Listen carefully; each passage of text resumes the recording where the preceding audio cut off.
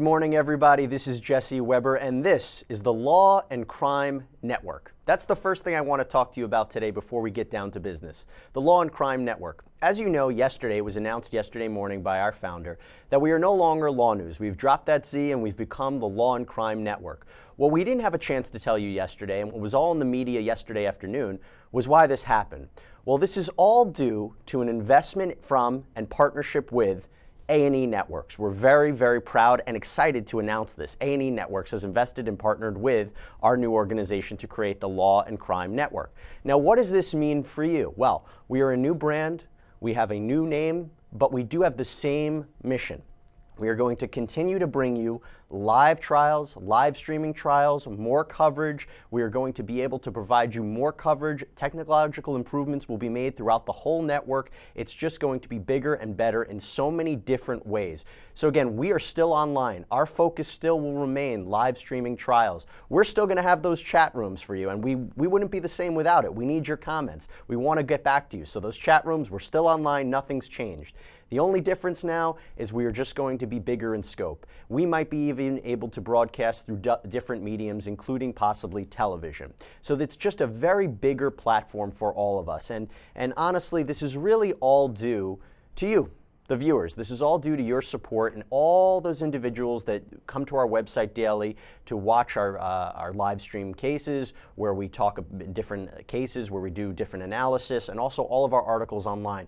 Because of your continued support for watching this network and going onto our website, we are now bigger in size, reach, and presence. So again, from all of us here at the Law and Crime Network, we really do thank you and welcome to the new network where it's just going to be an exciting new platform for us to delve into all of the biggest issues of the day. So thank you again and welcome to our new network. Now let's get down to business. Our new network, where our first thing we are going to be talking about is the Adam Matos case. Again, we're becoming this every day. So what happened yesterday and what is happening today? Well, today we expect that this will be, the prosecution will rest their case. Again, this man, Adam Matos, is involved in a quadruple homicide. He has been charged in connection with the death of Megan Brown, his ex-girlfriend, uh, her two parents, Gregory and Margaret Brown, as well as Nicholas Leonard, who from all accounts appears to be a man that was in a relationship with Megan Brown. Now, the Megan and uh, it was Megan and her father Gregory who suffered gunshot wounds, while Nicholas Leonard and Margaret Brown suffered blunt force trauma to the head with something that seemed to be consistent with a hammer. And also, it should be noted that Margaret Brown suffered from asphyxiation as well. The plastic bag was wrapped around her head, duct taped as well. So these are really a brutal quadruple homicide with different manners of killing. And that's what really we want to talk about here is how these four individuals were killed, when they were killed, and that is what the prosecution is trying to develop. Now, what we keep talking about is the prosecution has been laying out their case but the defense has really not been doing that much. They have barely cross examined witnesses, uh, at least as of yesterday. And there was ample opportunity to cross examine witnesses. I'm going to get into that in a little bit, and we're going to play you some, uh, some clips from yesterday. We do expect coverage in this case. Again, this is out of Pasco County, Florida. We do expect it around 9:30, 9:45 Eastern Standard Time. So as soon as we do have coverage, we'll make sure to go to it. I'm going to come back to Adam Matos in a minute because I do want to tease another case that we're hopefully going to be covering it today as well. This case is out of Memphis, Tennessee. You might have heard of it. It's the case of Shelby Isaac. She's 18 years old, and she faces three charges of first degree murder in the deaths of E.J. Tate and his girlfriend, Enwina Thomas, and also their unborn child. Now, police, I, I, I, have to tell you this, this is, I can't make this up. Police actually believe the killings happened as a result of hair extensions. Process that for a minute hair extensions. They believe that these individuals were robbed of hair extensions. That's what led to this murder because Mr. Tate actually owned a business with his cousin where they sold hair extensions and wigs, and that is what is believed right now by police to be the motive in this crime. And I have to tell you, I've heard a lot of different theories and motives about why people commit murder. This one, might be a first. And so we're definitely going to be hopefully uh, able to cover this case. Uh, and as soon as we do have a live feed in there, we're going to be turned to it. Uh, hopefully, we believe we might have live coverage at 10:30 uh, Central uh, Eastern Standard Time. Excuse me. So uh, if we're not showing it on the network, we're probably going to be showing it um, on our website, the lawandcrime.com website, and you'll make sure to check it out. But again, we are now focusing right now. Our main focus today will be the Adam Matos case. I do want to give you a brief update as well. Our very own Aaron Keller wrote an amazing article about young Tristan. Now, Tristan is the young son of Adam Matos and Megan Brown. He was four years old when this crime took place. He's eight years old now. And there's a question about his what how, what did he know about this crime? And we found out that the prosecution is not going to call him as a witness. Remember, he's a young boy. He's autistic. Um, there's a legal standard by which witnesses can be called to the stand, and if they're competent to stand as a witness, and unfortunately, um, young Tristan does not meet that level to be a witness. Uh, that's an, analyzed by Aaron Keller in his article, and I want you to go to our website um, to view this to view this article because it's really important because it, Aaron dissects it from what was said in deposition transcripts and in the events leading up to the trial. And I have to tell you, it does provide some color into whether or not Adam Matos was in fact the killer. You can hear from statements from Tristan that were made. Obviously, the jury will not know about this, but it isn't for you, the viewers. It gives you a chance to see a little bit more uh, in, insight into this case. So again, go to our website. You can view that um, whenever you want.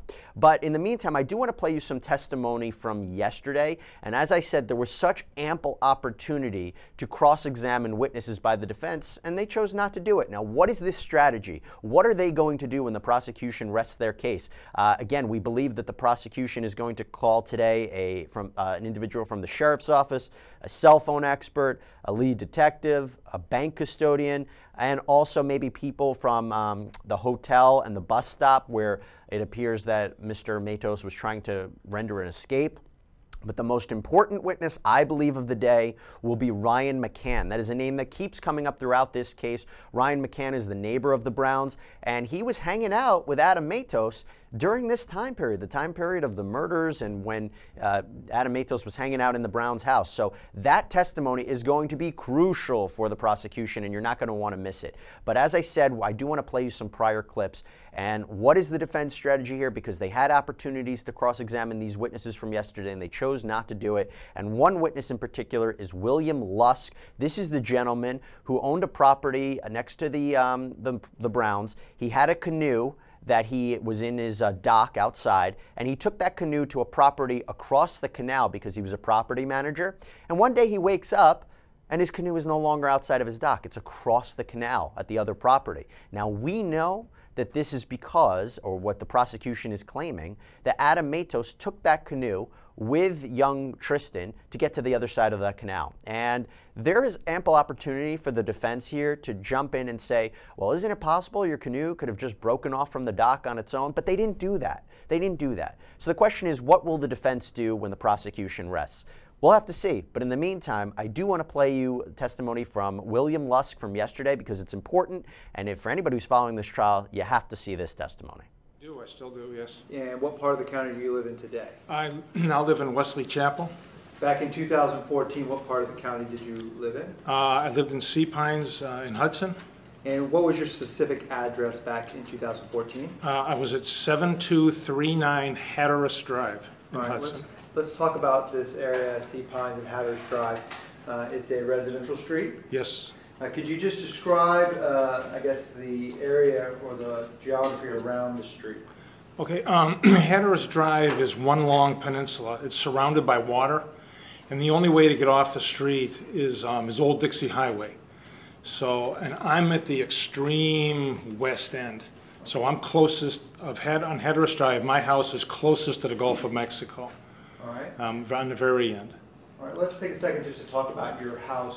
Uh, Is it a uh, single-story, or multiple-story house? Uh, it's a, it's a three-story home. All right, and the master bedroom, what, what floor is it on? The master bedroom is up on the third floor. All right, and so to get from the master bedroom down to any other of the living areas of the house, you'd have to go downstairs? There's, there's one stairwell and an elevator. All right. The stairwell, that, is that what you used Well, primarily? my health is good, so I always took the stairs. The, the, the elevator was something I had put in in case you have heavy load or, Right. Okay. Uh, and as you uh, go up and down the stairs, is there a, uh, a window that allows you to see out to the Gulf of Mexico? there is. Um, I put in as many windows as I could because the view where I am is, uh, is very nice. All right. And, uh, so it looks out over my dock and the canal, and the house are directly across the canal to the west. Right. You have a boat dock that is uh, water accessible. I do. There's a, there's a boat lift and a, and a boat dock, floating dock. Okay. Did you uh, keep a boat or watercraft on your dock at, during that time in 2014? Um, I had a canoe uh, that sat upside down on my dock for probably seven or eight years All right. that I lived there. And from time to time, did you use your canoe? Uh, Used it several times a week. Um, I was property manager for a house right across the canal, and so I would, um, rather than drive around, because it's at least two miles to drive by car, I could row across the canal 35 feet in like seconds. So I'd go back and forth by canoe, caring for my neighbor's property. All right. And so when you would do that, it- is it safe to say that you would take the canoe from your property to the other house across the canal? Yes, And sir. then you'd come, you bring the canoe back? I, I would do my chores as property manager periodically and then come back across with the canoe, yeah. And it- turn it upside down again. I guess what I'm saying is you would never, you would, anytime you use the canoe to go across the the canal, you'd always bring it back? Yes, sir. Okay. Mm-hmm. Uh, I'd like to focus your attention to uh, the week of uh, Labor Day 2014. Uh, Was there, was there during this period of time a uh, large police or sheriff's presence on Hatteras around the intersection of Hatteras and Boyce, and um, Old Dixie Highway? Extremely large presence of police, Okay. yes. Um, And uh, during this time period, I want to focus your attention towards the end of the week, so the Uh-huh. Thursday evening after Labor Day, okay? Right. Uh, Do you recall seeing or noticing whether or not your uh, canoe was on your dock as you went up the stairs to your residence? Uh, I didn't notice anything Thursday evening. Um, I went out to a Knights of Columbus meeting probably around 6:30 or so that evening. Uh, it I remember it being very dark, and I believe it was a rainy evening. And um, our street light, I'm right on the cul-de-sac, and there's one street light there. Like for the first 100 yards or so, 200 yards, that's the only light. Okay, And I believe that light was out for many years. all right. And we had tried to get it on in the community, so it was very dark there. Okay, So you, you don't notice anything that's happening on the side of your house or the water uh, at night. You, you just don't know. and since we're so- talking about this area, uh, the Sea Pines area, during this period of time, 2014, were there homes that were vacant due to either foreclosure or people not living in them? Um, There is, yes. All right, would you say more than one, Yes. more than two? Uh, Yes, Okay, multiple homes in that area yes, that yeah. It's, it's, it, it- that happened with the collapse of the real estate market in Hudson, being a waterfront community. Uh, Lots of abandoned homes. It's still that way. so, so Thursday night, you go to the Knights of Columbus meeting, you, you return home, uh, and as you would have gotten up that Friday morning, uh, that Friday after Labor Day, uh, did you notice something as you came down your stairs? I- First thing I noticed. What did you um, notice? because when I come down my stairs, I'm looking out a very tall, uh, wide window, and you looking right out at the water, and my dock is right below me, and I noticed my canoe was on the other side of the canal, All right, about 35 feet away, and I had wondered how it got over there. All right, did you Right. take your, your boat, your canoe from your property to the property across the way? I did not.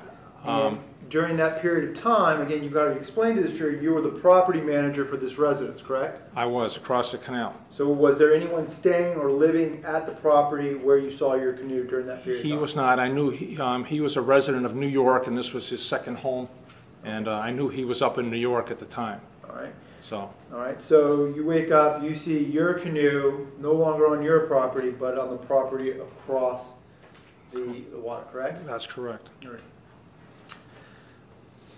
Mr. Lusk, I'd like to show you what's been introduced as States Exhibit 256, okay? I'm gonna hold it up right here, and I'm gonna ask you to identify, take a second to look at it and identify,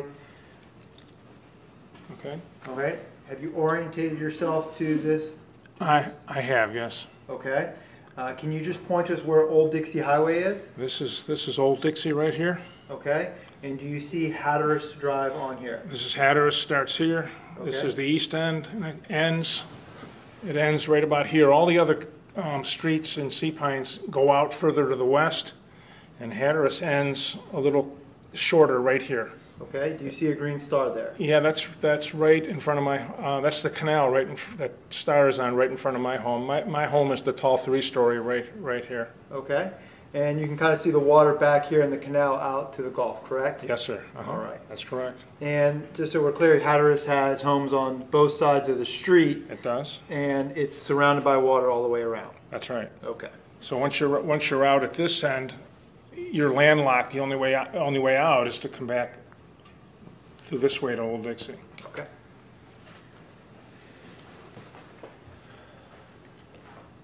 And just so, just for uh, another two advantage, so I'm going to show you what's been introduced as states exhibits.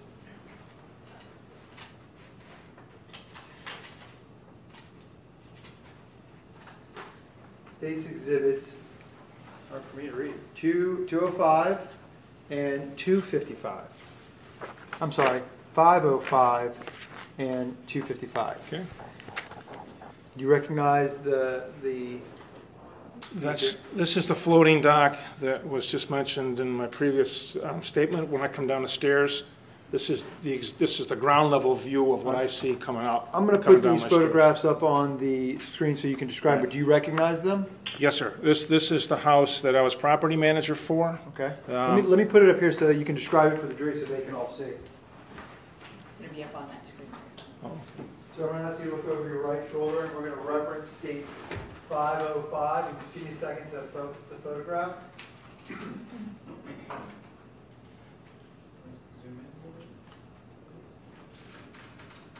Okay, sir. All right, that is. You were describing this area here, this is your floating dock? Yes, sir, that's my floating dock, that's my backyard. Uh, That view is looking straight west. That canal goes straight out to the Gulf of Mexico. It runs east and west.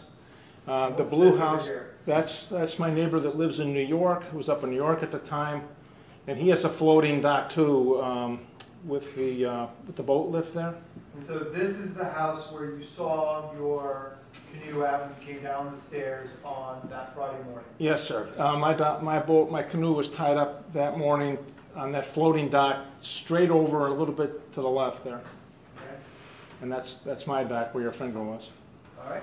I'm going to show you quickly what is stage 255, and let me just zoom in a little bit here. You were describing that uh, Hatteras is one, it's landlocked. I'm going to Yes, zoom sir. into, Okay, that's an aerial view of my home and my backyard. uh, is this your home right here? Yes, sir. Uh-huh. This is your dock. It is? And this is where you saw the, um, the the canoe, correct? That is correct, yes. All right, sir, so if, and again, if you know the names of the streets that are over here, um, you can use them, but my question to you is, if you were to come down these streets, it leads to these separate fingers or canals, correct? Yes, yeah, the, the next street over is Mako. I'm higher on the screen. Um, The next one, I'm not sure, it might be Yachtsman. But that, but that, that's the only street to get out to where my neighbor is across the canal. You've got to go over two streets on Old Dixie and then, and then come all the way out. But if you can get to this area right here, you can use this road or this little bridge to get access to the uh, main road of Old Dixie Highway. Correct, but from where I live, if I were to want to walk over there, it's, it's probably about a two-mile walk, Okay. or a mile and a half anyway. Where by water, it's only 35 feet. Okay, one moment.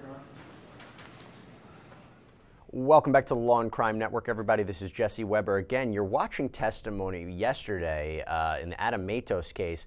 That was a prosecution witness. Ample opportunity for the defense to cross examine this guy. He's talking about how he had a canoe, and that canoe was outside on his dock, and one day he wakes up uh, in the morning and the canoe is across the canal at the other end where he has a uh, property that he manages. And again, raises the question for the jury that perhaps Adam Matos was the one that took that canoe to escape the area. This is the one that the, this is what the prosecution has said in their narrative. So that it would have been great for the defense to come in and say some questions along the lines of, well, has your canoe ever broken off from the dock before? Isn't it possible that that could have happened? You know, just give some sort of indication to the jury that you're doing something. Now, it's not for me to criticize the defense because we don't know their strategy moving forward. We don't know everything that they know about this case. So it will be interesting to see how it moves forward. There has been questions about whether or not one of their strategies is to put Adam Matos on the stand, which will be very interesting. And some people say you have to put him on the stand. I actually think it would be riveting to have him on the stand because he might be able to explain away some of his behavior or what happened that night. And I think the jury needs that. Otherwise, they're going to convict this guy. So uh, that's one testimony we saw yesterday from um, William Lusk. But now I want to play you the testimony from uh, two individuals, uh, Jesse Fletcher, great first name. Uh, he's a Papa John delivery driver. And then Grace DeMalanta, she's a Papa John's office manager, talking about when those pizzas were delivered to the Browns home and how Matos purchased those pizzas. Again, remember, Adam Matos was living at that house. He was ordering pizza. People that were coming to the house small, smelled that strong odor of decomposed bodies. He was living in that house with Tristan. And after the Browns disappeared, why would he be living in this house? Again, it just keeps adding on to the prosecution's narrative. Again, we do expect live coverage at around 9:30, 9:45 in this case. As soon as we do have it, we'll make sure to turn to it. But in the meantime, let's see this testimony from yesterday. Now, Mr. Fletcher, I want to take you back to August and September 2014. Um, What were you doing for work at that time?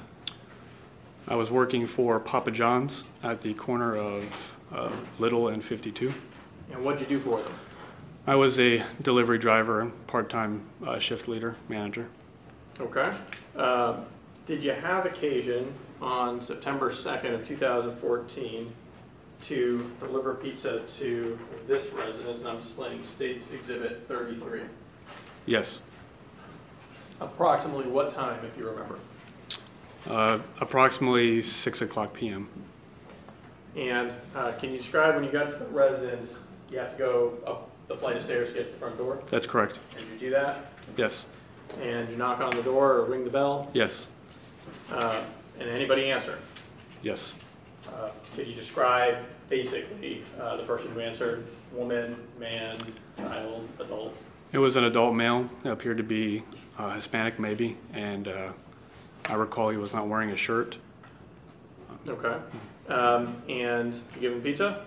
Yes, Now, when you were doing this, did you notice uh, any unusual odors? yes, Now, at that time, when you were uh, delivering pizza for Papa John's, was this an odor that you were familiar with? no, Was this the first time you'd ever smelled something like this? yes.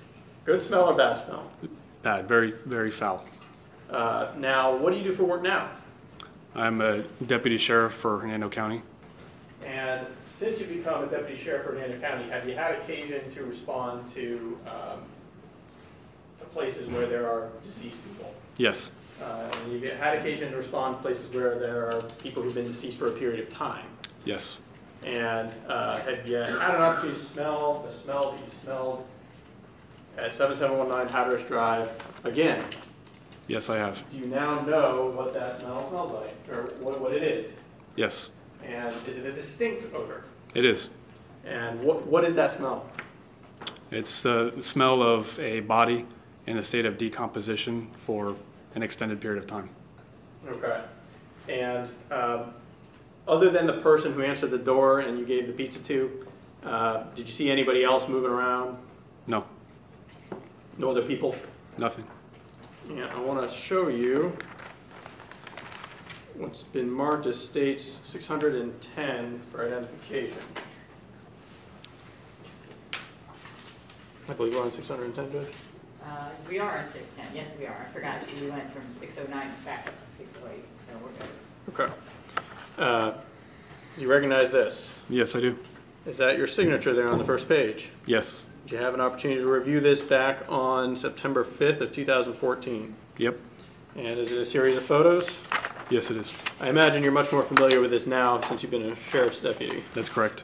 Um, And were you able to select from the group of photos the person uh, that you had delivered pizza to? Yes, And did you, which photograph did you select?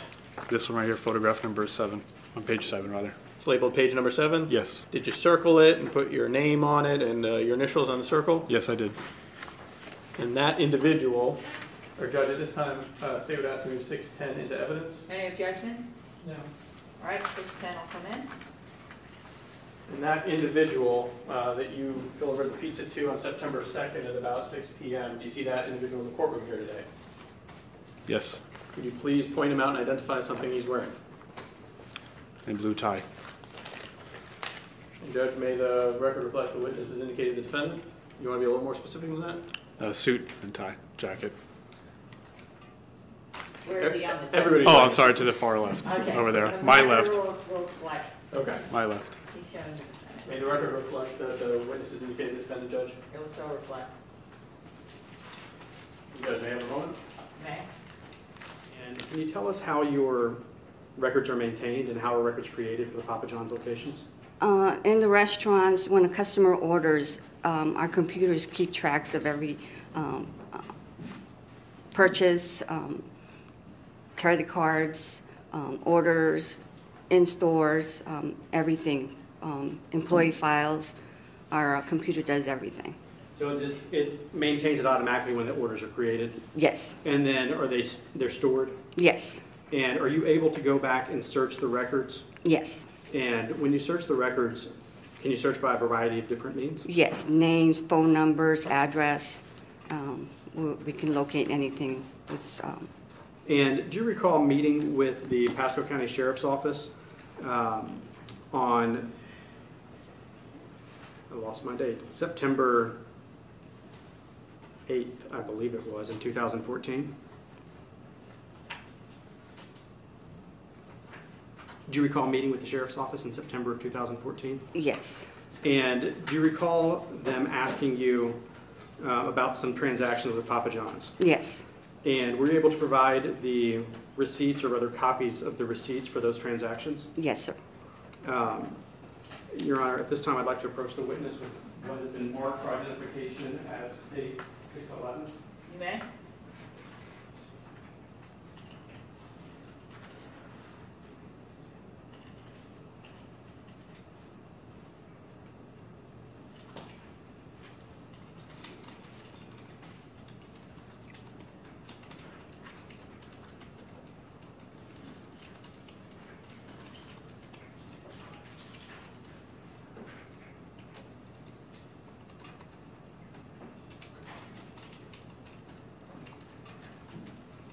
So I'm showing you now, um, the defense has already seen, which is 611 for ID.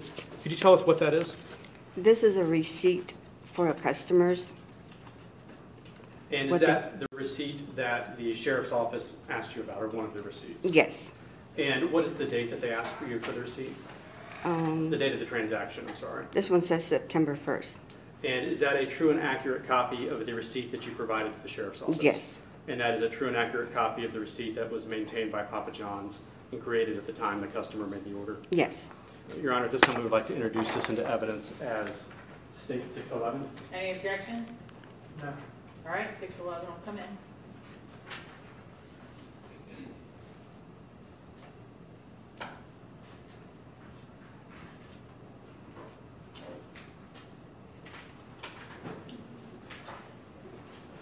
Now, Ms. DiMolanta, would you mind telling us the, the date and time for that transaction?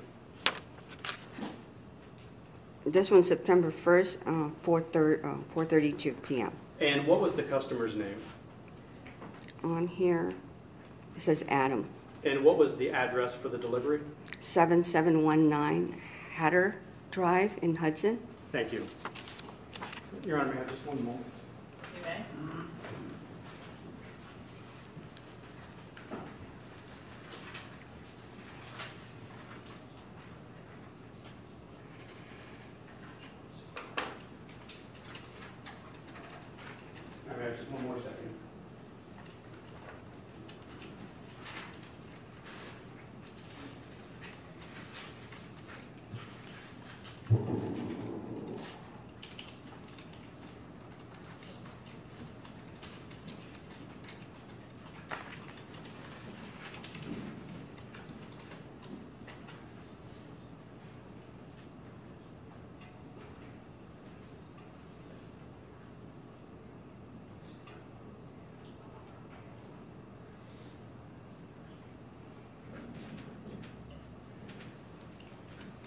I approach the clerk?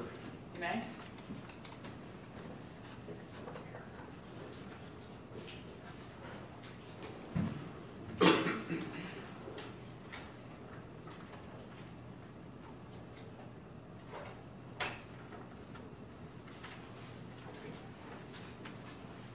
And may I approach the witness? You may. I'm showing you, ma'am, what has been marked for identification purposes as states 612. Can you tell me what that is? 612? No, I'm sorry, that, that's a number on the back for Oh. us to know what we're talking about. Okay. Um, Could you tell us what this document is, though? It's a receipt um, produced by our computers when a customer orders. And is this one that the sheriff's office also asked you to give Yes. for them? And is that a true and accurate copy of the records that are in your, uh, Records, yes. yes? Now, is this the one actually, the document that you provided, as opposed to a photocopy? Uh, Yes. And at this time, Your Honor, we would like to introduce this into evidence as states 612. Any objection? No. All right, our comment is 612.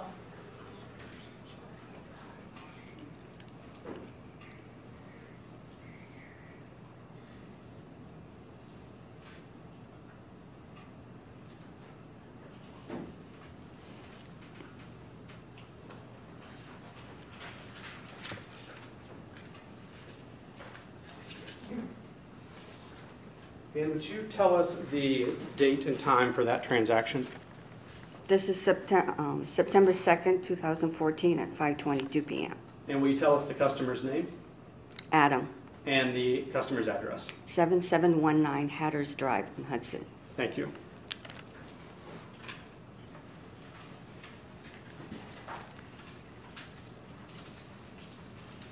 Honor have one second.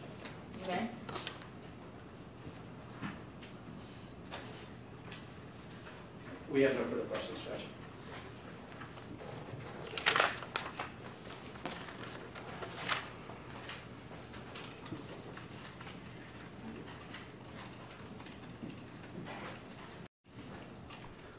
Welcome back to the Law and Crime Network, everybody. This is Jesse Weber. You were watching prior testimony in the Adam Matos case out of Pasco County, Florida. We do expect our live coverage any minute now, sometime between now and 9:45. We'll have a live feed in that case, and we'll make sure to turn to it right now. We are showing you prior testimony of uh, different witnesses that were called to the stand yesterday. Um, we know that we saw from Jesse Fletcher, a Papa John's delivery driver. This was Grace DiMalanta. She was the Papa John's office manager.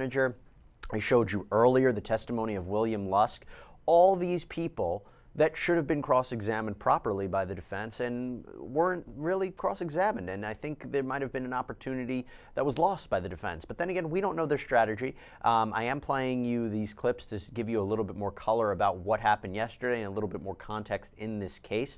Um, again, the these are the Papa John's delivery individuals who um, can, who were testifying to the fact that Adam Matos bought pizza, used the credit cards of the Browns, and was uh, had pizza delivered to the house that he was living at after these alleged murders took place. So it's it's very interesting to hear how this is happening and what was going on uh, at this time. And it's really, really a disturbing case. So I, I did want to play you that. Now I actually want to play you testimony from last week.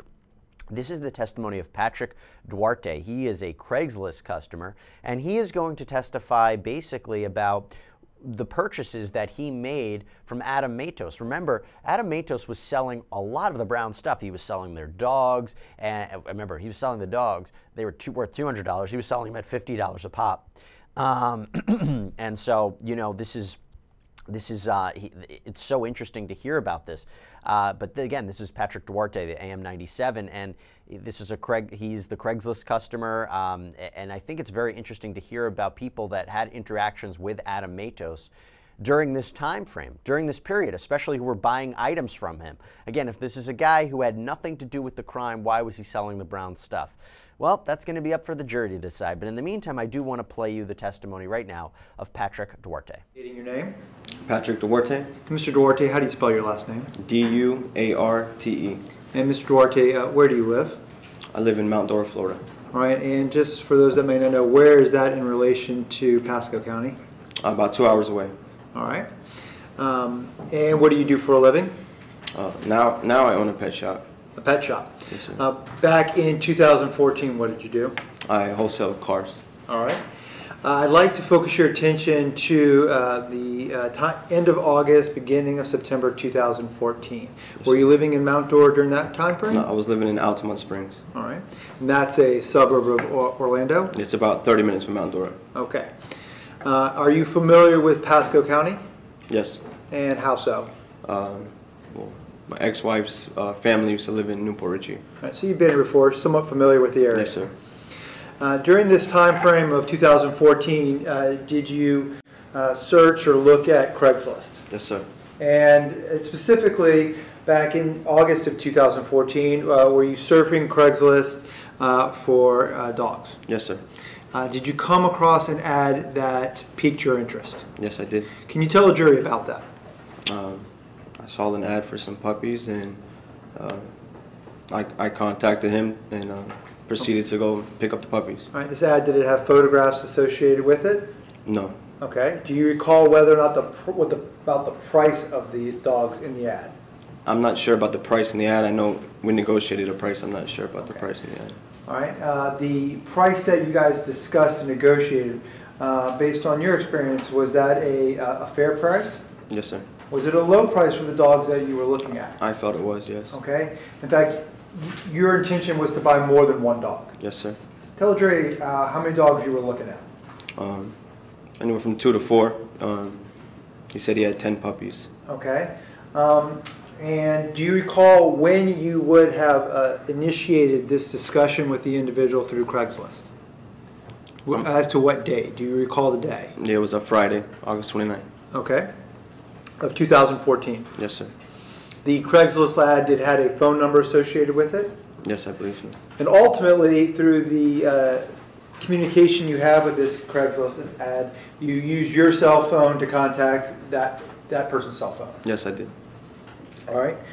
Um, And I- let me just kind of fast forward a minute in time. Um, Sometime after this, you get involved with uh, law enforcement as far as the things we're about to discuss, correct? Yes, sir. Um, And in doing so, uh, you explained to them that you used your cell phone to contact this individual. Yes, sir. Did you provide your cell phone to law enforcement? Yes, I did. And to your knowledge, did uh, law enforcement access your cell phone to retrieve text messages that you may have shared with this individual? Yes, they did. Okay. In fact, have you had an opportunity to kind of review some of those Yeah. today? Yes, yes, sir. All right, were those accurate as to the uh, cell phone communications that you remember? Yes, they were. All right. And back in 2014, what was your cell phone number? Uh, 407-280-8785. Uh, As you see it today, that's not your number, is that correct? No, sir. All right. Um, And you used your cell phone to communicate with this individual. Yes, I did. Uh, And based on the communications, did you decide to get up and and drive over to Pasco County? Yeah. All Yes, right? And how many dogs were you planning on purchase in that, in that initial? Initially three, it ended up being four. All right? So your plan was three, but ultimately you ended up purchasing four. Yes, sir. All right? And you indicated you negotiated price. Yep. Do you remember what price you negotiated? Yeah. I, originally, I believe it was supposed to be fifty dollars a dog, um, and then I was told to pick up some cigarettes, so we negotiated down to one sixty for four. All right, let's talk about that. During your trip, I guess it's a, how long of a drive is it from Altamonte to Pasco? A little over two hours. All right? In that drive time, are you communicating back and forth with the individual? Yes, I was. All right? And did, just so we're clear, you didn't know this person, right? No, sir. Um, Did your communications with him include text and voice Yes, did. conversations? Yes, sir. All right. Um, You mentioned uh, some cigarettes. How did cigarettes come involved in, in this, in this conversation? Um, he called me and said he didn't have a vehicle. If I can stop and pick him up some ca- uh, Camel cigarettes on the way. All right? He was specific as to the type that he wanted? Camel menthol. Camel menthol? Yes, sir. All right, and did you do that? Yes, I did. In fact, did you use that as part of your, um, I guess, your, part of your negotiation as it Yeah, relates to the I told him price? we'll deduct it off the, the dogs. Okay. Do you remember, uh, did he give you an address? Yes, sir. Do you guys discuss that in the text messages? Yes, sir. Um,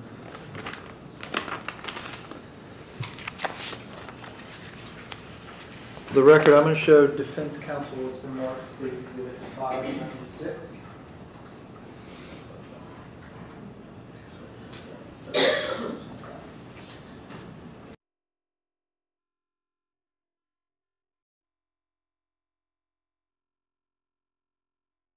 This is the document we reviewed today, correct? Yes, sir. This uh, shows the uh, back and forth text messages between you and the individual you, you found on Craigslist, correct? Yes, sir. And at the top of the page, is there a phone number associated with the, uh, the text messages that you received? Yes, sir. Could you read that for us? 484 951 2687. Okay. And this chain indicates the, uh, the negotiation for price, dogs, and location, correct? Yes, sir. All right. Your Honor, at this time, the state would seek to admit 596 as the next item of evidence. Any objection? No objection. All right, five ninety-six is in, it's five ninety-six. All right, let's, let's just kind of move through it. Um, I'd like to, the very first uh, conversation is the uh, last one in the page. What date and time was that conversation at? Uh, August 29th, 2014, at 240, Uh, oh, 1240, I'm sorry. Okay. And that would have been the initial reach out, and between then, you negotiate price, cigarettes, and ultimately uh, go to a location, correct? Yeah, over the course of the conversation, yes, sir. Do you remember uh, arriving at a a home in uh, Pasco County? Yes, sir. Could you just give us a description of the home to the best of your memory? I remember it being a large home. I remember there being an, an RV out front. All right. Uh, Did you, uh, did you text that individual to let him know that you were there? Yes, sir. All right, let- let's refer to, this is the second page, and this is a text message sent from you that says, "Hi, I'm here." Yes, sir. You see that? Yes, I do. When was that text message sent? At 411 on August 29th. Okay. And when you arrived, tell us, Drew, what happened when you arrived? Um, he, he came outside and, and met me outside. I gave him his cigarettes. He showed me the puppies. Um, I asked if there was any, any other ones I can see. Um, I went to follow him inside. He said, wait outside. So I waited outside. He came out. Um, we talked for a while. I asked why he was selling them so inexpensive, and he kind of laughed and said him and his girlfriend were having problems. They need the money. Okay. And um, we just talked about the puppies. I picked the puppies that I wanted. We talked for a little bit. Um, and I said, if you're ever in Orlando, come by, and that was it. Okay. And did you leave the residence well, not too long after that? Yes, sir. All right, and did, was that the last text conversation you had with uh, that individual? No, sir. Okay? You- Tell the jury about some of the later conversations that you may have had. Um, I'm not sure if it was that night or the next night. We talked about um, some other dogs he had, and um, he, he wanted me to come that night. He said it had to be that night if I wanted the dogs, and uh, ultimately I decided not to go. Here, let me show you what this, again, this exhibit states uh, 596. It was I'm gonna reference- 8:31. It started. Right, the, you were there at that day And on... 8:29. Okay. And then there were some text messages you exchanged on 831. It looks like you asked if there were more Yeah. puppies. He said a couple, yes, sir. Okay. Then now on 9/1/2014, you're indicating, you're talking about pictures and still negotiating on dogs. Yes, sir. This conversation, you, you said that there was one where you were interested in dogs, but he indicated it had to be that night, correct? Yes, sir. I'm going to reference you to, I guess, this message right here. Uh, Can you read the date and time? It was uh, September 1st, 2014, at 6:07. Okay. And what was, it? what did the text say? It says it has to be tonight because I have other buyers. Okay. Um, And after that, did you, did you intend on buying more puppies? After that, I I ultimately decided not not to go. Bless you. Uh, You did not buy any more puppies? No, sir. Okay. Um, After a a few days of, the past, after you had the dogs, um, did you, uh, well,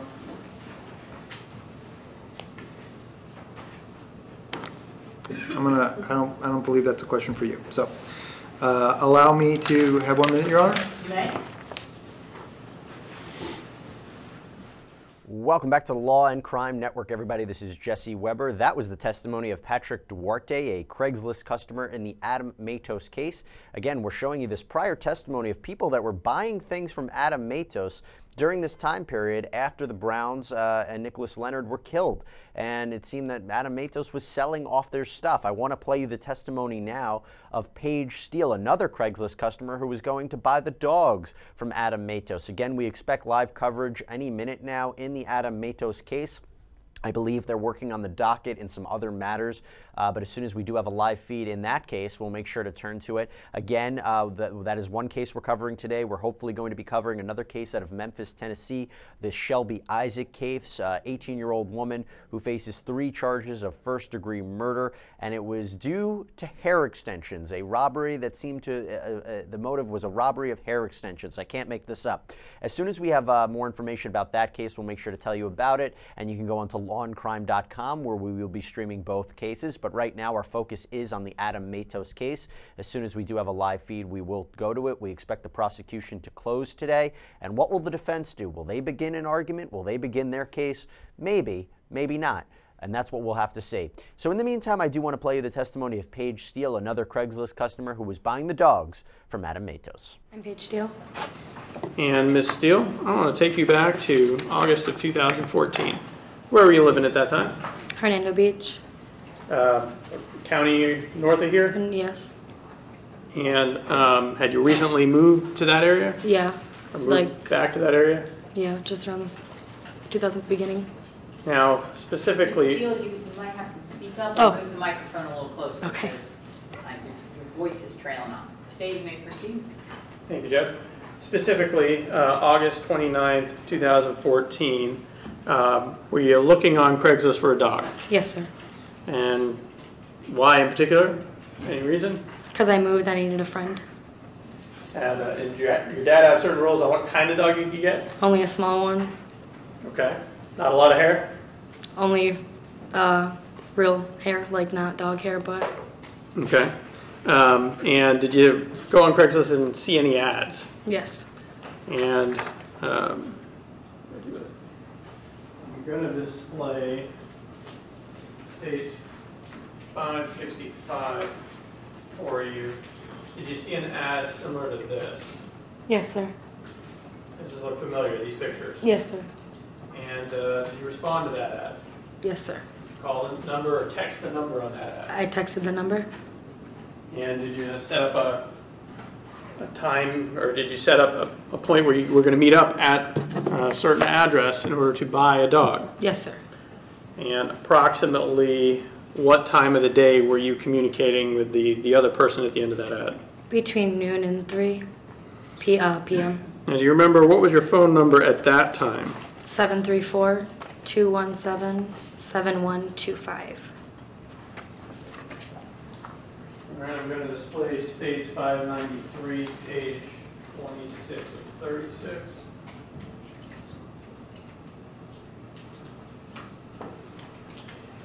And I believe you said 734-217-7125? Yes, sir.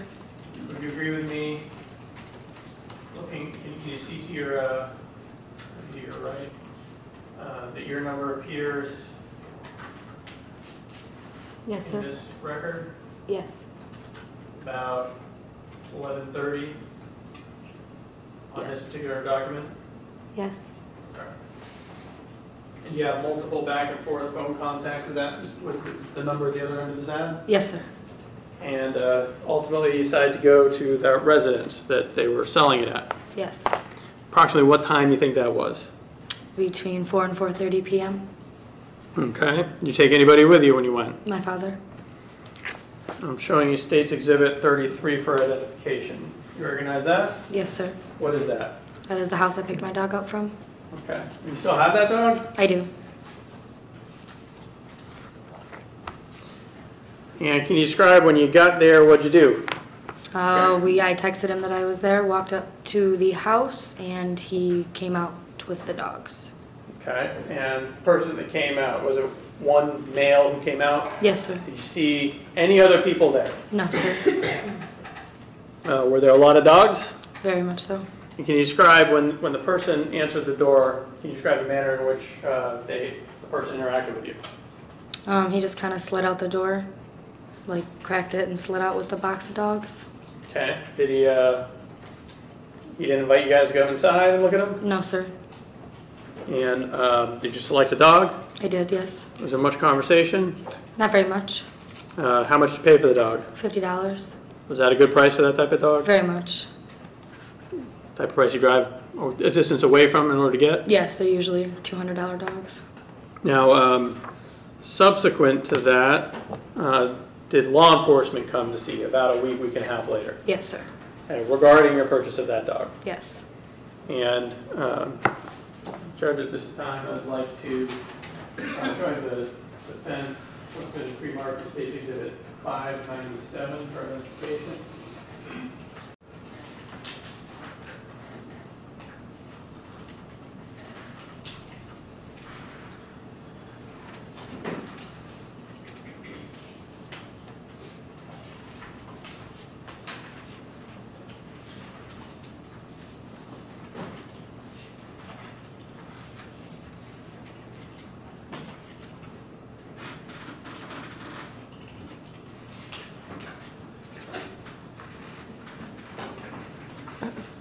You may approach. Thank you, Judge. Um, Ms. Steele, I'm showing you States 597 for identification. Have you seen this before? Yes, sir. Is that your signature there on the front, first page? Or, I'm sorry, on the second page? Yes. Um, And it's dated September, I'm sorry, September 8th, 2014? Yes. And did you look through these photographs? Yes, I did. And were you able to select the person um, that sold you the dogs? Yes, I was. And did you circle the, the photograph of that person and sign the page and uh, put your initials on it? Yes, I did. And uh, the page that you picked, is it numbered or labeled page number four? Yes, sir. Now, that person that sold you your dog, do you see that person in the courtroom here today? Yes, sir. Could you please point him out and identify something he's wearing? A black suit with a tie. And could you please point to him? Right there. And Judge, may the record reflect the witnesses indicated the defendant. So reflect. And Judge, I'd like to move State's Exhibit 597 into evidence. Defense, any objection? Five ninety-seven will come in.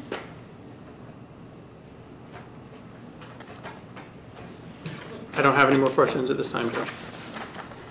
So Adam Matos was selling the Browns dogs at $50 a pop. And as Paige Steele said, she's a Craigslist customer, those dogs are usually worth $200.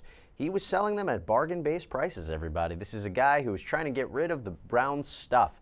And whether or not that means he actually committed this quadruple homicide, well, that's up for the jury to decide. But it does definitely add to the color and context of this case. So that I keep playing you the prior testimony of people that had interactions with Adam Matos. Today, we expect the testimony of Ryan McCann, the neighbor of the Browns, and someone who had uh, uh, really um, was hanging out with Adam Matos during this whole time period. So that testimony is something you're not going to want to miss. I, I we kept talking about it in anticipation of this trial that this guy is one of the key witnesses for the prosecution.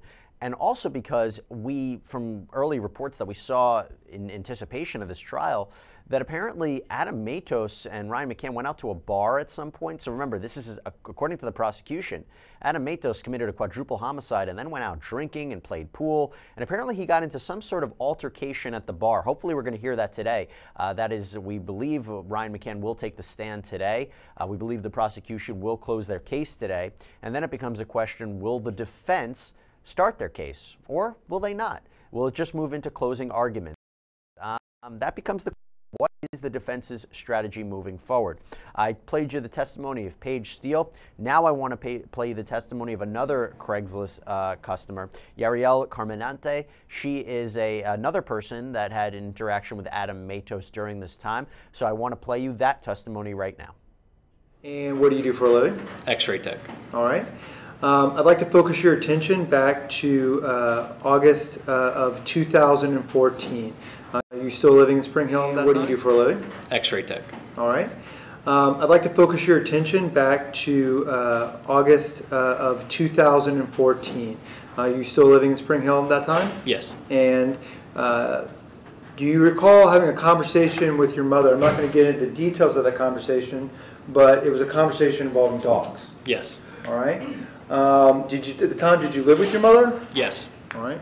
Um, your mother. Uh, what's her? What's her name? Ivan, Yvonne Carbonate. yes. Uh, Does she speak English or Spanish? Uh, understands English but speaks Spanish primarily. All right. uh, Based on a uh, conversation about uh, dogs and Craigslist, uh, did your mom indicate to you that she was receiving a phone call from a unknown number? Yes, All right. Um, And you recall the date of that conversation or that, that phone call came in August 31st, of 2014? correct. Do you happen to remember the phone number uh, of that unknown call? No, All right. Uh, Did you prepare a written statement close in time to August the 31st of 2014 where you made a specific note about that? yes, All right. Would it refresh your memory to, to see that? yes it will. Can I approach the witness, Your Honor? You may.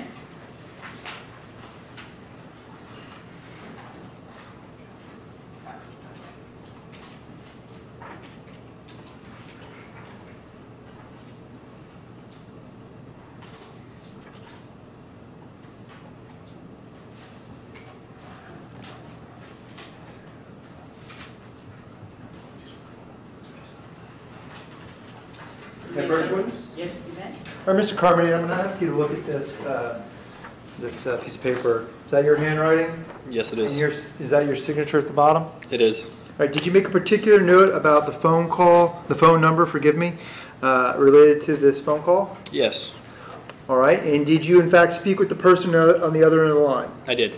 Could you uh, tell us the phone number that uh, you you noted? 848-951-2687. All right, and did you have a conversation with the person, you you personally, on the other end of that line? Yes, And based on that conversation, did you guys agree to go and purchase dogs? correct. And I said you, would be you and your mom, correct? Yes, we did. All right, as part of that conversation, did, was there a discussion about uh, an address? Yes, there was. And what was the address that you guys were to go to? 7719 Hatteras Drive in Hudson near Old Dixie Highway. Are you familiar with that area? Yes, Um, So you knew how to get there? yeah, And did you and your mom in fact go to that, that address? we did.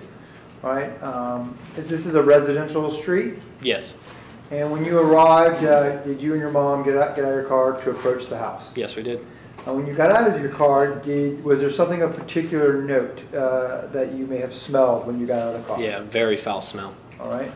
Uh, At that time, back August the 31st, Mhm. 2014, were you familiar with that smell? No, Had you ever smelled anything like that before? nothing like that. Would you agree with me that it was a unique smell? Yes, it, All right. How would you describe the smell? just rotten and foul. All right. Um, Do you approach the front door of the house? Yes, we did.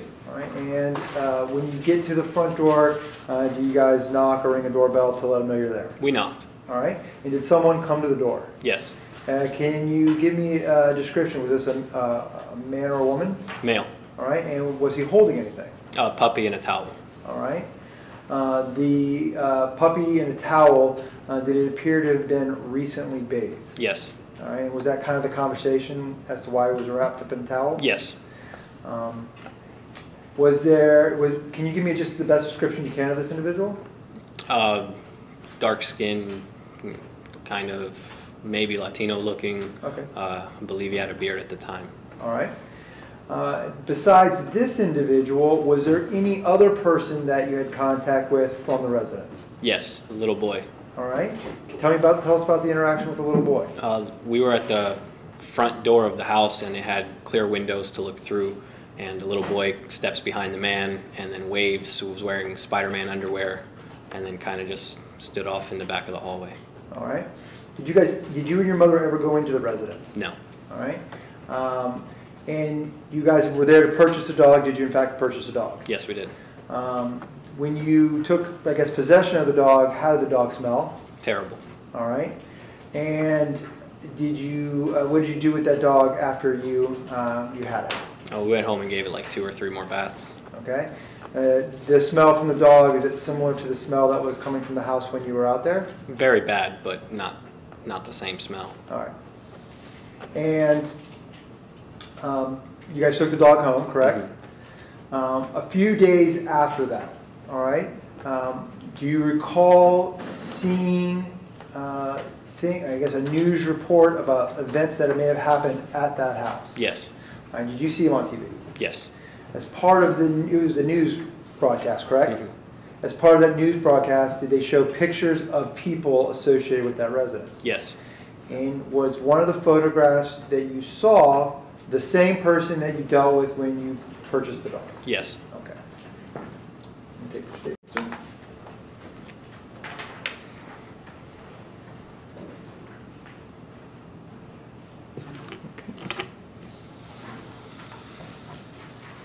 One moment, Your Certainly. Uh, Thank you, Your Honor. No further questions of this witness. All right, cross? Welcome back to the LawNewz. uh, I almost said the LawNewz. Law and Crime Network, everybody. This is Jesse Weber. It's going to take a little bit to get used to that, but no worries. So, you were watching the testimony of a Craigslist customer right there testifying in the Adam Matos case. We actually do have some activity in the courtroom. The trial hasn't started as of yet, so we'll play you that a little bit. Um, we're just seeing everybody setting up right now, seeing Adam Matos uh, sitting at the defense table. What's very interesting is we wonder whether or not, when the prosecution rests their case today, whether or not the defense will open up with their case. And if so, will they put Mr. Matos on the stand? There's always a danger about the defendant being put on the stand. That's a real serious danger. But in this kind of case, when the defense is really not cross examining any witnesses and they haven't really provided an opening argument, it's possible that they might begin their case with an explanation of what was happening in that room. So, in the meantime, uh, that is what's happening so far. We have been playing prior clips, but now we do have our live feed in the Adam Matos case. So, let's go to it right now. Record of State versus Adam Matos. The defendant is present with his lawyer state. Is everyone ready for the jury to come up? Okay. They're on their way.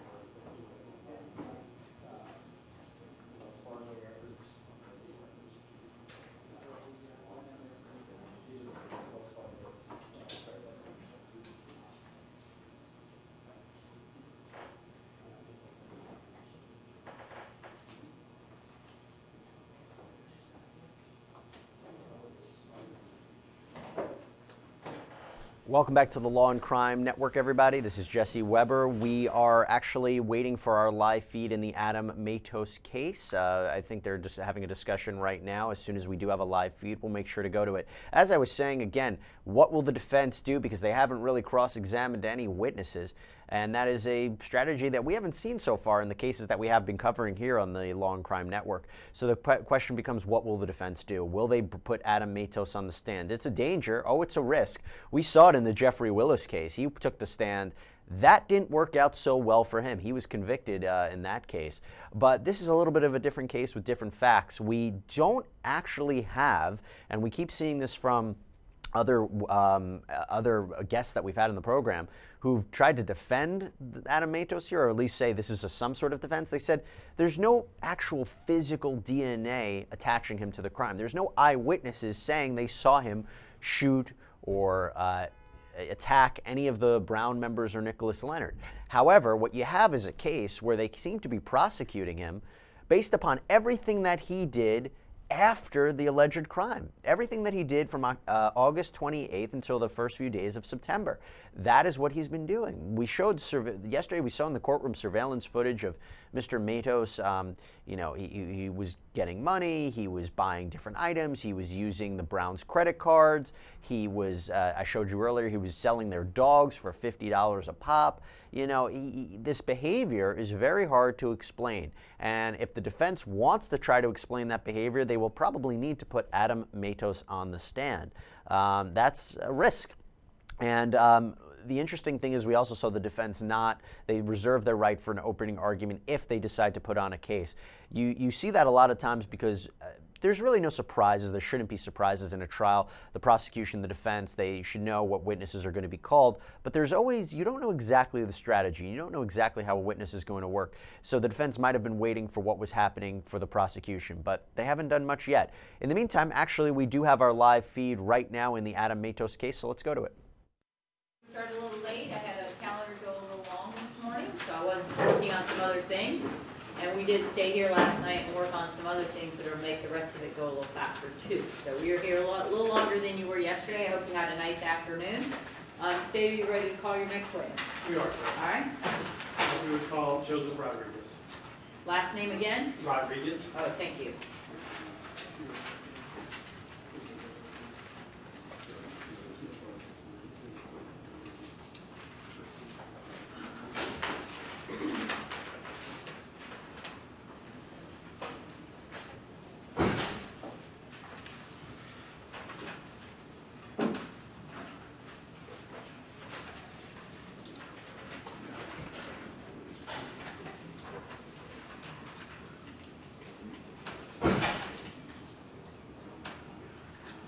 Morning, Mr. Rodriguez, how are you? Good morning. Very good, thank you. If you can step to the podium. You can stop right there, raise your right hand, be sworn by my clerk. Do you solemnly swear or affirm the testimony you're about to give will be the truth, the whole truth, and nothing but the truth? I do. All right, sir, have a seat in the witness stand, speak in a loud and clear voice for me, okay? Yes, ma'am. Thank you.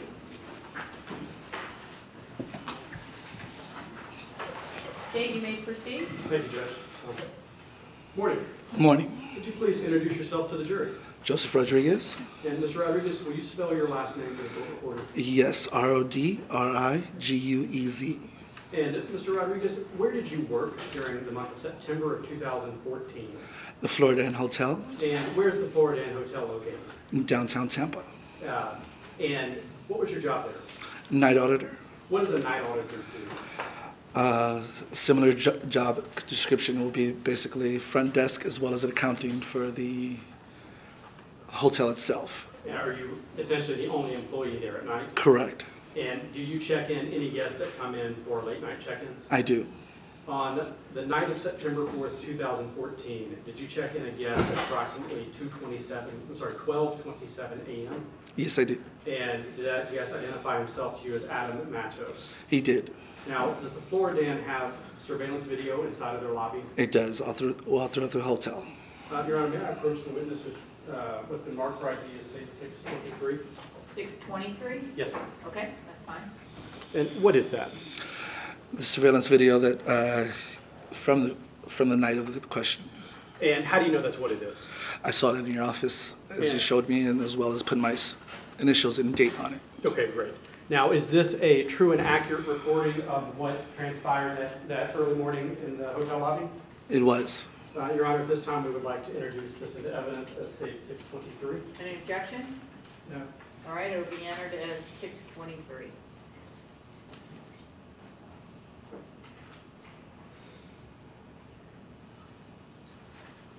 Now, Mr. Rodriguez, when a guest checks into the hotel, what is the process for booking someone in? You of course you request uh, photo ID identification as well as credit card. If not a credit card, then the option is to pay cash as well as to leave a cash deposit. Now, the, the night when you checked in Adam Matos, how did he pay for the hotel room? He paid cash. And did he present an, an ID? Yes, his photo ID. Now, when someone checks in, do you have them sign any documents? We do, which is a registration card just stating who's who's in the room, uh, their name, addresses, everything's on it, as well as the total of the bill. And you said it's called a registration card. Correct. And Your Honor, may I approach the witness with what has been marked for ID as state 624? You may? And what is this document?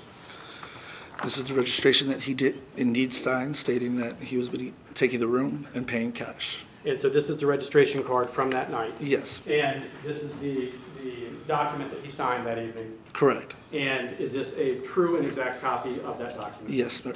Uh, Your Honor, this time we would like to introduce this into evidence as State 624. Any objection? No.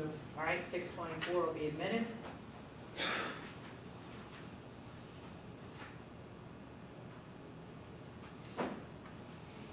Now we would like to publish the, the video and document. That's fine. Mr. Everyone- Rodriguez, can you see that television from where you're seated? I can. Okay. Someone stole our big TV, so we're gonna use the little TV. We'll have it back, I'm told, so. Um, if I can have the bailiffs, um, we- can we turn down the lights and have the doors real quick? Makes it a little easier to see that one. Mr. Rodriguez, Mr. Bailiff's video is video only, not audio. Correct. That's, no, that one's fine. No problem. And then the ones behind them too. Perfect, thank you. It's a lot easier to see.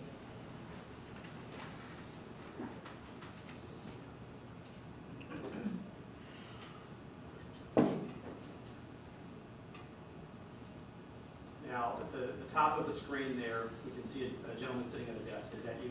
Yes, it is. And are we looking at the, the lobby right now of the Floridan Hotel? Correct. The lobby's on the second floor. And where is the entrance on this screen? You have two entrances, one located on the left side right there in the upper left, the other one located on the bottom right.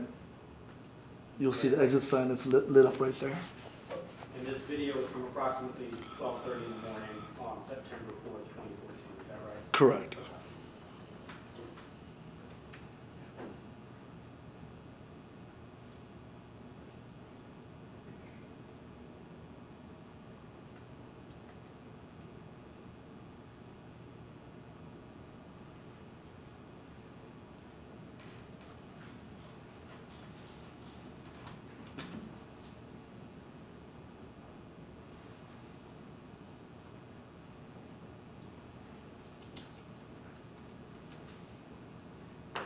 Now, is, is this the man who identified himself to you as Adam Matos?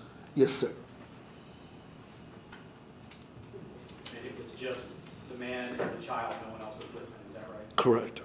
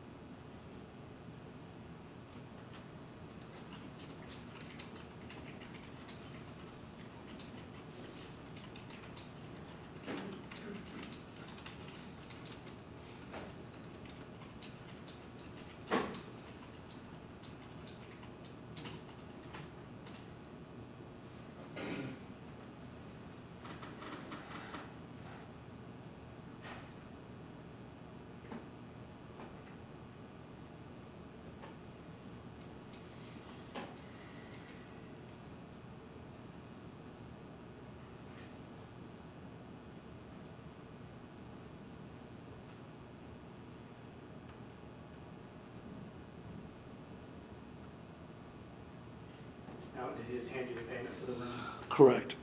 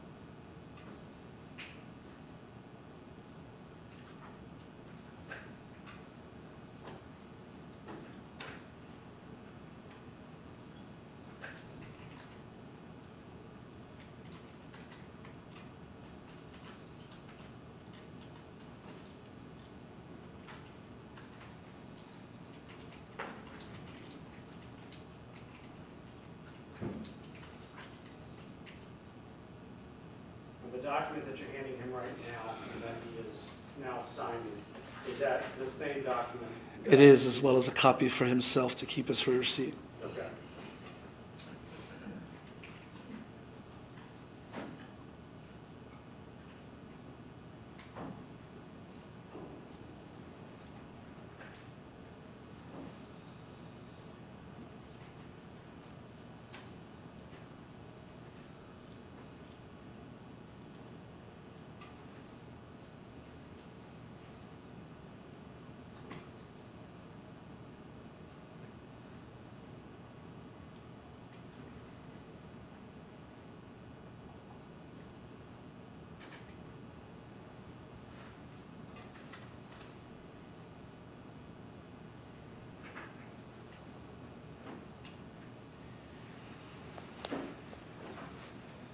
And this document that's up on the TV now, is this the, uh, the registration? No, I can't see. Give me one second to get any photos.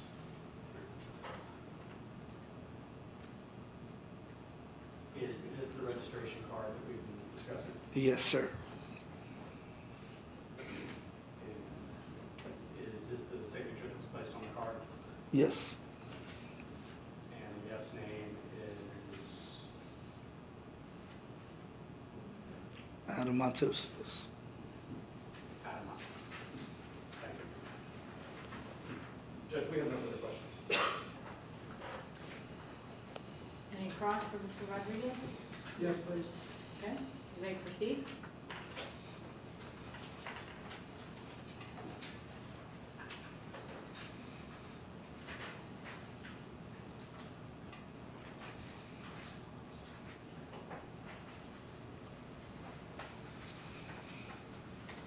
Good morning. Good morning. Just a couple of brief questions. Sure. Um, You had been a non-auditor of the Floridan Hotel for about one and a half years at that time? Correct. Okay. And um, you said this was between 1 and 3 in the morning?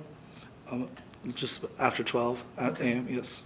All right. Um, And about uh, 25, 20 to 45 minutes after he checked in, did you get a visit from some other people? Correct. About I want to say about 20 to a half hour after him checking in, uh, two officers came in, questioning did, did Adam Matos check in. Now, he paid um, in cash, you said? Correct. And um, as far as ID, he gave you an ID with Adam Correct. On it? Yes, sir. And of course, you remember uh, the young child with him? Yes. Do you remember anything unusual about um, his shoe? Uh, the shoes, uh, he had walked, when he was walking up the stairs, he had lost one of his shoes. And prior to him getting into the elevator, it was instructed him, said that the child did lose his shoe to make sure you get that. He went back and got the shoe? Correct. Oh, any um, suitcases that they have? As what you saw, just the bag, no suitcases. Just a little backpack? Correct. That's all I have. Anything else? No, Judge. All right, is he released from his subpoena? He is. Defense, any objection? No. Mr. Rodriguez, you may step down, you were released from your subpoena. Thank you, ma'am. Have a nice morning. You as well. State, call your next witness. State would call Sean Kennedy. All right, Sean Kennedy.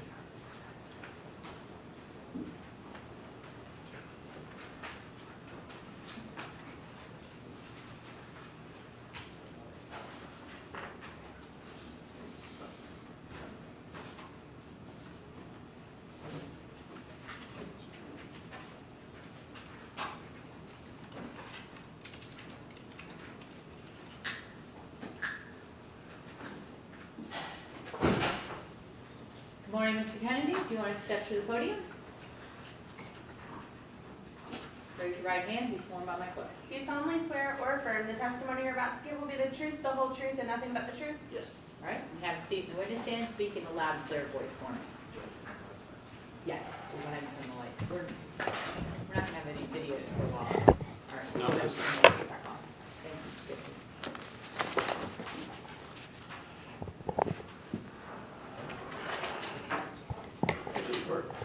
You may proceed. Fantastic.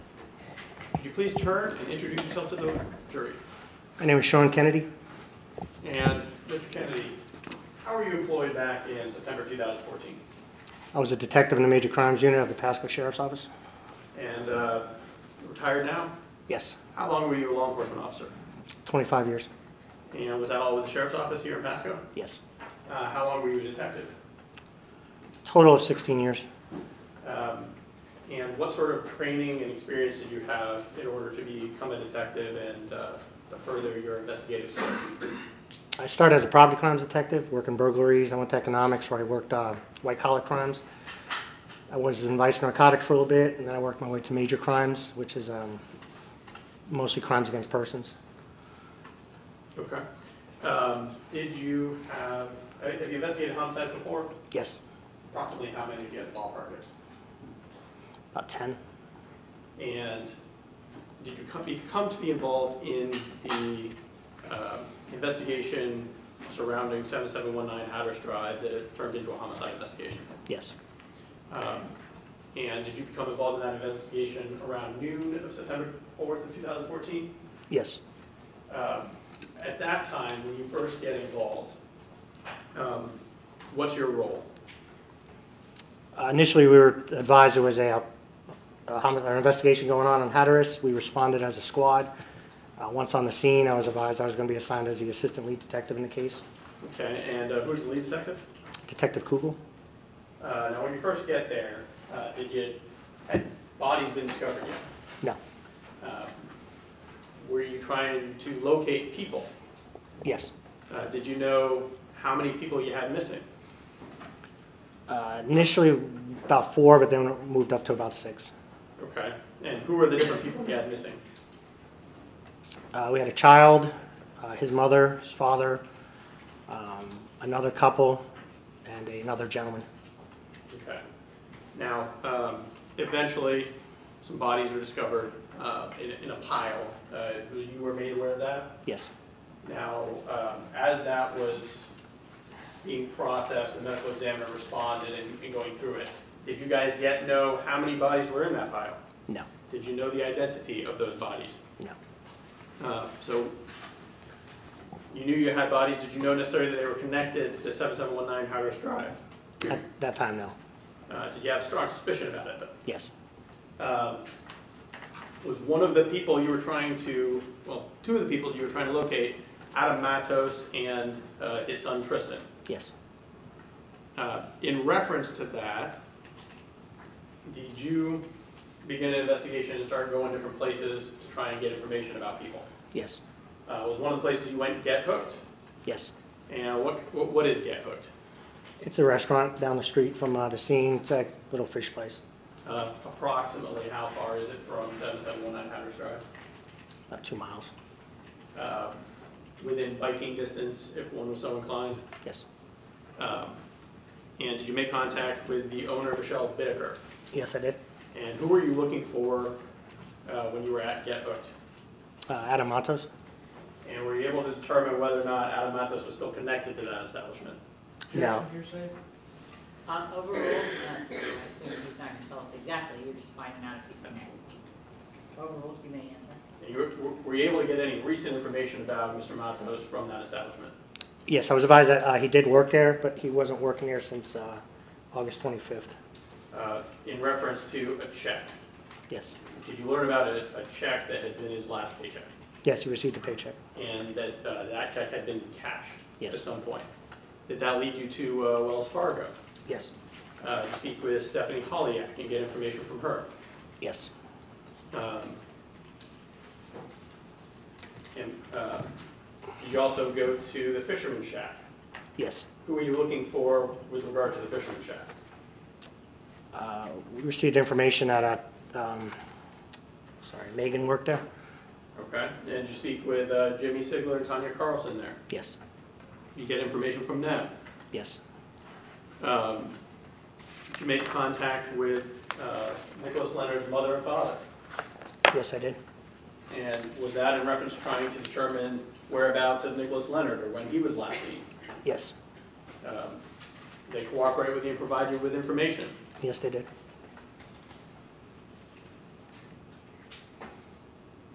Now, as this is going on, um, and you're getting more information from the, the pile of bodies, uh, you learn that uh, there is not a body that matches the description of Tristan and not a body that matches the description of Adam Matos. Yes. Um, And so were those two people you were still trying to locate? Yes, that became a priority to locate them. Um, And as you're doing that, do you get information um, that leads you to go to, lead you ultimately to go down to Tampa? Yes. Uh, And approximately what time do you end up heading to Tampa? Uh, I would, me and uh, Detective Kugel arrived there at 2:45 a.m., 2:45 in the morning. And um, where specifically did you go in Tampa? To the uh, Grand, Grand Floridian Hotel, Floridan? Florida, yeah.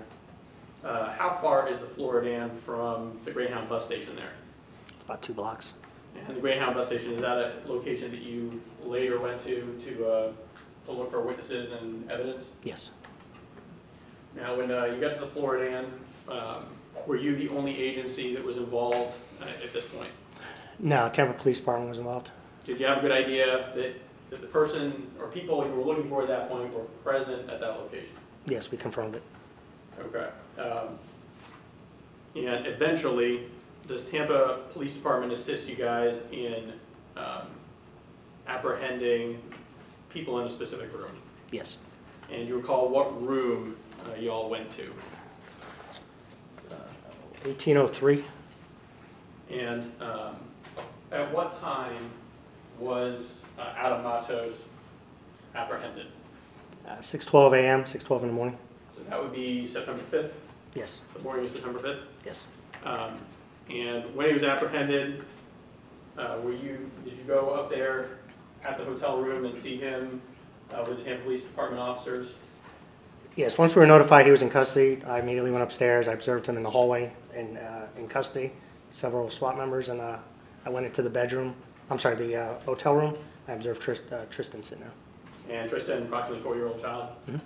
Now, uh, any other people in the hotel room? There was a couple of SWAT members that were just standing by with the child. Okay, but any other people who were not law enforcement? No. Did not come in order to apprehend Mr. Matos and Tristan? Um, And was that hotel room secured by law enforcement so that you guys could eventually go through it and search it? Yes. And was that done? Yes. And were you present when that room was searched? Yes, I was. Judge, I've already shown defense counsel states exhibits six fourteen through six eighteen.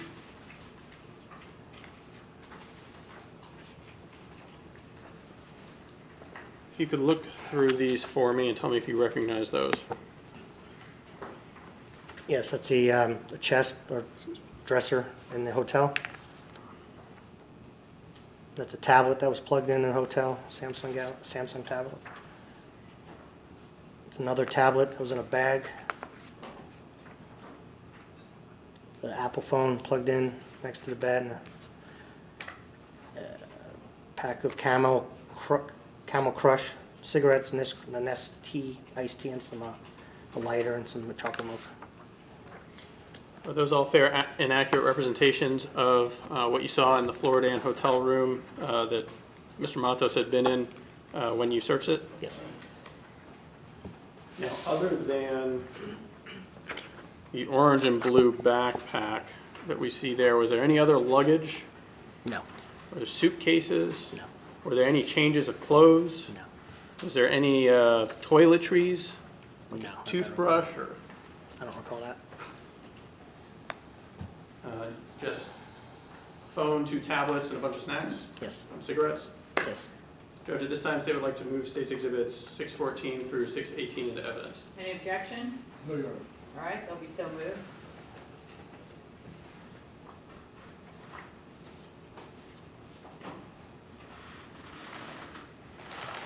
Judge, I've previously shown defense counsel states 619 and 620. Okay. If you could look at state 619 for me, do you recognize that?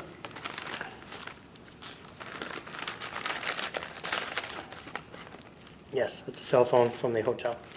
And that's something that was collected at the time that you guys searched uh, the hotel room? Yes. Uh, Judge, at this time, state would like to move state 619 into evidence. Any objections? No, Your Honor. All right, six nineteen is named. I'd like to show you 620. You recognize that?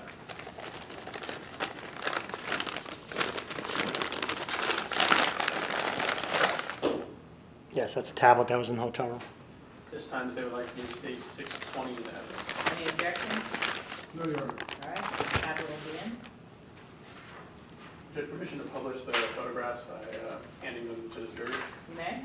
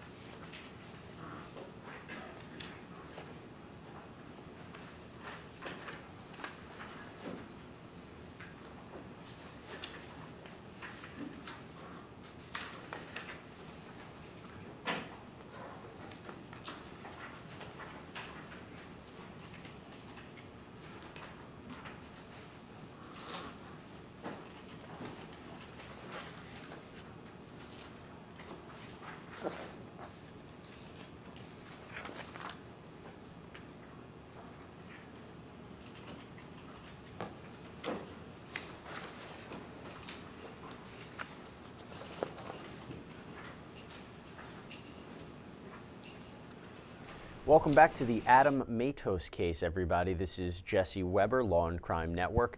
You're watching the testimony of Sean Kennedy, a retired detective. He was an assistant lead detective in this case, um, testifying to his involvement in the Adam Matos case. He said that uh, initially they were discovered. They were the investigation was about the um, at the Browns' house, but they didn't know where the bodies were. They knew that it might have been a homicide. They eventually discovered the bodies, um, and they were initially looking for six individuals Nicholas Leonard, the Browns, as well as Adam Matos and Tristan. When they discovered that Adam Matos and Tristan were not in that collection of bodies, their search uh, continued to try to find them. They eventually found them in a hotel in Tampa. Uh, Matos was apprehended at 6:12 a.m. and now we're looking at uh, this detective verifying some documents. So let's go back to the courtroom now.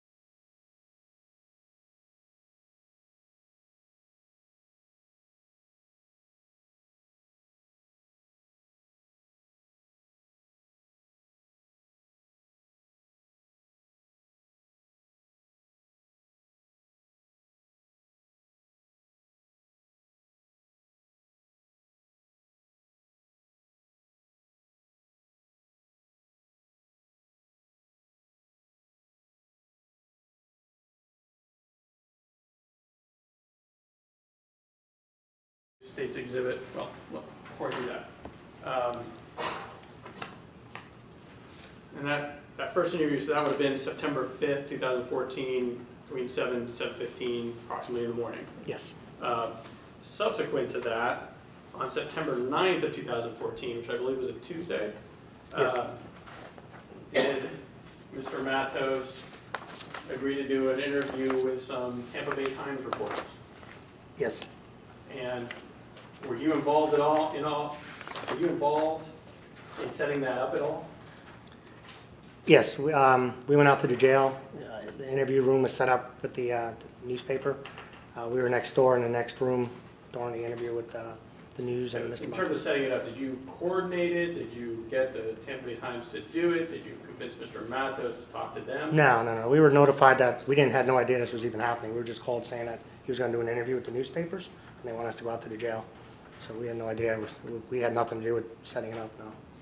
But uh, when it happened, you went, uh, was Detective Kugel there as well? Yes, And both of you were present when the interview occurred? yes, And you could hear what was being said? yes, And you saw Mr. Matos go into the interview, come out of the interview room, yes, and you recognized his voice when he was talking? yes, I'm showing you state 621. Do you recognize that? yes, Is that part of the interview that uh, the defendant did with the Tampa Bay Times? yes. Uh, At this time, Judge State would like to move State's Exhibit 621 into evidence. Any objection? No, Your Honor. It'll be admitted as six twenty-one.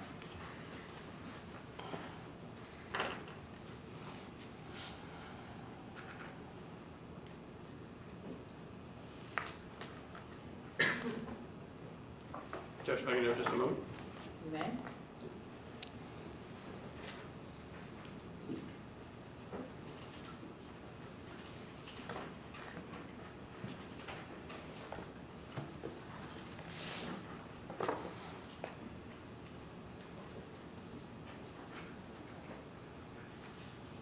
I don't have any more questions, Judge. Cross? May it please the court, counsel? Good morning, sir. Morning, sir, how are you? Mr. Kennedy. Um, In Mr. Mott, um, among his belongings, did he have any guns? No, sir. Any knives? No, sir. No, no, no weapons of any type, correct? No, sir. Thank you. Anything further? No, Judge. Thank you good? Yes, sir. All right. Um, state is Kennedy released from his subpoena? Uh, Subject to recall, yes, Judge. All right. Kennedy, thank you very much. You may step down and remain on standby. Okay? Thank you, sir. Welcome back to the Law and Crime Network, everybody. This is Jesse Weber. They are in a sidebar right now in the Adam Matos case. You see him right there. There's the defendant. Um, waiting for the prosecution to conclude their case today. Um, we expect uh, them to call a few more witnesses, and we're really anticipating that testimony from Ryan McCann, the neighbor of Adam Matos, who actually hung out with him during this whole time frame. So we're not going to want to miss that testimony. What you're seeing right now is the testimony of Sean Kennedy, or let me rephrase, you did see the testimony of Sean Kennedy, who's uh, the assistant lead detective in this case. Um, basically, talking about everything from how this initially was an investigation into uh, the Browns' house, they suspected there was a murder, but there were no bodies. When they discovered that pile of bodies, uh, then their search moved on to where is Adam Matos and where is his young son Tristan. They eventually caught up with Matos in a hotel room um, in Tampa. They apprehended him at 6:12 a.m. And then the conversation, the testimony moved into that Adam Matos conducted an interview with the Tampa Bay Times and how the detectives didn't weren't involved in actually setting that up, but they heard everything about that interview. And uh, again, we expected the the defense not to cross-examine this witness as they haven't done in the last few days, but they did. They asked them really one question: Did Matos have any guns or knives or weapons in his possession? And the answer was no. Again, I'm not sure how powerful or impactful that is, considering it seems that the prosecution has been putting the, the evidence to show that Adam Matos might have thrown away uh, those guns, that alleged knife, uh, excuse me, that alleged um, hammer that might have been used in this crime, threw him into the canal. So I don't know how impactful that is to show that he didn't have any weapons on him. What we do know is that he checked into a hotel room. He didn't have um, any, uh, he didn't have any really any bags. He just had some cigarettes, some two uh, iPhone tablets. He had an, uh, a phone some cigarettes, uh, snacks, nothing really, no toiletries, no bags. Um, and so that's what we're seeing right now. But again, we really are anticipating that testimony from Ryan McCann, who will testify everything to Adam Matos' behavior. Remember, remember, Adam Matos came over to his house at some point, um, was hanging out, drinking beers. Uh, one person that was at the Ryan McCann's house said that it smells like he smelled a strong odor coming from the Browns' house. Said it smells like someone died over there, and apparently Adam Matos gave him some sort of stare. Uh, and then we're going to hear this testimony where Adam Matos was hanging out with Ryan McCann at a bar, and they were drinking, they were playing pool. And at one point, it appears that Matos got into an altercation with an older woman at the bar. So hopefully, we'll hear about that. Um, this Tampa Bay Times interview, I don't know if anybody had a chance to see portions of it online, but it is pretty interesting when you can hear what he said, where he, he said he had nothing to do, Matos said he had nothing to do with it, um, saying that the last time he was at the house, the Browns' house, was the morning of August 28th. However, based upon all the evidence that we've seen so far, that just doesn't seem to be true. It seems to be that he was hanging out and living at that house, ordering pizza to the house, hanging out with Ryan McCann, uh, cleaning the house. Uh, we know that we heard testimony yesterday from a garbage delivery, a garbage. Um, a garbage truck driver who basically said that there was 10 bags of garbage outside the Browns' house. Usually they never even had that much garbage. Now there was 10 bags. What we seem to believe is that Adam Matos was discarding items from the house that possibly had evidence on them.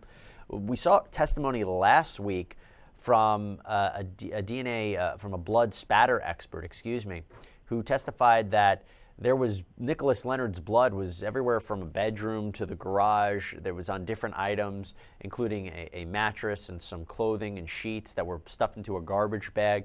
So there's evidence that it appears someone was cleaning up this crime. Sloppily, sloppily cleaning it up, but trying to clean up this crime. And who would it be other than the person that was living at that house? Again, it's not for me to make a decision. It's not for you to make a decision. It's ultimately up for the jury to decide what is happening in this case. Um, but, you know, what we're anticipating is what will the defense do? Will they present an opening argument? They've reserved their right for an opening argument. Or, or will they decide just to go to closing arguments and say that, you know what? The prosecution really hasn't proven their case. They might have shown there was some suspicious behavior of Adam Matos, but what evidence is actually linking our client to the crime? Is his evidence on any of the murder weapons? Has anybody seen him commit any of these crimes? Is there any footage of him committing these crimes? Is there anything that they could definitively prove that he actually committed these four crimes? Maybe they'll also try to attack, and what they seem to be trying to attacking is the timeline. That it's not possible that Adam Matos could have killed these four people uh, based upon the prosecution's timeline. It's a good, it's a good move. It's a good strategy. The question is, will it ultimately work? It's tough to say. It's tough to say. Again, you are watching live testimony in the Adam Matos case out of Pasco County, Florida. He has been charged in connection with the murder of Megan Brown, the murder of Gregory Brown and Margaret Brown, those are her parents, as well as Nicholas Leonard, uh, who appears to be Megan Brown's boyfriend. Um, a really brutal crime where Megan was shot through the eye, shot through the head. We also see that uh, Gregory Brown was shot as well. And Margaret Brown suffered from blunt force trauma and asphyxiation. She, a bag was wrapped around her head and duct taped. And Nicholas Leonard suffered severe, severe blows to his head, about 21 shots to his head from what appears to be a hammer. Uh, they, there was testimony that his skull was so badly damaged that it was hard to reassemble it. And I thought the interesting testimony was also the fact that many of these blows to his head, we don't know if they occurred after he was dead, um, which begs the question is this crime usually committed by somebody who has a personal stake in it, someone who actually hated uh, Mr. Leonard? Which again raises the question of Adam Matos, who was, you know, he was the father of uh, Tristan, who he had with Megan. He was in a relationship with Megan Brown. Now she was seeing someone else.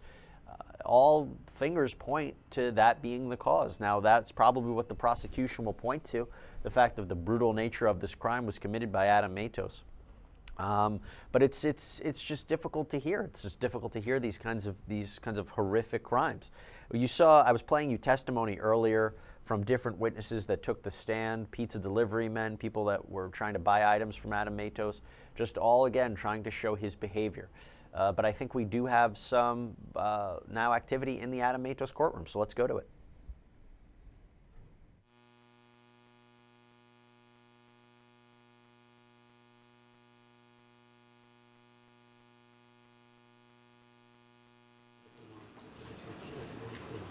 Okay, go ahead. We found our TV, we're bringing it back. State's Defense, they have another trial going on right below me, and they needed the TBS mark, so that's where it was. I, I actually knew where it. I was just hoping that it would be back. Judge, while we're bringing in the monitor, we actually have two self-authenticating documents we'd like to introduce to evidence. Uh, They've been marked for ID, it's dated six thirty-five and six thirty-six, the business records for Wells Fargo and the business records for Defense is testing.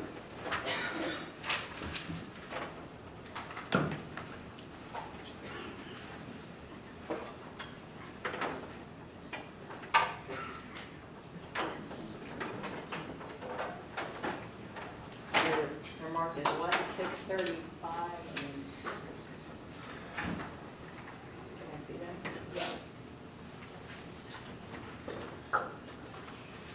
Do you agree that the records that are marked as six thirty-five, which is the, um, business records of Wells Fargo, and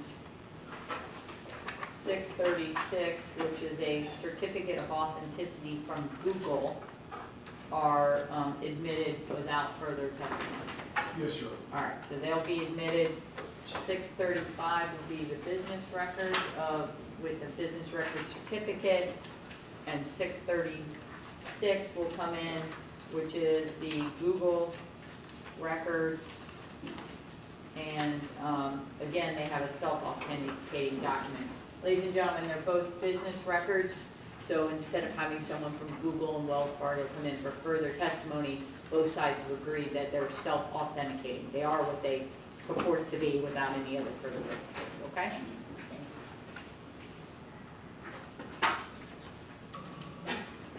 Do we have it working? One moment, Your Honor. Okay.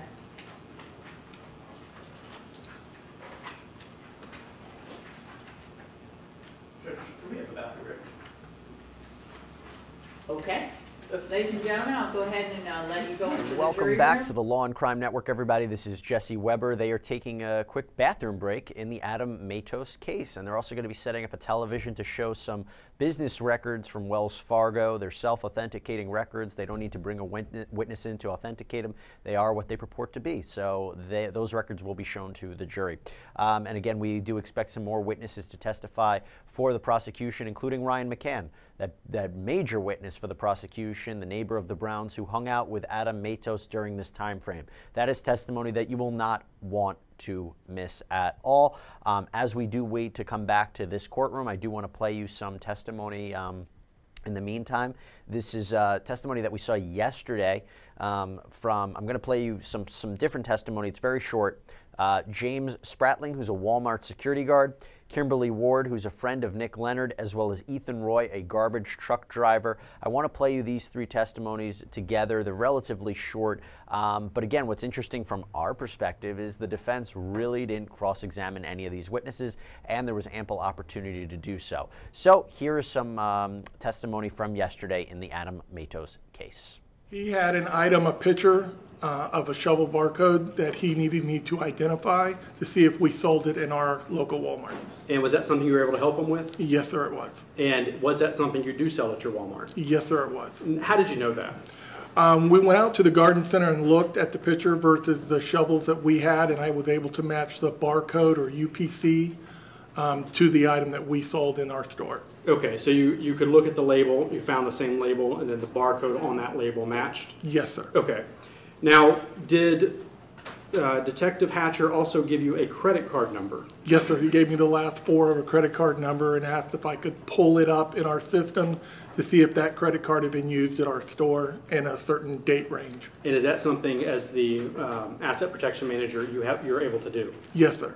And how does that work? How are you able to look up something like that in your computer system? Um, our system has a query where I can put in multiple different search options. In this um, particular instance, I put in uh, credit card with the last four ending numbers of what he requested.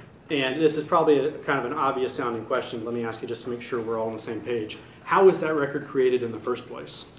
Um, every time a transaction's made at Walmart, it's electronically stored. That is the original copy.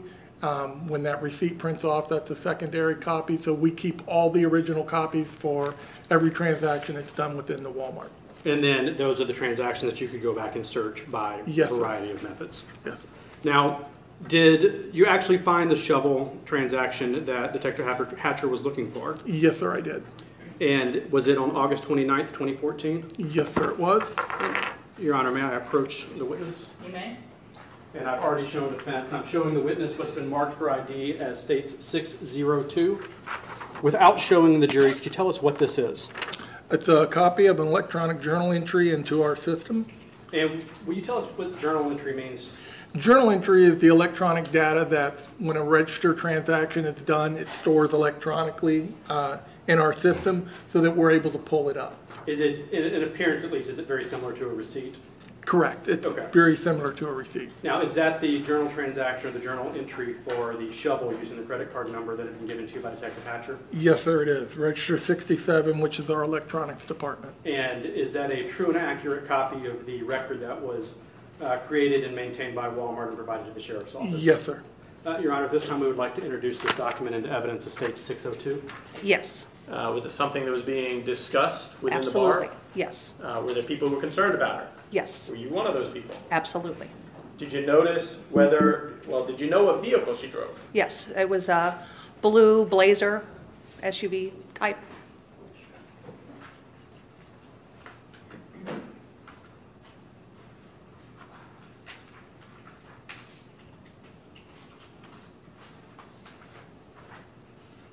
Holding up states 308. Does that appear to be the vehicle? It does, yes.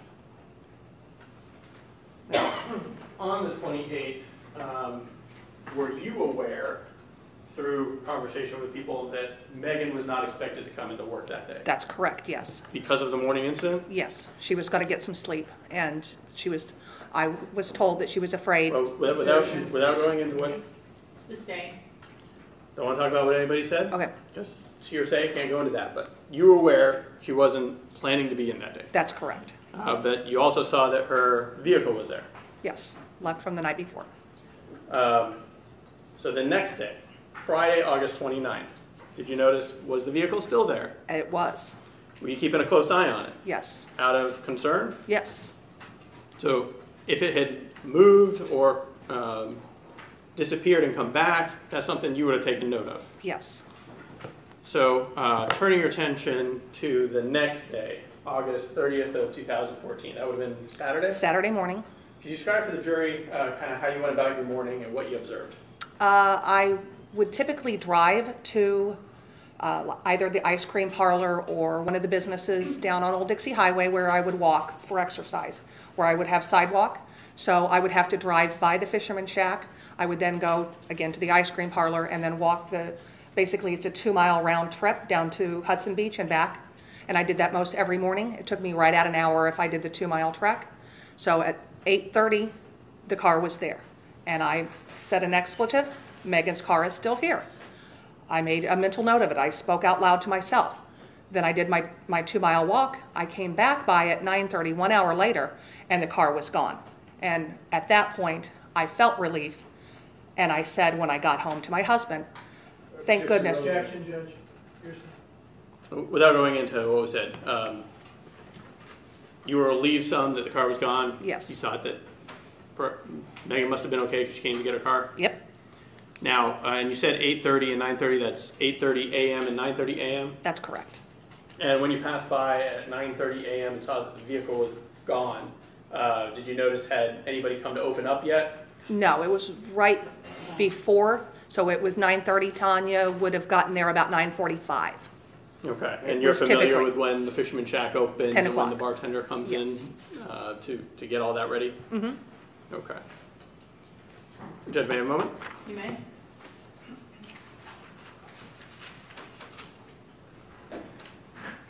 I don't have any more questions, Judge. No questions, Your Honor. All right. Ms. Ward, you may step down. Stated she released from her subpoena. Uh, subject to recall, yes, Okay, ma'am, you're released at this time, but you stay on standby with the state, okay? Okay. Thank you very much. Thank you. You can leave the courthouse. State, call your next witness. Yes, Your Honor. State would call Kayla Wilkins.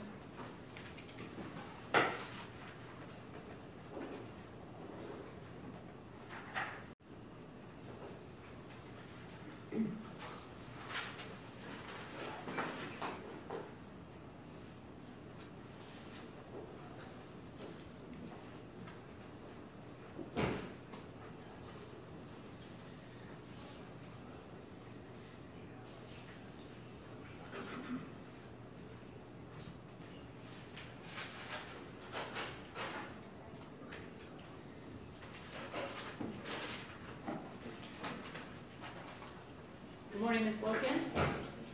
You come up to the podium for me?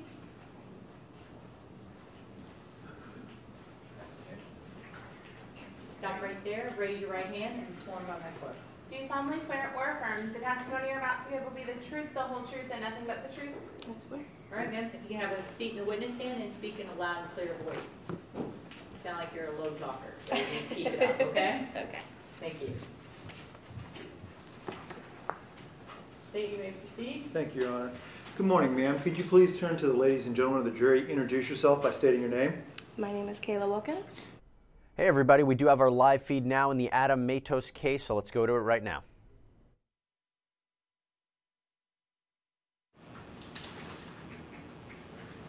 Judge, I figure we should do this when the jury's back, but we also have one more business record in the city.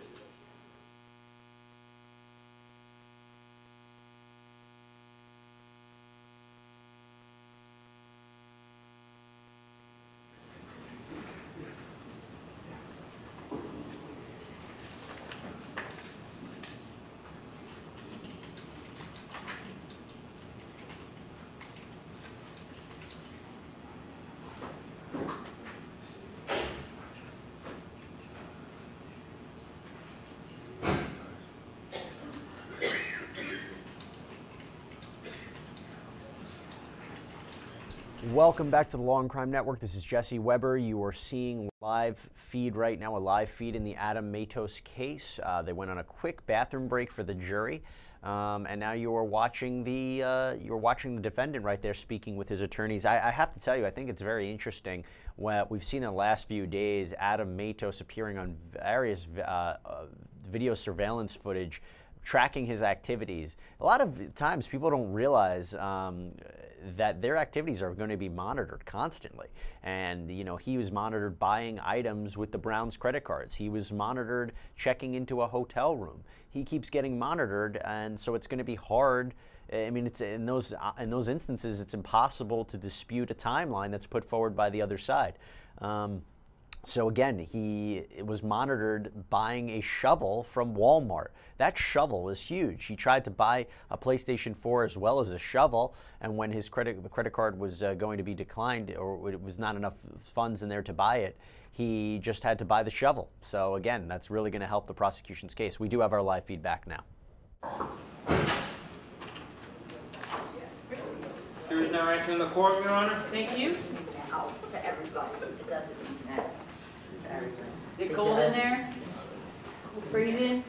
I have to work on that. We learn to bring blankets. What I'll probably do is, um, we'll leave the door open for a little while.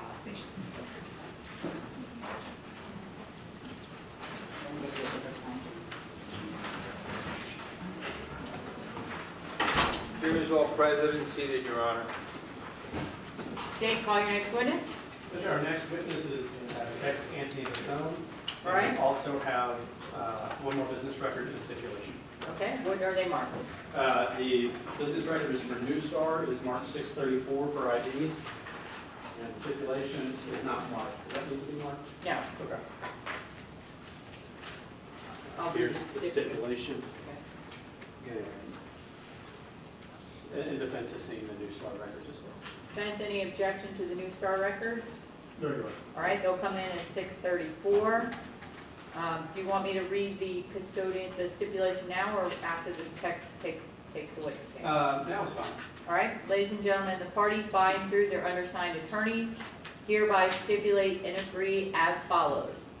Alleviating the ne- necessity for the state of Florida to require the testimony of the individual involved in the process of extracting data from the defendant's cell phone.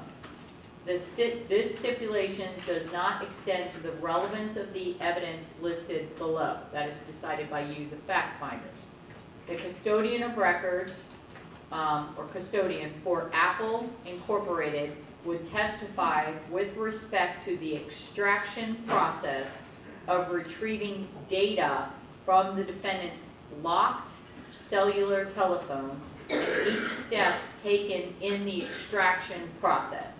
Apple legal and technical support staff responsible for reviewing, and responding to legal process and in appropriate cases, recovering from Apple devices certain stored data are known as the extraction group. The custodian would testify to the following. First, the extraction group checks the legal process, i.e. the warrant, and evaluates if the process is appropriate and valid, and that the device has verifiable identification numbers, i.e. IMEI slash serial numbers. Just so you know, I'm reading this verbatim, so I'm not adding or subtracting anything. Um, that match those in the legal process. The extraction group then contacts the law enforcement agent and informs the agent that Apple can perform an extraction. The extraction group then obtains the device from the law enforcement agent, and once the device is received, two persons from the extraction group review all of the relevant documents to ensure compliance. The extraction group then boots up the, the device using an internal iOS machine. A read-only copy of certain information from the device is placed on a stored media, and that media is password protected before it is sent to the law enforcement agent in a sealed Federal Express box. The password for the encryption is separately emailed to the law enforcement agent. Apple devices can be protected by a user-generated passcode, which is used to encrypt the data on the device, which is a security measure, and because of this encryption, the extraction process can only access a limited subset of the data that is on the device which is not encrypted, which the user generated password. The data that is accessible to be extracted includes pictures, videos, voice recordings, SMS database, address book, and recent call log. Before the extraction file is sent to law enforcement agent, Apple runs a hash to ensure data integrity. Hash values can be thought of as a fingerprint for the files. The contents of a file are processed through a cryptographic algorithm and a unique numerical value, the hash value, is produced that identifies the contents of the file. If the contents are modified in any way, the value of the hash will also change, change significantly. The hash algorithm used in this case was SHA dash two five six. After the extraction is performed and before the device and media are sent back to the law enforcement agent, both the device and the media are stored in a locked file cabinet in a locked office. This um, is a uh, stipulation which will go back to the jury during deliberations and is agreed to by both parties, all right? State, are you ready for Detective Bossone? We are, Judge. All right, detective can come in.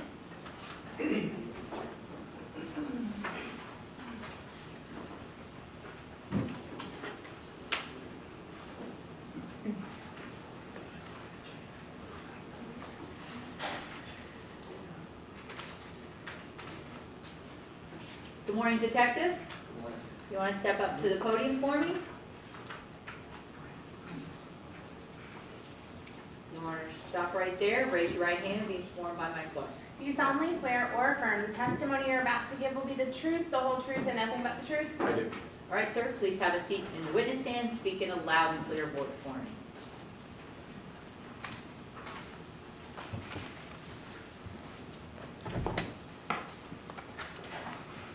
State, you may proceed. Thank you, Judge. Morning. Good morning. Would you please introduce yourself to the jury? Anthony Bossone, a detective, I'm sorry. Will you spell your last name for the court reporter? B-O-S-S-O-N-E. I think you're about to tell us before I accidentally interrupted you. Where do you work? I'm a detective with the Pasco County Sheriff's Office, And what is your current assignment? Cyber Crimes Unit. How long have you been with the sheriff's office? 17 years. Um, 17 years is a, a while. I don't want the full 17 years of your training and experience, but will you give us your training and experience related to your current assignment of cyber crimes? Can I refer to an excerpt of my uh, resume? Sure. Basic data recovery and acquisitions. And what, what is this you're telling us? So these are all training courses I'm going to lay out that um, deal with um, digital forensics, either mobile or computer. Okay. Intermediate data recovery and analysis, cell phone investigations, Katana Forensics Lantern iOS First Responder Certification, Katana Forensics Laboratory iOS slash Mac OS X Certification, Computer Crime Investigation, Seize Computer Evidence Recovery Specialist, Cellebrite Certified Logical Operator, Cellebrite Certified Physical Analyst, CompTIA A-plus certification, Basic Computer Forensic Examiner's course, Certified Forensic Computer Examiner through the International Association of Computer Investigative Specialists, Basic Network Intrusion Investigations, XRY certification training, XRY intermediate training, advanced JTAG mobile forensics, advanced chip-off 2.0 forensics.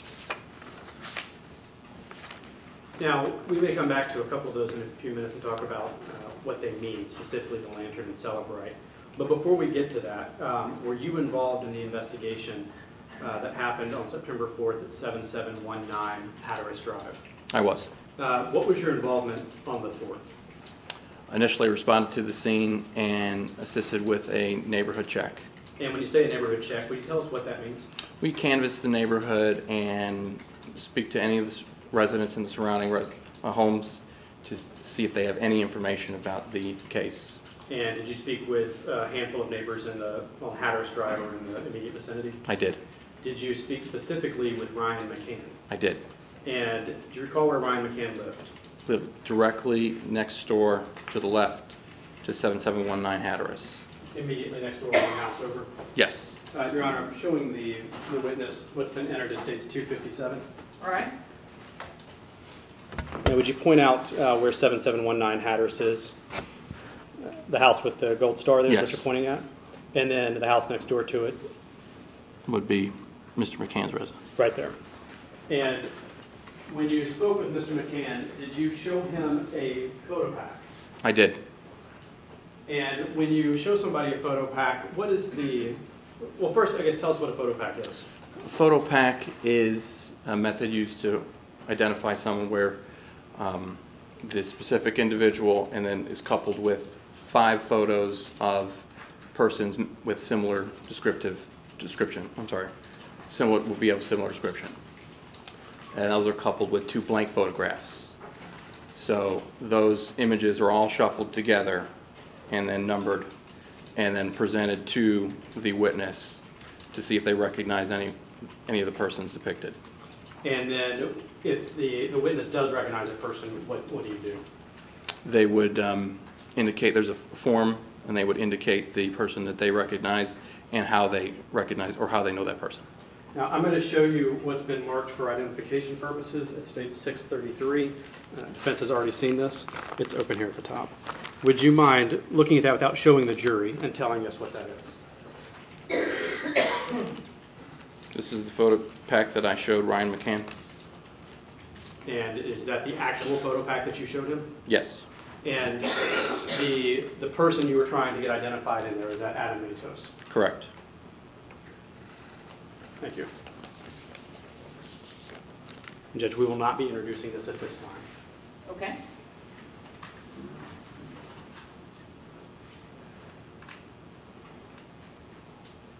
So while you were out at 7719 and in the area, did you have any other involvement with the case?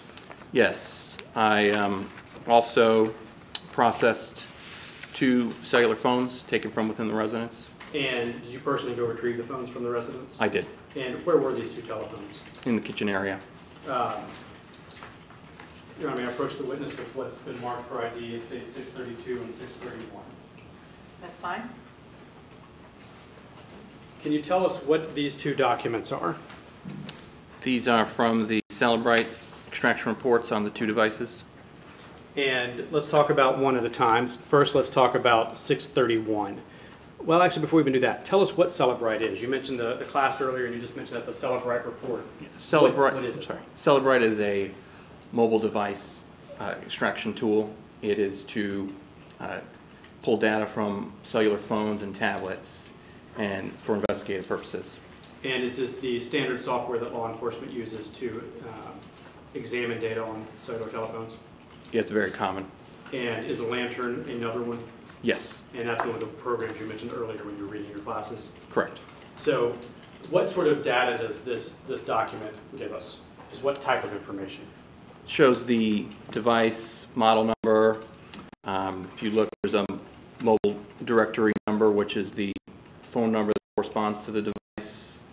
Um, It gives you extraction date and time, method that was done, and it'll give you a summary. This, this particular thing shows summary of what was pulled, whether it be contacts, text messages, multimedia messages, whatnot. And is that a true and accurate copy of the report that you generated using Cellebrite? Yes, Um, In this next document, the, the number on it is 632. Is it the exact same type of document, but for the other phone that you retrieved? yes, it is. And are these both for the phones you retrieved from the residence? Yes, Uh, Items 1AB and 2AB? that's correct. And both of these, are they true and accurate copies of what you were able to pull from the phone? Yes. Your Honor, at this time, we would like to introduce these two documents into evidence, it states 631 and 632. Any objection? Can you say it again? Will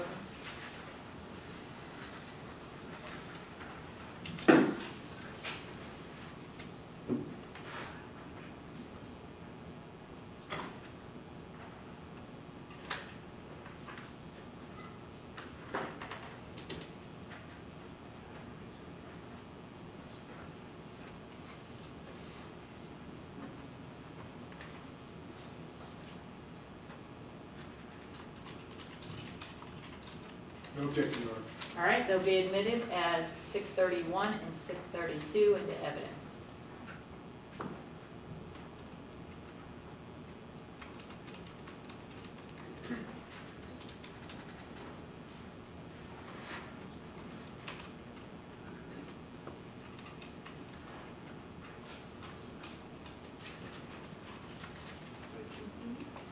Now, using this uh, to refresh your memory, can you tell us um, what the phone numbers are for these two telephones that were retrieved from the kitchen? So for the HTC Droid DNA, the number was 610-704-6583. And is that one labeled as 2AB? I'm sorry, when you took it into evidence, was it 2AB? Refer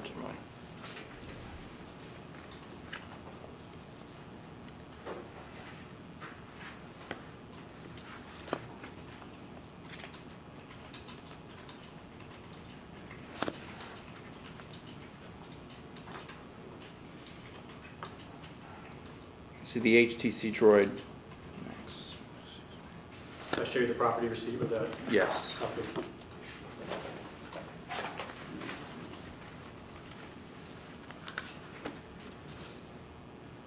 HTC Droid Max, HTC Droid was 2AB. Droid DNA. And, like, just hang on to that for one second. The, the other document, is that uh, for 1AB? That's correct, that's the Motorola Droid Max. And what is the phone number that goes with this one? The Droid Max, the phone number is 484-788-9221. And the Droid Max, for the record, is state 631. Now, we we're talking about the phone number, but I think you mentioned earlier that the document doesn't actually say the word phone number. It says MDN. Correct. And is that the same as a, cell- uh, a phone number for this purpose? Yes, the mobile, mobile directory number that is the phone number for the device. Okay.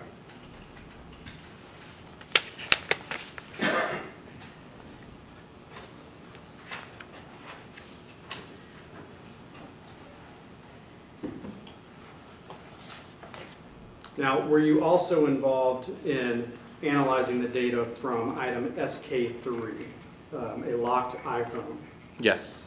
So when the sheriff's office gets a, or I think the procedure may have changed a little bit since 2014, since the technology of the cell phones has changed. But back in 2014, when you got a locked iPhone, what is the process for trying to evaluate the data on that phone? We would need to send the device to Apple for them to for- perform the extraction. That would require us to get a search warrant for the device and send that along with a new unused external hard drive.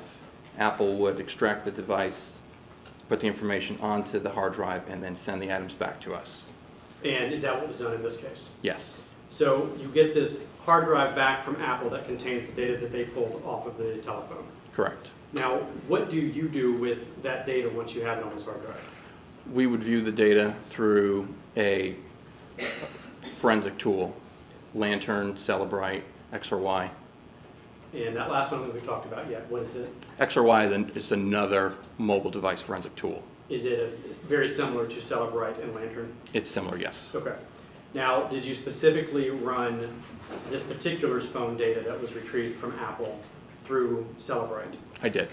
And were you able to put the data in a format where it was uh, legible? You could read it and easily tell what it was? Yes. So I'm going to approach with state 626. Can you tell us what this document is? And it's 626 for ID.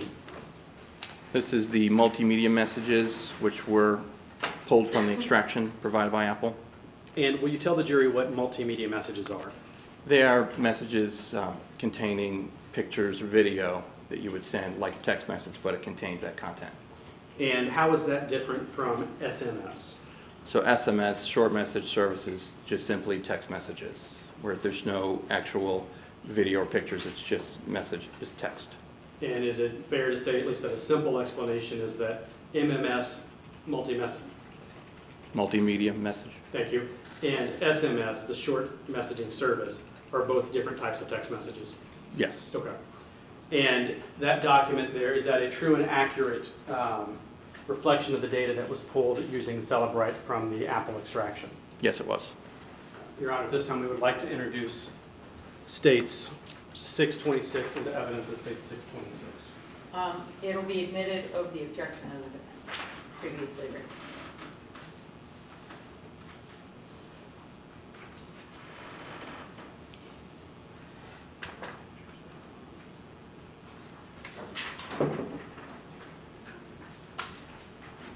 Detective, I'm going to show you another document. This one has been labeled for identification purposes as 627. Can you tell us what this document is? This is the SMS or short message service? Uh, Is that the- the data that was pulled from the same Apple extraction? Yes, it is. And so these are a different type of text messages than the ones we just looked at. Correct. Now, this document, does it actually contain some content of the messages? It does. And is that a true and accurate reflection of the data that you were able to uh, examine using the Cellebrite uh, tool for the phone that was, or the data that was recovered from Apple? Yes, it is. Your Honor, at this time, we would like to introduce this into evidence as State 627, I believe. Any Yes. objection? Send objections before you. All right, it'll be admitted over the defense's objection.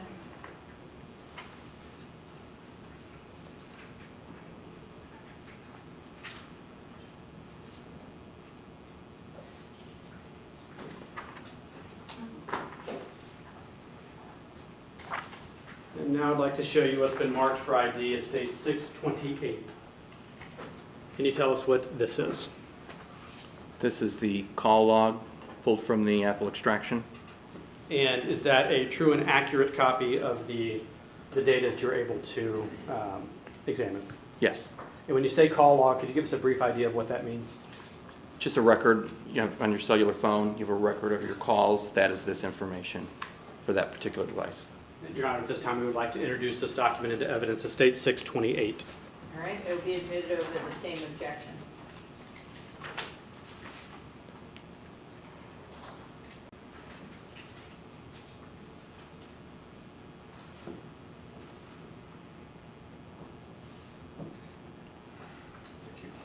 Your Honor, we'd like to publish to the jury. Okay?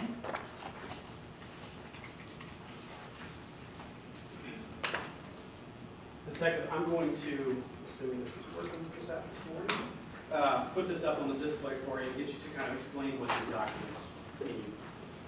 I think a lot of it's self-explanatory, but some of it may need a little bit explained.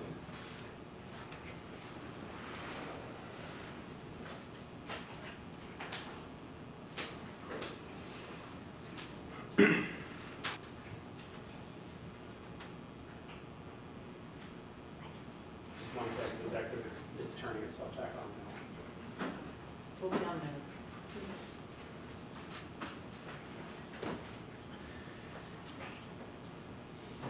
Can you turn on the, turn off the overhead lights for me?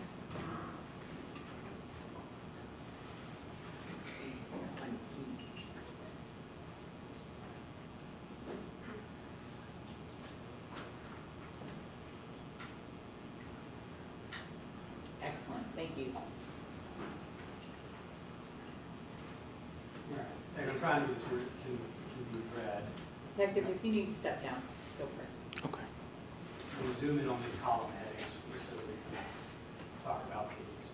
So this one is, en- entered into evidence is six twenty-six, and this is the one you said is the multi-media messages or MMS. Tell us what these first three column headings mean that are visible on the screen. So the direction, as you see outgoing, whether it's an incoming or outgoing message. Date, date it was received or sent. And then this is further breakdown showing the time, date, and time. And the UTC minus four, the the parenthetical at the end, what does that mean? The UTC is Universal Time Code, UTC minus four is Eastern Daylight Time. And September and August are those Eastern Standard Daylight Times here in Florida. Yeah, Eastern Daylight, yes. And the very first column that just has a number sign with one, two, three, four, five, six, is that just literally a, a running count like all of the rows? Yeah, that's simply just a count. Okay. I'm gonna slide over. All right, so these next four columns, can you tell us what these are? The status is whether the tool can tell whether it's sent from this, this folder, shows that it's from the sent, in the sent folder. And this, the deleted column is whether or not the tool detects whether it was a deleted message. And here's now the attachment, this is the, the picture or video that was that was sent with the message. And now, you said the, the MMS, they have pictures attached to them. Correct. On this one, does the fact that they say empty file mean that the picture was no longer on the phone? Yes, the empty file would mean that the picture is no longer present on the device. Extraction, I should say. Now, we'll talk about um, six, well, let me show you one more thing on here. Uh, On this document, the MMS, does it contain the content of any messages or just simply the fact that these messages were sent at the date and time? It is show, just showing that these messages were sent. Okay. Now, the, the next document we'll talk about is in evidence of state six twenty-seven. Again, we'll go through the columns just to make sure that everybody is on the same page with what they are. Could you just go through what's on the screen right now, column names? Again, that's date, just as before. This column here with the time shows date and time. You have UTC minus four, which is Eastern Daylight Time. The direction of the message, whether it's an incoming or outgoing message. Let me slide it over to the next few columns.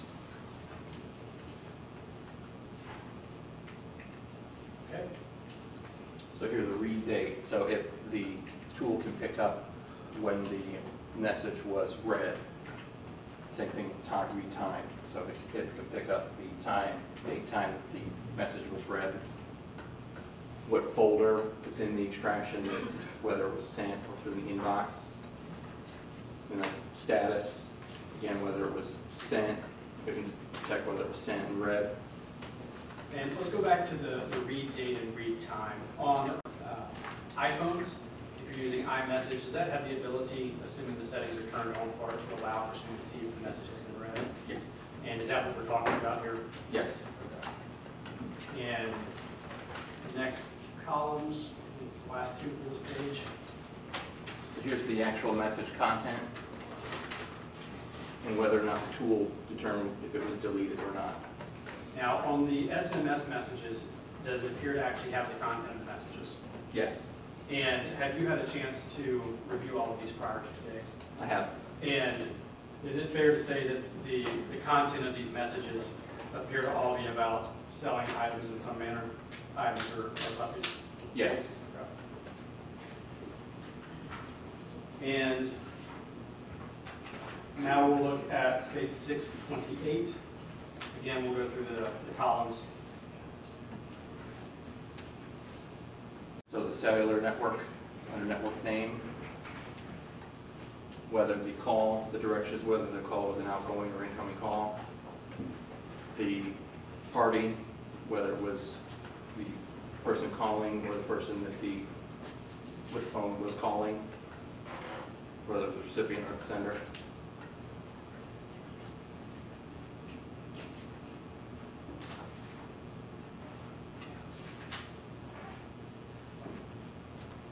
Again, date the call was placed or received, date with the time, duration of the call, and whether the was an outgoing or incoming call. Let me slide it over a little bit for these next two. All right.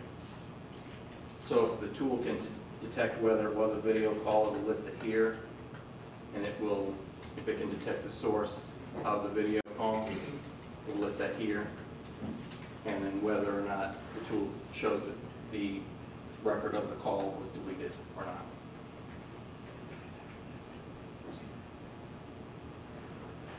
Thank you, Detective. Your Honor, may I have just one moment? You may.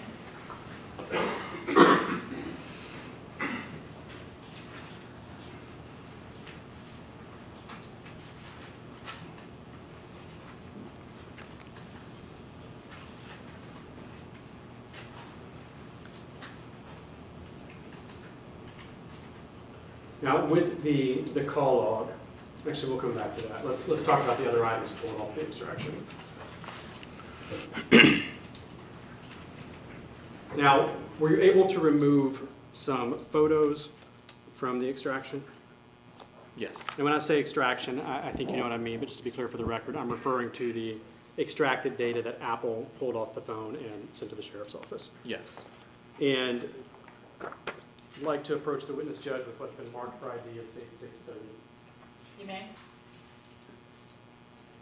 Without showing the jury, can you look at these documents and tell us what that is? Photograph of a dog. Well, you don't need to be that specific right now. Could you kind of just flip through all of those and tell us in general what those documents are? We'll go through it in a Photographs. minute. These are photographs which were recovered through the device extraction. And there's some text uh, at the bottom, and I believe it continues to the second page on those documents as well. What is the text at the bottom? So this is metadata that comes with the photo. It will capture the time uh, that the photo was taken and other information about the photo. And these, in addition to the time, it looks like these may also tell you a lot of information about the camera settings. Is that correct? Sure, and it will also show the type of camera. Okay. Uh, And these, these photographs and the metadata, are these true and accurate copies of the data that was examined from the extraction? Yes. Your Honor, at this time, we would like to introduce this into evidence as states 630. Any objection? All right, six thirty will come in.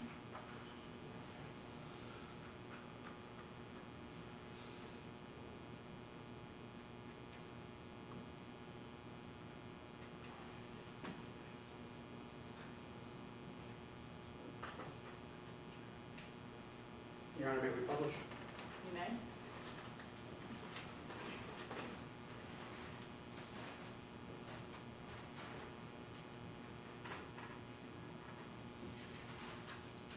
All right, now, the first photo that in states six thirty, I believe you said that is a dog.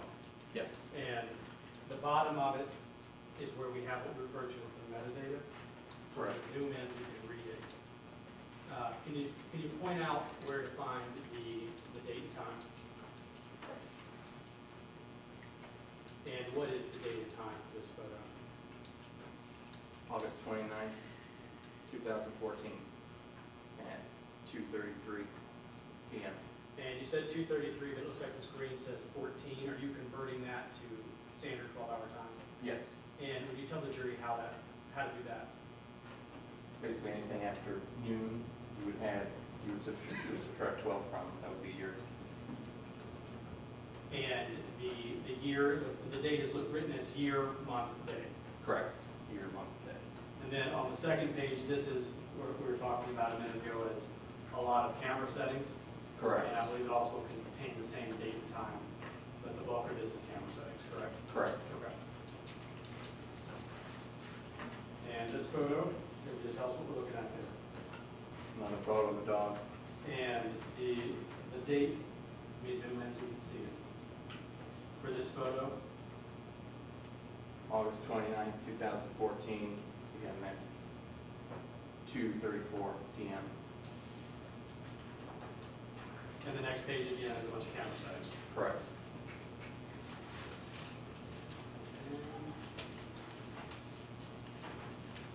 More pictures of dogs inside a house, correct? Correct.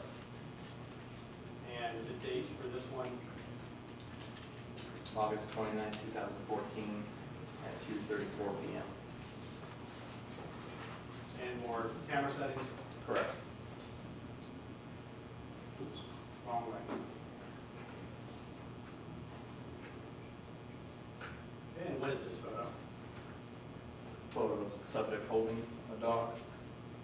And the date, what did I get up date and time on this one? August 29th, 2014, at 4:47 PM. And again, the second page is the uh, camera information, correct? Correct.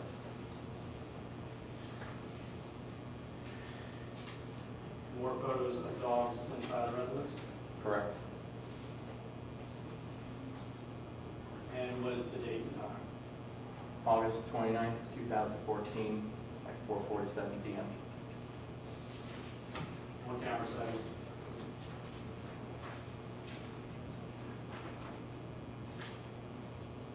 And what do we have here? Photo of a tablet. Being held in someone's hand inside a residence? Yes.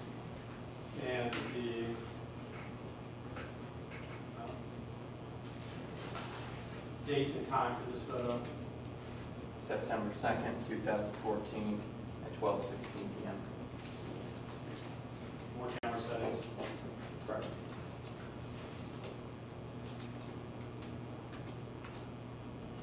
And is this also a picture of a tablet being held in someone's hand inside of a residence? Yes. And the date and time? September 2nd, 2014, at 7:03 PM. And more camera settings, correct? Yes.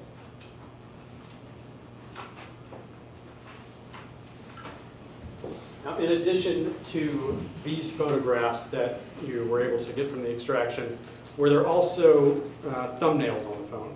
Yes. Could you tell the jury what a thumbnail is? Thumbnail is generated with the photo, so you can view it like in, on your phone in your gallery application. So instead of, you know, scrolling through the huge photo, it's just a small photo, so you can use a, you can scroll through that application. And are they lower quality photos than the actual image? Yes. And is, is essentially a space-saving thing, so you could have a small image to view? Right. Okay. Um, I'm going to show you what's been marked for ID as state 625. Could you tell us what that is? These were thumbnails, or di- disc containing thumbnails recovered from the extraction. And how do you know that's what that disc is? I reviewed them. And did you indicate on the disc that that's the one you reviewed? Yes, my initials and the date. Okay. And is this uh, a true and accurate reflection of thumbnails that were recovered from the extraction? Yes. Your Honor, at this time, I would like to introduce this into evidence of state six twenty-five. Any objection? All right, it'll be in at six twenty-five.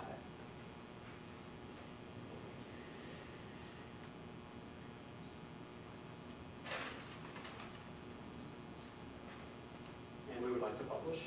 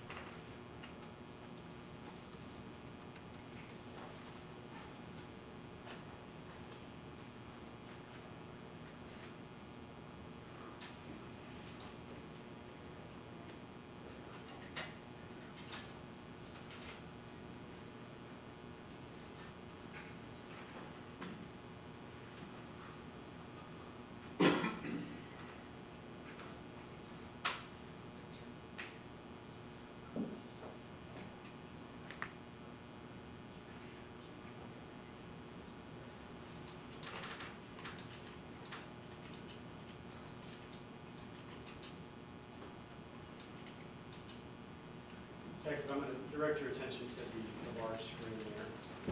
And these are the thumbnails that were uh, taken from the telephone placement, is this correct?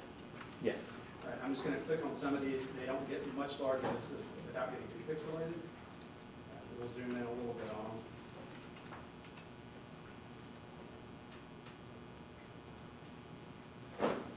Does this appear to be essentially a screenshot marking a location? Yes.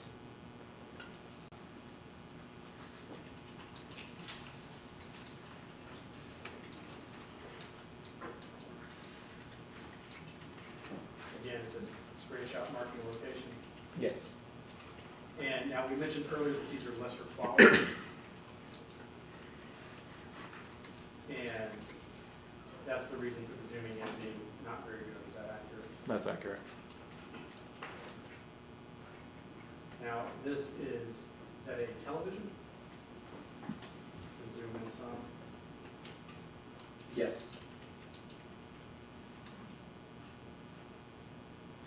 Television again, Yes. in an entertainment center? That's correct. Again, television in an entertainment center? Yes. Living room with couches and table and maybe a rug or something in the back? Yes. Is that a tablet? Tablet, yes.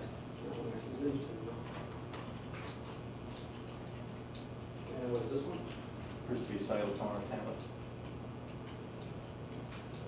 Is that a television? Television. Television again? Correct. In an entertainment center? Yes. Very similar to the previous photo? Yes.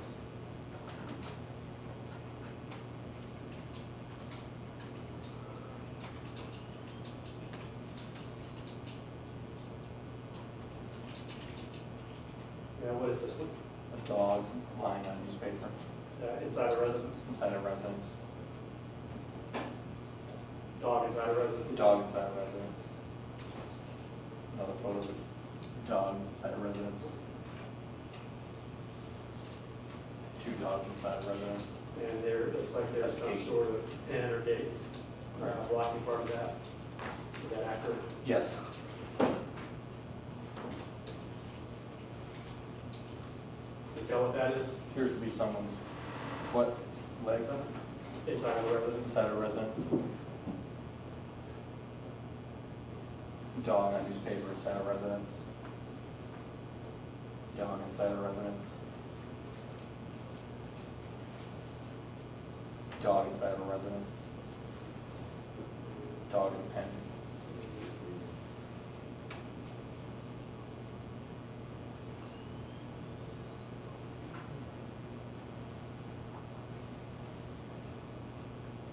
cellular phone.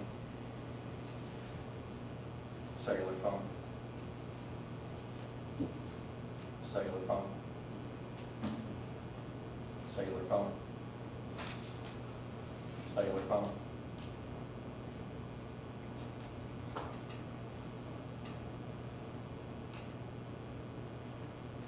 Don't know that. Does it look like a Could be. Bose speaker? Speaker? Yes, it does look like a Bose speaker. Television, entertainment center, couch. Couch. Couch. Television, entertainment center. Couch.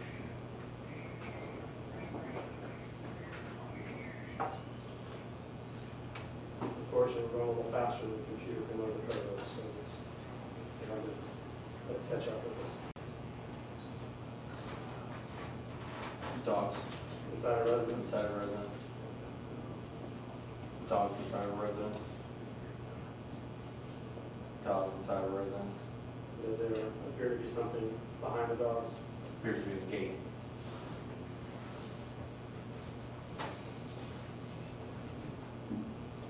Does that appear to be a television with two black, black spots on the screen? Does. Another similar photo? Yes. Dog inside of a residence. Dog inside of a residence. Dog inside of a residence. Dog inside of a residence.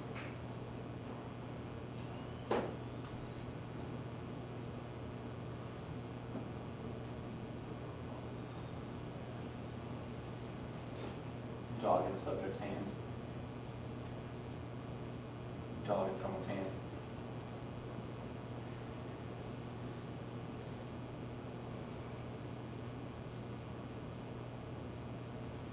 Laptop computer. Chest.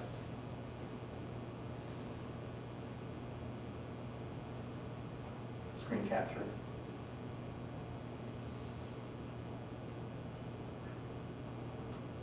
Another screen capture.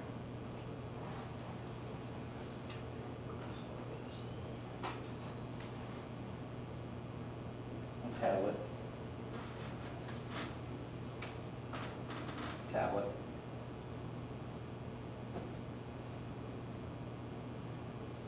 Thank you, Detective.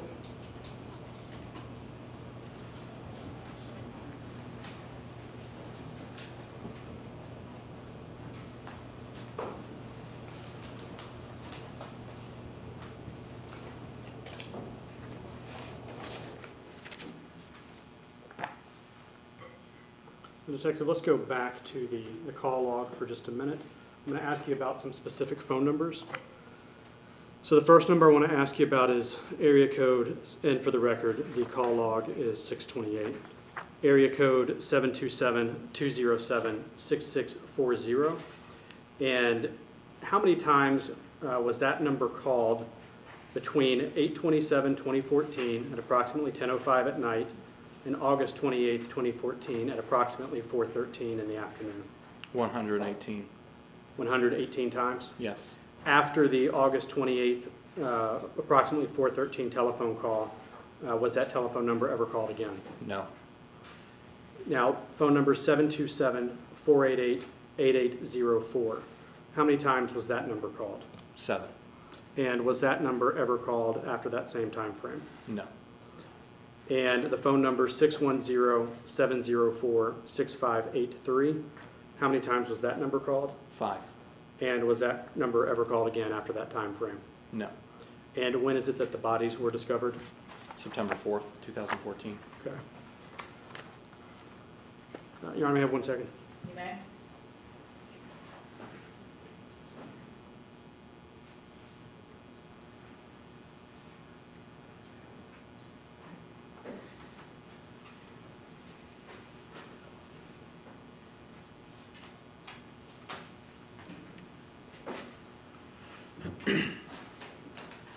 Detective, with the, the text messages, uh, the printout here, is that all of the text messages that were recovered from the phone?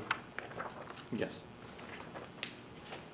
And so prior to the dates that are shown in there, there were just no text messages recovered from the extraction? Correct.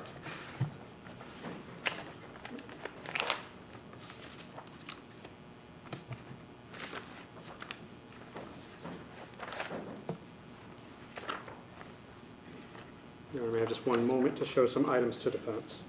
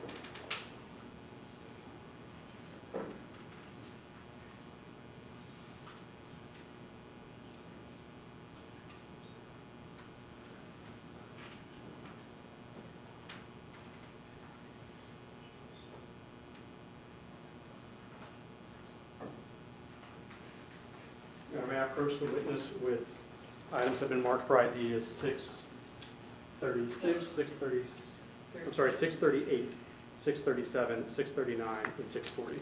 May? Uh, Without showing us to the jury, will you please tell us what that is? It's a screen capture.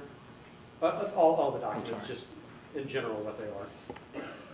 These are screen captures recovered from the device extraction. And are these all true and accurate copies of the extraction data? Yes. Your Honor, at this time, we would like to introduce these into evidence. Any objection? No, Your Honor. All right, they'll be so introduced.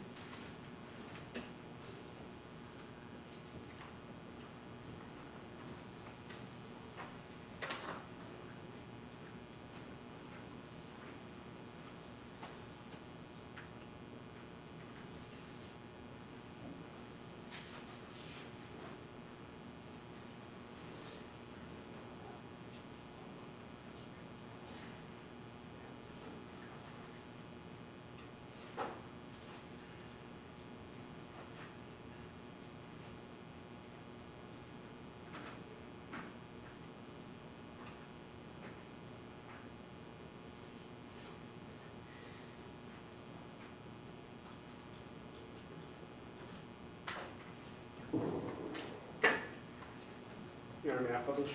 You may. Now, Detective, the thumbnails we looked at earlier, uh, did all of those thumbnails have accompanying photographs? No. Uh, When I say accompanying photographs, I mean the larger photo that the thumbnail represented. No. Uh, Did some of them have accompanying photographs? Yes.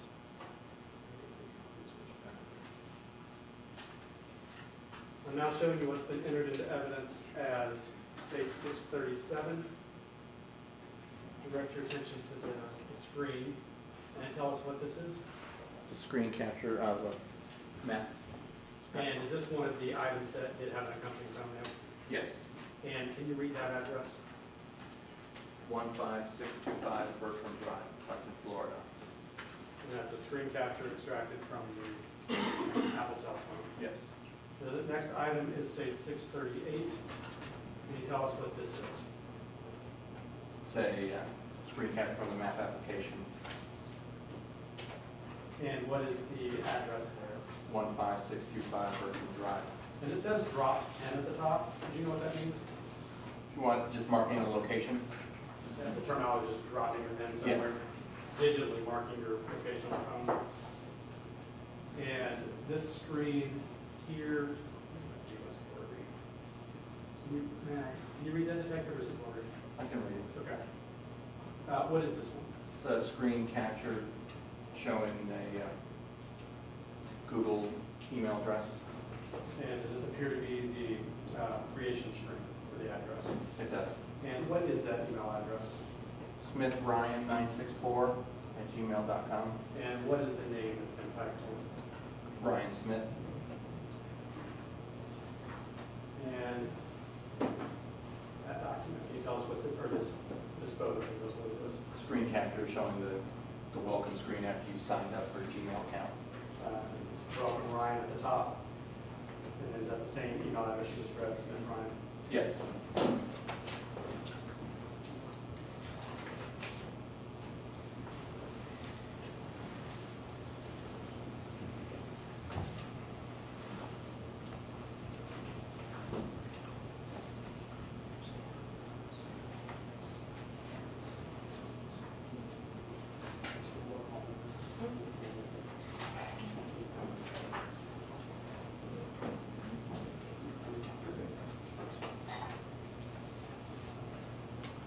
Well, Detective, I'm, I'm showing you what's been introduced into evidence at state 634.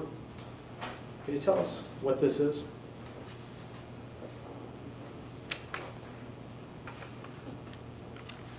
This is subpoena results from an IP address um, request.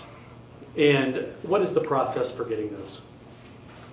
You identify the IP address and you contact the internet service provider, request that they provide you the um, customer assigned to that IP address. And the, the company that this was requested from back then, was it called Bright House? Yes, Is it the same company that's now called Spectrum? yes. Okay. And the, the documents that were provided for, it, what, what information do they give you? They give you the IP address, the customer name, the customer address or service address for where the, I- you know, where the account's being serviced, the account number, activation date, and they also provide additional information, the home phone number, and email address. And what is the IP address that's on that?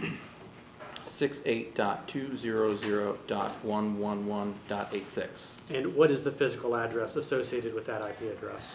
7719 Hatteras Drive, Hudson, Florida. And what is the time frame that these, is it for August 28th, 2014 to September 2nd? It is.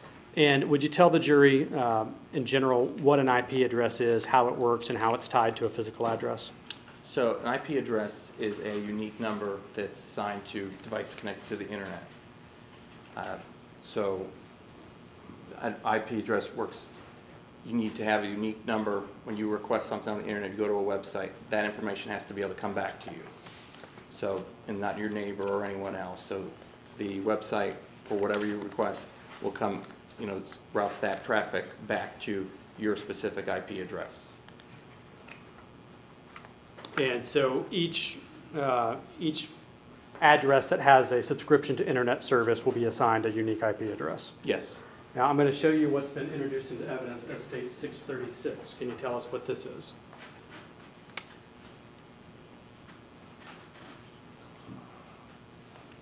It's results of a subpoena request to Google regarding Gmail account in the name of Smith Ryan 964, Matos, Adam 6, and Jake VNSO.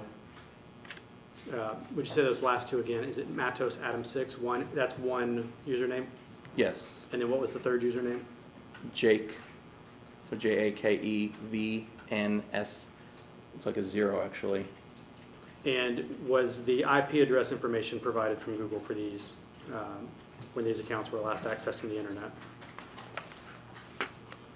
Yes.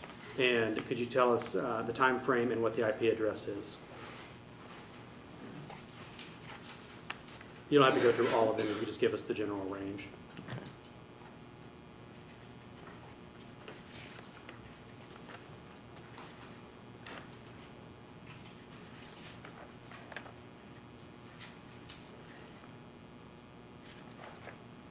So for the Jake VNS zero, the IP address is 68.200.111.86.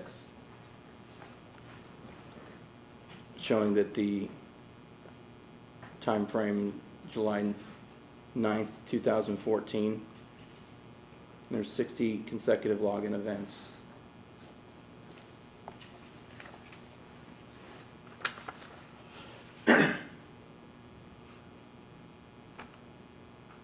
for the Matos Adam 6.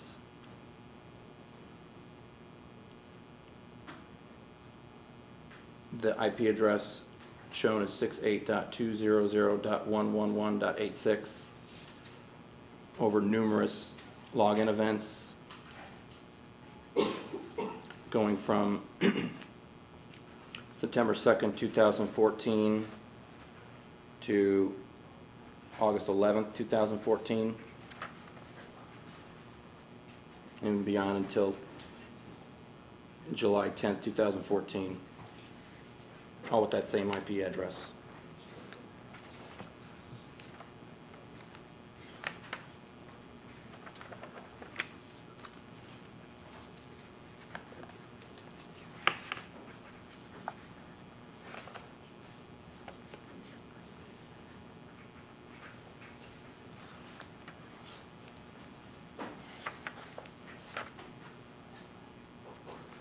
Did you get all three addresses? I don't see Smith Ryan.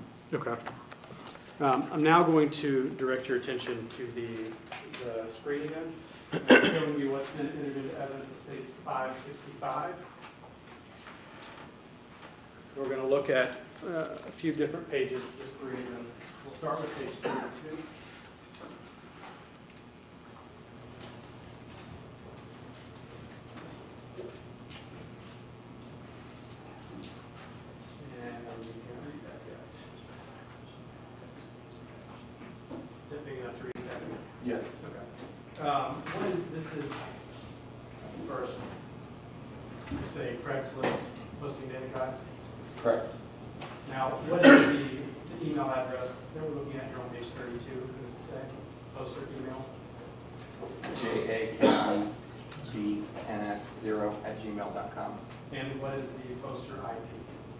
68.200.111.86. Now we're going to go to page 33 of that same document. Uh, you tell us the poster email? MatosAdam6 at gmail.com. And the IP address? 68.200.111.86. And now we're going to flip to page 44 the same document. Can you tell us the poster email there? Smith Ryan nine six four at gmail dot com. And the poster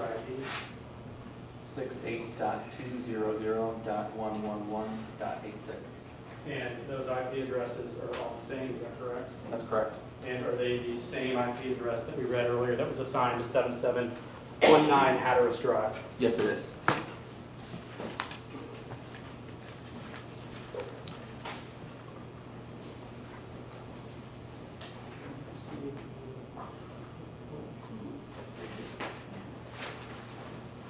Detective, I'm showing you what's been introduced into evidence as states 619. And let me grab you some gloves.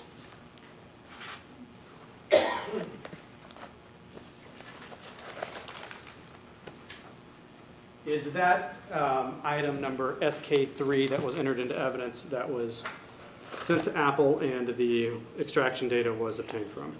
But take a minute, look at it to make sure. I think it's actually wrapped up inside of the bag, so I have to unwrap it to actually look at it.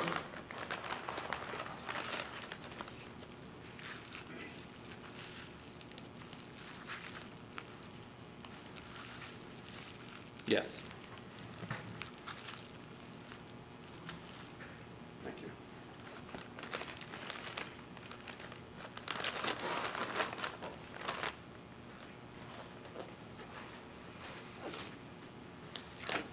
Now, I'd like to kind of switch subjects just a little bit and talk about two other photos. Uh, I'm now showing you what's been marked for identification as states 629.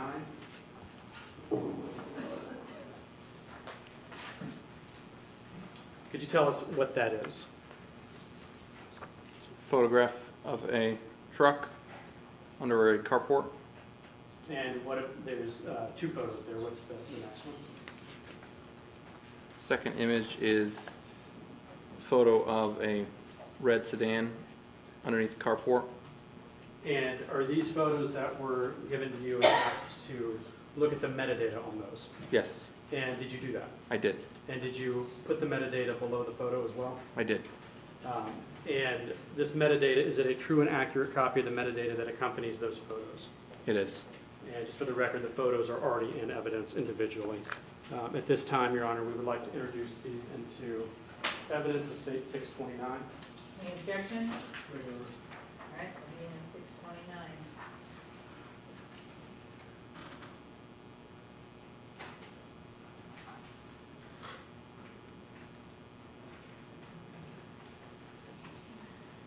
Detective, I can direct your attention one more time to the screen there.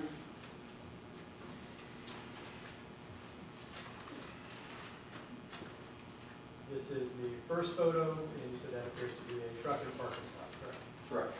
And below it, did you put the IP address information, I'm sorry, the metadata, just like you've previously done? Yes. And would you point out the date and time of this photo? August thirtieth, two thousand fourteen, 12:31 PM. And just to be clear, these are not photos obtained from the extraction, these are photos you were given separately, correct? That's correct. Uh, the next page of that, is that just gonna be your camera settings? Yes, it is. Okay. And this photo is of a, with a red rubber car. And then what is the date and time that goes with this photo? August 29, 2014, at 6:26 PM. And again, this photo also not obtained from the extraction, just a separate photo you were asked to analyze the metadata on. Yes. Okay.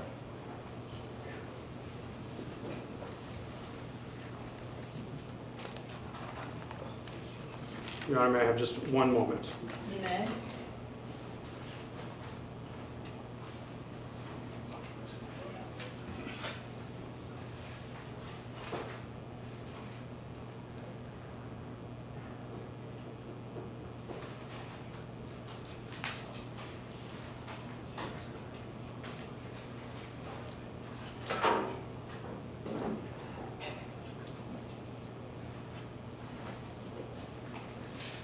Hey, Detective, we have no further questions for you right now.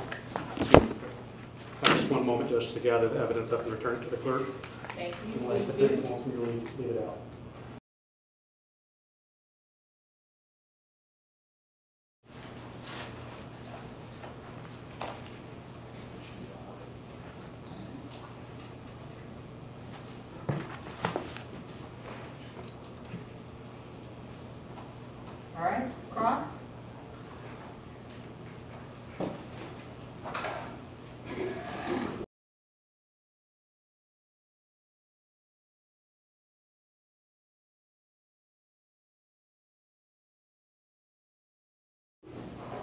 Afternoon, sir. Good afternoon, sir.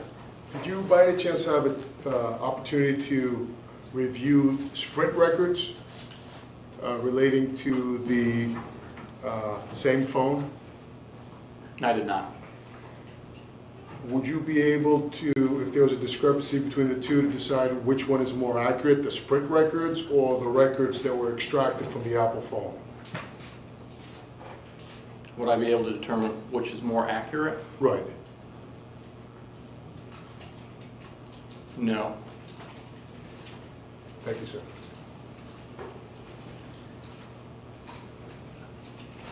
Redirect? Just one question. On item number SK3, the, the Apple phone that the extraction data came from, were you able to find the MDN or the phone number associated with that device? Yes. And could you tell us what that is? If you need to refer to your notes, please feel free.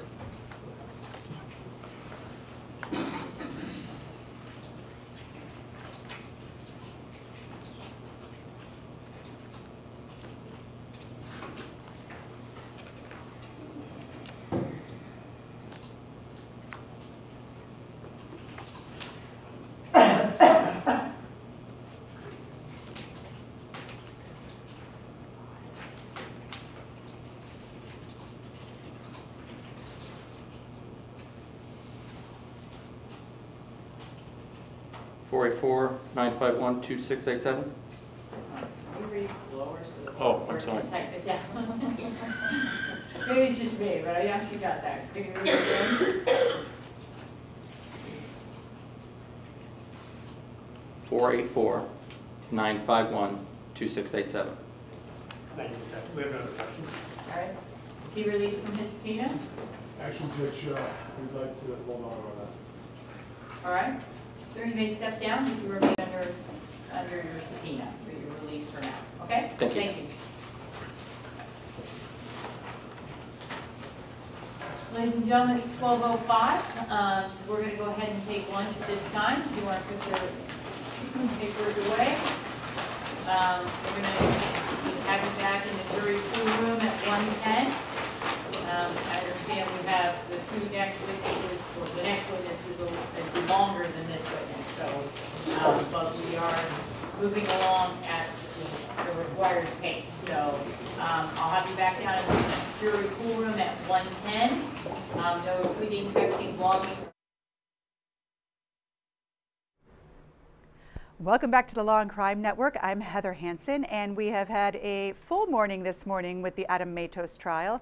We have seen a number of witnesses as the prosecution wraps up their case, and we have seen more cross examination by the defense, although the cross examination itself has been quite interesting to say the least. It has been less focused on who actually committed these crimes and more focused on perhaps the state of mind of Adam Matos. It seemed to be establishing that Matos perhaps did not plan out these crimes, perhaps did not plan out his escape, but rather had these crimes be sort of a spur of the moment thing, perhaps a crime of passion, or more likely, in my opinion, something that they're going to use to mitigate the uh, effect of this crime and perhaps try to save Adam Matos's life. We expect this to be a short day, and everyone is very eager to see whether or not the defense will put on any witnesses at all. We know that it is unlikely that they will call Matos himself to the stand, though I know all of you watching at home and all of us here at the Law and Crime Network are certainly hoping that that's the case. It would be wonderful to get a better explanation as to what went on that particular night, but I think that that is unlikely at best. Instead, I think I would be surprised if there was any witness at all on behalf of the defense and rather just simply to close up with the closing. Now, many people have asked what type of closing that would be given the fact that there was no opening and no evidence for the defense. And it would be interesting to see how the defense attorneys would address that. It could simply be to try to mitigate the severity of the crime, to mitigate the intent of the crime, and to make Matos look like as good of a defendant as they can possibly make him look so that they can hopefully, hopefully uh, put some sort of defense on the on the stand and to somehow um, create a defense in this case that will avoid the death penalty. We are working on another case, and we want to let you know about that case, although the connection is not what we want it to be. And so it's something that we are doing our best to bring to you there at home. It is a case involving Shelby Isaac, who is on trial for the murder of E.J. Tate Jr. and Edwina Thomas. Um, she allegedly killed both of these people, and Edwina Thomas, the woman that she killed, was six to eight weeks pregnant. So she is also going to be on trial for the death of that unborn child. That brings up some interesting issues that we're going to discuss with our guests a little bit later on this afternoon as to at what uh, point in gestation these types of cases can be brought, where these types of cases can be brought, why these types of cases can be brought, and if there is any sort of ramifications for these cases in other respects. Specifically, a lot of people in the legal world think about Roe v. Wade when we start talking about trying people for murder for putting a six to eight week, uh, for killing a six to eight week um, fetus. So these are all very hot topic issues that we're going to be discussing with our guests, and we're hoping to get that signal in bright and clear for you so that we have that trial to go to. But in the meantime, we do have the Matos case, and it is going to get very interesting this afternoon as we see what the defense does.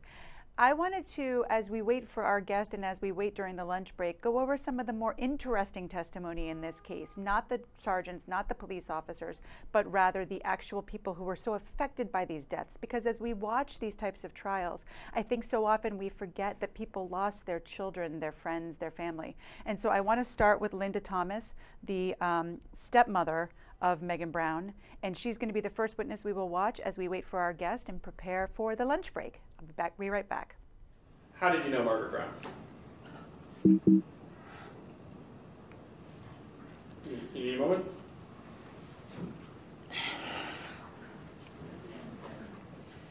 Go ahead, You may.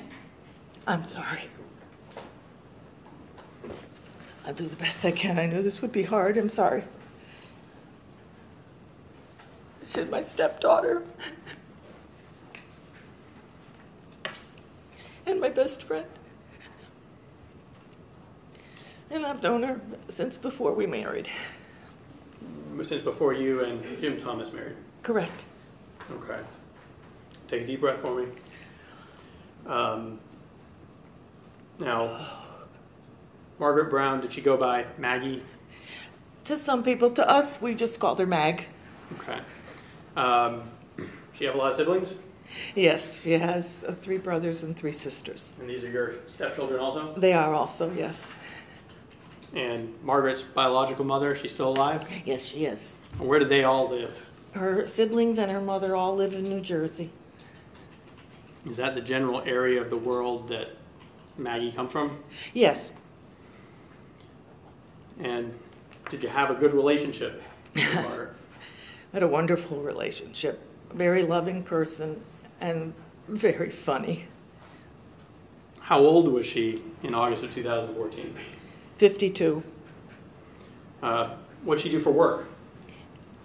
Um, at, at the time that she was murdered, Well, in general, in the years leading up to, let's say, the year leading up to July of 2014. Okay, she would, um, she bred horses at times. Um, she was breeding dogs right until the time that we lost her. And she also worked at Wawa as a cashier. Okay. Um, now, in August, well, in term, let's strike that. In terms of the raising dogs, has she been doing that for a while? Yes, since the mid 1990s. And she was still doing that in 2014, in August of 2014. That's correct. Was she married? Yes, she was married to Gregory Brown. Um, and do you know how long she and Gregory Brown have been together? longer than my husband and I. I don't know the exact date that they uh, first became a couple or their exact date of their marriage, but I know that they were together. I, I met them together the first time I met Mag. So since you've been a part of the family, uh, Greg Brown and Margaret Brown were together. Yes. And do you know how old Greg Brown was in August 2014? Yes, he was also 52. And did you know him very well? Yes. Um, did you get along well with him? Oh, yes. He was very good at including us in his life. And what did he do for work? He was an electrician. Now, in August of 2014, what, was he working? No, he was recovering from some back surgeries. Or surgery, I'm sorry. Now, did Margaret and Greg have any children? Yes, they did. How many children? They had two children together. Uh, their son Gregory, Aaron, eh, we call him Aaron, and then um, their daughter Megan. And then Mag had a son from a previous relationship, but he was raised and grew up in the same household with Greg and Mag. And that's Michael Monahan. Michael Monahan. Now, Gregory Aaron Brown and Michael Monahan, where did they live, or where do they still live? In New Jersey. And At this time, although Aaron and Megan and Michael also all lived at the farm. okay. Now, um, Megan Brown, in August of 2014, how old was she? 27. Now, did Megan have any children? Yes, she had one son. And do you know his name, or what his legal name was back in August of 2014? Yeah, well, we know him as Tristan, but it was Ishmael Tristan Santisteban, I believe is the correct pronunciation. And do you know how old was he in August of 2014? Four. Do you know who Tristan's father is? Yes, the defendant, Adam Matos. Um, in Au- this summer of 2014, August of 2014, uh, did Tristan have any challenges communicating? Yes, he did. And uh, based on your observation, what was the nature of that? He was um, very autistic and uh, was not verbalizing very much in uh, understandable language, except to his mother. She, she knew what he wanted. Um, now, in the years leading up to August of 2014, where were Greg and Margaret Brown living? Before they moved to Florida, they were living in uh, central Pennsylvania in Lehigh County in a town called New Tripoli. And they had a farm there? Yes, they did. Uh, when did they move to Pasco County, Florida? Uh, They actually physically left the farm on or about June 30th, and then they arrived in Hudson, uh, this is of 2014, and then they arrived in Hudson, I think it was July. Welcome back to the Law and Crime Network. I'm excited to have my co- fellow host, Aaron Keller, here with me today. It's not often that you and I get to have these conversations, and I love it when we do. We always talk, but then people don't get to see it. Right. So we get to talk now and have people listen Right, to it, which is the exactly. point of a network. That's you- right. We get to talk a lot off camera, but to talk on camera is a lot more fun. I am dying to talk to you about the piece that you just put up about Tristan, the son in this case, who has been such a big part of this case as far as he was with Adam Matos at the hotel and had the bag and the juice for him, and yet he was an even bigger part of the pretrial case that you put up in, the, in a great piece today. So tell us about that. Okay, so this is one of the last things that I really dug into with the Matos case because we know we're heading towards the defense's case, whatever that may be, very, Mhm. very shortly. But in the depositions, it's pretty clear, uh, not only from the depositions, but the rest of the pretrial record, that prosecutors really wanted to find a way to put this kid on the stand. And it just wasn't going to work at the last minute, you know, days before trial, hours before trial.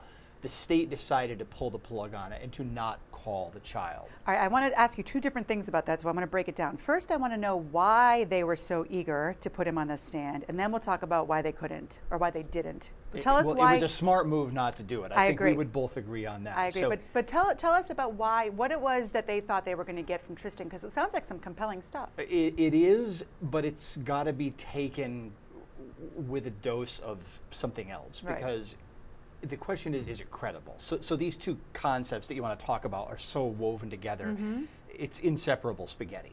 But here's the bottom line. At one point, well, let me back up. In, in the pieces on lawandcrime.com, people can take a look at it. We go through all of the, the things in the record. But at one point, the child said, Daddy killed mommy.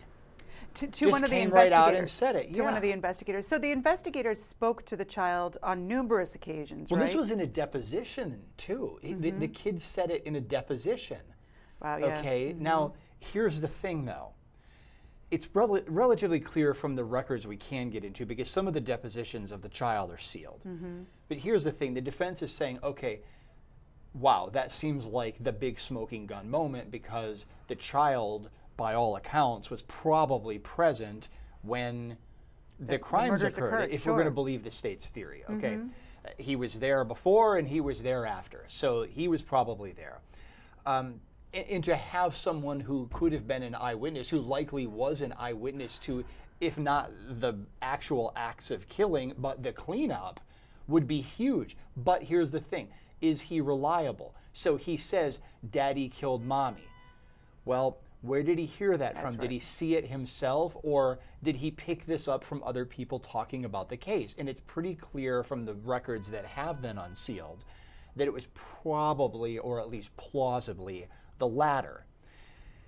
You know, so this goes into the whole issue as to whether or not he's reliable. In one of the depositions, the child spent most of the period of the deposition just repeating his name and not answering the questions. From what I can gather from the court record, and it's an unfortunate situation, he's autistic, but he's very, he struggles to communicate. Right. I'll just put it that way. uh, Not, not so verbal, autistic, four years old. All things that would make, by themselves, would make a witness perhaps not, uh, not able to testify and not, not be, that, that, that testimony not to get in at trial. And you combine all of those, and it makes it really unlikely that the judge would have allowed this testimony, don't you think? Uh, yes. So let me go into some of the other facts here because you know questions about whether that statement "Daddy killed mommy" is something that he heard someone else say or whether he observed it. We can't really tell for sure, but it is a a, a really kind of gut wrenching moment to see that in the record. A couple of other things that went on here. At one point, the boy took a doll okay, and and starts like pounding on it with his hand on a table, and he's saying "mommy, mommy, mommy" while he's doing it. And the lead detective, Chet Kugel, who we have not heard on the stand yet, I'd be shocked if we don't hear from him today. We may not, I'm not sure, but he talked about this in a deposition, and he said it was like a hammer motion. Well, you know, here's the thing with that. We know some of the victims were beaten to death, but the mother was shot. Right. Okay. at least in the cause of death. Now we've got the domestic violence incident from earlier, Mhm. but is this indicative of what was going on in the relationship, or is it just a child acting up? We don't know, but it's there. In another instance, the child took a doll and basically hung it from some kind of a blind. I don't know if it was if it was actually put in the blinds between the slats or one of the cords Mhm. were, were tied around it, but but that happened as well. So investigators are just looking at this saying, you know, is this kid coming forward with a window into some of what happened, or is this just completely unreliable? And that's the trick. Investigators, prosecutors would have loved to try to find a way Oh, to put him on the stand absolutely, because having something like that in front of the jury would have been a bombshell, but would the child have been able to replicate it in front of the jury? Well, and not only that, but you actually do a great job with citing some of the specific rules with regards to what is considered credible enough to actually use as testimony. And and so, what do you think? Do you think had the prosecutors not decided to pursue this and to pursue the deposition, do you think the judge would have let it in, Aaron? I would have been shocked if she had. I would have been surprised if the judge had. I think the defense had a stronger argument than the state. Yeah. Okay, because to to put something like that in front of the jury and then hope the jury can whittle it out. Yeah. You know, um, Not only that, but I would have been hard. I can't imagine trying to cross-examine that Exactly. child. And, and would the child have responded to the same question the same way on the stand, or would it have turned into, uh, for lack of a better word, a fiasco for the state? Mhm. State could be trying to ask a question to get the same answer out of the child and potentially not had any answer. Right. and That would have been a problem. It could have hurt them so much more and hurt them from a credibility with the jury standpoint, which is Mhm. something I always worry about because I don't think a jury would be super thrilled about putting a four year old autistic child who had lost his mother, gone through all of those things, unless there's some slam dunk. Airtight testimony you're going to get out of that child. Why would you put the child through it? And I think that they have such a good case as it is. Why would they take that chance? Well, exactly. So th- th- rather than tee this up for what would have been either a potential disaster at trial or a potential slam dunk appeal issue, the state just walked away from it without forcing the issue. And it probably was a wise move because first, it's not going to set any, you know, precedent. Okay, e- even at the the trial court level. I mean, you know, this isn't an appeals court, but let's say the judge had let it in. Well, then everybody's going to try to bring it in in every other trial until the appeals courts get a chance to look at it. Well, and that's that's, know, that's an important point. That's an important point because everything that we do in trials has the capacity to impact future cases. So you're absolutely right. You allow this four-year-old autistic child to testify. Now all of a sudden you're pulling in kids in all types of cases, and really it could have really opened a very um, interesting Pandora's box. Exactly, a can of worms, Pandora's box, both combined, Right. something like that. So, so look, I mean, this was a day where I think that the state probably looked at this and said, the rule of law is still the rule of law, and here's the standard: Florida rules of evidence. A- A witness is disqualified under state law if the person is incapable of expressing him or herself concerning the matter in a way that's to be understood. Okay, so Mhm. you know, is the child capable of expressing himself? Well, the child didn't answer most of the questions posed, so it's potentially a failure on the first prong of the test. Uh, is the child uh, able to be understood? Well, some of these motions with the dolls and the, Right. the- there was another one uh, as well where he, you know, he was asked where's mommy, and he just puts the doll down and then covers it with yeah. a sheet, and it's like, okay, well, is that what happened to the mother? You know, we know we've got all this these bloody bed linens out in the garage and all this other stuff. So it's like these things might seem plausible, and, and I can see why the state wanted to try to get them But in because sure. it, they, some of them just line up with what's known about the case, but then some of them don't. Right. And look, you know, incapable of expressing himself, that's one of the standards. Um, you know, can an interpreter aid? Well, Right. in this case, we don't know. We can't really get inside the child's head and figure out what was um, what was said. And and then there's a question of um, whether the witness would have the capability of understanding the duty to tell the truth Right. in a court proceeding. Yeah. And, And- that's It's, it's, impossible, right? It's impossible to know when you have a nonverbal child. Apparently, from what I've read, Tristan was good with verbalizing with his mother, but has a, had a more difficult time with everyone else. So, you know, and, and it's so interesting because when you deal with uh, the ch- children in psychology, oftentimes they are asked to draw pictures and use dolls and different things to make them be able to express themselves.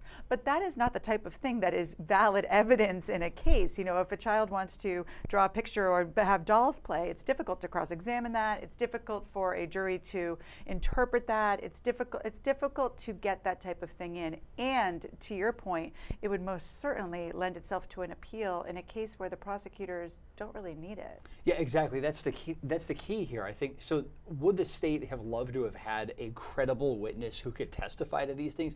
Absolutely, it would have been an absolute slam dunk win for the state. But look, the state has one shade down from a slam dunk win as it is right now. This is a really strong Right, case for the state. right. You know, a lot of times we sit here and say, well, is there reasonable doubt? We're trying to figure out what's going on in some of these cases. Some of them are stronger than others. This one's a pretty strong case by law and crime standards. And, and I uh, don't think that they wanted to risk a conviction on appeal if they tried to put the kid on the stand and, and then assume that, that it was a successful period of testimony. Right. I'd be interested to know what our audience thinks about this because so often they say, let it all in. We want to hear it all. The audience should hear it all. The, the jury should hear it all. We should hear it all. And yet, in a case like this, I think that I think people would, would lean towards not allowing this type of testimony in because of the lack of credibility, because of the impact on the child, because of the likelihood of an appeal. But you never know. There are some people and some judges who lean towards just let everything in and let the chips fall where they may. But in a case like this, I think that your piece makes it very clear. And again, people, that's on lawandcrime.com, a great piece by Aaron, once again breaking down the specifics of these things and the legal issues in a way that's very manageable. But I do think that it really is a case where the prosecution was smart to withdraw it and not create an appellate issue, not create the chance that it might be allowed in and then ruin their case. Yeah, this could have blown up in their face if the if the child didn't answer the questions properly, if the, the child somehow acted up on the stand, you know.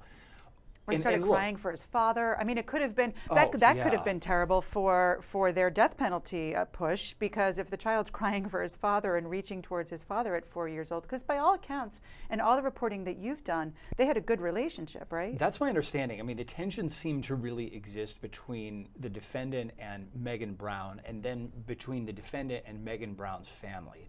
There was th- that was the triangle of tension, as I understand it, based on what I've read and what we've heard in court. So, look, I mean, we have these rules of evidence, and I can understand people who would say let it all in because when I was covering cases as a reporter before, Yeah, having a law you wanted degree, them to let it I- all I in, I right? would want to know all of these things too. And you know, look, is it relevant? Well, yeah. I mean, if we take it as truth, it makes this guy look more guilty than a lot of people already assume that he is. But you know, here's one of the telling pieces of it. In one of the the, the questioning sessions of the child, it, it was um, I think that they tried to get out of him like, well, did you see this or did you hear someone say Right, it? And, and right. my understanding of the way that it went, because again, I don't have the full deposition, it's still sealed, is that the takeaway seemed to have been that the child may have just been reporting Repeating, or repeating something that other family members said. Well, and that makes the most sense. I've got to say, I just took a took a quick glance at the chat rooms. You snooze, JS fan, wrongful convictions. They all agree that it is not the good thing to put the child on the stand in this situation. Especially, I think a lot of them. I don't want to speak for them, but I think a lot of them get that it's because of sympathy for the child. Why put the child through this additional? It's it's a very very challenging thing to testify as an adult, much less as a child, when the value is just not there. So I think it's awesome that you address this particular issue because it's one thing that we haven't talked a lot about a lot here on the network. And it's an important part of this case. I mean what's going to happen with tristan going forward? What happened to him that night? Is certainly something that people are interested in. So kudos to you for finding it. I want to keep you here for a little bit if i can. We're going to throw to uh, the, continue with the clip that we were just watching. That's linda thomas the stepmother um, speaking about her loss. And then we're going to come back and aaron and i are going to get the chance to talk some more in the way that we do behind the scenes here with you. We welcome your questions. We welcome your comments. We have a lunch break and we want to hear from you. So let us know what you are interested in what your questions are about this case and we'll do our best to answer them. For now a quick clip of linda thomas and her testimony. Meg wanted to spend the rest of her father's life with him here in Florida so she could take care of him. And she wanted to take care of me when I got older, too. And that's the reason she moved here. And where were you and your husband living um, in the summer of 2014? In Palm Coast, Florida, just north of Daytona Beach. What brought about Margaret moving to Pasco County? The Wawa was just beginning to expand in Florida, and they didn't have any Wawas near Palm Coast where we were living or in Key West where we were heading to live. But there was one here in uh, New Port Richey, I believe, uh, that um, she could do a lateral transfer and keep the health insurance that her family needed. Yeah, I believe she also uh, had a a place that she could rent here that would allow her to have her, her dogs. And do you know the address that they moved to? 7719 Hatteras Drive. Now, when they moved, you indicate they moved end of June, very beginning of July of 2014. Uh, Did your husband, Jim Thomas, go and assist them in the moving in process? Yes, he did. He, he called me and told, and uh, he had arrived at their house within about two hours of their arrival. I don't know which one of them arrived first. And you were not there for that? No, I was not.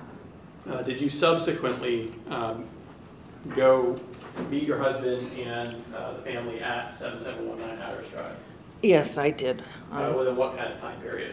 I got there, um, I remember I couldn't be there Fourth of July because my dogs go crazy with the fireworks, so I stayed home with the dogs. And then I got sick on Saturday, so it was the Sunday after Fourth of July, which would have been July sixth, and I arrived there about eight in the morning on Sunday the sixth. Okay. And did you stay with him for a day or two? I stayed overnight and I didn't leave until about uh, late afternoon, maybe five o'clock on Monday after Mag went to work at Wawa. Now, who moved into that house at 7719 Hatteras Drive? uh, Mag and Greg, and then Megan with her son Tristan, and the defendant Adam Matos. Uh, Do you know what vehicles they had? I do. When they came down? I What do. vehicles? Um, They had a large motorhome, and they had um, some kind of uh, GMC small SUV that I understood to be Megan's, and they had a a silver minivan, I believe it was a Dodge Caravan. And whose vehicle was a silver minivan? Mags and Greg's. Um, Did they bring any pets with them? Yes, she had uh, some adult dogs with her, a couple of schnauzers and a couple of poodles, and then she had some poodle puppies. And uh, I, I think that's the extent of what she had at that moment in time. But shortly thereafter, the population increased, and there were some uh, Yorkie poos, I believe they were. Okay, so is your understanding that there was a new litter of pups after they moved in? Yes. Prior to all of this happening? My recollection is that they actually, uh, may have been two litters, actually. There was one at the beginning of July, and then when they were visiting us at the end of July, she was checking in to see if one other female had whelped her pups. pups. So how many there were, I, I lost count. Uh, More than 10? Yes, I think so.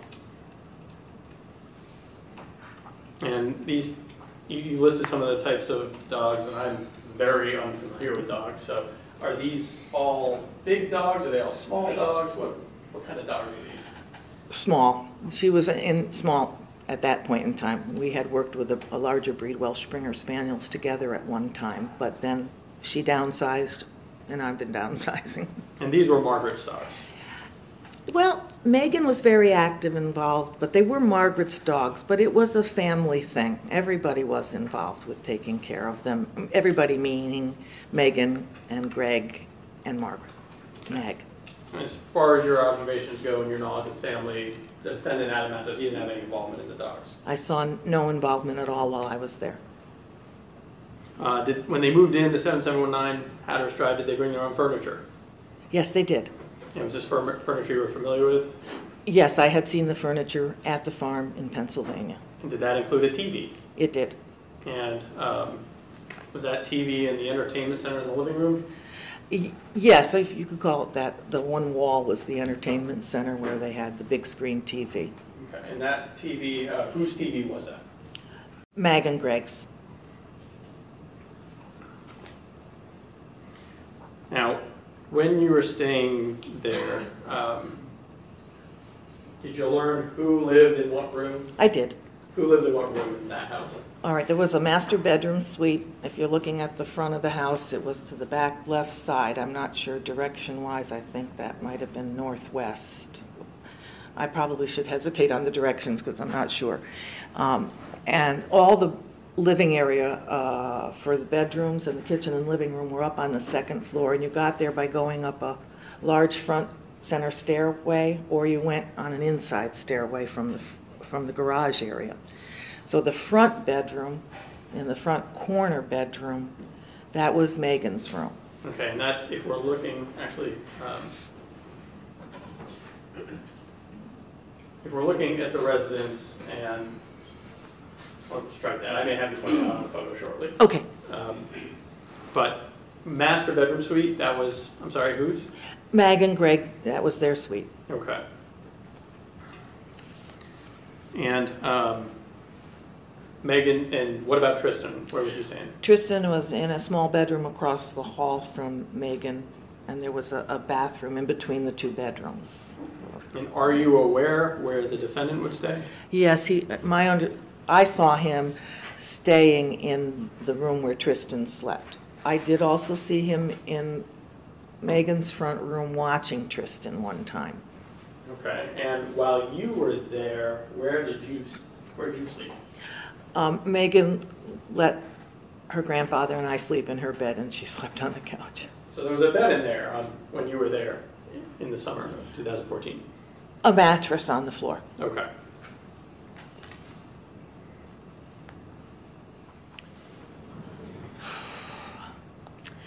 I know that um, I am somebody that feels people need their space, so you try not to intrude. And they had just moved here to Florida, so I was trying to give them space. And Mag made public postings on her Facebook, so I was able to have an idea what was going on without constantly pestering them. And so I saw on. Objection, Judge, And the objection is unresponsive. overruled? I mean, On August 26th, she communicated to the whole world, including me, that she was on St. Pete Beach with her husband of, Overruled? uh, on the public forum of, s- s- her, she was with her husband of so many years, and it was a beautiful day, and she was feeling joyous and happy. And then the day after that, she made her, what I perceived as the last public posting of a, a campfire that we're camping, so even though it's 90 degrees out, you need a campfire. and so she had that. And um, then I sent her an email on either Thursday or Friday, and because of computer problems, I haven't been able to find it again. It's a, com- Hold it, ma'am, I'm sorry, I'm sorry. Approach? Welcome back to the Law and Crime Network. I'm Heather Hansen here with Aaron Keller, and we do have another case that just started today. We are working on the signal, so I know that for, there are some of you that are already watching that case and noting that there is a sound issue. It is something that we're hoping to work out. And in the meantime, we do want to preview it for you a little bit. It's a really interesting case, Aaron. Um, why don't you tell us a little bit about the facts, and then I'll jump in with some questions. Well, it's bizarre. I mean, so you've got this woman who was 18 years old when these crimes were committed. And that's Shelby Isaac, Shelby Isaac, the, the defendant. defendant. And the insinuation that started with the victim's family members and then I believe crept into the police investigation, from what I can tell, is that this was a robbery over hair weaves or hair extensions that resulted in murders. Okay, so we have that part of it, and also we have the legal issue of one of the charges attaching to the life of an unborn child because one of the victims was six to eight weeks pregnant. Yeah. And a lot of states are passing these laws that attach a murder charge to the death of an unborn uh, child or fetus or whatever Right, you want to call it. right, Some states have different standards on that. Some states say that it, that it had to be viable. Some states say that it doesn't matter. Some states don't even put an age on it. So that's tied up in this thing as well. And the defense in opening statements, which again were a bit hard to hear, is basically pointing the finger and saying it's not the defendant, Shelby Isaac, it's the getaway driver who was the first person arrested. All right, so uh, there's so much to unpack here. Yeah. There's so much to unpack here. So you were able to uh, listen to some of the opening statements, and it is a difficult right now. The sound is difficult to hear.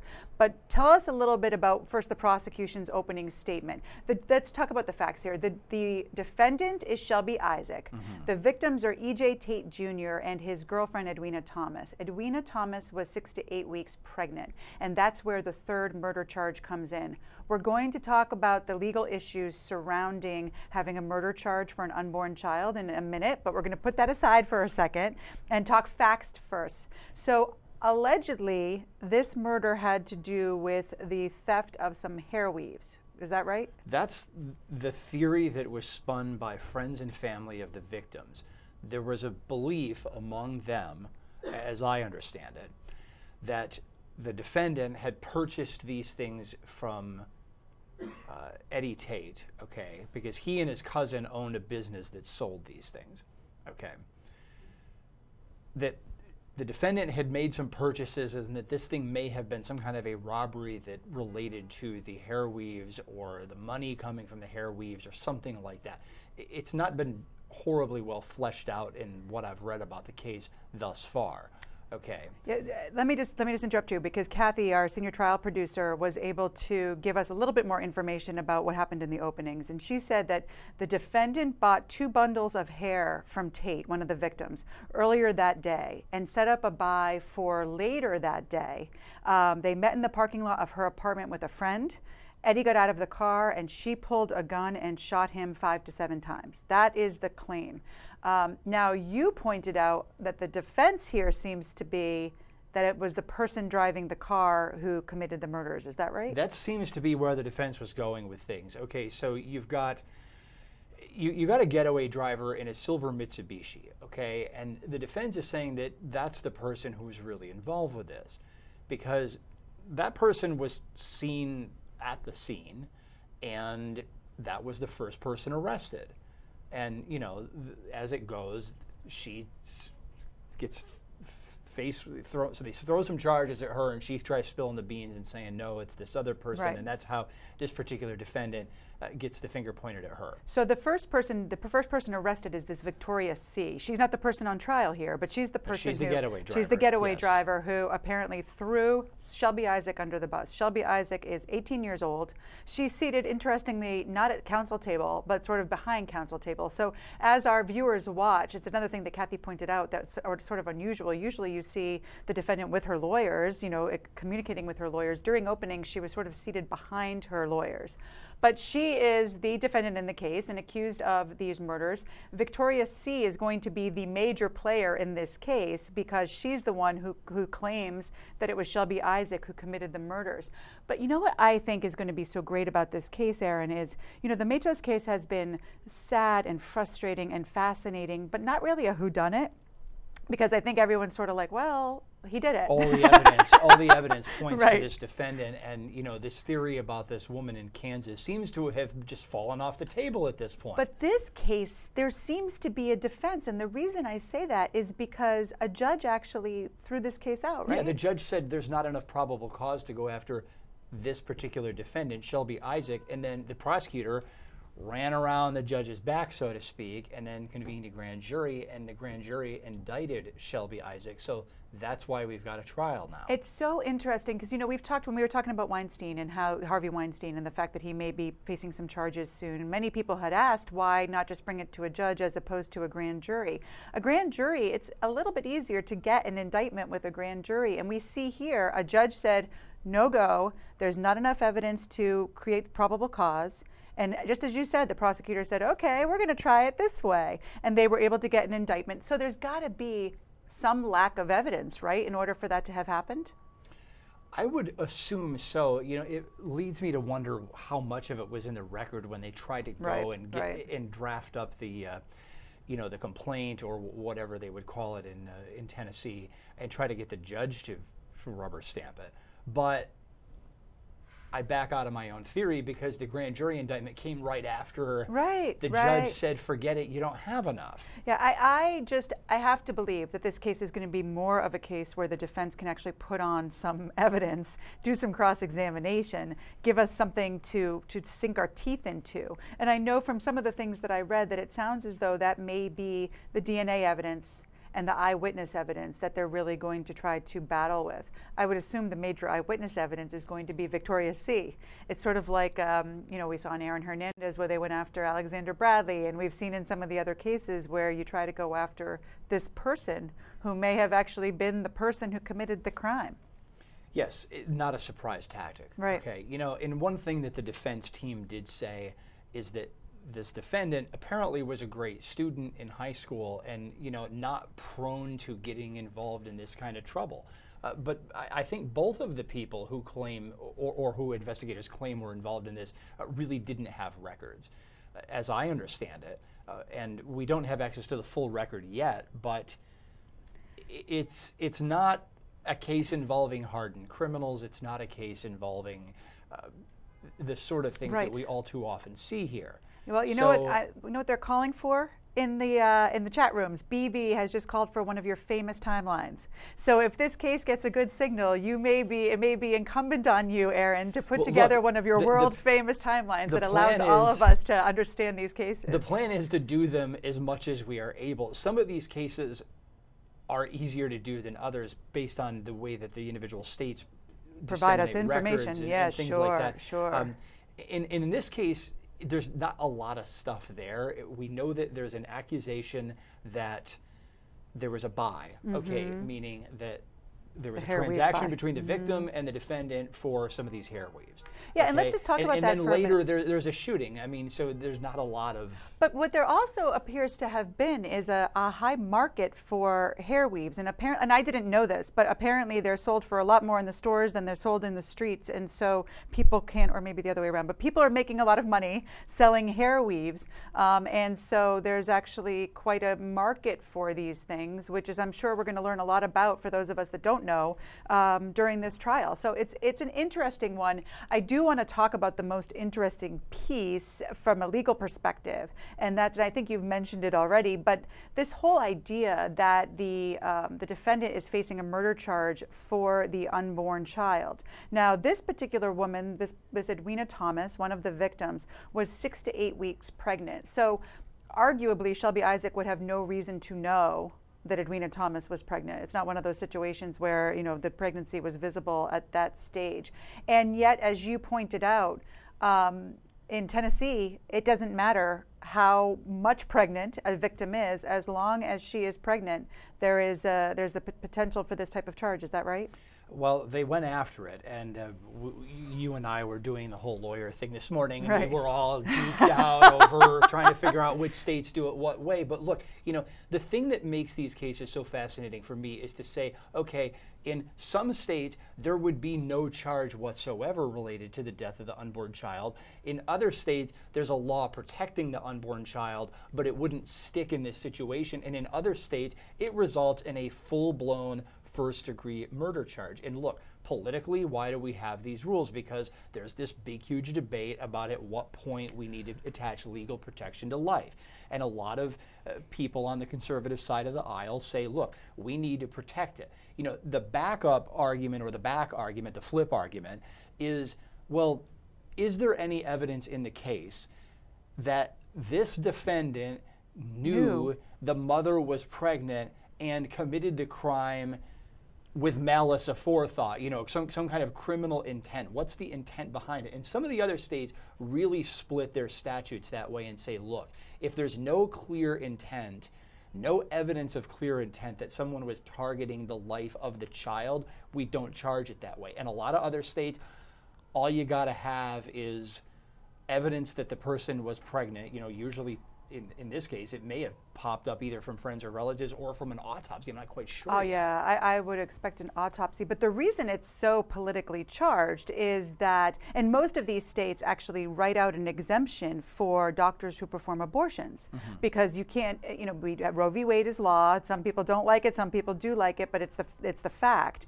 And so you can't then have doctors being charged with murder every time they perform an abortion. And that's what I think a lot of the people who oppose these types of laws are concerned about that this is a slippery slope. And once you start considering a six to eight week pregnant woman, th- that unborn child, as something that can be considered a, a life that is murdered, it then opens the door to the argument that abortion should be illegal across the board. One thing, Aaron, that I thought was interesting is federally, there is the Unborn Victims of Violence Act of 2004, which recognizes an embryo or fetus in utero as a legal victim if they're injured or killed in the commission of a certain list of crimes.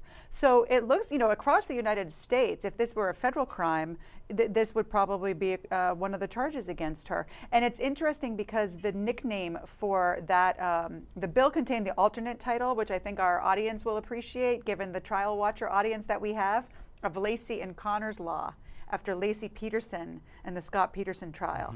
Um, so, you know, this is not the first time that we've seen a case like this, but it's certainly something that I think that may get even some political attention because these types of cases certainly get the pro-life and the pro-choice proponents up in arms and really watching. So it's going to be a case to watch for that reason as well. It, it is, and, and my thing with it is, and, look, I mean, may, maybe I'm looking at a side issue here. People, people might accuse me of doing that, but th- here's the thing that bothers me when this hits a criminal context. Okay, you can be pro-choice or pro-life, fine.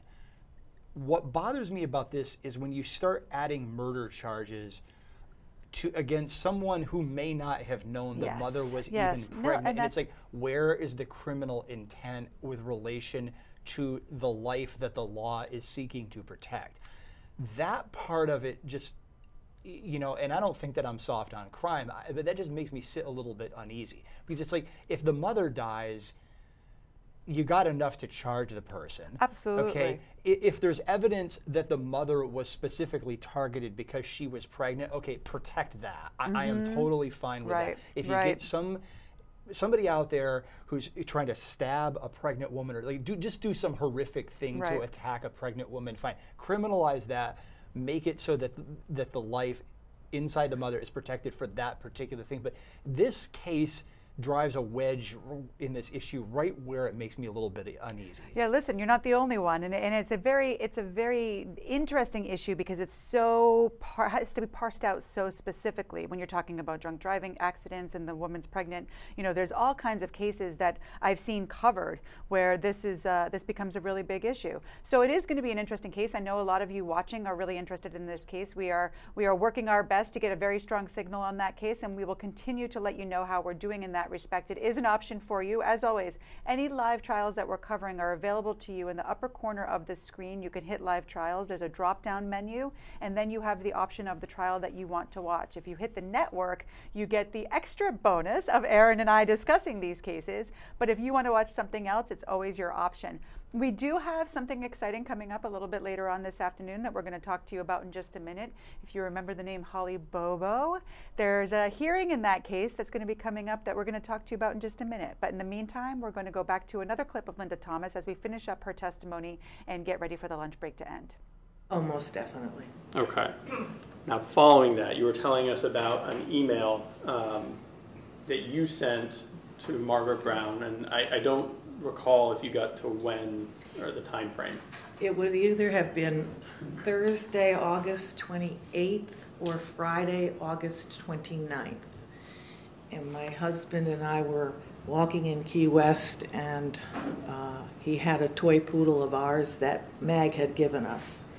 And he was carrying the toy poodle in a zebra Paris Hilton-like tote bag down Duval Street in Key West.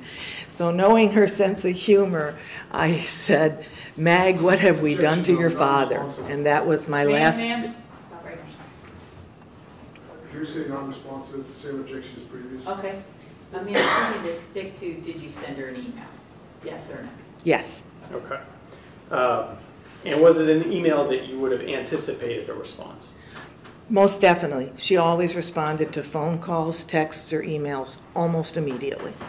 Um, And at least within a couple of hours if she was otherwise occupied? Yes, certainly. Um, And did you ever receive a response? No. And um, what happened on September 4th, uh, 2014 in the morning? How did you decide to conduct yourself? M- My husband and I discussed the fact that, Well, without, without getting too much into things that were said, let, well, let me back up. Okay. Um, By September 4th, of 2014, had you attempted multiple contacts with Margaret Brown? yes, And had you get, received any responses? no, And did you find that to be unusual? most unusual. And um, did you decide to take some specific action the morning of September 4th, 2014 because of that? Yes, I did. And uh, what did you do? I made a phone call to the uh, Pasco County Sheriff's Department and asked if they could do what I know to be called a welfare check at the 7719 Hatteras Drive address. Okay. Um, Couple of things to go through. Subsequent to the result of that welfare check, um, did you come to be in possession of Margaret's dogs? Yes, And not immediately, but a day or two or three later? um, a a day or two, yes. Okay. Um, Approximately how many dogs, if you remember? By that time? Y- Yes, it'll take me a second because I know them by name, so if you could give me one second.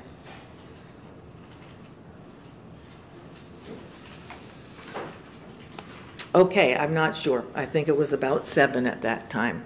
Okay. And, um, None of them were puppies. okay. Were there any dogs that you were aware of that went other places, other family members? No, You got them all? At that point in time, my understanding was we had gotten them all.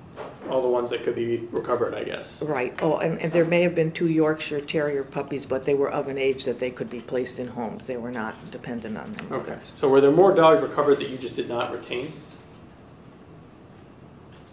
If you know? I'm not sure I understand the question. Um, Were there more dogs than seven or eight of Margaret's that you, the family, did not keep? That you put in a home, gave to someone else? Oh, no.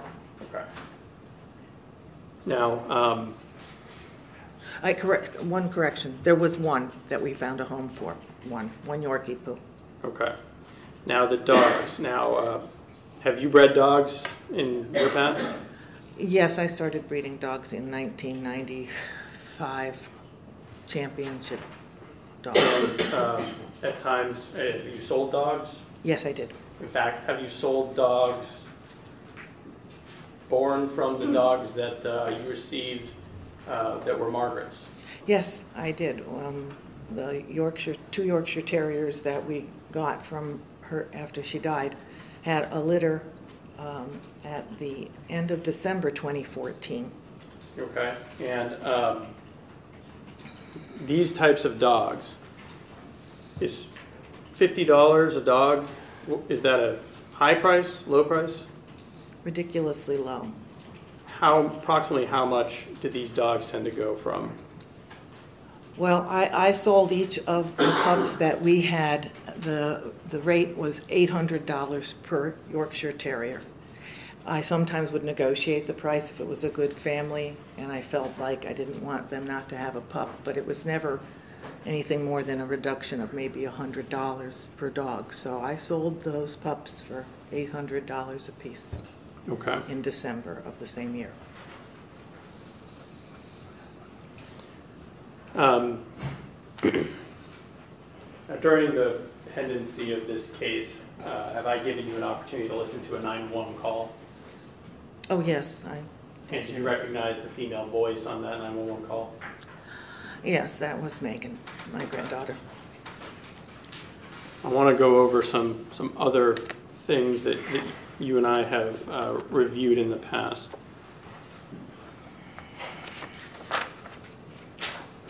Excuse me.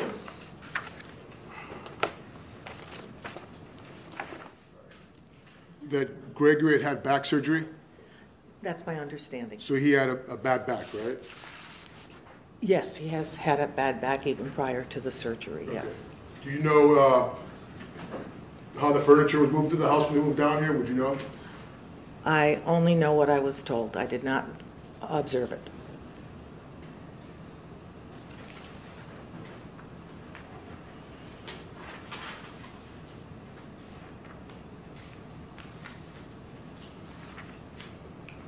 You didn't have any uh, problems uh, with Mr. Matos when you were down here for that weekend, that short period of time, correct? You personally? Between him and me, or what was going on in the house? Between you and him? No.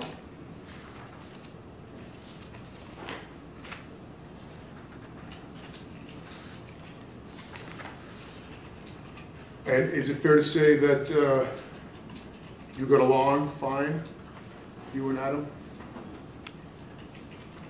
I don't think there was enough opportunity to have a kind of relationship where I could say we got along. Okay, but wh- when you left, he greeted you, he hugged you, and uh, treated you as part of his family?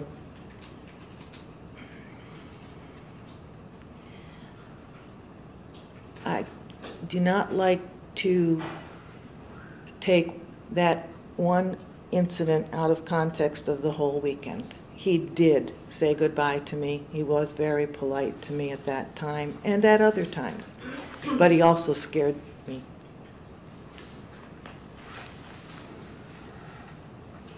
Fair to say you didn't know anything about, any details about his relationship to Megan, isn't that fair to say? No, I don't, I'm, I'm not sure where and when I learned different details. So I do have some, did have some details. I just have a moment, Charlie. You may. Welcome back to the Law and Crime Network. I'm Heather Hansen here with Aaron Keller. And Aaron, we have a case, uh, hearing rather, coming up this afternoon that um, should sort of make some people have some memories, and that is uh, involving Holly Bobo. But the hearing today regards Dylan Adams. Remind us who Dylan Adams is. So he's the brother of the person whose trial we covered not Weeks terribly ago, long right, ago right. here, weeks, months. I'm losing track of time already. So they, they start trials. to blend in. So, you know, they're all accused of being swept up in this crime, you know, playing different roles. And, uh, y- you know, look, I'm waiting to see what the evidence is going to be against this particular defendant. Right. So it's Dylan Adams' hearing today is involving, we don't really know, maybe to set a trial date, maybe to do some scheduling, but he's been charged with rape, kidnapping, and murder, similar to what Zach had been charged with. Um, is, you know, is, I know that case was uh, challenging for us to cover because of the way the evidence went in. Do you know whether or not it's the same players in this case, same judge, same, um, same prosecutor? I do not. It wouldn't surprise me if it's the same prosecutor because it's Sure. a small area Right. and whatnot. Um, I can't recall there being an outside prosecutor brought in, but I may just not be remembering my facts properly. I would assume that it's probably going to be mostly the same players except for the defense attorney. Right. So, right. you know, that may change the whole ball game here because in the last case, we were sitting here scratching our heads with w- the way the defense was rolling out. Mm-hmm. So, So often we are. yeah, well, you know, in in, that- the, in the War Machine case, I think we were sort of, you know, scratching our heads about how the defense was going. In the Holly Bobo case, we were scratching our heads. And in the Matos case, we certainly are scratching our heads. Um, I think these cases are sometimes difficult to defend. They are, um, you know, but usually I can take some, and you can do this as well. You can take a peek at what's going on, and we can say, okay, is it a strategy move, or is it related to competence or something like that? Right, and right. you know, we sit here and, and try to privately figure out what's going on.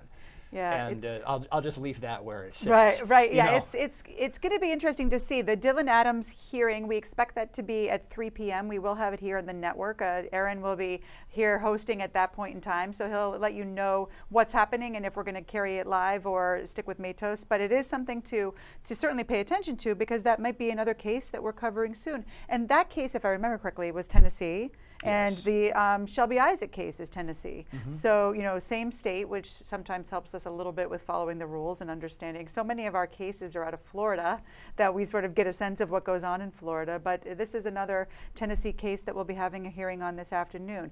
We do hope to bring you, in fact, we plan to bring you the Shelby Isaac case at least as an option for you when they come back live this afternoon. We are going to be sticking here on the network with the Matos case. We're going to obviously want to see that through, especially as we get to the defense part of the case, because it may be that the defense may actually do something this afternoon. Do you think that they'll put on any witnesses, Aaron? I know that you know all of this is speculation, but that's what we do. Yeah, I mean, the the scuttlebutt is that they're going to put a few people on to contest some of the state's timeline. Now, I'm going to be curious to see how that works because I put almost every discernible fact in the timeline. In your timeline, yeah. I mean, there are a couple of other ones, you know, like exactly what time he ordered each one of the pizzas. That's not in there. We know that he ordered, uh, apparently, that's all he did is eat pizza between the, the date of Right. the murders and the date that police caught up with him. Well, and let's talk about that for a minute because that's not all he did. And we're still waiting to hear from the witness that many of us are most eager to hear from, given your timeline, and that's Ryan McCann.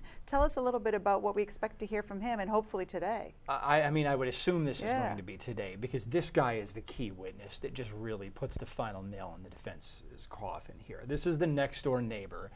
He had some interaction with the victims before the date of the murders, but he didn't have a lot of interaction because he is a professional captain. He's out to sea, like somebody said, 28 days a month. One of the uh, the relatives, Right. or I think maybe even he said that in a in a pretrial deposition or something like that. So he's he's not there very much, but he just happens to come home around the time of the murders, and he has family visiting who happened to show up at 12:30 in the morning on the 29th right after the murders were believed to have been Mhm, committed. I mean, talk about the circumstances that allowed these witnesses to basically allow police to create the timeline that the police have. The, the relatives, why did they show up at 12:30 in the morning? Because they had a flat tire in the middle of nowhere and it took forever to get it changed. Yeah, so they show up late and they show up right after police believe Matos, this defendant,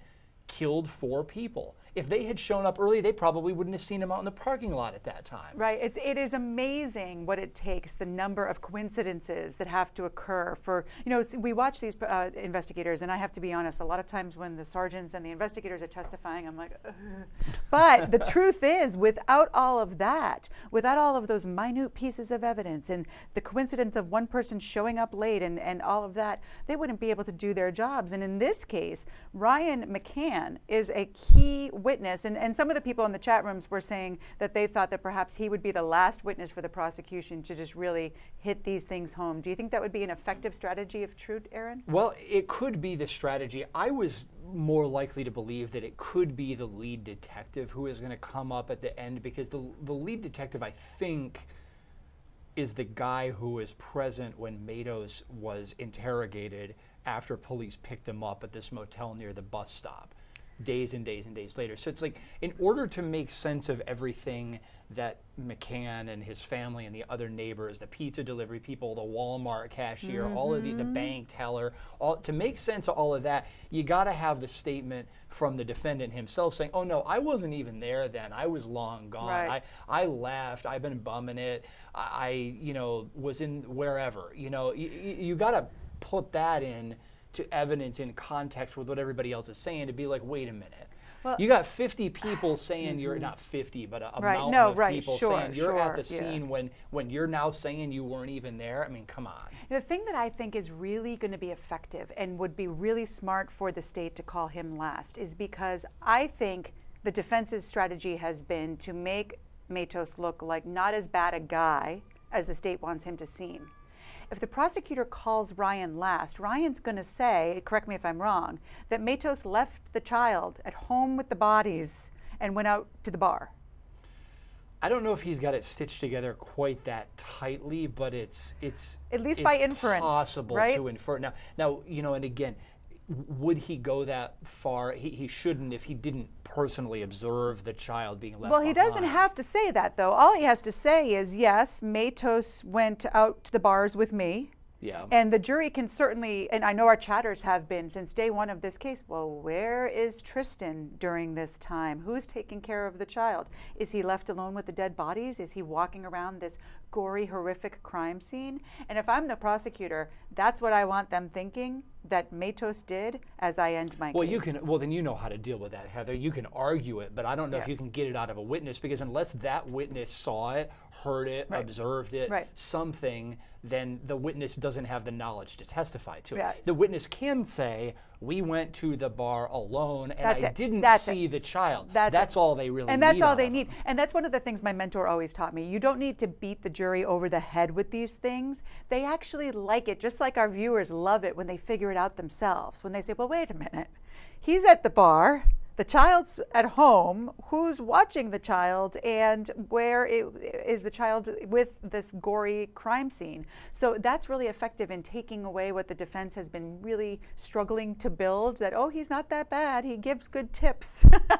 and now you've got a guy you know, leaving this and, kid and look, alone. I mean, the- some, so and the thing with McCann's testimony is is that if it's going to go the way his pretrial statements went, he's got this thing all buttoned up. He remembers what happened on August 28th. He remembers what happened August 29th. He remembers the 30th. Okay, and Yeah. for some of this, he's out. He kind of went back out on the boat for like just part of a day, so he wasn't there in the neighborhood through the entire thing. But he saw a lot of stuff. You know, he's starting to smell something funky on the 30th. You know, that's a day and a half after they thought the crime was committed. Uh, you know, said that the smell started to dissipate on the first. So is that when the cleanup happened? Well, I mean, so much of what he observed just fits in with presumably what was going on.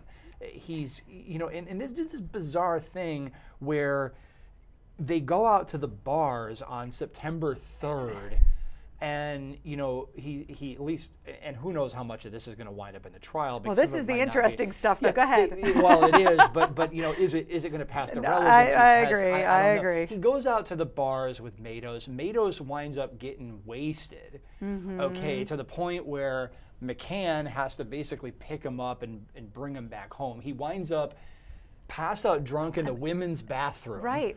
According to the neighbor and, Yeah. and so and, you know he's he's the neighbor we may hear from today. If I'm the prosecutor, I'm working to get that in. I'm working to to make that. You know, he if if McCann just testifies to it, well then these are the facts. Then I found him on the bathroom floor. I mean, I think that the jury's going to be like, what? It's going to Yeah, like, take what's a- going on with Right, this guy? exactly, and and it's going to take away some of this. Oh, he's a good tipper, and he takes good care of his child, and he's got this backpack, and he's got the juice box, and yet he's left a child at home to go out drinking and getting so drunk that he's passed out on the ladies' bathroom floor. You know, and he's he, he's supposedly hitting on somebody while he's there. The person he's hitting on goes to McCann, the neighbor, and says, "Keep this guy away from me." So then McCann has to step into that. I mean, the thing just reads like a really bad. Uh, adult version of what happens to a lot of people in college, yeah. and it's just, and then when you read it in context with the allegations, it's just like this is weird. And you know what? BB just asked a good question. Why didn't McCann ask Matos, hey, where's your family? I mean, I guess if you're going out drinking with a guy who lives at the house and you're a sea captain who has not been around to see the family dynamic and you just figure that he's got the night off of parenting duties. But, uh, you know, why, why not say, what's going on with the family at home? Well, you know, you raise good questions. I don't. Oh, well, no. Wait a minute. We we we think we know why. That's because wasn't it because Matos claimed that the Browns were out of state on Oh, vacation? that's right. Didn't he tell? I think this is the guy that he said, "Oh yeah, they're they're in West Virginia." Yeah, that's so, BB, that's the answer to your question, we believe. I think mean, this much is the guy. I think this is the guy that he told that the Browns were out of out of state for. So Uh, so that's know- how he tried to dismiss it. We're back in Matos, Aaron. So we're going to take you back live to the courtroom. Thank you so much for joining me on this lunch break. It's been awesome to have this conversation with you. We're going to take you live. Views that have been redacted, and there is an instruction as to the redaction, I believe, or editing and the Well, standard it's instruction. up to you all if you want it. I, I didn't know when we talked. Unfortunately, these are, the redactions are obvious, like Okay. it's obvious there's something missing, so it's Okay. necessary. No problem. I'll- Thank you, Judge.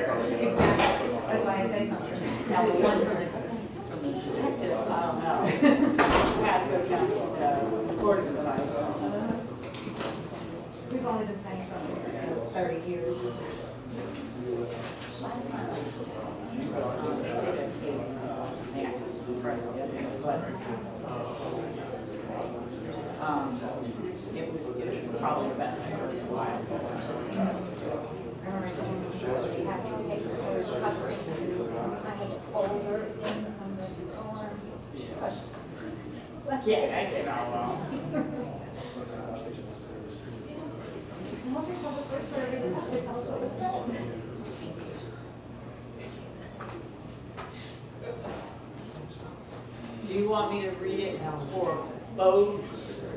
Yes, it'll be towards the end of the detective's testimony, but yes.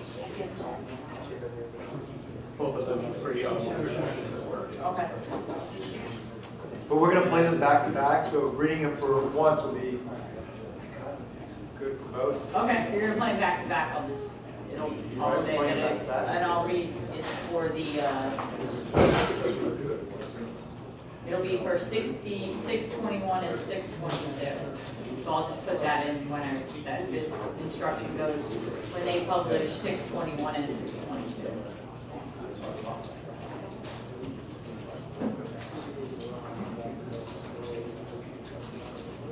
So we're just gonna put the last two on and then you guys are gonna rest? Yes, Judge. Because you had that maybe extra witness. He did not cover it, is.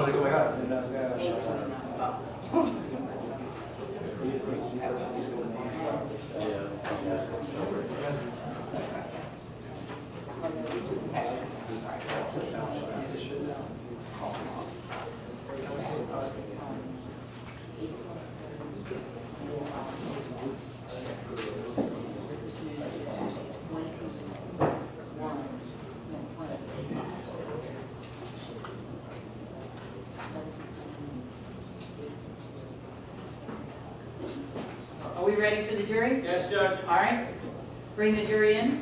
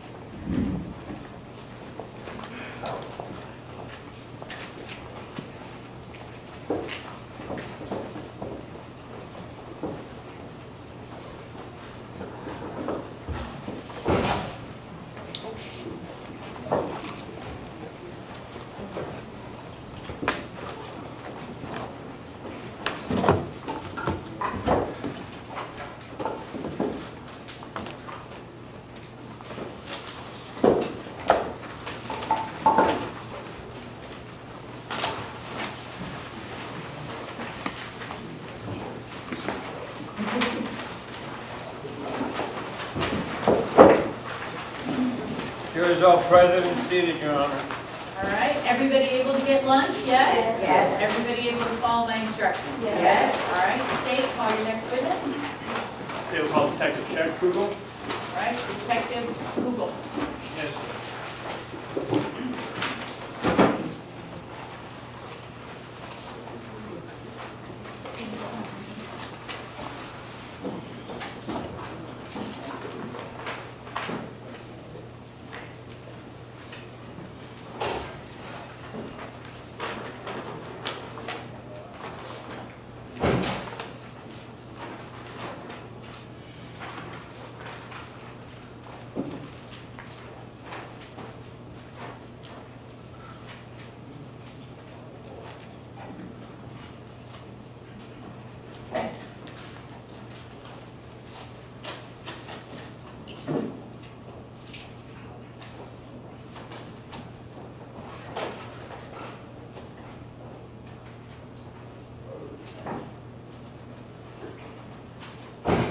Good afternoon, Detective. Please Step to the podium for me.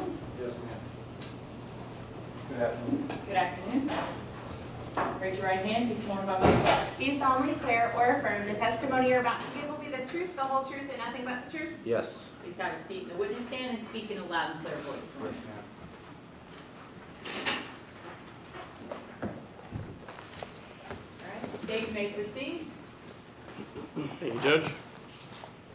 Can you please turn and introduce yourself to the jury? Yes, sir. Uh, Good afternoon, everyone. My name is uh, Chet Cougill. I'm a detective with the Pasco Sheriff's Office. My last name is spelled C-O-U-G-I-L-L. And uh, Detective Cougill, how long have you been with the Pasco County Sheriff's Office? Uh, Almost 13 years. And what is your current assignment with the Sheriff's Office? I am a major crimes detective. And uh, what does major crimes do? Uh, We handle any investigation involving crimes against a person, robbery, homicide, any kind of sexual assault, stuff- stuff like that. What was your role uh, in the investigation surrounding 7719 Hatteras Drive and the four homicides that were discovered in close proximity? I was assigned as the uh, lead detective. As the lead detective, what are your duties in a case? Uh, a General uh, leadership role over the investigation, uh, try to keep track of uh, all the other detectives that are assisting, um, and um, just try and uh, organize all the different units that are coming in to assist. Okay. Now, I want to take, I want to draw your attention back to September 4th of 2014. You remember- remember that day? Yes, sir, I do. Um, And approximately when were you assigned uh, this investigation? Uh, I was notified at approximately 11:30, 12 o'clock in the afternoon. I was sitting at lunch. Okay, and uh, when you first got this investigation, or when you began and go out to the scene, uh, had they found the bodies yet? No, sir. Um, So your investigation, did it focus first at 7719 Hatteras Drive? Yes, it did. And um, were there people that were supposed to be there that you didn't know where they were? Yes, sir. How many people at that point were unaccounted for that you were aware of?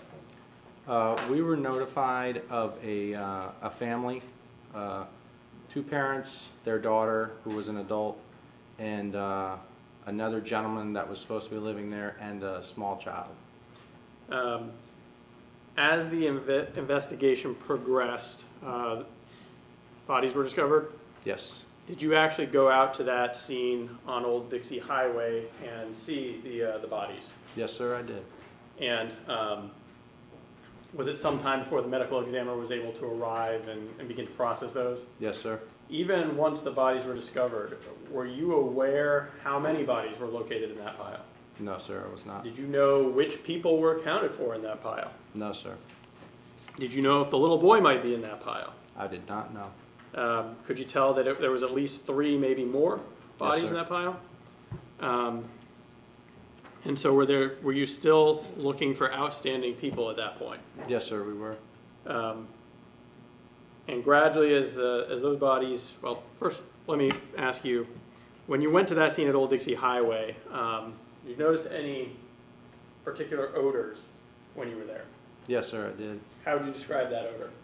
It was a very foul odor um, that I've recognized time again as uh, decomposing bodies. Uh, Have you been involved in other uh, investigations that, that had a a decomposing body before? Yes, sir. Um, Multiple times in the past? Yes, sir. Is it an odor that you've come to be familiar with? Yes, sir. Um, And how, uh, how quickly were you able to detect that smell uh, once you got up to that Old Dixie Highway scene? Uh, As soon as I stepped out of my vehicle, I parked and I didn't hesitate to get out. As soon as I parked my vehicle, I stepped out and it hit me right in the face. Okay. Um, In terms of 7719 Hatteras Drive, uh, did there come a point where you were able to uh, enter that residence and walk around and see what things looked like? Yes, sir. And when you, when you got to that scene, when you were there at that residence, did you detect any odors there? Yes, sir, I did. Uh, Could you describe that for the jury? Again, it was another foul odor of de- decomposing bodies. Was it a strong smell? Yes, sir. Was it a smell that you could detect throughout that residence? Yes, sir. Um, Was it a smell that was particularly strong in the east garage? Yes, sir, very strong. Um,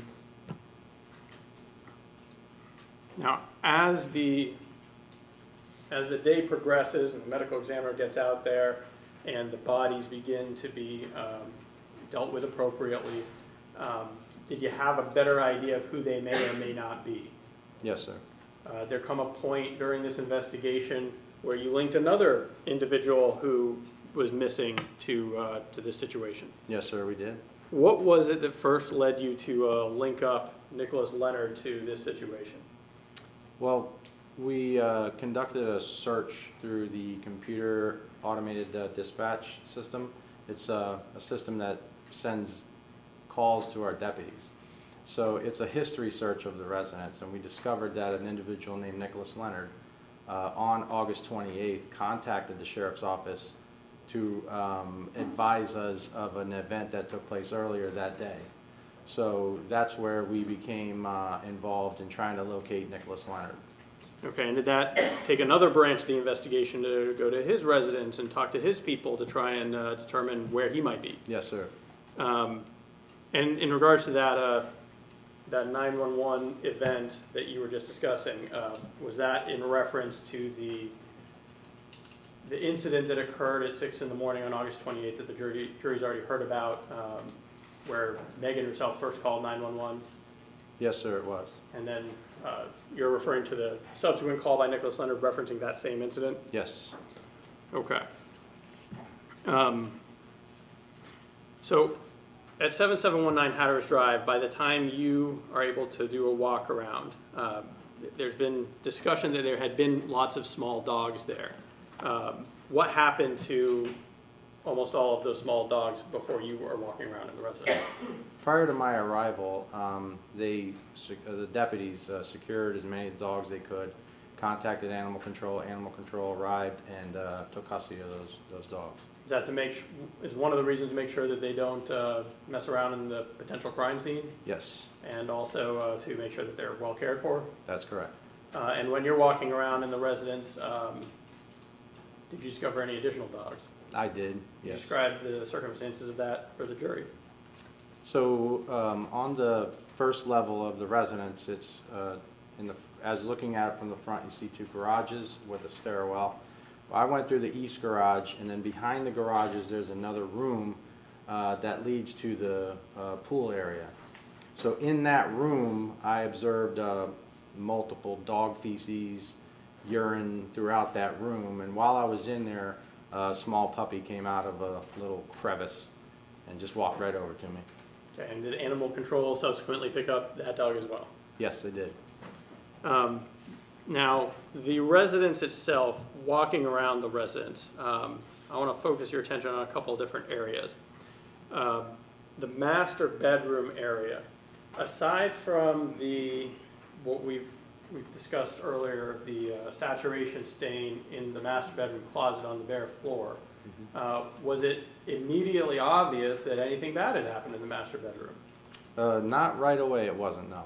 Uh, Was it, did did it look like there had been a gunshot and there was blood all over the floor when you got there. I didn't observe anything like that.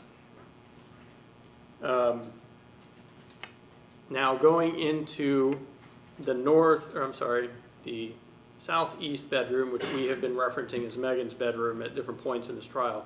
um, Again, aside from the giant um, stain on the, the bare floor, was there a whole lot of indication that something bad had happened in that room? Uh, not necessarily, no.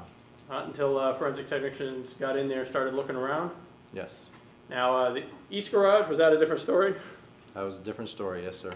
Okay. Uh, West garage, was there, as you walked through there, was there any immediate indications that something bad had happened in there? No, sir.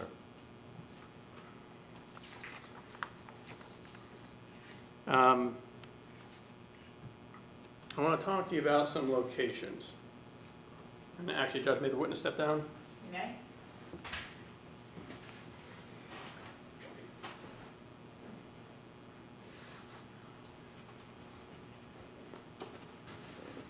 First, I want to start with states 256.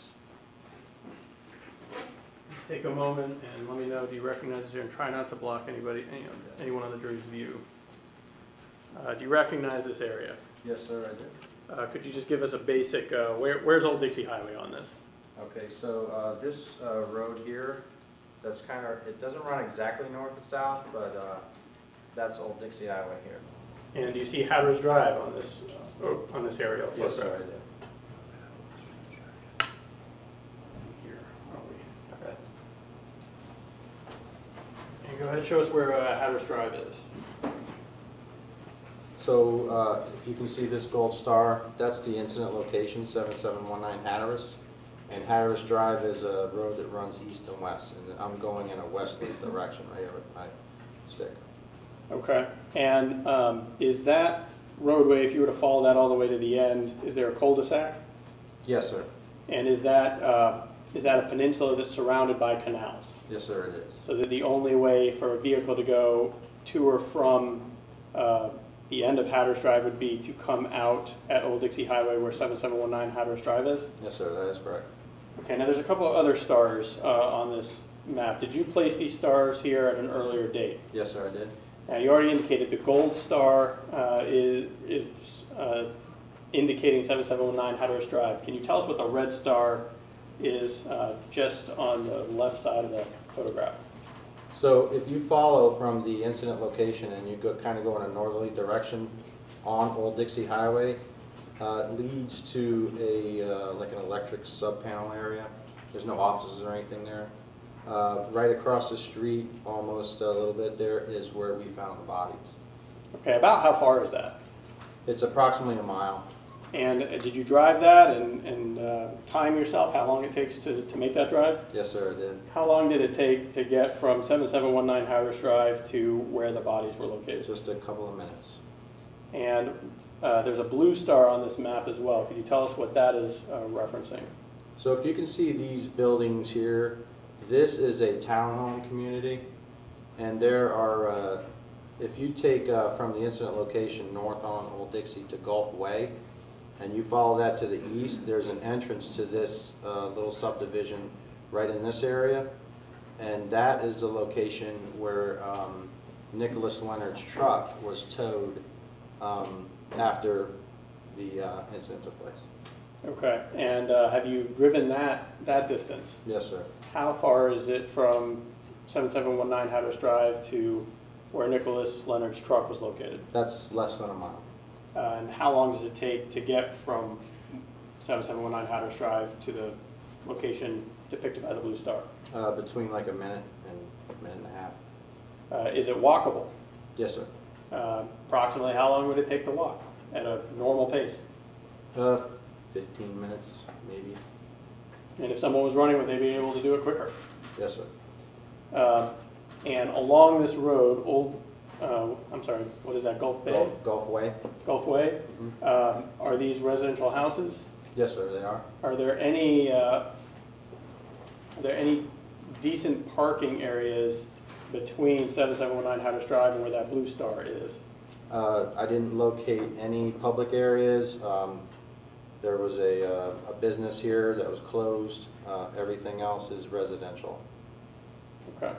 Now, using this, uh, this photograph, when law enforcement um, had responded on September 4th of 2014, and once the bodies were discovered and, and you guys were starting to realize what kind of investigation this was, uh, can you describe for the jury what law enforcement did with regards to these roadways? What kind of presence they had? Um, We always establish an inner uh, crime scene. Um, We also establish an outer crime scene to try to keep all, you know, just sightseers from coming in, try to keep everybody back that's not a part of the investigation. And so we had uh, this road, this area up here at this intersection kind of um, blocked off, and then down a little bit further, we had that area down here blocked off as well. Now, people going to and from Hatteras Drive, were, were deputies making contact with them to see where they were going and, and why they were there? Yes, sir. Um, And was part of that to see if any of them were any of your missing people that you were looking for? Yes. Now, um, do you know what this road right here is? This road right here is uh, Mako Drive. This is, again, this is Hatteras. You have Mako Drive, and then uh, down here is Yachtsman. Now, so Yachtsman, if somebody was traveling down Yachtsman and goes south on Old Dixie Highway, would they have been past the, the area that there was heavy law enforcement? Yes.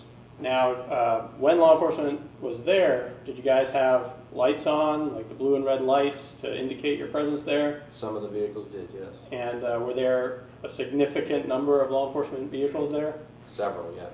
And uh, in addition to your standard patrol cars, what other types of vehicles did you guys have there? Uh, We had a command operation vehicle that was parked right in the front. There were citizen service unit vehicles that are trucks, and they're fully marked sheriff's office citizen service units. Uh, Unmarked detective units and canine units and different other kind of vehicles like that. So uh, would it have been difficult to miss that you guys were there at that intersection? Not likely.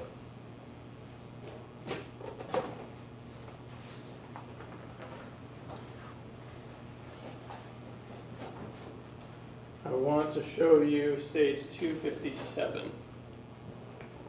Have you seen this before? Yes, sir.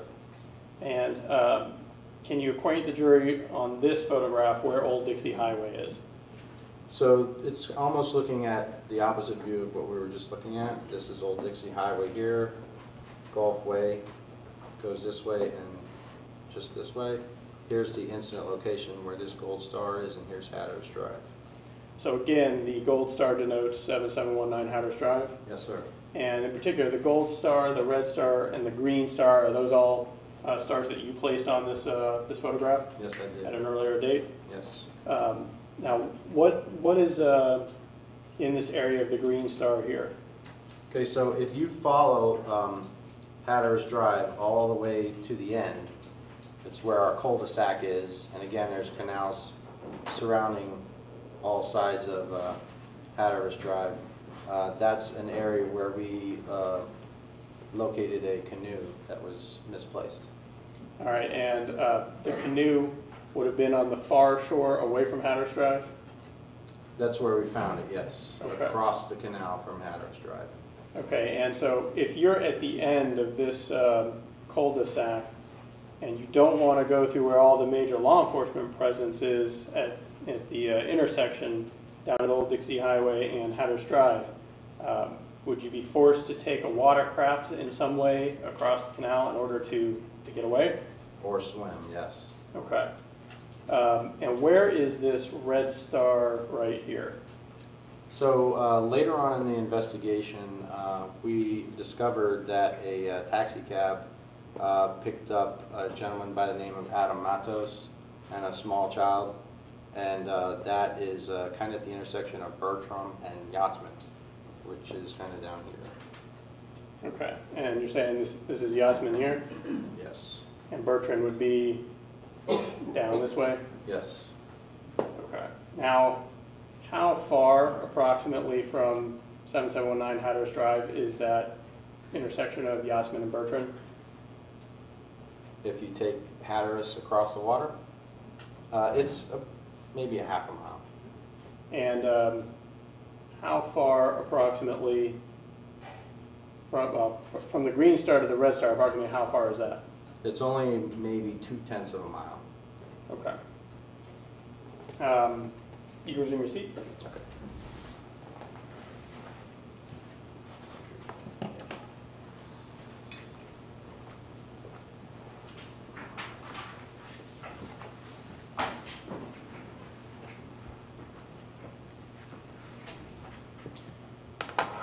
Um, And you're aware that there were some, some weapons found in the canal behind the residence? Yes, sir, I am aware. So in terms of weapons being dumped, bodies being dumped, and truck being dumped, was that all within approximately a mile of 7719 Hatteras Drive? Yes, sir.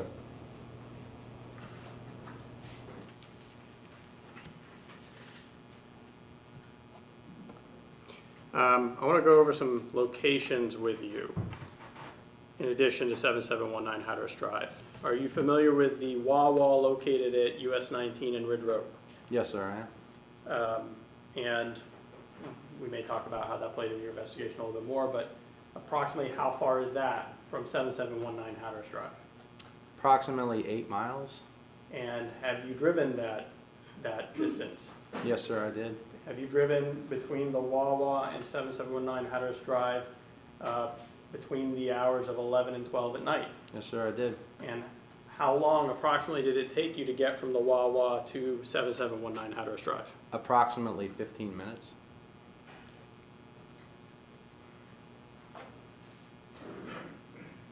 Uh, Do you know where the Fisherman Shack is located? Yes, sir. Uh, Where is that located in relation to 7719 Hatteras Drive? It's, uh, it has an address of Old Dixie Highway, so it's uh, approximately mile south of that intersection. Maybe a Okay. little bit more. And approximately how long does it take to get from 7719 Hatteras Drive to the Fisherman Shack? Maybe five minutes. Is it a distance that is walkable or bikeable, if Yes, someone sir. was so inclined? Now, I want to talk to you some about um, the crime scene. Um, How many cell phones, or, uh, and you've reviewed all the forensic documents and forensic reports and the items that were collected in evidence? Yes, sir. And did the forensic technicians collect numerous items in this case to Yes, sir, preserve they- them? They did. Um, And how many phones, cell phones total were found within the residence? Uh, three cell phones. Oh, within the residence, two, and then we found another one in the canal. Okay. Now, um, two of those cell phones, I think we have a picture of them in the kitchen. And we've also discussed with um, Detective Bossone the phone numbers assigned to those. Uh, based on the phone numbers and your information, do you believe those to be Margaret and Greg's phones? Yes, sir.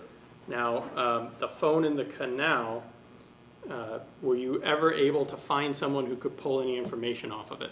No, sir, we were not. And to be clear, and I'm going to hold up page 221. We're talking about, uh,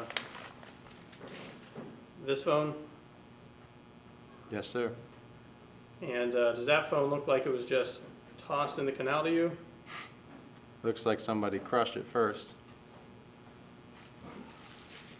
Now, you talked about two phones in the house and this phone. Uh, In terms of the, the people who were killed, Margaret Brown, Greg Brown, Megan, Megan Brown, and uh, Nicholas Leonard, how many phones did you, were you looking for? We were looking for four. Did you ever find a fourth phone? No, sir. And if that phone is either Megan's or Nick's, then the other person's phone is missing? Yes, sir. Okay.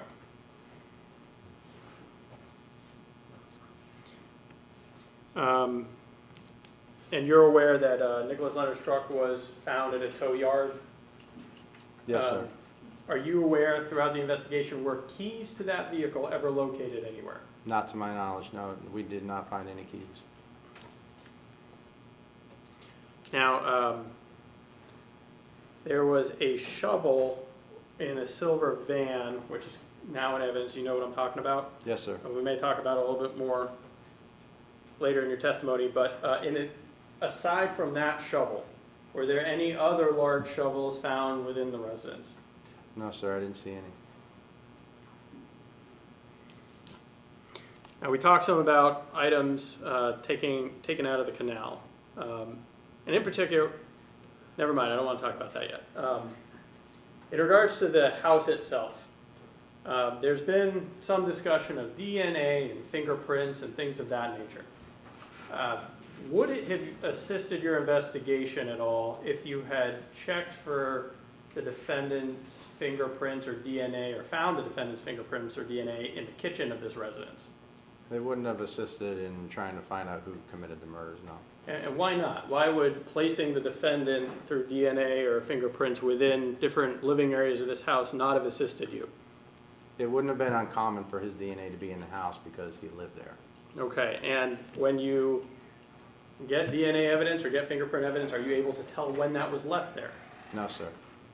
Uh, even in the bedroom, the southeast bedroom where we, uh, other testimonies indicated Nicholas Leonard was killed, if you'd have found his fingerprint or his DNA in that bedroom, would that have been unusual? No, sir. Um, even on the guns that were located in the canal that uh, have been identified as Greg Brown's guns, uh, if you had found the defendant's fingerprints on those or his DNA on those, uh, would that have been something that would have aided you in your investigation at all? No, sir. And why not? Because uh, we were aware that he lived there. He may have handled them with permission of Greg, and he may have assisted in moving them into the residence when they got there. And again, if you found his fingerprints or his DNA, is that, would that have told you when he was handling any of that stuff or coming into contact with any of these places? No, sir. Um, Now, that said, were there items, several items that you did attempt to get DNA and fingerprints from? Yes, sir. Uh, For instance, the Keltec firearm found in the canal and the hammer found in the canal. Uh, Did you send those off in attempt to get stuff from those? Yes, we Did did. you have much hope for it? Not much hope. And why not? I've had experience with items being recovered from salt water, and we don't usually get anything, but I tried anyway. Okay. And um, does that mean that nobody ever touched that hammer or nobody ever touched that firearm and it just existed in that canal? No. Um, And other items, um, with regard to the bodies, there were some ropes that were around the bodies, there were zip ties, there was a plastic bag on Margaret's head.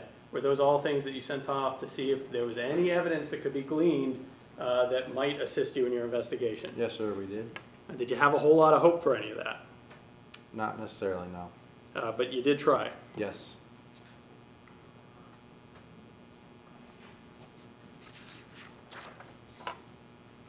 Now, um, I want to go over some of the different evidence in the case with you. Did you find, uh, s- were were spent bullets found at the, the very, the two crime scenes in this case? Yes, sir. H- How many are you aware of that were found total? Four. And um, did you find any shell casings?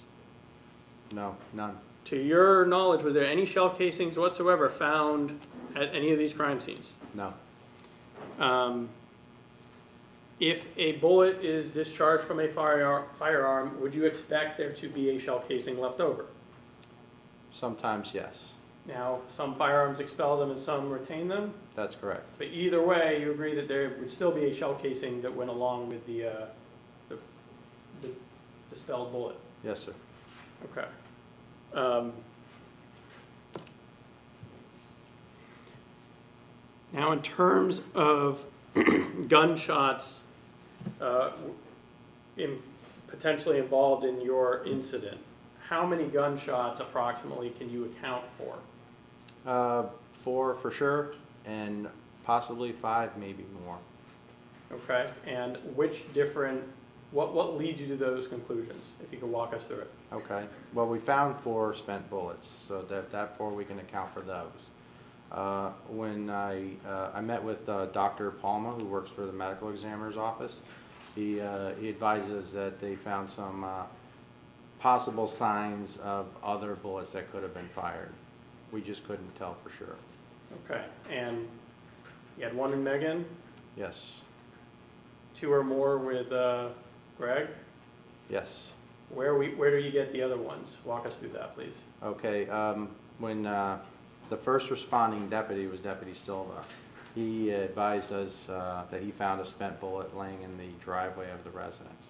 All right, Uh, and so- did, did you have any holes that coordinated potentially with that bullet? Yes, we did. And where was that? That was in the uh, southeast bedroom where we think is where, where Megan's bedroom was. Um, there was a hole in the wall that led right out to the uh, front of the residence. Okay, and so that, that gets us to four. Where's the fifth? The fifth was found in a garbage bag that was located in the west garage, along with other items in a garbage bag. Were there any holes within the residence that potentially coordinated to that one? We didn't find any holes uh, downstairs. Um, There weren't no holes in the garbage bag itself, so it was uh, placed in there with the other items. It wasn't shot and then landed in the garbage bag, in other words. Were there, were there any holes in the master bedroom that may have coordinated that shot before it was removed? Yes, sir, we believe there was, yes. And where was that hole? Um, When you enter the master bedroom from the dining room area, which is where the door is, when you turn to the right, there's a corner of a wall. And approximately five feet up or so, there, it there was a hole that appeared to be like a bullet hole. I've seen those before, uh, right in the corner. Okay. Um, In terms of items uh, found or not found, um, you're aware that Margaret's body was found with no shoes? Yes. Uh, Did you ever find any shoes that um, coordinated to what you saw her wearing on this- the Wa- the Wawa surveillance video? No, sir, we did not. Nothing consistent with that? No, sir. Um, You're aware that there were some, uh, what appeared to be shoe prints in the east garage that looked like they were in blood. Did you, do you remember seeing those? Yes, sir, I do. Did you find any shoes or flip-flops or footwear in the residence that appeared to match those prints? No, sir, we did not.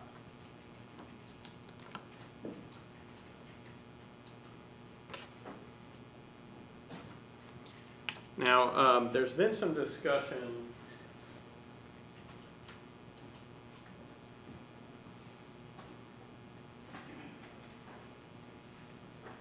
I want to talk to you about uh, the little boy's room.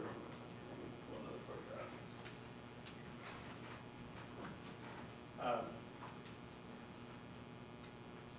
In terms of Tristan, you're aware that some people saw him on certain dates, but there are a lot of indications that Tristan is not present when we know where the defendant is. Yes. Is that fair? Yes, sir. Um, Did you notice anything relevant in Kristen's room that might assist in explaining where Tristan could have been? Uh, yes, we did. Okay, and I'm looking for the photographs.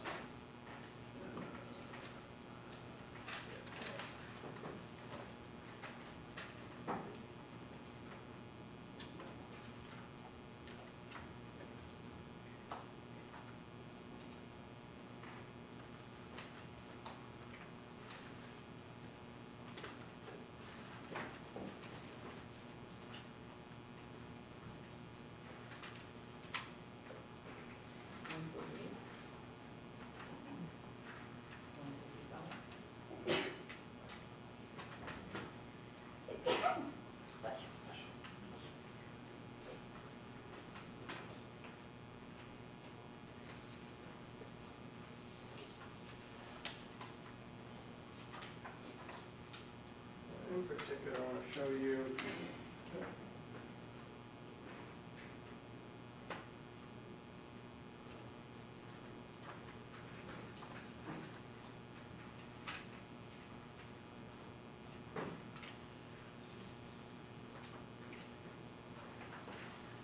I want to show you a photograph. um, Stage three. It was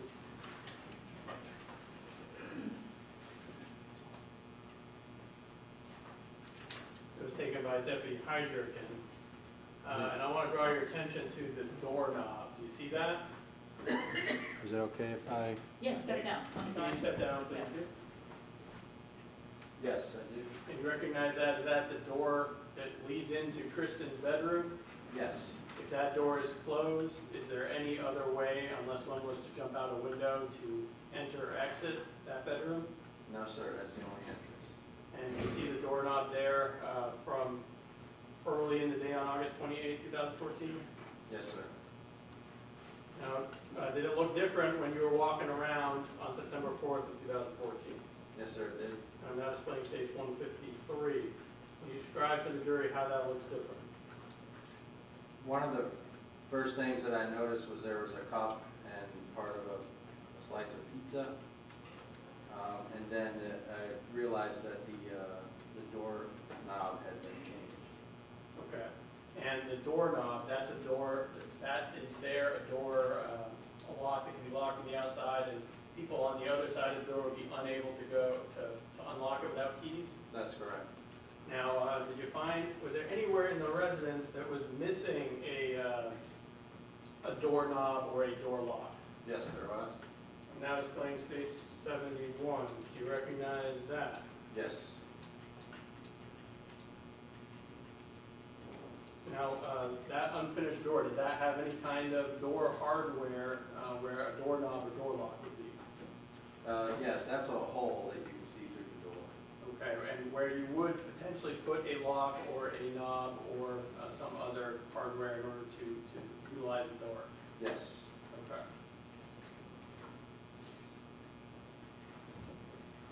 And you may resume your seat. Uh, Detective Cougill, um, based on your experience and general knowledge, um, to change a doorknob, does that generally require either screws or screw guns? Yes, screwdriver or screw gun, something like that.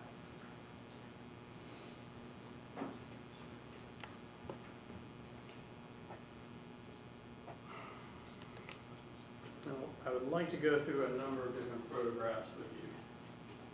Need to step down, um, please do. Uh, As part of your investigation, did you receive Craigslist records and have an opportunity to review those? Yes, I did.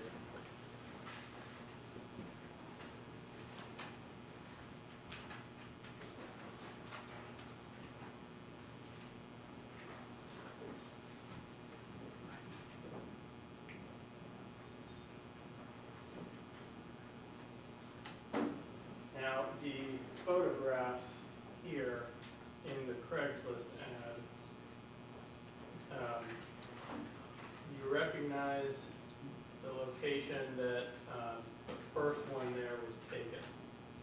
Yes. And can you describe how for the jury and where it was taken? Okay, so this would be upstairs. When you come up the stairwell, you're looking directly into like a dining room area. There were no dining room table. Um, To the right is the kitchen, to the left is the living room. So as you're looking straight ahead, there was an area kind of sectioned off with a makeshift border to keep the small dogs inside. So um, if you see down in the bottom of this picture, that's the border right here. It kind of looks like a a narrow uh, closet door that had been taken apart and they were laying on the ground. Black uh, tape holding together, including all the newspaper and all that. Now, this photograph right next to it, is that flooring and that uh, wall color consistent with the residence of 7719 Hatteras Drive Yes, sir. in the upstairs area?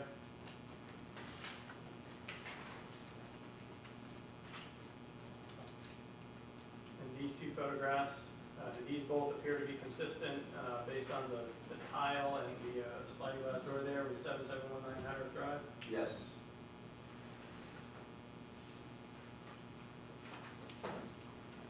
Now, um, this ad right here, created on August 29th of 2014, uh, do you see where I'm reading up there? You Yes, sir. me that it Yes. says that? Created on uh, August 29th, 2014. Yes. Um, What is this for?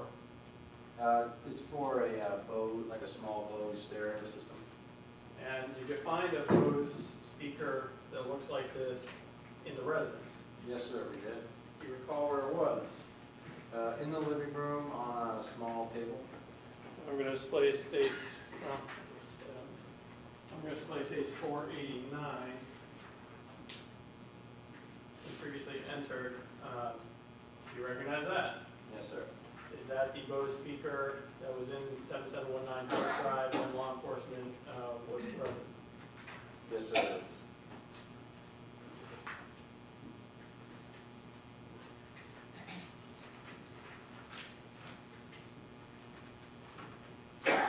This ad in particular, we referenced it during previous testimony, but um, you agree with me that it says record created Friday, August 29, 2014?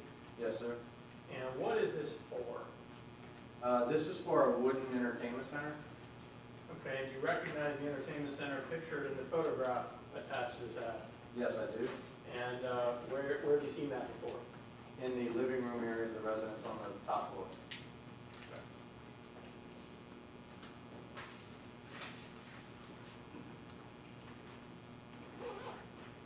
Uh, This ad right here, and you agree with me that the record created date again says uh, August 29, 2014?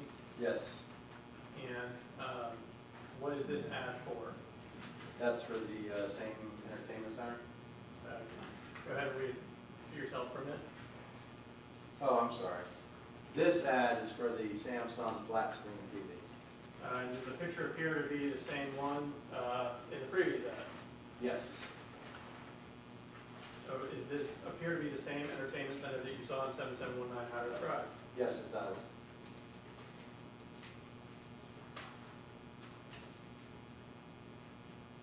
And this ad, would you agree with me that this was created on August 29th of 2014? Yes, And um, those photographs, do you recognize where those appear to have been taken? Yes, uh, they appear to be taken upstairs as well because of the color of the tiling, same tile work. Now, the photograph on the left, uh, is that a photograph that was actually recovered from uh, the phone that was found in Mr. Matos' hotel room? Yes, it was.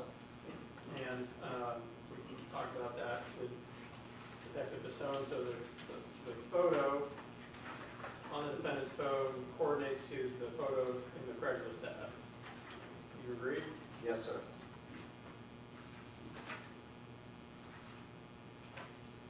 And there are additional photographs um, as part of that record of that particular ad. Do you recognize those locations? Yes, sir, I do. And where do those locations appear to be? Uh, These appear to be upstairs, um, in kind of like the dining room, kitchen area. You can see the windows match what I observed that day when I arrived, and the- the color and the tile, and some of the furniture. Um, They're all generally in the same area. Okay, and uh, in particular, I want to talk about this photograph in the upper right. Uh, Was that a full photograph that was also recovered from um, Mr. Matos' phone? Yes, sir, it was.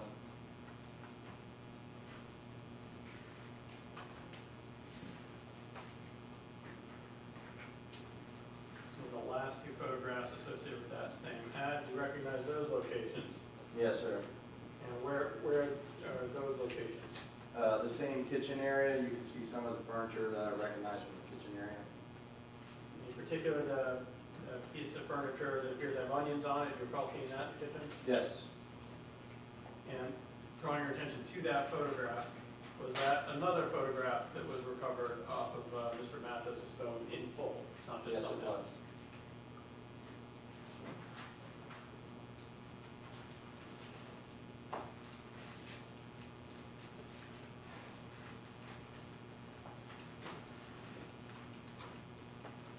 I'm going to skip a couple of ads for Donna on that, actually, no, I won't. Um, Now, this ad, would you agree with me that it has a record created date of September 1st, 2014? Yes, And there are photographs associated with this advertisement as well? yes, Going on to the second page, uh, are some of these photographs the same photographs as in the previous? ad? I'm gonna zoom in. yes, sir. And um, in particular, this last ad, these last two photographs, um, do you see the one on the left that appears to be a person holding a dog upside down? Yes, sir. Is that a photograph that you also recovered in full, not just a thumbnail, from Mr. Matos's phone? Yes, it is. Um, I want to draw your attention also to the, to that arm and that um, article of clothing. Skipping ahead a little bit, uh, did you recover, have you reviewed video surveillance from a Walmart that was collected by another detective in this case? Yes, I did. And in particular, does that um, clothing item appear to be consistent with the shirt that the defendant is wearing uh, in that surveillance video? Yes, sir.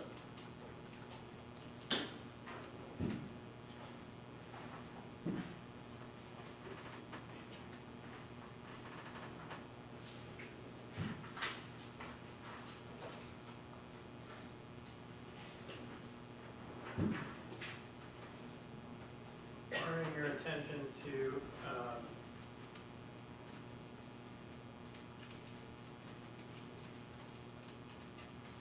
the next corrected list, Adam, you agree with me that the record created date here is Tuesday, September 2nd of 2014? Yes.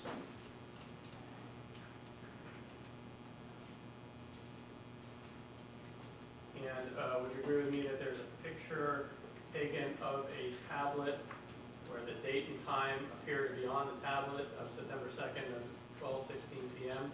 Yes, sir. Now, I want to show you what has already been entered into evidence. That's state 620.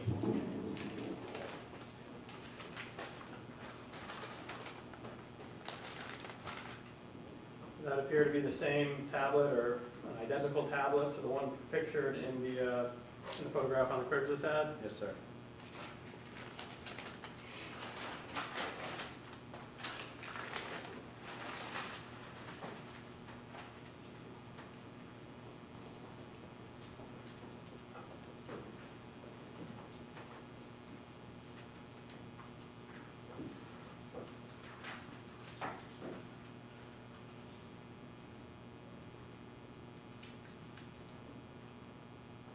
Um, Turning your attention to the next ad, um, you agree with me that created date here is September 2nd of 2014?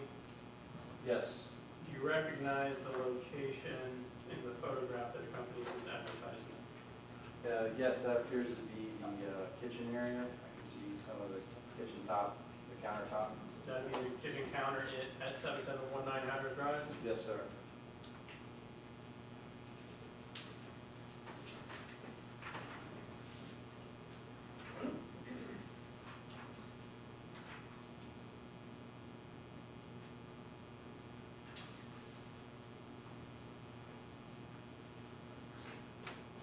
Showing you a a record, uh, another uh, page of that same Craigslist record that it states uh, 565. Uh, Would you agree with me that the record created date there is August 29th, 2014? Yes. Uh, And what, what, what is this advertising? Uh, Samsung tablet? Uh, Does it appear to be the same one that we looked at in the earlier photograph and the item of evidence that we just, uh, we just displayed to the jury? Yes, sir.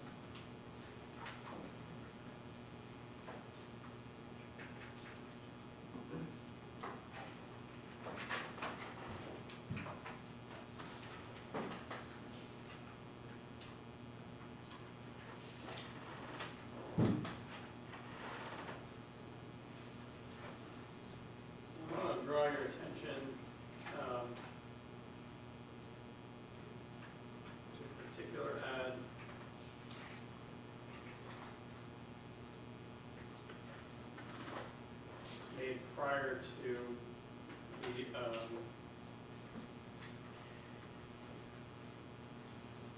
prior to your your fence days. Um, this ad in particular. Uh, you, you agree with me that the poster email is uh, jakevns0 at gmail.com? Yes, sir. That the poster IP is 68.200.111.86? Yes. Uh, would you agree with me that this record was created on August first of two thousand fourteen? Yes, sir. Um, And would you agree that this is uh, advertising locksmith services? Yes. And can you read the, uh, the body of the post there? Uh, locked out of your house. I only charge fifty dollars. Call Adam. And then it lists his phone number, four eight four nine five one two six seven. Now, is that a phone number that uh, you, you see multiple places within your investigation? Yes. Now, the, um, the fifty dollars, uh, is it written correctly? Uh, no, it's not. And what is kind of unique about the way that that is written? The dollar sign is behind the zero. Okay.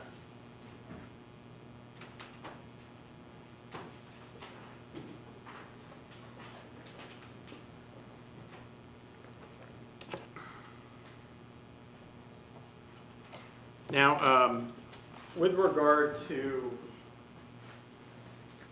finding these Craigslist ads and these items and an indication that things were being sold, uh, did you also check pawn history to see if anyone named Adam Matos had pawned anything in the area? Yes, I did. And were you able to find any records of any pawn history? No. Now, I want to walk through with you um, through some particular credit cards and records, referencing those credit cards.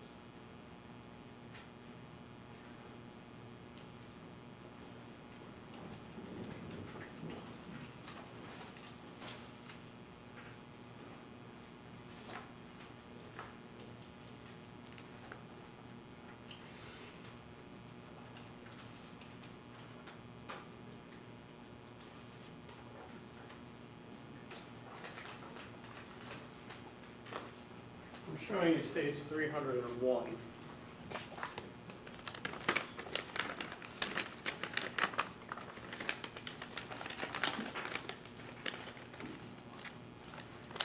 I don't know if I would touch that.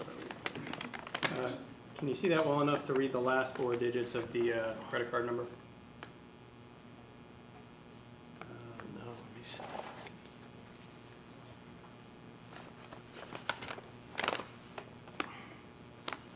I can't check. Oh, there it goes.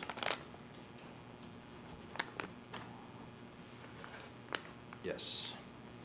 And what are the last uh, four digits on that credit card number, or debit card? Nine six one six. And whose name is it in?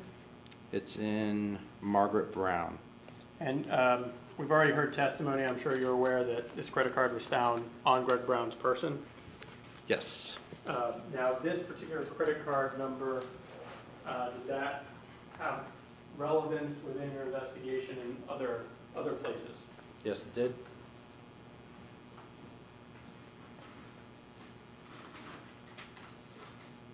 And in particular, I want to draw your attention to stage 14. Uh, Have you seen this before? Yes, sir. And uh, you're aware that this is a surveillance still from uh, Napa? Yes. Auto Parts? That's correct. Uh, What, why did, was this relevant to your investigation? Okay, well, first of all, it appears to be Gregory Brown. um, And he uh, used that particular debit card to make a purchase. Uh, He purchased a spark plug and a spark plug gauge, which is, looks like a coin, very thin, uh, silver item. And so, um, and also in particular, about this photograph, he's wearing what appears to be the same clothes that we found him uh, that day in the pile of bodies murdered, with the white t-shirt and um, plaid shorts. Uh, This photograph was taken on August 28th.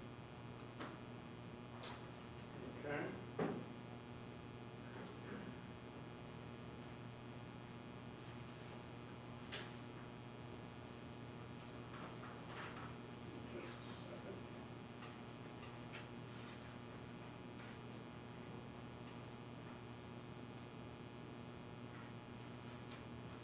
And I forgot one thing, sir, can I add?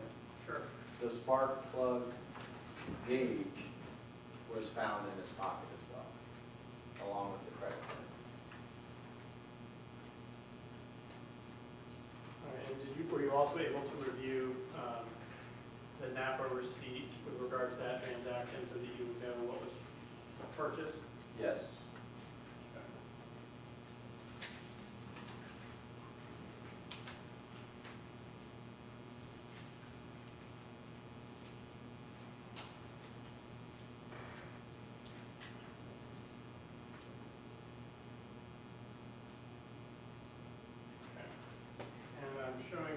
What's labeled page four of six, and I believe it's of multiple documents on states six thirty-five.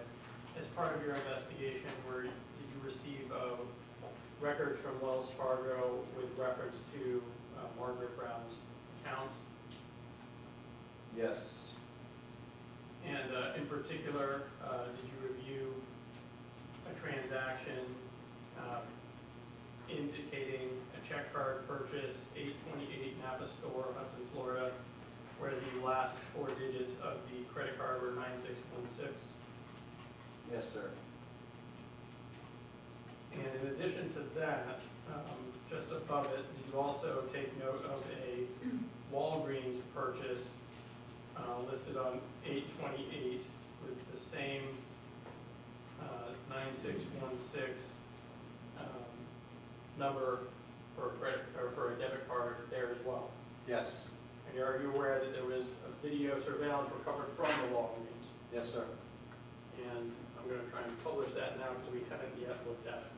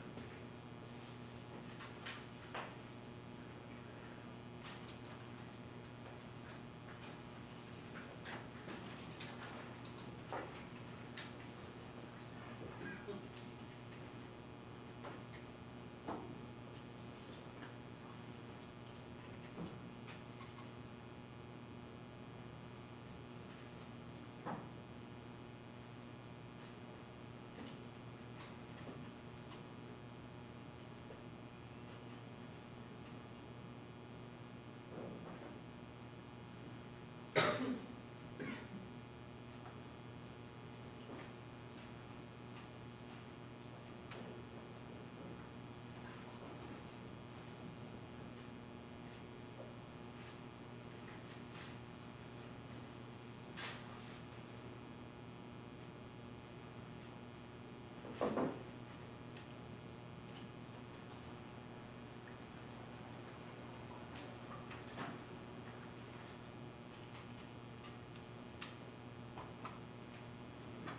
may not go in chronological order, but I'll do my best. Um,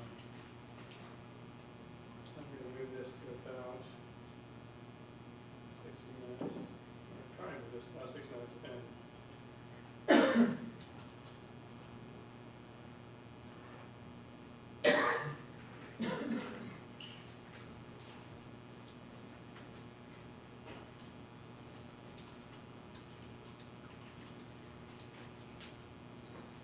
Okay.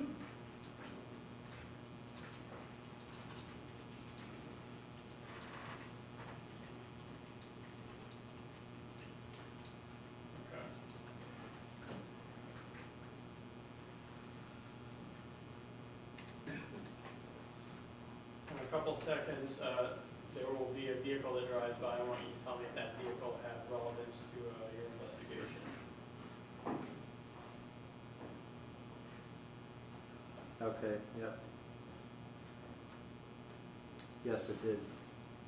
Uh, And was that a vehicle that you were interested in keeping track of throughout the, uh, the the date range, August 28th to September 4th? Yes, sir. In a uh, there's an individual who's going to enter. I want you to tell me if uh, he had relevance to your investigation.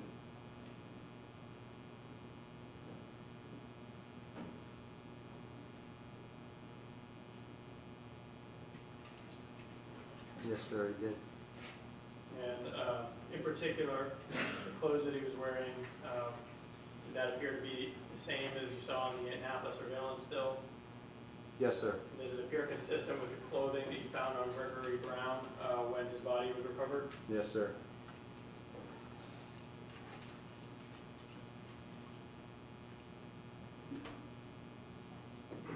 Sorry, all the, all the parts, I'm gonna fast forward this.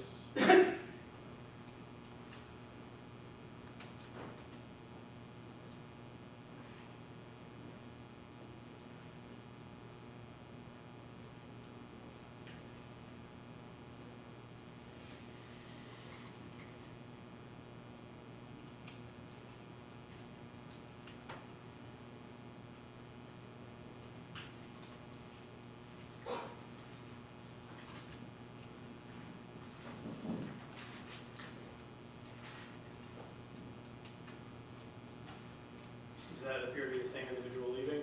Yes, sir. A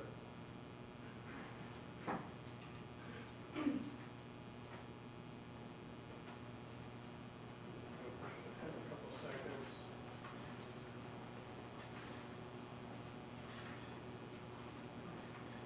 Maybe not.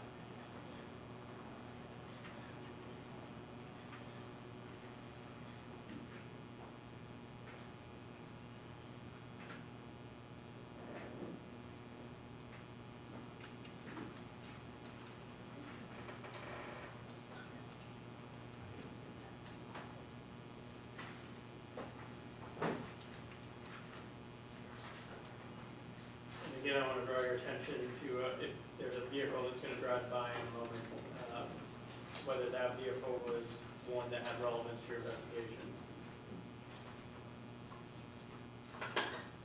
Yes, sir, that vehicle there.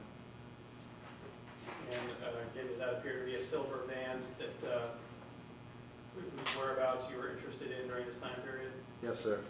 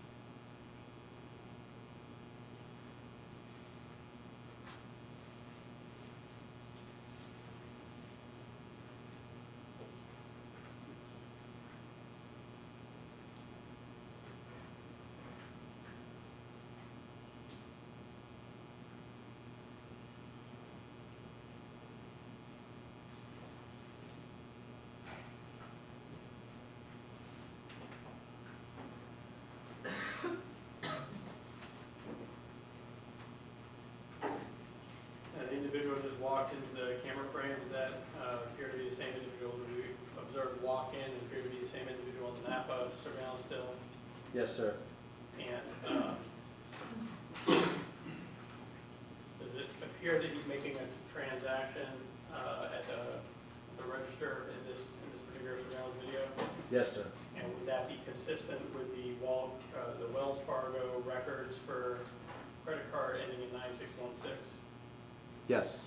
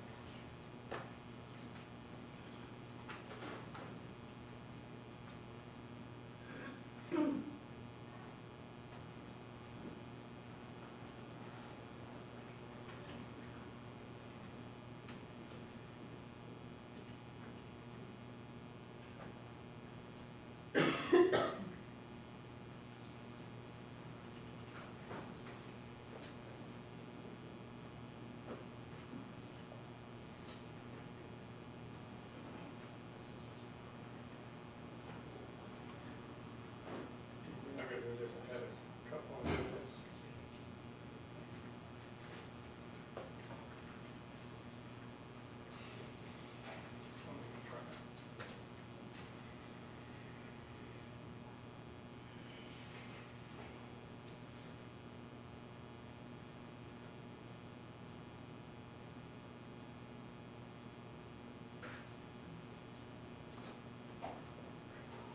Is this another uh, angle that parking lot of that uh, same Walgreens that we could see part of through the doorway in the last uh, surveillance Yes, sir. uh, shot.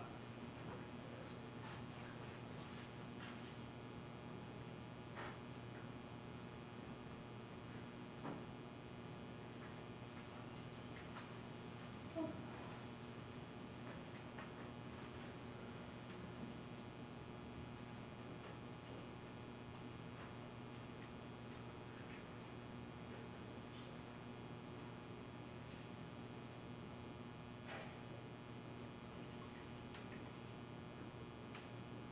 Is that the person you're interested in, getting out of the vehicle that you're interested in? Yes, sir, it is.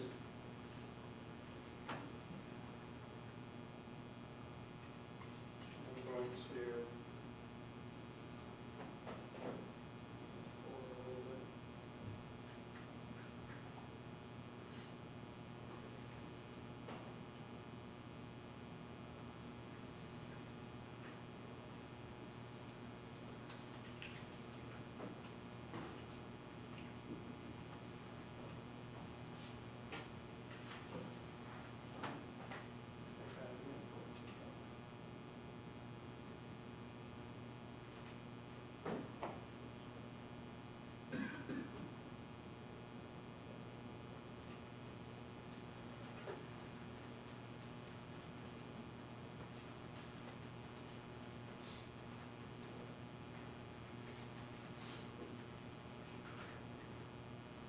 And again, is that the person that you were interested in returning the vehicle you were interested in, and that vehicle exiting the parking lot?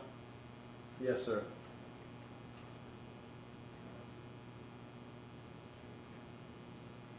Now, that vehicle in particular, um, because Deputy Hydrick had taken photographs at 7719 Hatteras Drive the morning of August 28, 2014, do you know where that vehicle had been parked that?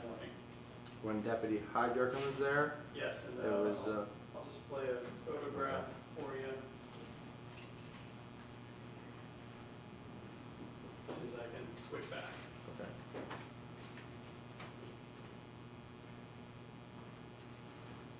And y- you did get to review uh, the photographs taken by Deputy Hydricken? yes, sir, I did. And uh, was this one of the ones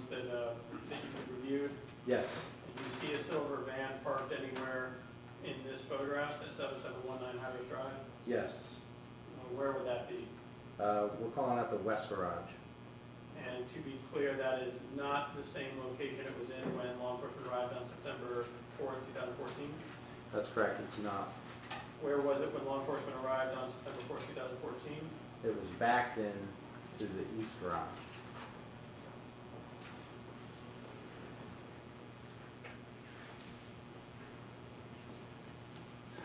Um, You still have that item of evidence? I leave that up there. No. Now, I want to talk to you about another credit card. um, And some other uh, surveillance.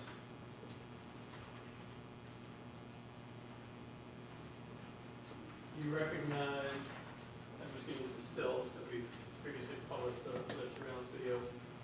Um, Displaying state 17, you recognize this surveillance still? Yes. Um, Would you agree with me that the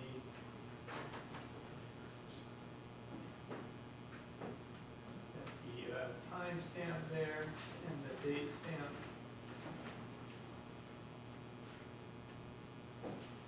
appear to be 4:52 PM on August 28th of 2014? Yes. And can you tell us, uh, did this particular surveillance still, or the surveillance video that accompanies it, have any relevance to your investigation? Yes, it did. Did uh, this transaction at the Wawa at Region 19 uh, coordinate to a transaction on the, uh, the records received from Wells Fargo? Yes.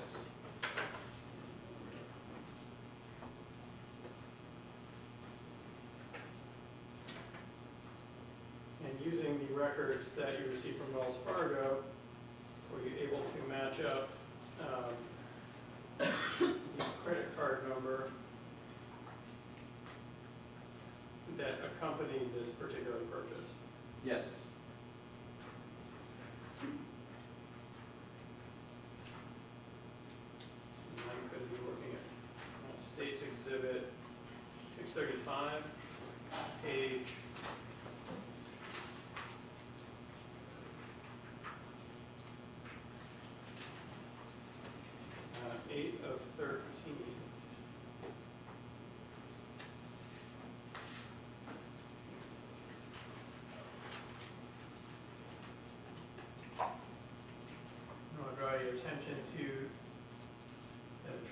Transaction, um, starting with check card purchase, eight twenty-eight Wawa fifty-one oh eight, Port Florida.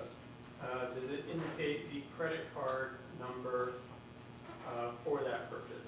Yes, it does. And what are the last four digits of that credit card number? Seven, seven, eight, five. Now, was there a further purchase uh, with this same credit card number uh, that was of interest to your investigation? Yes, sir, there was. And you see it there on those records? Yes, I do. Uh, Could you please point it out and read it for us? Um, it's this area right here. Check card purchase on eight twenty-nine. That's at the Walmart in Hudson, Florida. And it's got the same, uh, last four, seven, seven, eight, five. Okay, and are you aware, or did you recover uh, any surveillance video or surveillance stills coordinating to a Walmart purchase on eight twenty-nine? Yes, we did. And I'm showing you states 21. We've already seen the full surveillance videos for these different screenshots. Uh, I'm showing you states 20. Um, Are those um, surveillance stills from the surveillance video that was of interest to you with regard to that Walmart purchase? Yes. And I'm also going to display state 602, um, the Walmart receipt. And does that also indicate the last four digits of a credit card number? Yes. And um, can you tell what was purchased?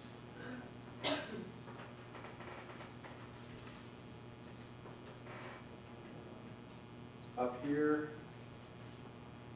well, it's got some, it's got several, it's got several items on here. I know that only one was purchased, but based on our investigation. This uh, item here, the shovel, that was purchased. And uh, the uh, PlayStation, it's like PlayStation 4, was attempted and then voided because it wouldn't work. So uh, the only thing purchased at this time was the shovel. Okay, and uh, that particular credit card, um, are you aware that that credit card was discovered in a trash bag in a Camel Crush cigarette pack in the west garage of 7719 Hatteras Drive? Yes, sir. And I'm showing you what's been already entered into evidence, it states 399. Would you agree with me that one of those credit cards uh, is the same credit card number um, on the Wawa and Walmart transactions we were just looking at? Yes, sir, it is. I want to draw your attention to another credit card number. Um, Are you aware, and I'm sorry, this one ending in 7785 that we were just talking about, can you tell me whose name is associated with that card? Margaret Brown. I want to draw your attention to a, uh, a card ending in 2113. Uh, Did you trace some history with regard to that particular debit card? Yes, sir, we did. And did you review these same Wells Fargo records that we've, uh, we've been looking at with regard to that credit card number? Yes. In particular, I want to draw your attention to page three of five, that's part of that record. Uh, You see those two transactions right there? Yes. Can you read them uh, both for, for us? Uh, The one on top is check card purchase, uh, nine one at Winn-Dixie in Hudson, Florida, with the last four of two one one three. And the second purchase is a check card purchase on nine two at, uh, it's Papa John's, which is Papa John's Pizza. And um, that also has the same last four uh, debit card number, two one one three.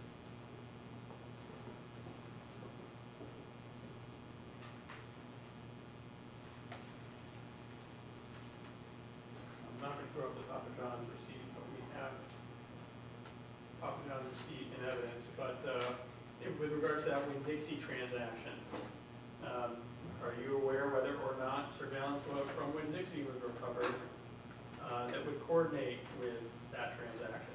Yes, sir. And I'm displaying states uh, 23. um, States 606 and states 607. Have you been able to review these previously? Yes, sir. And would you agree that uh, the items that appear to be purchased, uh, in addition to, in the surveillance video, what appears to be a cigarette pack, uh, are Yuengling beer and a milk jug? Yes, sir, right here. Okay. Now, I want to draw your attention to the, uh, the clothing that the person is wearing that appears to be making those purchases. Uh, You recognize the writing on that particular shirt. Yes, sir. And there again, on the shirt the person is wearing, um, there, do you recognize that writing? Does it appear to be familiar to you? Yes, sir. I also want to show you states 24. Uh, You seen these before? Yes, sir. Uh, And you recognize the writing on the shirt that the individual is wearing in these photographs? Yes, sir, I do. Does it appear to be the same shirt? Yes. Are you aware whether or not a shirt that has that writing on it was recovered? Yes, I am aware. We did.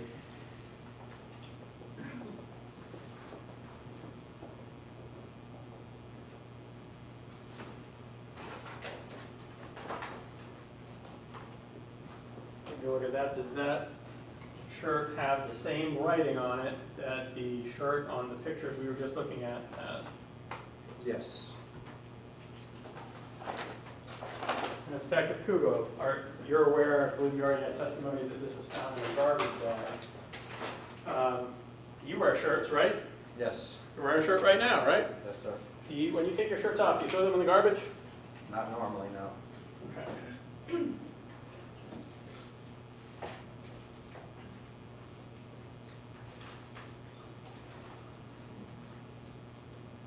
Um, You can resume your seat. Now, we were just talking about uh, that credit card ending in 2113. Again, I'm going to state, show you states 399. And you agree with me, states 399, there's actually three different cards in here. Yes.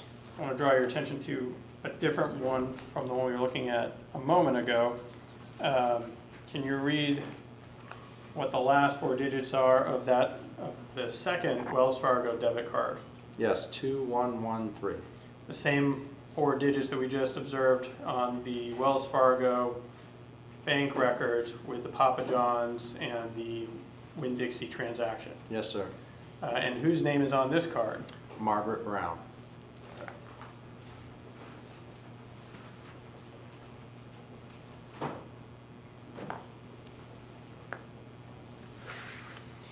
Um, Now, we mentioned uh, a couple times Camel Crush cigarettes.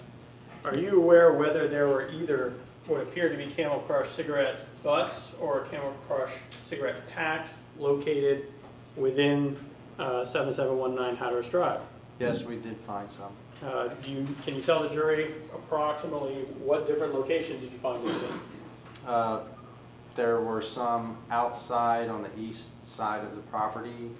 I, there was a cigarette butt in the east garage, kind of behind the silver van, uh, some upstairs, and um, some near the front door. And uh, the east side of the residence, is that the same side of the residence that the, uh, the loosely, the the loose dirt was? Yes. Um, That you had forensic technician Michael Coates dig a hole to see if there was anything to be found in there? Yes, sir. Okay. Um,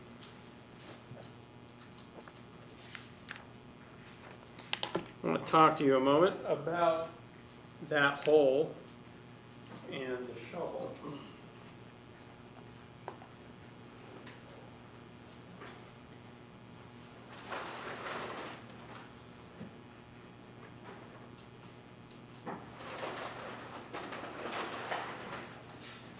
Um, And you're aware that there was a shovel in the silver van when you guys arrived?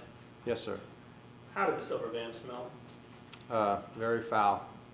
Uh, Decomposition smell. And was, aside from the shovel, were there a whole bunch of maggots and uh, stains in that, that same area? Yes. Uh, And are you, I assume you're aware that there was a uh, shovel sticker label found in the the loosely tilled dirt? Yes. Now, if you could, I'm showing you states 262, and you may want to use gloves, and states 503. Talked about this a little bit before, but could you, could you open those up and display for the jury, and if you could step down, whether or not that sticker fits with the remnants of the sticker on the shovel that was found in the van? Okay. And actually walk it.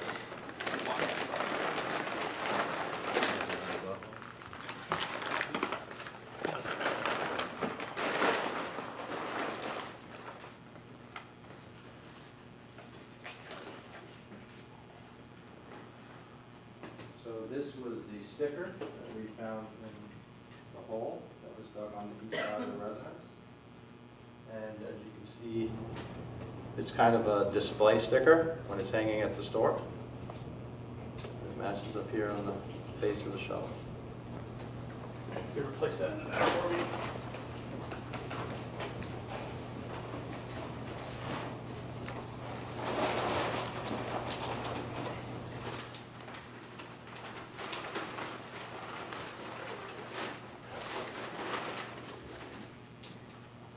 In particular, we're going to redisplay.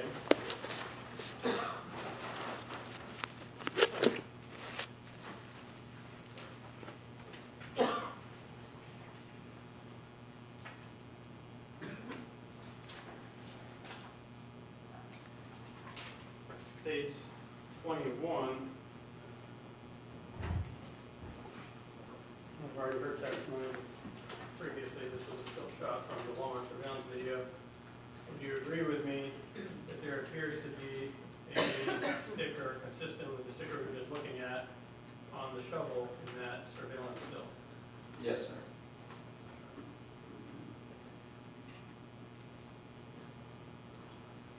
Uh, You may resume your seat, Detective. Um, In regards to holes, now, have you ever lived up north in the Pennsylvania area? Uh, I Or lived been in up Vir- that way? I've lived in Virginia, I have family in Pennsylvania, been there many times. Okay, and obviously you live in Pasco County or thereabouts now Yes, and work there. Um, And you were out at the, at the area of Old Dixie Highway and the area of 7719 Hatteras Drive back on September 4th and the surrounding days or subsequent days. Um, Are you familiar with what happens when you try and dig a hole in that area of Old Dixie Highway that's more than a foot and a half, two feet deep? yes. Can you describe for the jury what happens? You're gonna run into lime rock. Very, very difficult to dig through. And uh, lime rock, is that something that if you want to really dig through, you generally need like drilling equipment or something? Typically, yes. Uh, That shovel that we just looked at, is that going to get you through lime rock uh, in any kind of reasonable amount of time? No. Uh, What about Pennsylvania? Can you dig holes in Pennsylvania that are six feet, 10 feet deep? Usually, yes. Uh, You have the same problem with lime rock that you're going to be stopped as soon as you get below the, the top layer of soil? Not that I'm aware of, sir.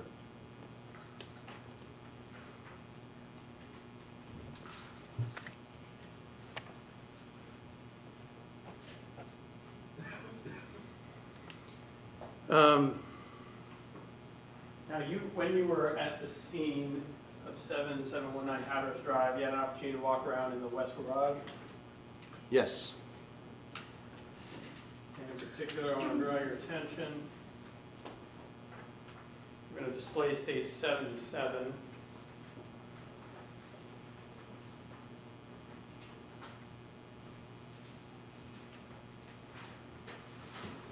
Uh, Do you see something between that vehicle and the exit that would be through the garage door, or the entrance through the garage door? Yes, sir.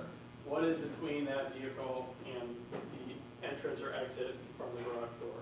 Uh, right in this area, there's a, appears to be a white mattress. Was that relevant to your investigation? Yes, sir. Was it relevant that that mattress was placed behind the vehicle? Yes, sir, it was. Uh, Did you have indication through your investigation uh, when that vehicle would have gotten to 7719 Hatteras Drive without going into the the details of what was said? Yes, sir. Um, And would that mattress have had to have been placed behind that vehicle after it arrived in the garage? Yes. And uh, was that mattress a particular um, item of interest to you? Yes, sir, it was. And uh, why was that? Uh, First of all, when we, when we discovered it, we noticed what appears to be blood on it.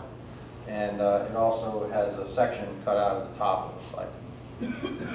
You're aware that there was a pillow top section that appeared to have been cut off a mattress found in, in the, uh, the garbage in that same garage?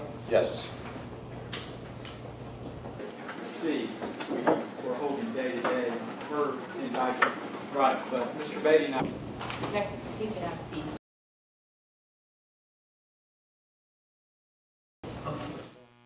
do that day to day. Right, okay, here, so. as-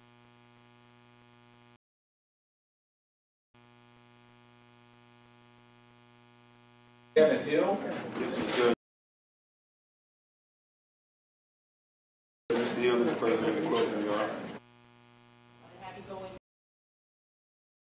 the jury room and freeze, I guess. Um, right. Two, one, six.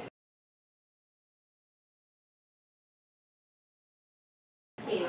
He's pleading guilty to count one. All right. If we need to Take a break. Detective. A daughter's boyfriend had Assaulted him. Uh, Good afternoon, folks. Aaron Keller here at the Law and Crime Network, along with. the defendant. And the defendant followed the victim home. The victim was hiding. in the Adam Matos case of the lead detective. He's one of the witnesses. Heard the lead detective say that there was a cop. There, In the matter of State versus Kevin Hill, indictment number one. That would that would be the logical case, especially because of the fact that I believe people did see. Tra-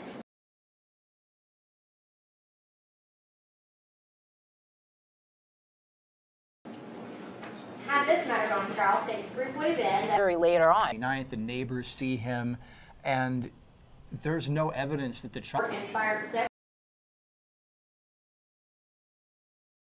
Shots in the victim's vehicle. Estimated repairs are around six thousand six hundred and eighty-nine dollars. On October thirteenth, two thousand six. What occurred? We know that the prosecution is trying to lay that, uh, that foundation for that particular piece of evidence that may be brought out later by Ryan McCann, if um, if he's allowed to infer that, and the jury may then again infer that from his testimony. But uh, I mean, this is something that is. Um, it's hard to consider that a father would leave their son or his son in a home for that long, especially since that, that he has a disability. Well, you know, normally yes, but look at the crimes that this defendant is accused of. Right. You've got four counts of first degree murder here related to that child's mother, Mhm. okay, the mother's parents who also knew with the child and lived with the child. Right. And and then you've got Nick Leonard, the new boyfriend. So you've got a case where you've got horrific crimes. Apparently, they happened. Uh, the murders, if we're to believe the state's timeline, must have happened in very short succession because we've got one witness saying that the gunshots rang out at about 11:45 at night, Right. and then you've got the neighbor saying that, uh, look.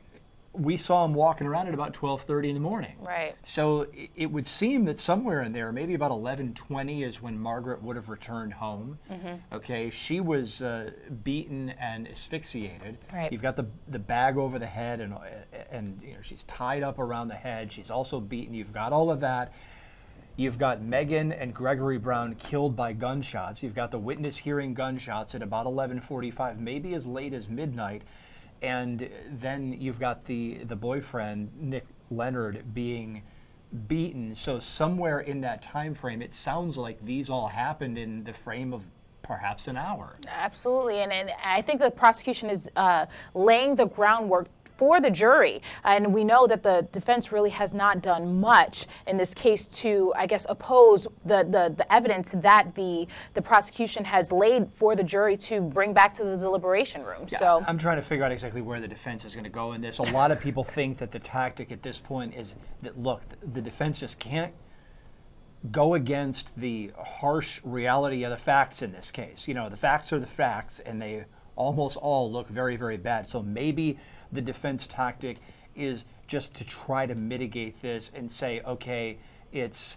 life in prison, not the death penalty. They may be looking at that long game and saying, look, we're not going to refute very much of the evidence because there isn't a lot that they can refute. Right, and, and I, I have to agree with you there, especially due to the fact that uh, there was no opening statement by the, the defense. So it seems to me at that point that they wanted to see what the prosecution was going to bring out during their case in chief to determine whether or not they wanted to put on a case, whether they believed that there would be anything that they could um, rebut during their, their, their case if they wanted to put on a case. So I, I think I, I have to agree with you on this. Due to the fact that there has been hardly any cross examination, especially yesterday, I believe there was like a cross examination of only one witness. And it's very brief. Very brief. Very brief. Um, and I know that previously we were discussing that there were some questions that could have been asked to some of the witnesses who actually testified, but it seemed as if the defense purposefully decided not to do that. So I have to agree with you here, and that may be the point. They may be trying to save his life at this point. That may be where they're going. Well, I want to replay some of the testimony we just heard from Chet Cougill, the lead detective in the case. This is where he talks about what's going on with the child, four year old Tristan, being, from what it seems, locked in his bedroom. Um, In terms of Tristan, you're aware that some people saw him on certain days, but there are a lot of indications that Tristan is not present when we know where the defendant is. Yes. Is that fair? Yes, sir. Um, Well, it just means you, see, in the past, a lot of judges would turn this down unless you.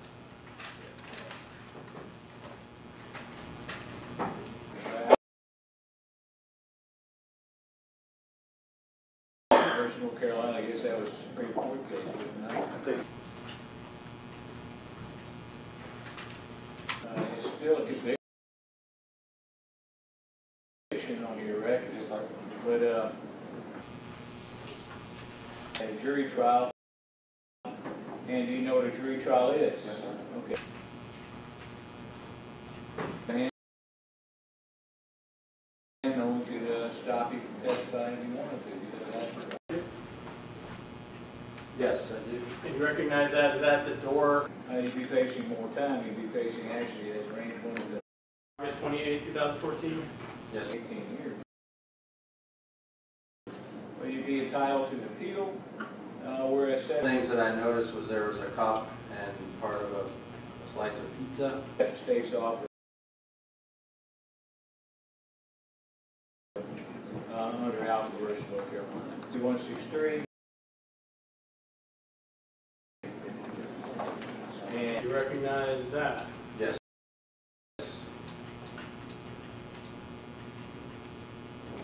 Now, one eight six three.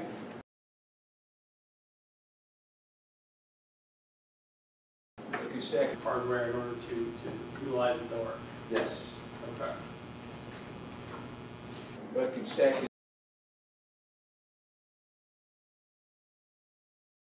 to the one one. Generally require either screws or or screw guns. Yes, screwdriver or screw gun, something like that. Three years is a range one offender. Consecutive. Need to step down. um, Please do. Uh, As part of your investigation. All right.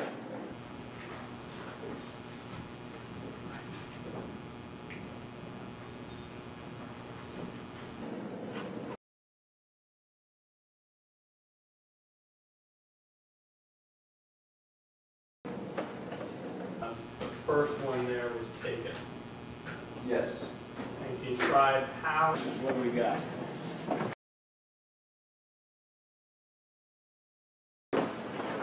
There's the kitchen to the left is the living room. So as you're looking straight ahead, there was an area kind of. Oh, I'm sorry, I'm, my. Understand with them, she was. Locked up in his room, pizza and a drink. Apparently, that's what he gets. Yeah, that's that's what you get when you're uh, a little boy and your father goes out.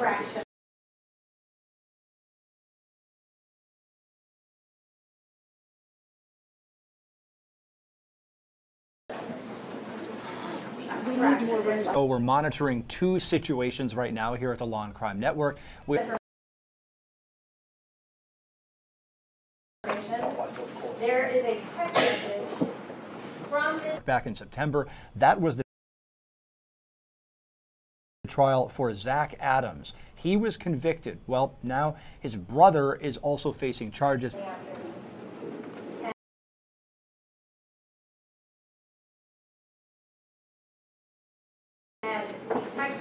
Certainly nowhere near as full of a house as we saw for the actual trial.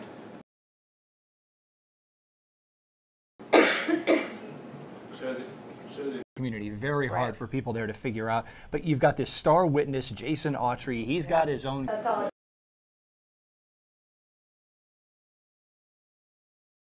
says. So that. involved in the crime, but yet they're testifying on behalf of the prosecution. exactly supports our theory of the defense. over and listen in in that courtroom it looks like the judge is back on the bench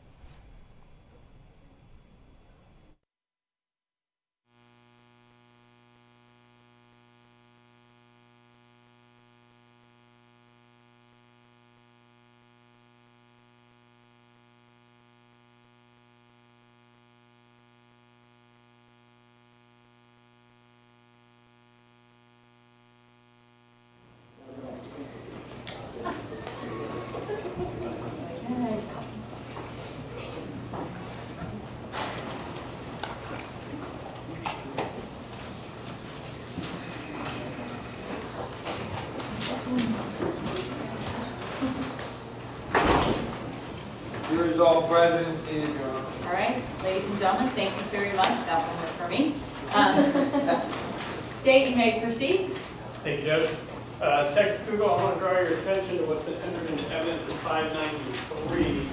Uh, Have you had an opportunity previously to review phone records for the phone number 484-951-2687? Yes, sir. And you would agree that that is the same phone number listed on all the regular stats that we, uh, we reviewed? Yes, already? sir.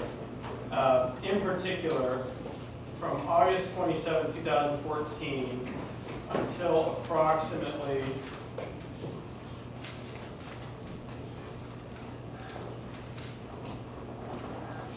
six in the morning of August 28, 2014, uh, did you have an opportunity to review and count the number Objection, keep it at the judge. Overruled. You may proceed. count the number of attempts that this phone number made to reach 727-207-6640, which I believe we previously heard testimony was Megan Brown's number. Yes, sir.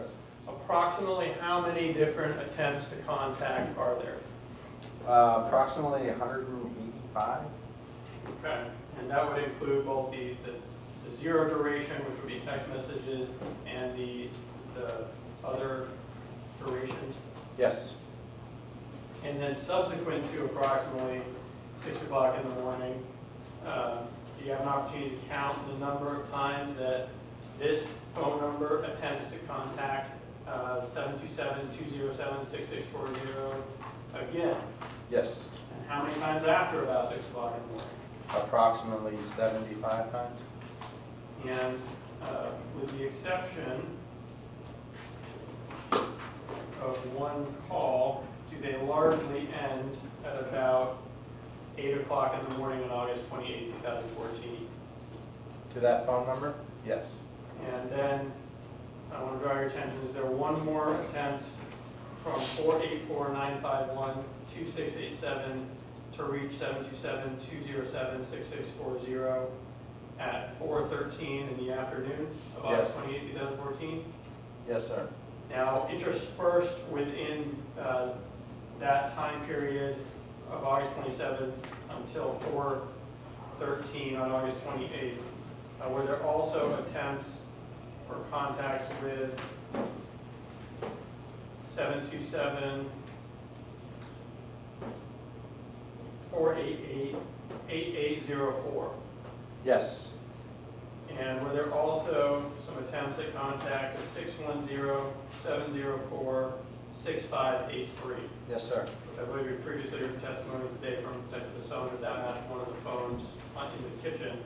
Uh, After 4:13 on August 28th, have you reviewed the records to determine if 484-951-2687 ever attempts to contact any of those three numbers, and I'll say them again, um, 727-207-6640, also 727-488-8804, and the uh, 610 number that I mentioned. Ever attempt to contact them again? I did review that, and I did not find any attempts.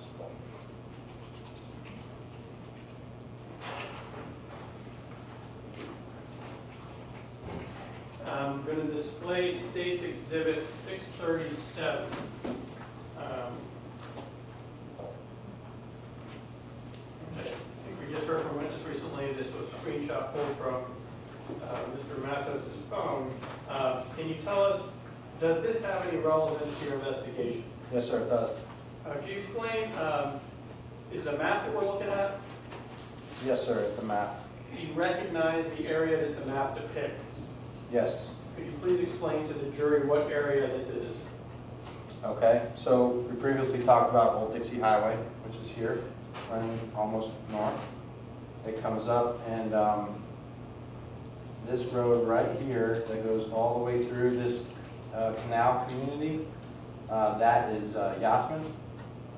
And you have Mako and then Hatteras to the north. When you keep going, you'll pass Almond Drive and then you'll come to Bertram Drive. And I also want to turn your attention to stage 638, um, which I believe was another screenshot. Uh, that have an address of 5625 Bertram Drive uh, on it for a dropped pin? Yes, 15625 Bertram Drive. Now, 15625 Bertram Drive, is that an address on the corner of Yachtsman and Bertram Drive? Yes, sir. And um, while there's no date on this particular screenshot, is there a time? Yes, there is. And what is the time on it? Uh, If you look up here at the top, 10:13 PM. So would that time be consistent with somebody who is dropping a pin to let a taxi know where to pick them up at about 10:30 to 11 o'clock at night? Yes. All right, Detective, I want to draw your attention back to September, the early morning hours of September 5th of 2014. Um, And were you, did did you go with Detective Kennedy down to uh, the Florida Inn Hotel in Tampa? Yes, sir, I did. Uh, And while, when you went down there, uh, did you pass by a Greyhound bus station? Yes. Folks, we're going to pull away from the Adam Matos case in Florida because a status conference has just begun in Tennessee. This is in the Holly Bobo case. Defendant Dylan Adams is facing the judge right now. Now, keep in mind, his brother, Zach, was convicted in the Holly Bobo murder back in September. Let's go to the courtroom. Yes, and it's just mountains of discovery. Uh, we've gotten the first named defendant tried and uh, reached an agreement on sentence on that. We're now ready to move forward with State of Tennessee versus John Dylan Adams, and I'm looking toward a goal line to reach in this case. And I don't want to draw some trite analogy to athletic contests because I realize that this is a very serious matter. It's not games to either side. But I'm going to design and start moving this case toward conclusion. The next date, and uh, I think Mr. Maddox was looking over my shoulder, said, You got any other dates? And you can attest, that's the date in December, is it not? That is correct, Your Honor. Going to set it for uh, status at 10 o'clock a.m. on December 14. I'm going to set a tentative trial date because I think that's what we need to move toward. And we had some discussions. Mr. Maddox has a son that's out of the country. And uh, he had set up a visit with his son across, uh, across the waters. And I'm not going to interfere with the family reunion. So we pushed it a little further than I really wanted to. Uh, I have suggested to them, I don't know that I've suggested to you, but I cannot get another jury in Hardin County. I think all parties are probably in agreement on that. So we've earlier had a change of venue. There will be a change of venire. I anticipate, and I'll talk to my colleagues, um, there's been very little press coverage in Chattanooga. There's been substantial press coverage in Memphis, Jackson, Nashville, even Knoxville, for whatever reason. But uh, very little from what I can tell in Chattanooga. I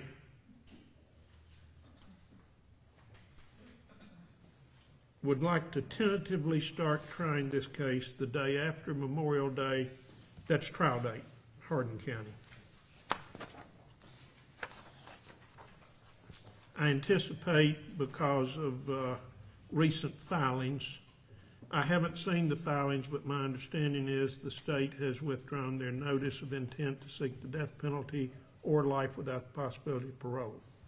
As a result, there will need, uh, at least on some adjustment on the defense team due to uh, Supreme Court rules concerning the number of counsel but uh, Mr. Bruno has indicated that even if he does not stay for compensation, that he probably would be in a position to continue pro bono. Um, I would be willing to do what I can, but the law simply does not provide. Um, you've got a lot of time invested and uh, be kind of like getting kicked off the island, I, I think, if uh, you were to leave. So, but I would anticipate uh, getting the jury in Chattanooga perhaps the 24th, and that's Thursday, and the 25th if necessary, although I think we can do it in one day. There's no longer mandatory sequestration but the court of its own motion will order that the jury be sequestered in this case because I've already seen the huge amounts of publicity, and I think that that potentially could uh, lend itself to problems if we were not sequestered.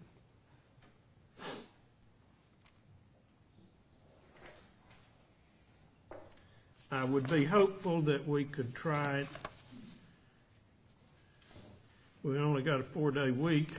It might possibly go into the next week as well, but I think this case is going to move a whole lot quicker than anything else. I would hope maybe we could try it in a week. Any suggestions State got a feeling on that?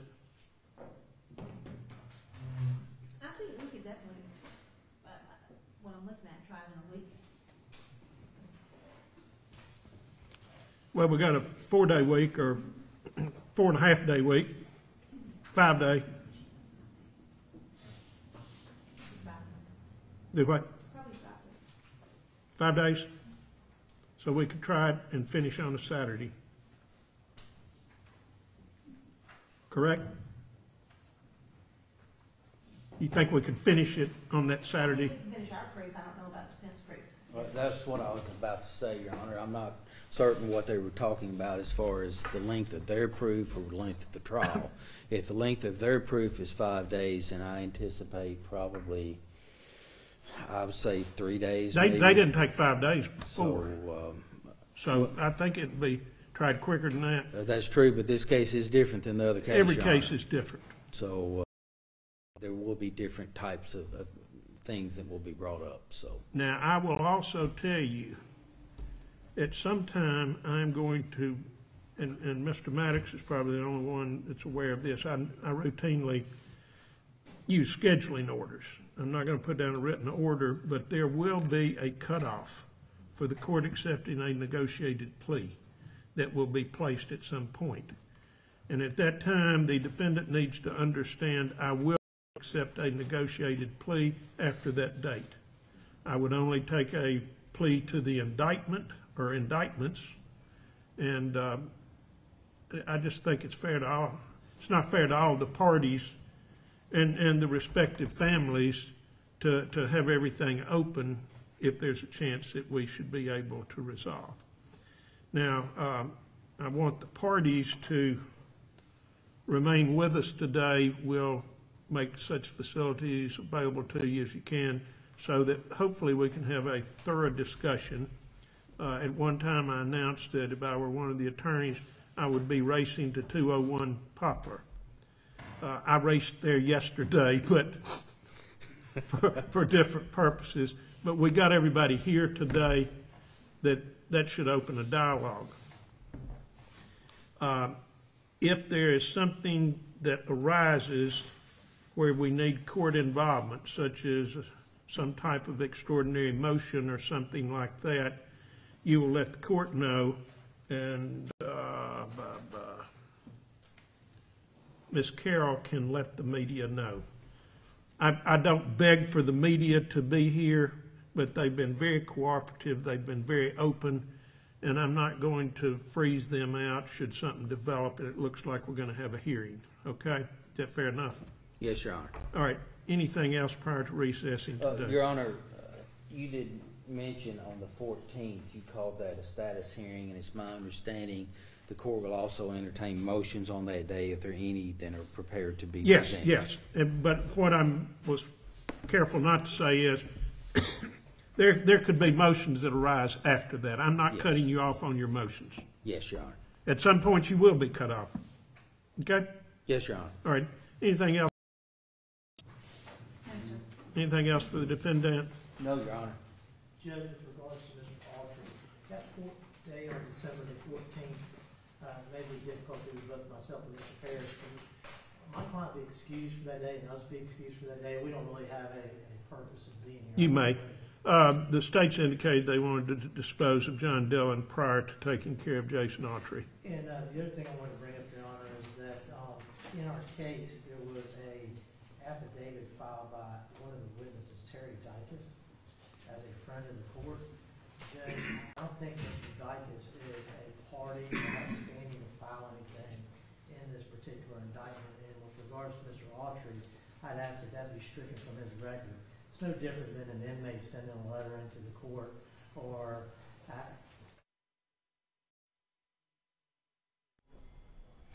So we just listened to a status conference in the Holly Bobo case in Tennessee. We're going to switch back to Florida because a police interrogation of the defendant, Adam Matos, is being played right now for the jury in that case. All right, so the house out there on Hatteras, you know what I'm talking about, the one here in Clemson, um, who owns that house? Um, that's for, okay. Bill, okay. Is he from Pennsylvania? You guys are friends with him up there or something, or? Well, I guess they know it. Margaret and Greg? Okay, and so at some point, um, is that big RV that's parked out front? Did you guys all drive down together in that, or all three of those cars? How did all those vehicles get down here? Uh, just, you know, um, one person drove the RV, one person drove the vehicle. Oh, okay. They could pull one on each. Now, Megan's your max? You guys weren't, at, at, at- so at this point, you guys are not dating each other, you're just living together because you have a son together? We were together we here, we were together. Oh, okay. Uh, so you guys were boyfriend, girlfriend when you moved down here, and so at some point you guys broke up? Right. When did you guys break up? Uh, probably, you know, A week ago? Okay. Do you remember, what, what was that about? uh, just a bunch of drama, shit, you know. Sure. Trust me. I know what you're talking about. I've been divorced, okay? And I don't know why I got remarried, but I did, and I know what you're talking about. Um, so that was a week ago. Um, did you, did you know that she called the police? No, I Didn't know, okay. Um, do you remember that incident where you guys got into an argument about her going out with a friend or something? possibly, yeah. Do you know if she was seeing anybody else? Wouldn't know, okay. Um, what happened with that, that night? I guess there was an argument or something? Um, we talked about what happened and we had an argument and, uh, she me to leave. When you, when you talk about you know, coming home later? Yeah, you know, she came home late and, uh, we just talked about it. We had an argument and she told me to leave. Okay. And, uh, during the argument, did either one of you guys get physical with each other, any, any kind of physical, I mean, um, did she threaten you in any way? Did anybody in the family ever threaten you? Does Greg and Margaret ever get involved with these arguments? Sometimes. Sometimes, were they involved with that one? Uh, well, my mom came out and she told me to leave. Okay. Or she, she told me to leave the night before. She, she wouldn't told me. Sure. Here's what we know a little bit about that argument, okay? She's alleging that you, you threatened her, threatened that you would kill her, and threatened her with a knife. That's not true. That's not true? Okay. Um, if Margaret said she was there and witnessed it, is there any reason why she would lie for Megan? She was actually sleeping when argument. Margaret was sleeping. Uh, like, four in the morning. Four in the morning, okay. Uh, you left, where did you go when you left? I, I rode my bike, just, just, you know, get some air. Just to get some air? Okay. Um, so that was on, on like a Thursday, right? I believe so. Um, did you go back that, that day, later that day, did you go back to the house? How, did you stay the night somewhere else? Yeah, Where, where'd you stay? I asked uh, a friend. Do you mind giving me your friend's name? His name was, uh, Jake. Jake? Where does he live? Uh, he lives over in, uh, New Port Richey. Newport Richie? Do you know a street? I can't remember. What about his last name? Uh, I don't really know him that well. You got a phone number? No. No? Okay. How'd you meet Jake? Uh, just, you know, throughout the city. Throughout the city? Yeah, Okay. just kind of bumped into each other. I stood there for a bit. So that was Thursday, right, that that incident took place where she called us. Right. You spent the night with Jake in New Port Richey. Right. Uh, what time did you get up Friday? Friday. Uh, I can't remember. Do you remember if you went back to the house on Hatteras on Friday? No. Okay. Not at all, the whole day? Did you go back one time? Okay. How about, okay, so where'd you stay Friday night? Uh, Friday night. Can't. Was it on the street or was it back with Jake or? On the street. Okay. Do you think you were drinking or something? You can't remember? Yeah, I was drinking that night. Okay. And so then we're moving into Saturday, which is the thirtieth. Do you remember where you were that day? Uh, you may have a job? Well, I had a job and uh, feet hooked. Okay. Um,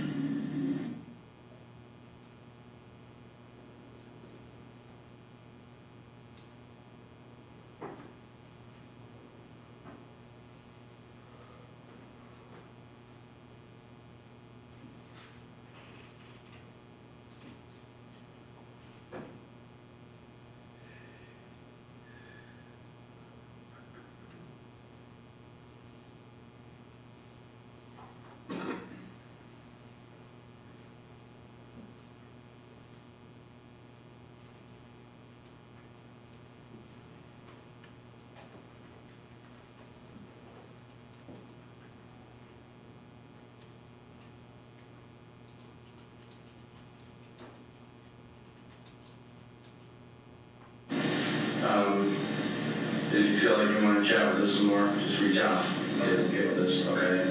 These guys are gonna have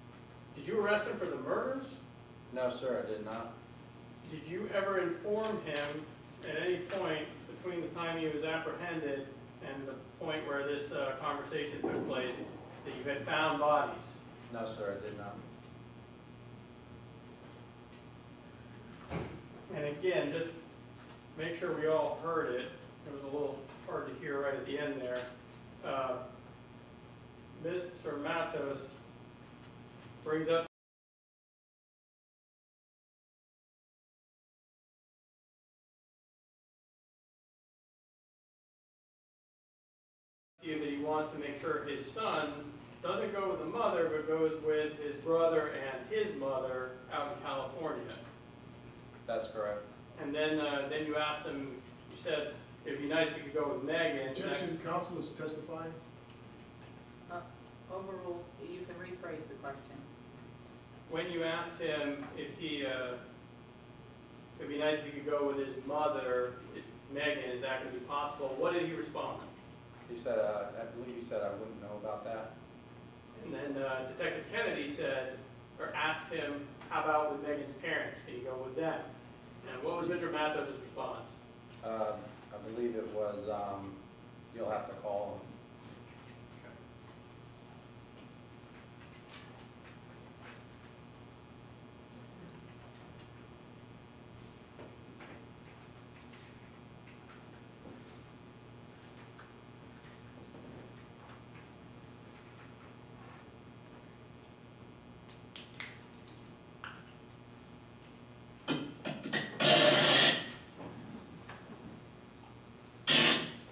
And uh, again, to be clear, even up until this interview, did you ever have a conversation with Mr. Matos where you informed him that you had found four bodies and that there were four dead?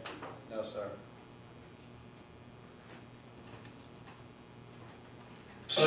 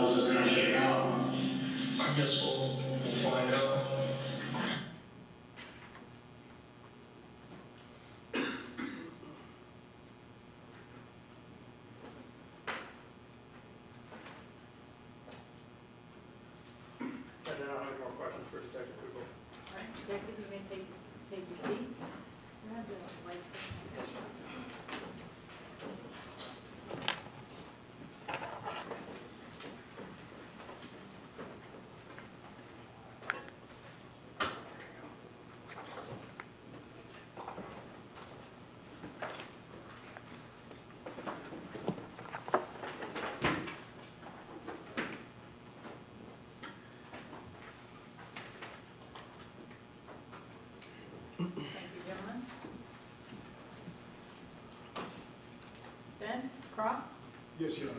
Please the court, counsel?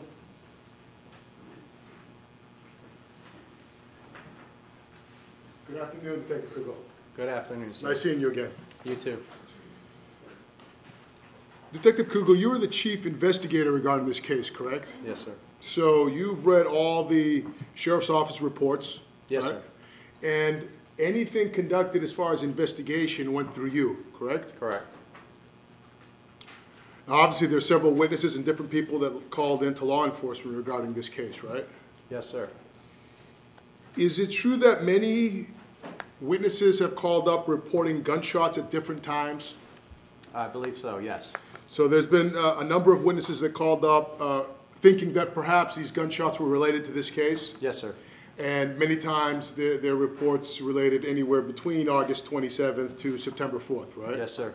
And is it your understanding that gunshot sounds are very common in this area? That's correct.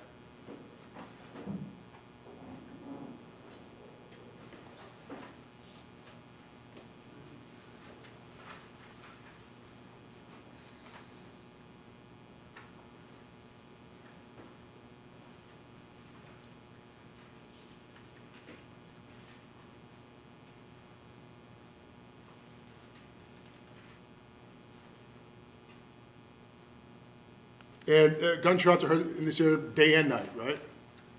I don't know how often, I just, I've been told that that has, has occurred in the past, yes. All right, now let me show you the, uh, what's been marked as states uh, number 256. I think uh, Mr. Sarabia showed you this map, right? Yes, sir. This is 7719 Hatteras Drive, right? That's correct. Would you agree with me that uh, this is north, right? Uh, no, that's, uh, to, that's to the west, um, Right, but up here is north, right? Yes. This is west, north. yeah, North of Hatteras, there's only one more street, right? yes, And what's that called, Gulfway or something? Gulfway. And north of that is just empty wilderness, right? Uh, for a little ways, and then there's a, a mine, a lime rock mine. All right, but we're talking about a, a number of square miles of emptiness, right? Yes. Would you agree with me that I- if you, I, I think there's a, a residence somewhere in there, north of that location. Uh, I don't know if he's homeless or not, there's a guy that lives somewhere up all there. right, mostly empty? Yeah, mostly. And east of here is mostly empty too, right?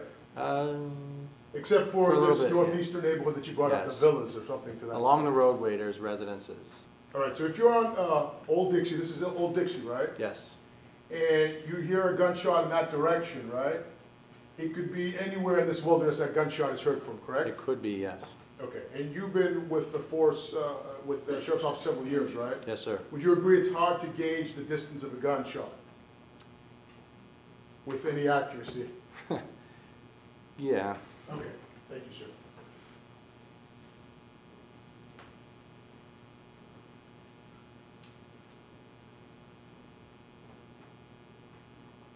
Now, you did testify that at one point you drove from the Wawa that Margaret worked at to 779 Hatteras Drive. yes, And you did that to gauge approximately how much time it would have taken her to get home from a, from a commute from there, correct? yes, And you made sure to do so in August of 2016, right? yes, So you picked a a similar month uh, that this had, uh, from the time this had happened, because this, this was end of July, beginning of August, right? Yes, So you could gauge that traffic on an August night, right? correct. And you left there and you clocked yourself as being, it taking you 15 minutes, right? Yes, And I'm assuming you followed the speed limit, right? yes. Actually, I, I actually did go a little over. All right, but 8.8 miles, right? Yes. Okay.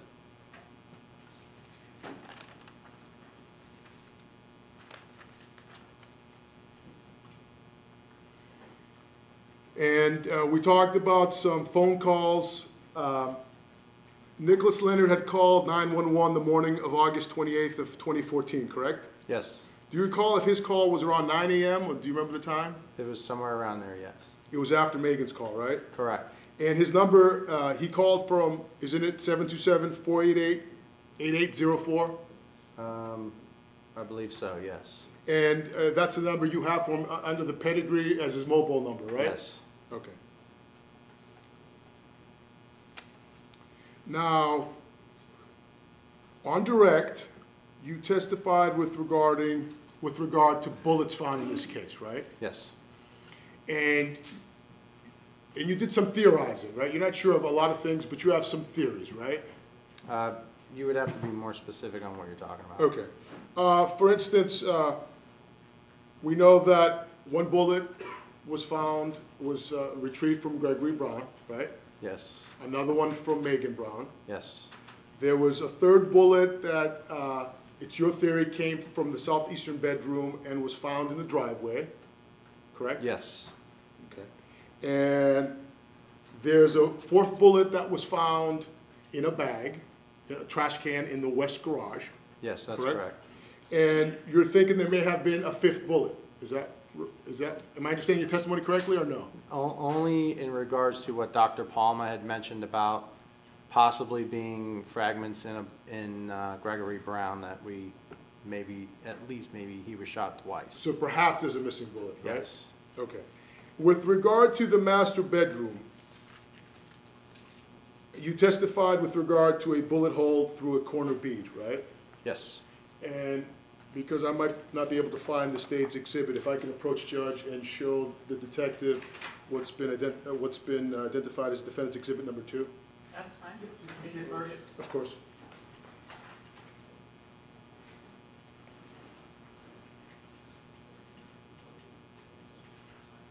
Jake, you good?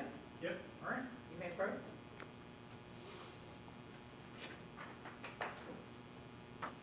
Is that the room, is that the, does that picture capture the, the, the bullet hole we we were, you were discussing on direct examination? yes, sir. Okay, is that bullet hole consistent with a thirty-eight? Uh, Could be, yes. Okay. Um, do you have any idea or any theory or any, uh, as to which direction this bullet was traveling? Can I, can I see the photograph? Sure, of course. Um, Yes, I do. And what, what, what is that? My theory, if you're looking at this photograph, it would have been traveling from this direction this way. Okay, and would you agree, agree with me that that direction is from where the master closet is? The master bedroom walk-in closet? Yes, Okay. You would agree with me that if it was coming the other way, somebody would have to be nudged in that little corner, right? And yes, there's only like two feet there, right? that's correct. So logically, it's your opinion the bullet came from the walk-in closet area? Yes,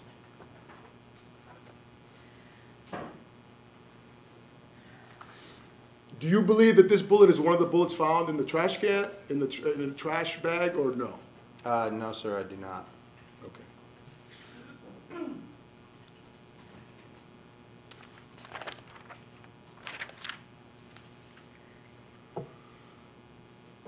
With regard to the phone records, do you have them in front of you by any chance?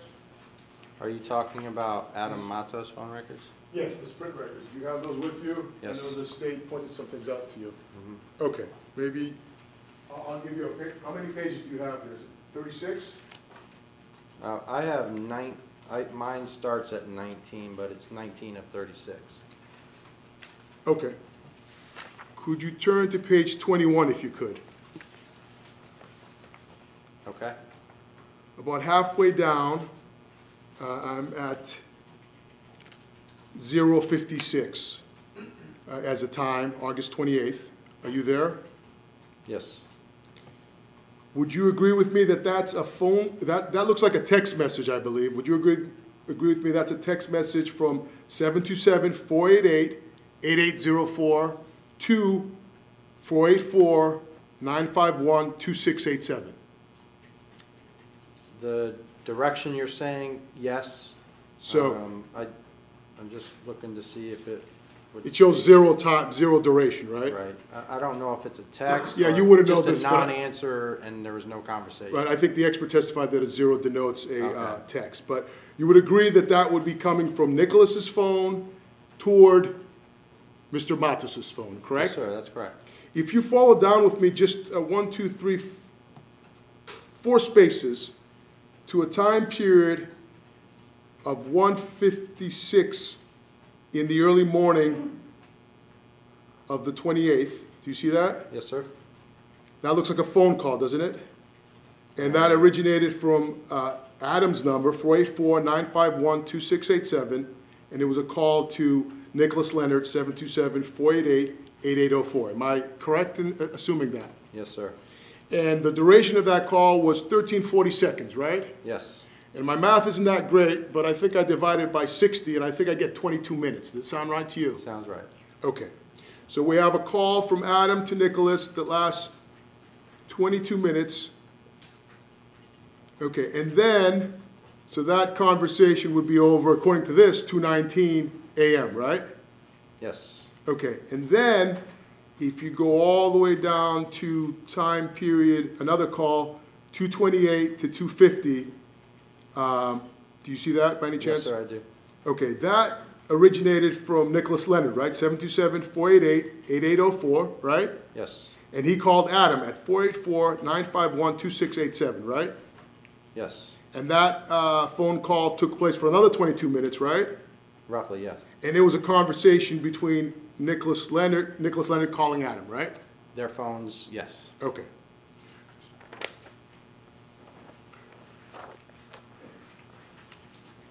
Is it common for men to talk on the phone for 44 minutes if they're not discussing sports? That's called speculation.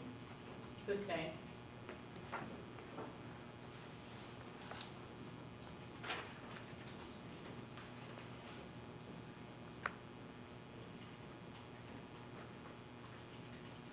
Now, I'd like to turn your attention to the doorknob in Tristan's room.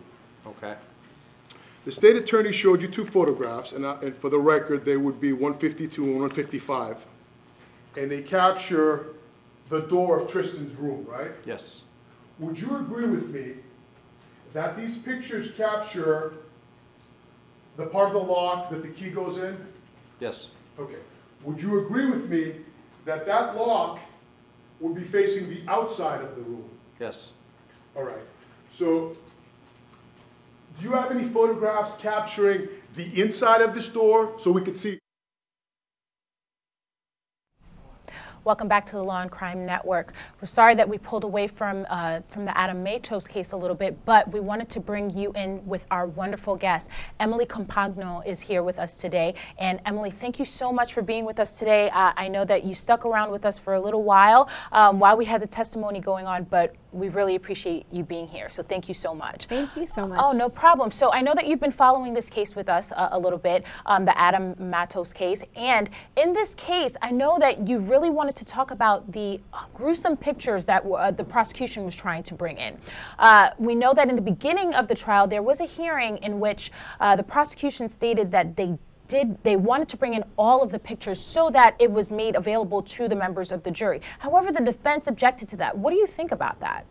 Right, I think that's what we see commonly in these kinds of cases. And for viewers watching, frankly, where's the line between what is prejudicial and what is accurate? So when we hear about these horrific crimes and we understand that the details are absolutely horrific, well, shouldn't that be an important nature, an important aspect that we do bring into trial so that the jurors know exactly what the crime entailed, so that they can understand that nature and therefore appropriately either charge, convict, or follow along. But at the same time, there's a balancing element, right? And if it becomes so prejudicial, if the jurors are so horrified by what they see that they can't get an image out of their head, they're unable to render an objective analysis as to guilt, then it is prejudicial for the defendant and, frankly, the entire system of justice. So every single trial that we see, it always begins with defense rightly so, usually objecting to via motion this kind of evidence and saying, look, this is going to be prejudicial. And it's up to the judge to make that kind of objective analysis to know where to draw that line.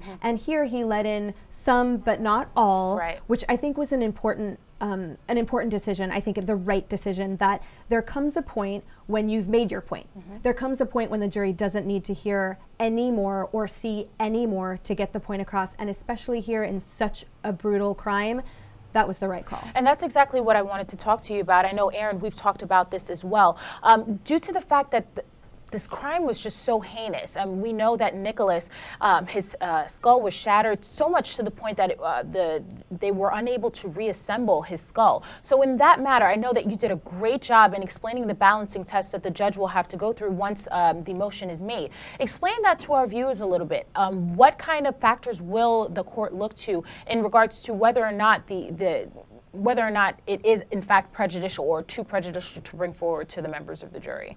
Right. So basically, the judge makes that decision based upon a balancing factor of what might be probative versus prejudicial. And so the judge will say or entertain both sides' arguments as look, this is necessary for the jury to know. That It's necessary for the jury to know in a capital case, meaning that the death penalty is at stake here, mm-hmm. how horrific these crimes were. Because otherwise, they will not appreciate the severity of the crime and therefore the commensurate penalty that they should entertain if convicted. And then on the other hand, it goes back to well, have you overstated your point? They don't maybe need to see photographs of the shattered skull that can't be reassembled over and over again, or even one time for that point to have been made. Frankly, even reading a lot of these details is mm-hmm. nauseating. So to have images, most people don't see images. You know, they're desensitized in a way to graphic images due to the entertainment industry, but those aren't real. That's not Right, real. right. And when they see real, that changes the game. And so the judge, through his or her seasoned background, should make that assessment probative versus prejudicial. And in this case, look, we know that the bodies were outside. We know it's Florida. We know it's hot out Mm. almost every year,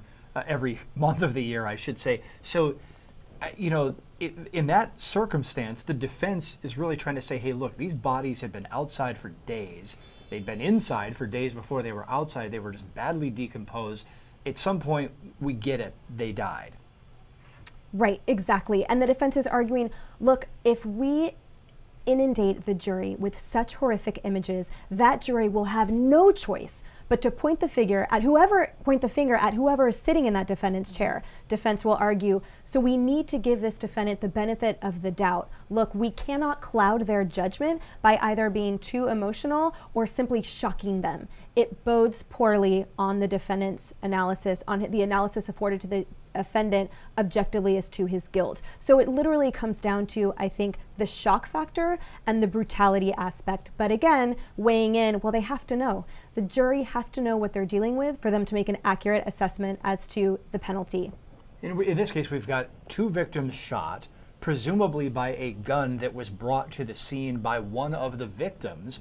Okay, so that's probative. You know, they need to examine that and say, hey, look, do we believe that those bullets were fired by that gun that was brought to the scene, that somehow the defendant got a hold of it, shot Megan Brown, shot Gregory Brown in the back, and then these other two victims were beaten to death, basically. So the different types of attacks is it the right weapon? It all ties together. You know, the jury's going to have to parse that out in the jury room. Do you agree? In order to figure out whether or not this defendant's guilty. Right, and I think this is a perfect illustration of expert testimony and also circumstantial evidence and direct evidence. This is a perfect trifecta case of the jury needing to analyze expert testimony on ballistics, circumstantial evidence of this victim brought it here, we must assume so, mm-hmm. and then direct physical evidence of the blood and all those photographs and whatnot. So it it behooves the jury to not be so affected by the brutality of the crime to be able to make an objective analysis in all three of those arenas by again tampering a little bit the amount of brutality while still ensuring they grasp the severity of it so that they can make that objective decision. And we all know juries get bored and we all know juries get confused by expert testimony and shocked by actual photographs. So it's really an important construct on prosecution and defense's part to, to ensure that the juries um, that that it's not too over their head in either way. And I know that you've seen this probably on numerous occasions. I know that you are uh, a former federal prosecutor, so I know that you're very, very familiar uh, with, with, what happens in a, in a courtroom on a day-to-day basis. Um, but what I do want to get to before um, we have you run out the door, because I know that um, you know we only have you for a limited period of time.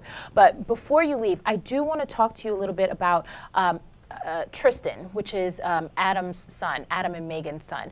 He was autistic, and what we got from the testimony of the of the, the investigator who's now on the stand, we learned that Tristan may have been in the home by himself at the time that. Um, at, at, the time that Adam went out with Ryan, or the fact that he was in the home itself um, with the, the, the smell that was coming out and that was evading into the neighborhood. I just want to know what do you think, as, as a former prosecutor, how do you think that this information is being relayed to the jury? What um, what what what do you think uh, the jury is thinking while this is happening?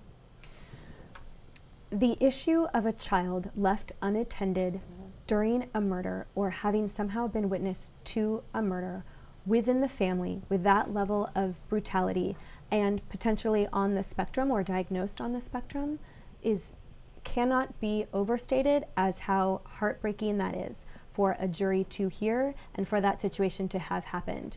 It frankly behooves prosecution to tread lightly um, because it speaks for itself. That is not something that they should be hammering home, frankly, to respect that element of it. It definitely, however, is a crucial component and hopefully that little boy is taken care of. Absolutely. Thank you so much. Well, we, we do know that we have Ryan McCann taking the stand right now, so we are going to throw you to that. Thank you so much for watching the Law and Crime Net Network, and thank you so much, Emily, for being with us this afternoon. We appreciate it. Thanks for having me. Uh, where were you living? Uh, 7711 Hatteras Drive. And is that right next door to 7719 Hatteras Drive? It is, sir. And I'm going to hold up State's Exhibit 254. Do you recognize your residence in that photograph? Yes, on the left side. Yeah, could you please point it out for us? sorry. And uh, is your vehicle in this uh, photograph? It is. Could you please point that out as well? It's the uh, white F-250. Okay. And um, is that a boat in the back of your, your house? It is. Is that yours as well? Yes, sir. And that, that red uh, covered area, is that uh, your, your back dock? It's my dock, yes, sir. Okay. Um, were, were you aware prior to the events we're here to talk about today uh, that people had moved in to the residence next door to you? Yes, sir. Had you met the people who had moved in at some point? I had. Uh, who were you aware of that was living there? Uh, it was um, an older couple, couple, Greg and his wife, um, and then a younger couple, which was Megan, Adam, and a small child. Okay. Um, did you have a lot of contact with them or more in passing? No, sir, more in passing because they're right next door. Now, um, was there a, an event uh, back in July or early August where you uh, came home and you would lock yourself out of your house? Yes, sir. Uh, can you describe what you did for the jury and, and how you resolved that situation? Yes, sir. Uh, locked myself out, stepped outside, and the, the bottom door had locked. Uh, I was looking around the house trying to get to my window and couldn't find a way in. And uh, how were you eventually able to get in? Uh, Adam was outside, and that's what I was doing. So I was trying to get to my home. I locked myself out, and uh, he said he could help. Okay. And did he help? He did. Um, with a couple bobby pins, he was able to get me in the bottom lock. So he was able to pick the lock so that you could get back in your house? Yes, sir. Um, now, moving towards August 28th of 2014, um, had you recently been out on the boat or the ship prior to that time? Yes. When had you come back? What was your Uh, first day back? Wednesday, August the 27th. Okay, and That was evening. Sorry. was August 28th, the Thursday, was that your first full day back at your residence? Yes, sir. And uh, on that day, were you expecting visitors? That day, yes. Who were you expecting? Uh, my brother Alan and his wife Lori. And Alan is your older brother? That's correct. You take that position pretty seriously? He does. Um, and that day, what were you doing in preparation for them to, uh, to be coming to visit? Well, I've been gone for a month, so I was cleaning their, the house, cleaning just everything up before they got there, of course. Okay. Um, over the course of the day, uh, did you come into contact, well, in the daylight hours, did you come into contact with any of the people next door at 7719 Hatteras Drive? I did, Uh, who'd you come into contact with? with Greg. And Greg is the uh, approximately 50, 52 years of age Yes, man that lived next door? That's correct. Um, when you, what approximately do you think was the first time you came into contact with him on the 28th?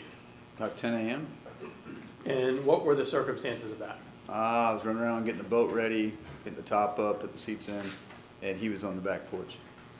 Okay. Did, was there a subsequent contact that you had with Greg that same day? Yes, sir. He asked to borrow a ratchet to fix something on his RV. All right. Did you have any understanding of what he was what he was doing with the RV? Uh, he said he was fixing, uh, changing the spark plug and the, uh, in the generator. Now, approximately what time uh, did you lend him a ratchet? Approximately 4 o'clock in the afternoon. Four o'clock in the afternoon. And um, did you ever get that ratchet back? No, sir. Uh, did you ever see Greg again? No, sir. Um, now, I want to draw your attention more to the evening hours. Um, was it your understanding that your brother Alan and your sister-in-law Lori were delayed in their trip? They were, sir. They had a flat tire. Uh, and were you in phone contact with them uh, as they were traveling? Yes, sir. Um, during the later hours uh, of that day prior to Alan arriving, uh, what about were you doing? Prior, I was cleaning again. Yes, sir. Okay, uh, cleaning, did that involve vacuuming? Yes. Uh, were you doing anything else while you were cleaning? Um, well, I had the music up pretty low.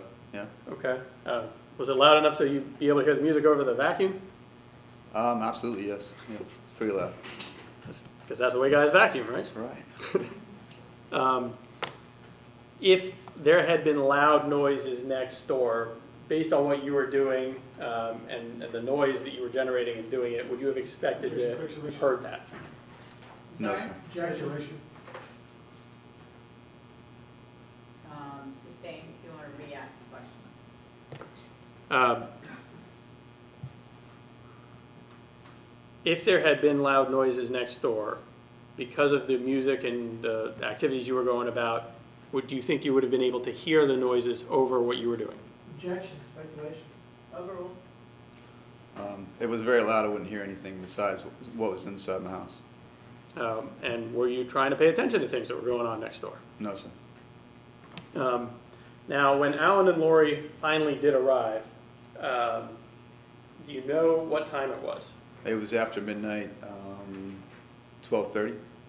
Now, 12:30 is that a time that after all this happened, you were able to go back in your phone and check uh, your phone log with regards to when you had spoken to Alan in order to nail down that time? Yes, I spoke to him and also he texted me, so yeah, I knew what time he arrived. And di- did he text you to indicate that he had arrived? Yes, And when he did that, did you go outside and greet him? I did. Um, When you went outside to greet him, uh, was Lori with him? Yes. And did the two of them come alone? Yes, sir. And uh, real quick, at that time, back at your residence, was there anybody living at your residence with you? No, sir. So it was just you at uh, 7711 Hatteras Drive. That's correct. Uh, when, when you go out and you meet with Alan and Lori, uh, did anybody else show up? Uh, Adam, the next door neighbor, showed up. Did he come from the general direction of 7719 Hatteras Drive? Yes, sir. Um, how did he appear? Uh, he was sweaty. Um, did you find that unusual based on the weather that night?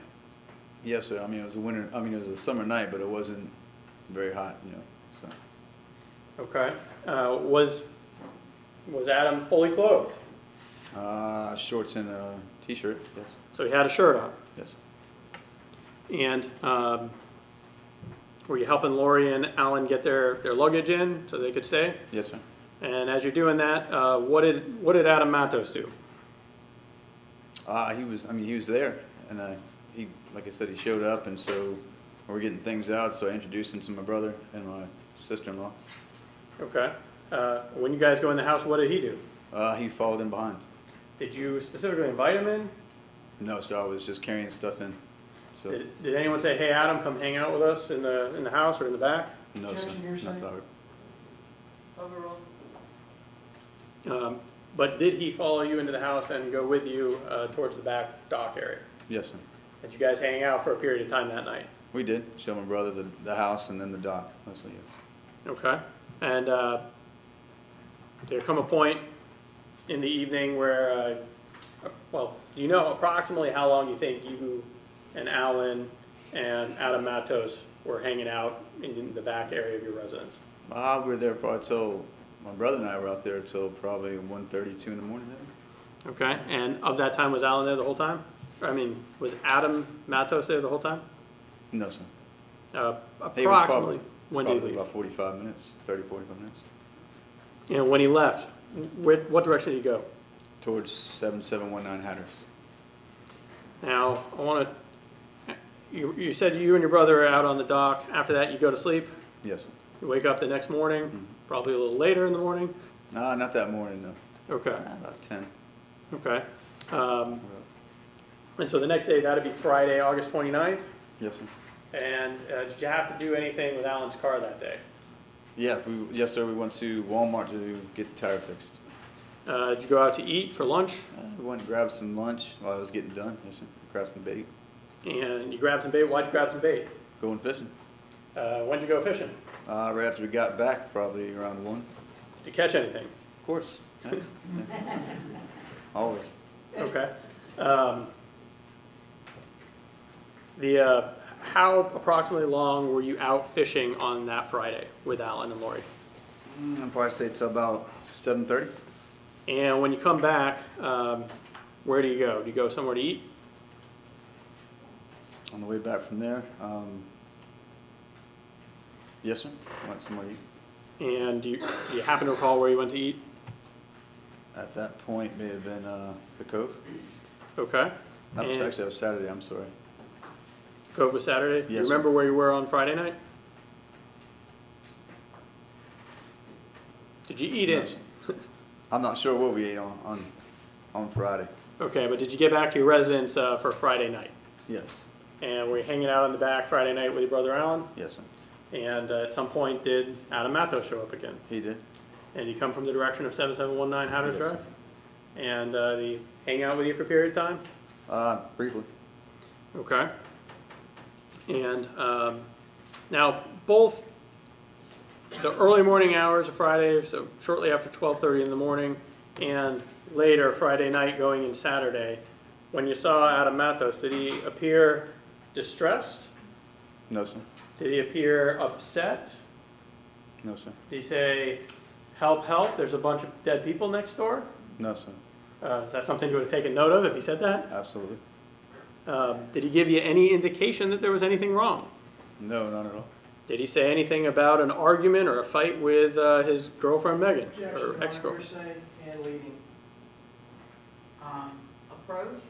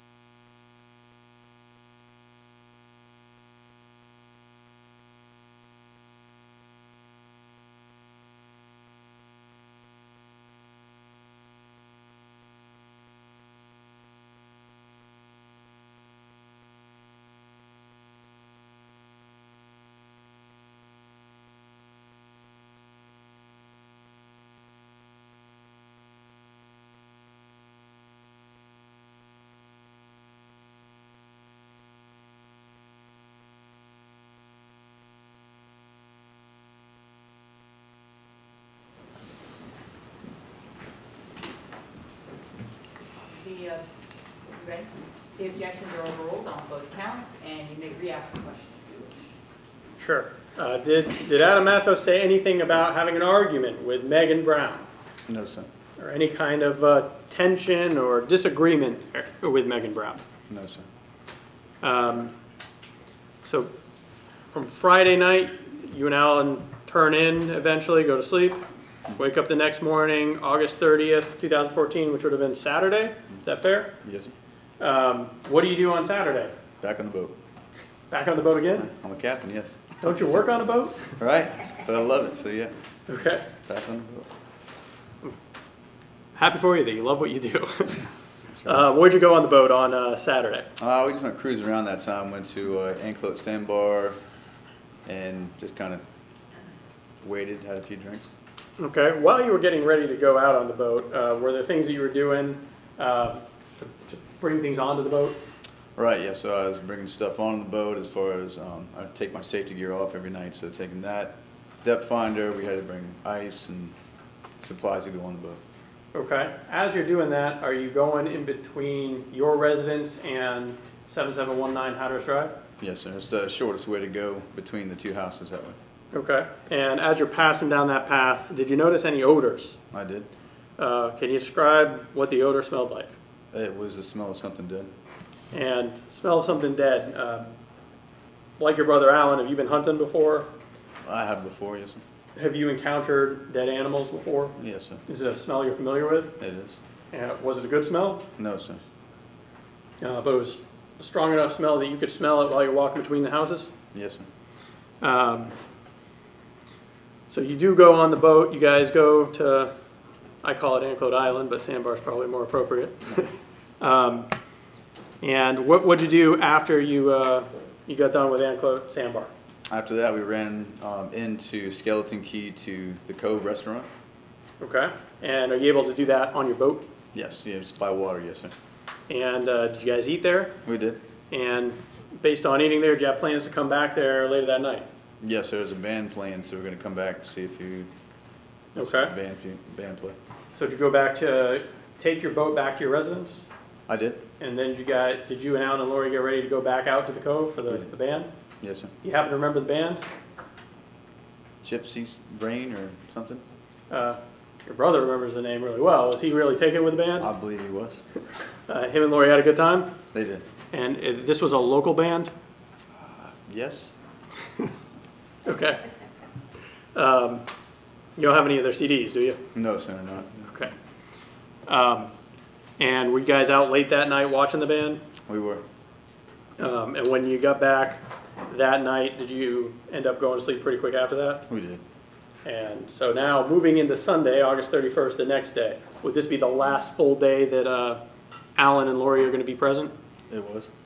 And um, on Sunday, you guys wake up, what'd you do that day? Back on the boat. Uh, What'd you do on the boat this time? Uh, going fishing again. Okay. Caught something, I hope? Absolutely, yeah. All right. Um, And were you out on the boat most of the day? We were. Following the boat, uh, do you bring the boat back and go out to eat? We did. Yes, sir. Uh, You remember where you went to eat that time? Uh, that time we went to Sam's. Sam's Beach Bar? Yes, beach parties. And um, when you go to Sam's, uh, does there come a point where your brother wants to go back to your house because he needs to use the facilities? Yes, sir. And you don't want to use the facilities at the beach bar? He wasn't keen on it, no. Okay. Um, And once you got back to your residence, um, is that, well, approximately what time is that going to be? Oh, I'd probably say seven thirty, eight o'clock, maybe. Okay. Uh, Did you guys, did you guys decide to stay there or go back out? Decided to stay there afterwards. All right. And that night, um, were you guys hanging out on your back dock again, you and Alan? Yes. And uh, did anybody else join you? Uh, Adam came over after a while, yes. And uh, wh- what direction did you come from? From the direction of seven seven one nine Hatteras. And did he hang out with you guys? He did. Was he there for a long period of time? Uh, yes, a few hours. Did he appear distressed in any way or upset or talk No, sir. about any relationship woes? No, sir. Um, During the conversation, uh, was there a point where you brought up anything unusual? Uh, my brother and I were talking um, just of old days. Um, teen angst, and uh, he broke in and asked if I had security cameras. Well, did you find that an odd, uh, an odd thing to do based on what you were talking about? Yes, sir. Were you talking about how back in the old days you guys have been caught on a security camera for something or anything of that nature? No, sir. Was there any, uh, did it appear to be any transition from what you guys were talking about to security cameras? No, sir. Um, and when he asked you that, what'd you tell him? Uh, I told him I had cameras everywhere. And did you at that time have cameras everywhere? At that time, no, sir. Uh, why'd you tell him that you did if uh, you didn't actually have any cameras? Because I don't know him, and so that's a strange question to ask. So- Okay. Um, and once you told him that you did have security cameras, did he ever follow up with any questions regarding, well, can I see them or can I borrow them or do you have camera angles that capture certain areas of my house or anything of that nature? No, sir. Uh, did he follow up with any questions about the security cameras at all once you told him you had them? No, sir. Um, now that Sunday, as you guys are on the back dock, um, did you notice any odors on that day? Sunday, yes, sir. Uh, what kind of odor did you notice on Sunday? It was a stronger odor. Uh, and what did it smell like? Uh, same thing, smell like something dead. Good smell or bad smell? Bad smell, worse smell. Um, and had you brought it up to your brother Alan at this point? Had I brought it up to Alan? Had, had you guys discussed that there was a, a bad smell? Again, yes, we mentioned it again, yes, sir. And while you guys were on the back dock, uh, did you say anything to Adam Matos about a smell? I did. Objection, Judge. Here's some. And can you describe for the jury uh, what you said and how it reacted? Uh, I just told him, I said, it smells like something's dead between the houses, and it just smells bad. And what did he do? Uh, he didn't say anything. He Just just looked kind at- of, looked looked, at- the what? I'm Just sorry? looked at me, yes, sir. Okay. Um, and and how'd you respond to that? I said, well, I mean, I guess maybe it's a dead armadillo or something, and just kind of laughed it off. All right. Um, you know, during the course of these conversations uh, that you've had with him up to this point on Sunday, August 31st, uh, did you ever ask him about all the other people that you knew to reside at 7719 Hatteras Drive? I did. Um, can you describe for the jury what you asked Adam Matos and how he responded? Sure. I asked him where everybody else at the house was, and he said that they had gone to West Virginia to visit family. Okay. Uh, did you inquire any further about that? Uh, I did ask because I had an RV in the driveway. I asked how did they get there. They didn't take the RV, and he said that no, they flew.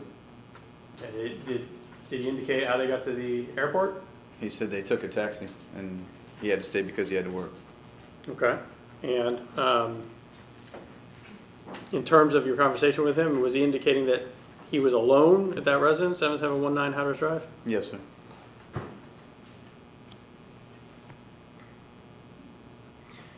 Um, about what time do you think uh, Adam Matos split off from you guys that Sunday night, if you know? I'm not sure. He stayed a few hours, so maybe around one o'clock or something. So well into the early, early morning hours of Monday, September 1st, 2014? I'm sure into it, perhaps, yes. Okay. And so moving into September 1st, 2014, uh, was that Labor Day? Yes, sir. And um, I assume you and Alan and Lori all go to sleep and then wake up the next day? Correct. And how long did Alan and Lori stay that day? Uh, they left that morning, around, say, 10, 11. Okay. After they left, um, did you still notice the smell? I did. Yes. Okay. Same smell that you described before? Uh, it seemed to ease a little bit. wasn't as bad. Okay. Um, and after Alan and Lori left, did you have any more contact that day with Adam Matos? I did. Can you describe for the jury uh, when did that happen, approximately? Early that afternoon, he asked me to come by, or asked, he came by and asked if I would bring him to cash his paycheck. Okay. Um, did Did you ask him why you needed a ride to do that? I did. I knew that um, he, they had a car, a GMC Jimmy, and uh, he said that it had a flat tire. Okay. Uh, and did you agree to, to take him out to, to cash the check? I did. Where'd you guys end up going? Uh, started towards the bank, but it was Labor Day, so it was closed, so we went to the Winn-Dixie, right next door. Okay. And um, who drove? I did. What vehicle did you drive? Uh, white Ford F-250, Uh, and who did you take with you? just myself and Adam. Wasn't any four-year-old child that went with you guys? No, sir. It wasn't any other people that went with you guys? No, sir. Now, up until this point, September 1st, 2014, you guys go to Winn-Dixie. Since the time that Alan and Lori had arrived, had you seen anybody else next door at 7719 Hatteras Drive? No, sir. Uh, And uh, did you go to Winn-Dixie in the mid-afternoon to late afternoon hours? Yes, sir, pro- uh, roughly 3 o'clock. I meant. Did you go into Winn-Dixie with Adam Matos, or did he go in by himself? No, sir, I stayed in the truck. Okay. And did he come back with groceries of some sort? Yes, sir. And did he make you aware whether or not he was able to cash his check? Um, he said they would not cash, it was a third party. All right.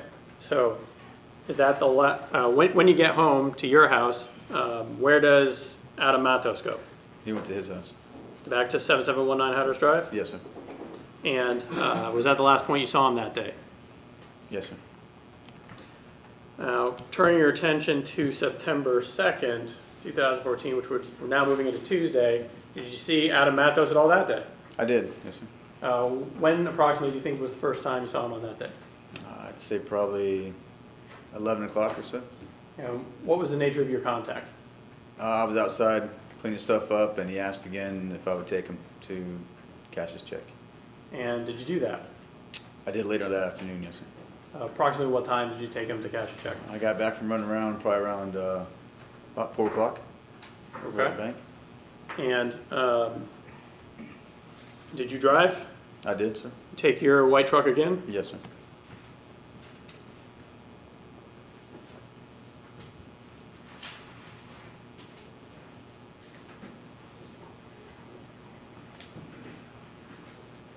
Uh, And did you go into the bank with Mr. Matos? No, sir. Uh, You stayed in your car? I did? Did anybody else go to the bank with the two of you? No, sir. There was no four-year-old child that went with you? No, sir. I'm going to try to display this as soon as it comes up. Um, Was he able to cash his check this time? I believe so. I was not in the bank. Okay. I want to draw you, can you see that screen right behind you? We're gonna turn the lights down just a little, so if you need to step down and look at it. and do- Oh, I can see from here, ma'am. Okay, Thank you. great, no problem. Uh, Do you recognize the individual pictured there? Yes, sir. Who is that? That's the defendant, Adam Matos. All right, is that the way it appeared to you on uh, September 2nd, 2014? Yes, sir. Now, this truck is backing in right here in the parking spot as as Mr. Matos is entering. Do you know whose truck that is? That's mine, sir.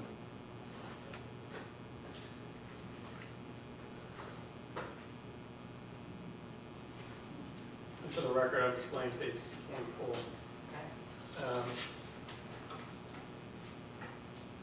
And the last photograph, on the second to last page, you recognize a white truck, oh, there we go. You recognize a white truck uh, in that photograph? Yes, sir. Yes, sir. And uh, does the, do you have a specific license plate number? Okay, It- it- Any plate? What is, what does it say? Uh, it says W Irish. Okay. Do you agree with me that the the photo depicts that? Yes, sir. I can see a little golfer in the middle, yes.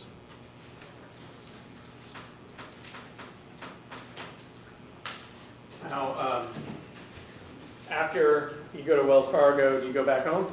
Yes, sir. And where does Adam Matos go? He goes to his house. 7719 Hatteras Drive? Yes, sir. Uh, Do you see Adam again on September 2nd, the Wednesday? No, sir. Wednesday? Uh, no, I'm sorry, September 2nd, Tuesday. No, sir. So Now, turning your attention to September 3rd, 2014, Wednesday. What were you doing that day? Uh, I was getting things ready. I had more family coming in town. Uh, Who'd you have coming in town this time? Uh, my mother, parents, pretty much my mother. Okay. And um, did you see Adam Matos at all on September 3rd? I did. And approximately what time do you think you first had contact with him? Uh, roughly 1.30 in the afternoon. And what was the nature of that contact? Uh, I was cleaning the pool deck in the pool, um, and he came by, see if I want to go out and have a beer. All right, did you take him up on that at that point? Uh, no, sir, I had too much cleaning to do and things to get ready. Okay. Uh, did he come back again later? He came back about three, four more times. Okay. Um, how frequently do you think? I'd say about every hour. And each time was it the same thing? Yes, he just wanted to go out and get a beer and had no ride and didn't know anybody. So, Okay. And uh, eventually, what'd you do? uh, roughly around 18, 6 o'clock in the afternoon, um, I was, I don't know, I've been working all day, didn't eat lunch, and so he came by again and asked if I want to go out, and I said, yeah, I'm hungry. So I said that, yeah, I, can- I know a place up the street, I can get something to eat. Okay. Uh, and where did you guys go? Uh, I went to Skinny's Bar and Grill. And did you take your white truck? I did. And you drove? Yes, sir. Anybody else go with you and Adam Matos? No, sir, just us. Um, And approximately how long were you at Skinny's Bar? I'm sorry, say again? I'm sorry. Approximately how long were you at Skinny's Bar? Oh, Atkins. Um, roughly five hours.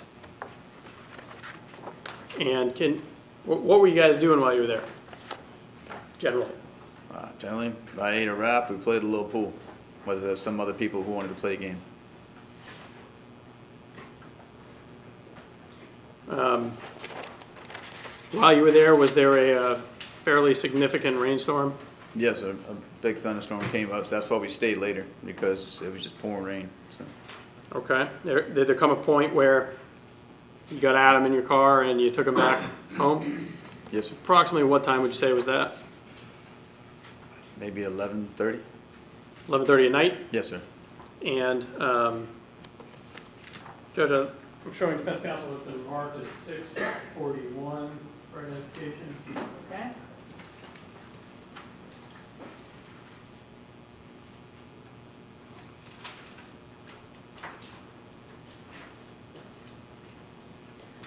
Mr. McCann, I want to show you state 641. You recognize that?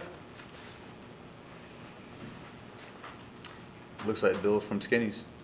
And do you recognize uh, it as your bill and your order? Yes, sir.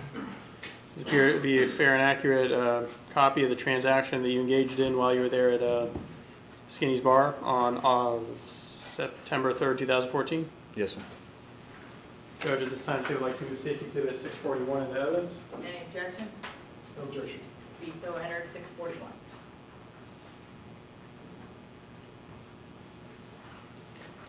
Uh, So approximately, uh, I think you already indicated the time that you left. Where do you go after you leave Skinny's Bar? I went back home. And did you take anyone with you? Adam, that came with me, yeah. Okay. And when you got back to your house, where did Adam Matos go? He went to his house. And that would be- 7719 Hatteras. Did he go up the stairs towards the front door? Yeah, I did see him go towards the stairs, yes. All right. Um, Was that the last point that you saw Adam Matos? No, sir, not that night. Uh, When did you see him again that night? Uh, about 30 minutes later, I forgot something in my truck, so I went up to go um, grab it, and he came out. Okay. And asked if I Uh, want to go back out. And when he came out, did you have any conversation with him? Right, yeah. And he asked if he wanted to go back out to go drinking, and I said no. I had family coming, so I had things to do in the morning. Okay. And then you go back into your residence? Yes. And did, did he go anywhere or was he still wandering around outside? Uh, he went back towards 7719, and I went to my house. And is that the last time you ever saw Adam Matos? Yes, sir. Um, Now, the next day, uh, there come a point where some law enforcement officers were next door. Yes. And then later in the day, leading into the afternoon, late afternoon, were there a lot of law enforcement officers next door? Yes, sir. Um, And at some point, did one of them have contact with you? Yes, sir. And then, uh, did they show you a group of photos? They did. And I'd like to show you what's been previously marked as State- State's Exhibit 633. You can look at that. Um, Is that your signature there? On the second page? Yes, sir. And um, did you look through the photos and pick out the person that you knew to be Adam Matos? I did.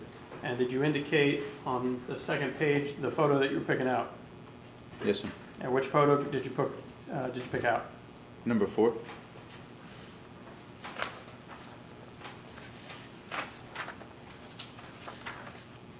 And you signed and dated each page of, uh, of this particular packet? Yes, sir. Uh, Would you agree with me that's page number four? Yes, sir, that is. Is that the one that you selected as the person that you had seen just about every day between August 29th at 12:30 and August 3rd, or I'm Yes. sorry, September 3rd? Yes, sir. And Judge, I'd like to move State's Exhibit 633 into evidence. Any objection? No objection. All right, six thirty-three will be admitted.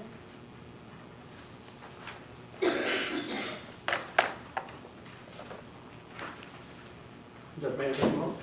You may?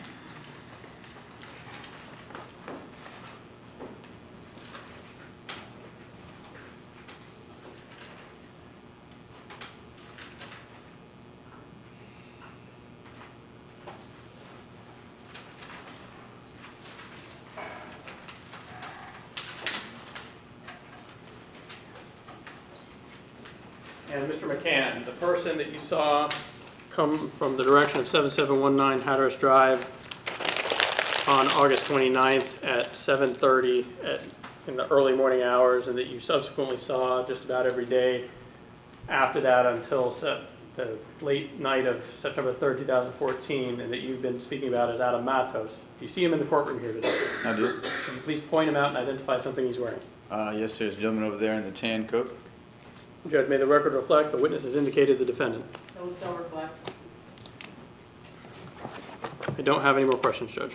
Okay? I can give you the evidence back to the clerk.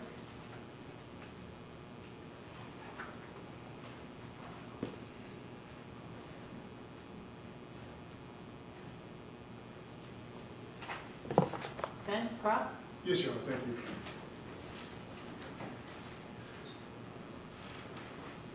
Good afternoon, Mr. McCann, how are you doing? Afternoon. Well, yourself? All right. Let's talk about Thursday, August 28th, 2014. Um, You were expecting company, right? That's correct. It was your brother Alan and sister-in-law Lori, right? Yes, sir. And they were coming in to spend Labor Day weekend with you, right? Yes, sir. And they were running a little bit late, weren't they? Yes, sir. Uh, Because of a flat, I think? That's correct. Uh, You, were- uh, they arrived, what, 12:30 in the morning? That's correct. But they were about an hour and a half late, right? They were late, yes, sir. Roughly that, yeah. About an hour and a half? or- I would say. I can't, re- I don't recall exactly what time they left, but they didn't arrive late. Okay, but you were expecting them around 11 PM, right? Around that time, 11, 11:30. Uh, Sir, are you saying you never did your vacuuming before your brother and sister-in-law were supposed to be there? I'm sorry, repeat that? Are you saying you never got around to doing your vacuuming before your sister-in-law and brother were expected to be there? No, sir, I did not. Okay. Good thing they were late, right? Well, if they would've come, it would've just been a dirty house. Right. Had to deal with it. Is, is it, isn't it possible, sir, that you were done vacuuming before 11 PM? I, I actually don't have a timer on my vacuum, so I would, it could've been before 11 PM. Could have been, okay. And when you were waiting for your family, would that have been out on your dock? Yes, sir. Uh, it's a nice dock, it's covered, right? That's correct. Do you have a table out there and chairs? I do. And it's probably hot in August, so you probably get the nice breeze off the water, right? Sometimes, if I'm lucky. Do you know if, uh, by any chance, if the AC was working at 7719 Hatteras Drive? I'm not aware of it was or not, sir. Now, I think earlier in the day, you had seen, you you testified you had seen Gregory Brown, right? Yes, sir. And you let, you let him borrow a a ratchet wrench, right? That's correct. And do you know what time that was? Roughly around four o'clock in the afternoon.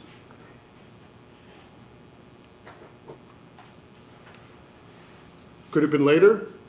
Could have been five? I think more around four. Okay. And I think you testified he was changing a spark plug in uh, the RV generator, right? That's correct. It wasn't the actual spark plugs in the engine, it was the generator in the back, right? Yes, sir. That controls the electric inside the RV? Yes, sir.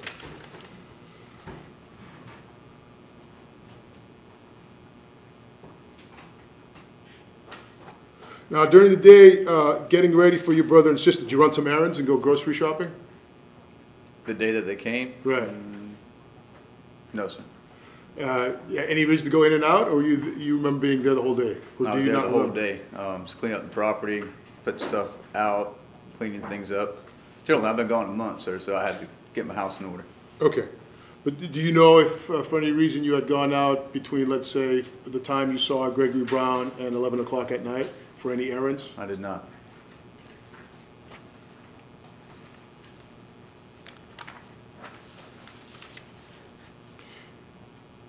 Now, from your dock, you could see the dock at 7719 Hatteras Drive, right? Yes, sir. And you could see the, the back of that house, right?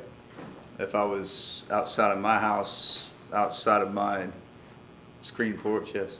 And isn't, is it, is that where you first met Adam and Megan? And you guys were, they were in their deck, they were working on the pool, and you in your deck, that's how you introduced yourselves? Yes.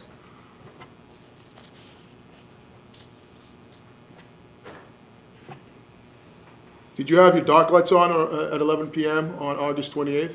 Mm, No, sir.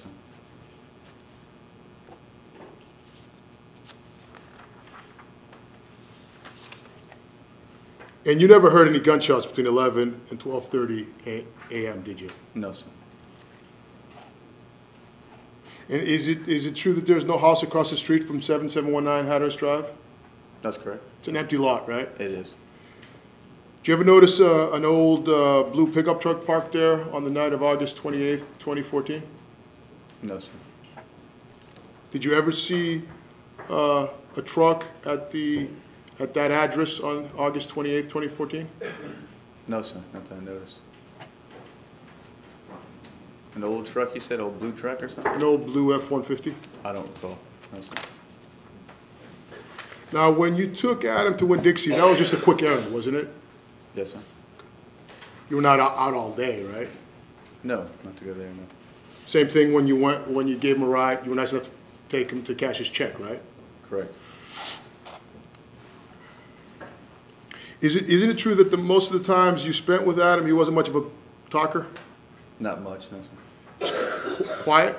Quiet, I'd say yes, sir. Kept to himself? Yes. Polite for the most part?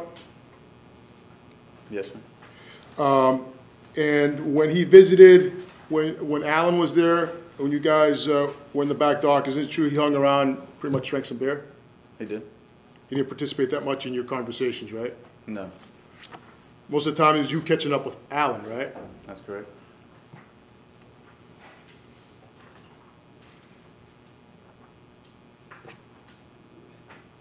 Now, when you went to uh, Skinny's Bar with Adam, uh, you didn't mind his company, obviously.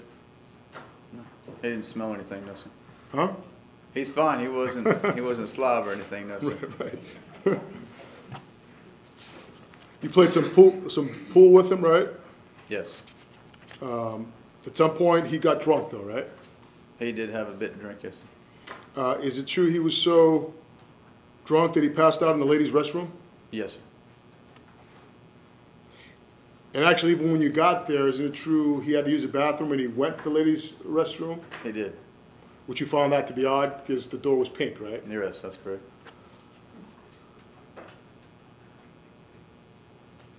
Now, you said something about him helping you get in your uh, front door when you locked yourself out, right? I did? I'm assuming you locked yourself out by just pulling the door and it was locked, right? Yes, sir. This was a a knob lock, it wasn't a deadbolt, right? Correct, it's the bottom lock. You would agree with me, it's hard to lock yourself off the deadbolt because you have to turn the key, right? Yes, sir.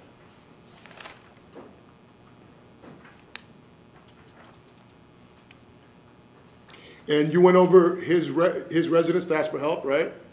I was outside of my home, and Right. he was outside as well, and that's what I was doing, because I was trying to find a way into the house. Right. Yeah. All right, and then uh, he volunteered to help, right? Yes, sir. And th-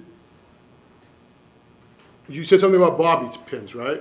Yes, sir. Did you see him uh, open the door with the bobby pins? I did. Okay. Uh, do you remember, it, it was Megan who gave him the bobby pins, right? That's correct. All right, so she was aware that you had locked yourself out as well, right? Yes. And she knew what Adam, Adam was trying to help you, right? Yes. And She went and got a bag of bobby pins and gave them to Adam, right? Yes. So she was aware of that. Yes. One moment, Your Honor. All right? No further questions, thank you, sir. Okay. Any redirect? All right, sir, you may step down. Thank you very much.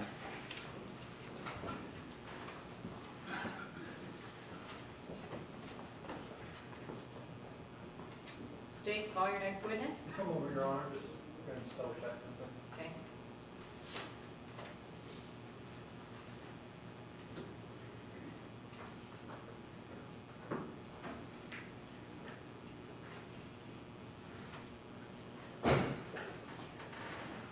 State rest judge. All right, ladies and gentlemen, the state is, has rested their case. At this time, it'd be a good time to let you go for the evening. I have some matters to address with the um, lawyers that will take 30 or 40 minutes, so we'll probably be close to 6 o'clock anyway. If I had you go out, did it, had you come back, it would be 6 o'clock, so there's no reason for you to do that. Um, Again, I'll remind you, although the state has rested their case, the case is not over. Um, No talking, tweeting, or texting about the case. Um, We'll have you back tomorrow morning at 9:30, and we'll start up uh, right on time tomorrow. I I filled in for another judge this morning for briefly, so that's why I was late, but we'll be on time tomorrow morning, okay? So 9:30, we'll see you, and you all have a nice evening, all right? I'm sorry, pool room, yeah. Jury pool room again. Is that warmer than my? While we're discussing things, we'll leave the door open. That usually regulates the temperature in there a little better.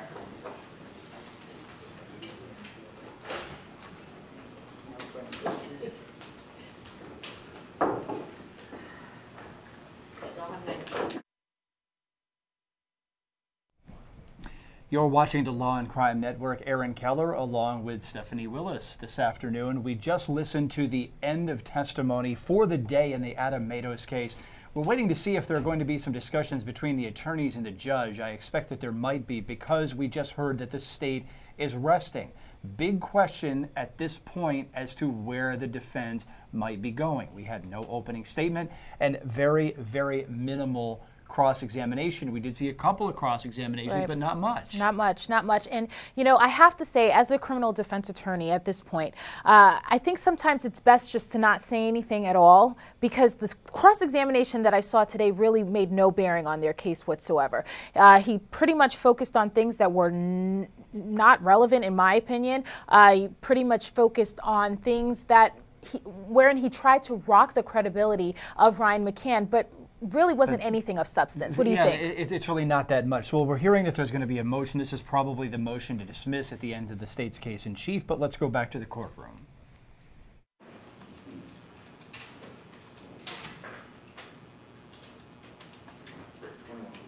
Go ahead. I don't know if you're on a moment to review. I No, provided you Actually, with. I've read copies. most of this, so uh, as you go along, I can read. Your Honor, when the evidence in a case is circumstantial, a special standard applies whereby the evidence relied upon by the state must be inconsistent with every other reasonable inference that could be drawn. And I'm citing to Norton, um, which is one of the cases I've provided, that's 709 Southern Second 87. That citation is at um, 92. And that cites to Holton versus State 573 Southern Second at 289. The evidence in this case, in the light most favorable to the state, is that is briefly as follows. On the early morning of August the 28th, Megan Brown called law enforcement saying that Adam Matos had assaulted her by holding a knife to her throat. In an interview, he denied that. Um, Officer Heidergen met with her, took a picture of an injury to her thumb, noted that she had been drinking and that she had no injury to her throat, and told her to call him if she saw Adam Matos again. No other witnesses corroborate that except that she told people at work and Nicholas Leonard she called him upset. Um, During the day of August the 28th, Adam Matos called Megan Brown a number of times. People who saw or spoke, people saw or spoke with uh, Megan Brown, Margaret Brown, Greg Brown, and Nicholas Leonard at various points on August the 28th, the latest being Margaret Brown after 11 o'clock when she left her shift at Wawa. Just before midnight on August the 28th, people walking their dogs said they heard four gunshots in the general area of 7719 Hatteras Drive. After about 12:30, Adam Matos came over to Ryan McCann's house. On August 29th, he began selling some items on Craigslist and bought a shovel at Walmart later that evening. On August the 30th, people began to notice an odor coming from the house. Um, During that time period from August the 30th, there were some pizza deliveries to the house that saw Mr. Matos and also the child Tristan there. On September the 4th to the 5th, Mr. Matos and Tristan traveled to Tampa. On September the 4th, Deputy Silva did a welfare check and bodies were found that day. Um, Mr. Matos later made statements denying his involvement. The circumstantial evidence in this case involves the fact that there are no admissions, no physical evidence linking Adam Matos to any of the deaths, the four victims in this case, and the state, I'm certain, is going to argue and during the closing point to Mr. Matos and say that it's because that man got rid of the evidence due to the trash bags, the items in the canal. But at this point, I'd say that's putting the cart before the horse, and the court need not speculate on what might have been in the trash bags, any physical evidence, and the court would, needs to present, to review what's been presented by the state. There's no time of deaths, there's an approximate time frame, there's no order of the four deaths, there, again, is just approximation. All weapons or, that are said to have been used have been accounted for as items from the house, including a firearm belonging to Nicholas Leonard. The case law that I provided to the state, again, there are four cases. The first one being Hodgkins versus State, 175, 7 3rd, 741. That's a Florida Supreme Court 2015 case. In that case, the Supreme Court found the evidence insufficient to sustain a conviction. Sometime in that case, just briefly the facts, sometime between 2.33 p.m. on um, September the 27th and 5.30 a.m. on September the 28th, the victim in that case, Teresa Lodge, suffered 32 injuries, including stab wounds and strangulation. The defendant, in that case, Mr. Hodgkin's DNA was found under her fingernails. He was interviewed multiple times by law enforcement, gave them three different stories about his last contact with Ms. Lodge, first predating it to several months earlier and then moving it closer to the time frame during each subsequent interview. Based on his inconsistent statements, the listed victim's hand washing habits, including her coworkers testifying that she constantly washed her hands and that she had done so on the 27th, um, and the condition of the DNA, the jury convicted. The court reversed, stating, where the only proof of guilt is circumstantial, no matter how strongly the evidence may suggest guilt, a conviction cannot be sustained unless the evidence is inconsistent with any reasonable hypothesis of innocence. That's on physical page five of the case at um, page 746, citing to 351 Southern Second 972. The court went on to note in Hodgkins that even a deep suspicion the appellant committed the crime charged is not sufficient to sustain a conviction, citing to Lindsay versus State, 14 Southern 3rd at 216. I've also provided the court with Dausch versus State, that's 141 Southern 3rd 513, that's a 2014 Supreme Court case where the defendant's fingerprints were found in the car, but it was not found, it was found not to be inconsistent with the theory that he hitchhiked with the person who actually committed the offense. In Long versus State, that's a Florida Supreme Court 1997 case, which is actually out of Pasco, that's 689 Southern 2nd 1055. There's also information um, I'll just skip to Norton versus State. The court has a copy of Long versus State. But Norton versus State, 709 Southern 2nd 87, that's again a Florida Supreme Court case, where the circumstantial evidence was sufficient to sustain a murder conviction, it was not sufficient to sustain premeditation. In that case, the defendant and the victim dated and had been seen together on the night the victim was killed. The victim's blood was found in the defendant's car. A spent casing was also found in the defendant's car. The victim was shot in the back of the head. The defendant bought cleaning supplies on the morning the victim's body was found and had also removed the carpet from the vehicle. In that case, The court specifically noted that the fact that the appellant may have taken steps to conceal evidence of a crime does not establish that he committed the murder with a preconceived plan or design. That's um, citation to page 93, which is physical page 6 of the case I provided. In this case, Your Honor, the haphazard actions, even in the light most favorable to the state, would negate premeditation. There is no evidence that Mr. Matos went to the house with a weapon.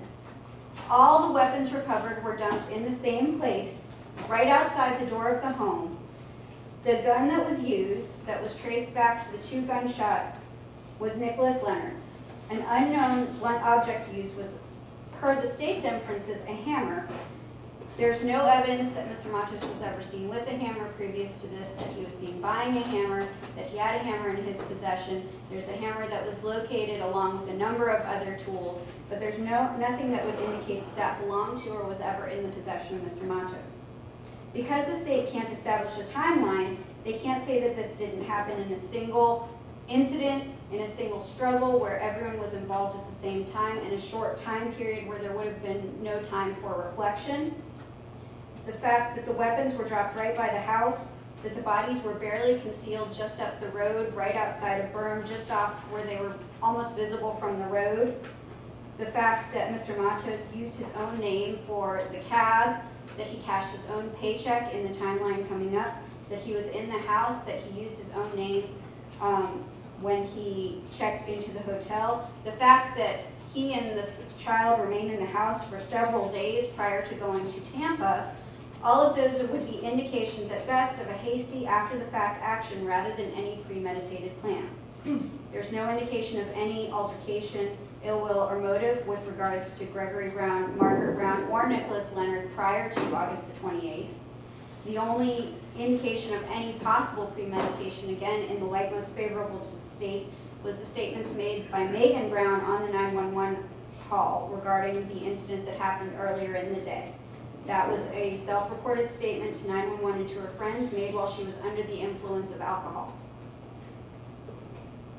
In the manners of death, Megan Brown was shot with a single shot from enough distance that it didn't penetrate to the back of the skull because there was no exit wound. Gregory Brown was shot, um, the only wound that they were able to identify was a single shot to the pelvis. There were possible but unclear whether there were any other injuries. On Nicholas Leonard, there was indication of multiple blows. However, the medical examiner was not able to say with any degree of certainty whether it was a single blow or repeated blows that would have been the cause of death or when they would have occurred in what order. Margaret Brown obviously is the most difficult one in regards with the fact that the medical examiner did testify that the um, ligatures on her neck could possibly have been prior to death with an indication of the plastic bag being placed over her head prior to the death. However, he also said that it's possible that it was placed there afterwards based on the fact that the brain matter was found inside of the bag and that accumulated with the um, blood spatter, which was outside and was on the wall, would indicate that there's a good possibility that the bag was placed post-mortem. And so on that, the injuries there were skull fractures, which the, um, again, the medical examiner was uh, unable to say with any degree of certainty exactly which one or how many had caused the actual death. The bottom line here is that establishing exactly what happened and when is a puzzle the state has tried to put together, but they are missing the key pieces to overcome the circumstantial nature of the evidence. I'm listening, but you're not getting it typed down keep talking as fast as you're going. Yes, Your Honor. Okay, I, I'm having a hard time following you, so I know she can't type it, so i- if you just slow down, I'll give you all day. So I, I got your argument, but you're gonna have to slow down, okay? Go ahead. Well, based on that, Your Honor, again, um, we would just ask that the court consider granting a judgment of acquittal as to each count in this case. If the court does not find that it's sufficient to jan- grant a judgment of acquittal at this time based on the highly circumstantial nature in this case, we would ask the court to consider granting a judgment of acquittal mm. down to a second-degree murder based on the fact that there is unable to have, the state has been unable to establish any evidence of premeditation. If I could just have one moment, Your Honor. Certainly. That's all. State?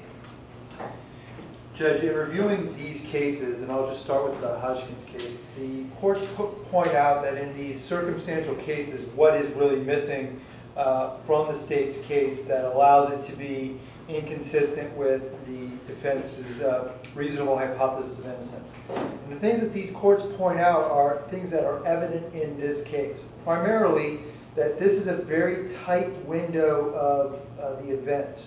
We have evidence that placed the victims alive at various points throughout the day on uh, August the 28th of 2014. And then it isn't until the early morning hours of August the 29th that when the defendant is beginning to sell the property uh, of these individuals that are, are now deceased. So we're talking about a time frame that is fairly tight uh, and is something that the court should consider in the circumstances of this case. In addition to that, there are witnesses that place Mr. Matos at the residence uh, in close proximity to the times in which this murder uh, occurred. If the defense is correct and we can't lay out the exact timeline, we can say that Mr. Matos is there pretty much every day, all day, except for when he's away at stores, or we can prove where he's at, or when he's with neighbors at the next door uh, neighbor's house. So Mr. Matos, eyewitnesses put him there during all relevant time frames of this case. Uh, he's the only person that is placed there during, during the relevant time periods of this case. In addition to that, the only other person inside the residence is Tristan. In fact, the evidence suggests that Mr. Matos was not allowing any other person in or near that residence during the relevant time frame due to the uh, horrific odor emanating from this residence. So as to the placing them there at the scene during all relevant time period, uh, that is something that the Hodgkin case lays out. I, I think that, that the evidence is fairly uh, substantial as to his presence there. Um, a lack of motive is one of the things, or the lack of ill will, hatred, and spite, uh, or a lack of motivation to commit these killings. Well, the, the law, the court has accepted evidence as it relates to the 911 call. And now, that is a very clear indication of motive and ill will, hatred, and spite, and animosity towards at least Megan Brown in, that, in this case. That animosity could easily extend through the transferred intent theory to uh, Nicholas Leonard. Um, and though, so there is motivation for him to commit this crime. There's very clear evidence of that. Uh, although he will deny and downplay and say he doesn't remember the nature of that disturbance, uh, the, the testimonial evidence by way of the call clearly paints a different picture than what Mr. Matos' memories of the event are, you know, just a few days after the 911 call is placed. So there's a very clear uh, indication of motive in this in this uh, house, and, and, it's not too far of a stretch to say, uh, as you look at the evidence in this case, that he kills everyone in the house. Uh, and so there is a very clear indication of, that he's not going to leave any witnesses behind as to uh, the, the events that unfolded in the, the residence. Um, there is very clear evidence that Mr. Matos concealed, disturbed, removed evidence inside the, the residence, which is inconsistent with any theory that's been, that's been pushed forward by the defense as to his innocent behavior uh, that he's in the residence. The evidence is actually to the contrary. We've had testimonial evidence that there were a number of trash bags removed from the residence. The trash bags that are found remaining at the evidence is a very clear indication that he is the person throwing away the property. There's a shirt that he was wearing in one of the videos that's later found in one of the trash bags. The property had been moved inside of the residence during the time frame for which he's in the residence. So this, it, to try to spin that there is a, uh, that there's some sort of, uh, that this evidence is, is, inconsistent with a reasonable uh, hypothesis of innocence is correct. There is, a person would not act in that manner. Um, look at the other, the other things. Um,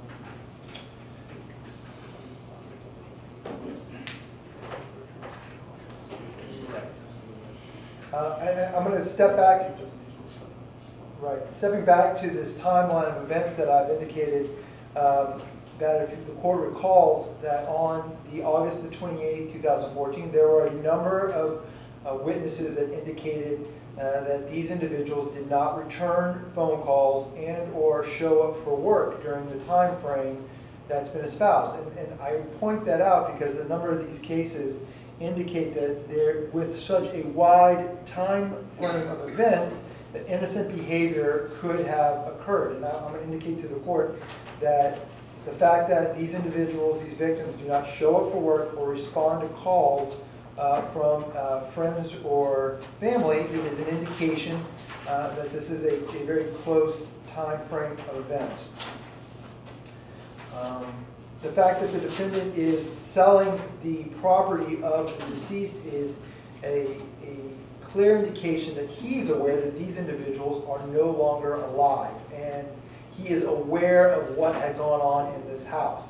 Uh, the fact that he is selling their property as recent uh, in time as August the 29th is a clear indication of his knowledge of the events.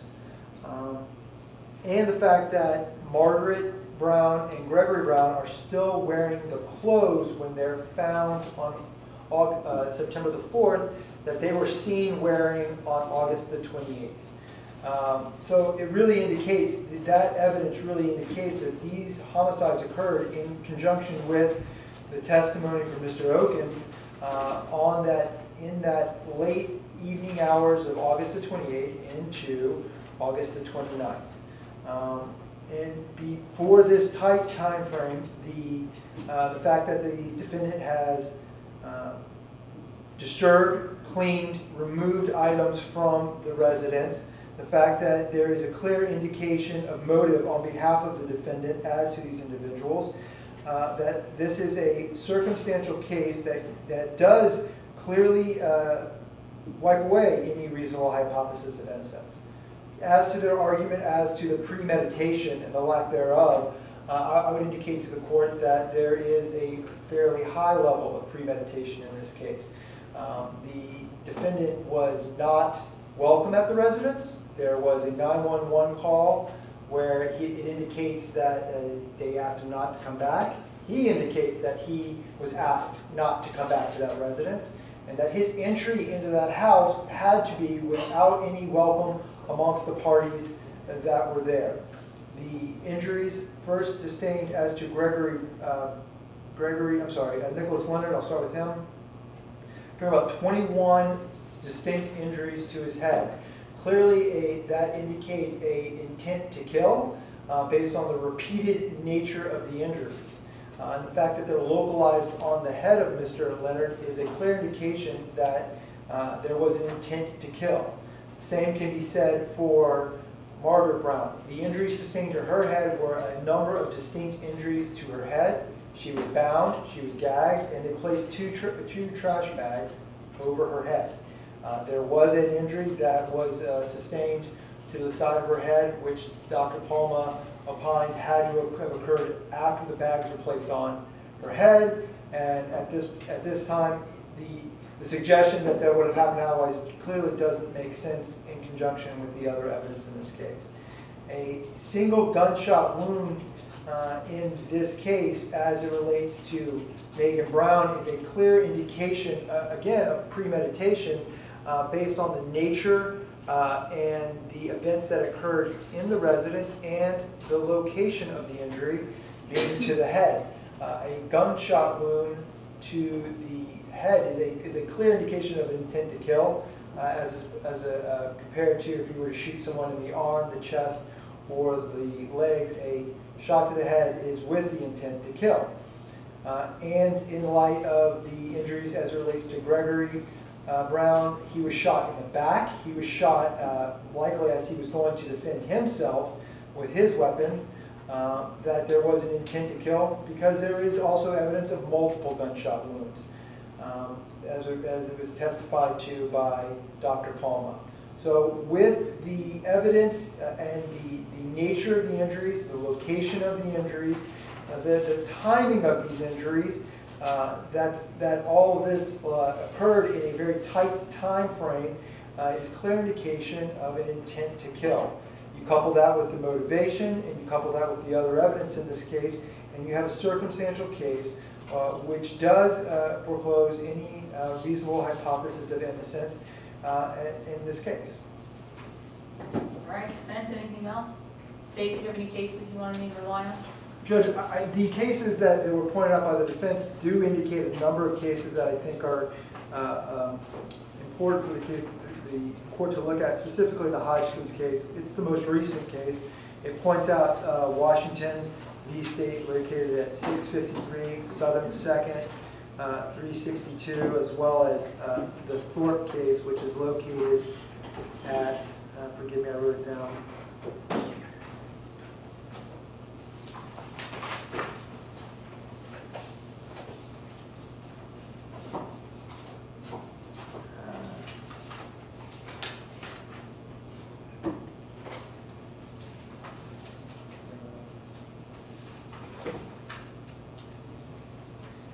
Well, uh, I'll have to find the cite again, but those two cases, I hear this, uh, 777 Southern 2nd at 390. Um, Those cases uh, indicate where, where the court engaged in a comparison of circumstantial cases uh, and where they indicated that, you know, the record established the defendant's proximity to the crime scene and uh, the evidence as to a tight timeline as to the act, the activities in those cases were strong indications against a a reasonable hypothesis of innocence. Okay. Anything else, Ms. Garrett? No, Okay. um, First of all, the uh, court will find in the light most favorable to the state that the state has proven that uh, by circumstantial evidence that the defendant committed the crime and that um, specifically um, citing to the Norton case, which you gave me on 709 Southern 2nd 87, um, it says that uh, the state in the Norton case introduced testimony of eyewitnesses who saw the appellant and Thornton together between 10:30 and 11, the night she was killed. Um, it- The evidence directly contradicts the appellant's version of the events, that he was home sleeping, sleeping, and the circumstantial evidence rule does not require a jury to believe the defendant's version of events where the state has produced conflicting testimony. In the Norton case, they um, stopped Mr. Norton in his car. The victim was killed by a single gunshot wound to the back of the head. Um, The the shell casing was found in his car along with blood. Um, And um, he tried to clean it up by purchasing cleaning supplies. And the court found that, given the time frame that the people were seen together, the fact that blood was found in his car, the shell matched the bullet that was found in her head, um, that, and that the tight time frame in that case, that the court found that the state um, had proved by circumstantial evidence that an unlawful killing of the victim had occurred. So, to, and I'm doing it in two parts because that's kind of how I have to do it in this case. Um, most clearly in this matter, um, the three individuals, um, well, four individual, three were seen by the police, and then the fourth was seen as a Wawa. So, I mean, you have um, Megan Brown on the 911 tape, uh, you know, seen by law enforcement twice before noon on the um, 28th of August. Um, There's video, um, excuse me, there's, there's audio of her saying that he threatened to kill me. Um, She's obviously hysterical in the 911 tape. What she says on the 911 tape is backed up by, you know, not just taking the 911 tape, it's backed up by the photographs of the injury to her hand where she said he used the knife to threaten her, threatened to kill her. The knife is there, she has injuries to her hand, um, and the defendant is not there, and he's gone. They come back because Nicholas Leonard calls 911, so again, you have him uh, contacting law enforcement on the 911 tape uh, in the time frame that we're talking about, on 828. you have dad at the, uh, the two locations on the video. He's also seen by the neighbor, Mr. McCann, who just testified in the yard on the 28th. So every person who was found in the pile uh, a week later is accounted for on August 28th. Um, the defendant is not there. No one sees him there after he leaves the early morning hours after the uh, 911 i- tape is made. Um, the defendant is seen again at that location at 12:30 a.m. on 8/29. Um, and the court will note that um, Mr. McCann, Alan McCann, said that he actually went back to his records of his phone and saw that because he had texted and called, because when he knocked, his brother didn't answer. So he texted and called, so he went back to his records and he was able to verify that time really accurately for the jury. So they heard that, that he arrived on, at 12:30 a.m. on August 29th, knocked on the door, no response. He text, texted his brother, he called his brother, and his brother came out. He's now Brian McCann, who who now testified today. And while they're moving the, the luggage into the house, up walks Mr. Matos, the defendant in this case. So he's not seen from 6 a.m. on the 28th until 12:30 a.m. on the 29th. The victims are last seen at about 4 p.m., at least Greg Brown, uh, on the 28th. And then we have Margaret Brown leaving the Wawa at 11 p.m. after her shift on the 28th.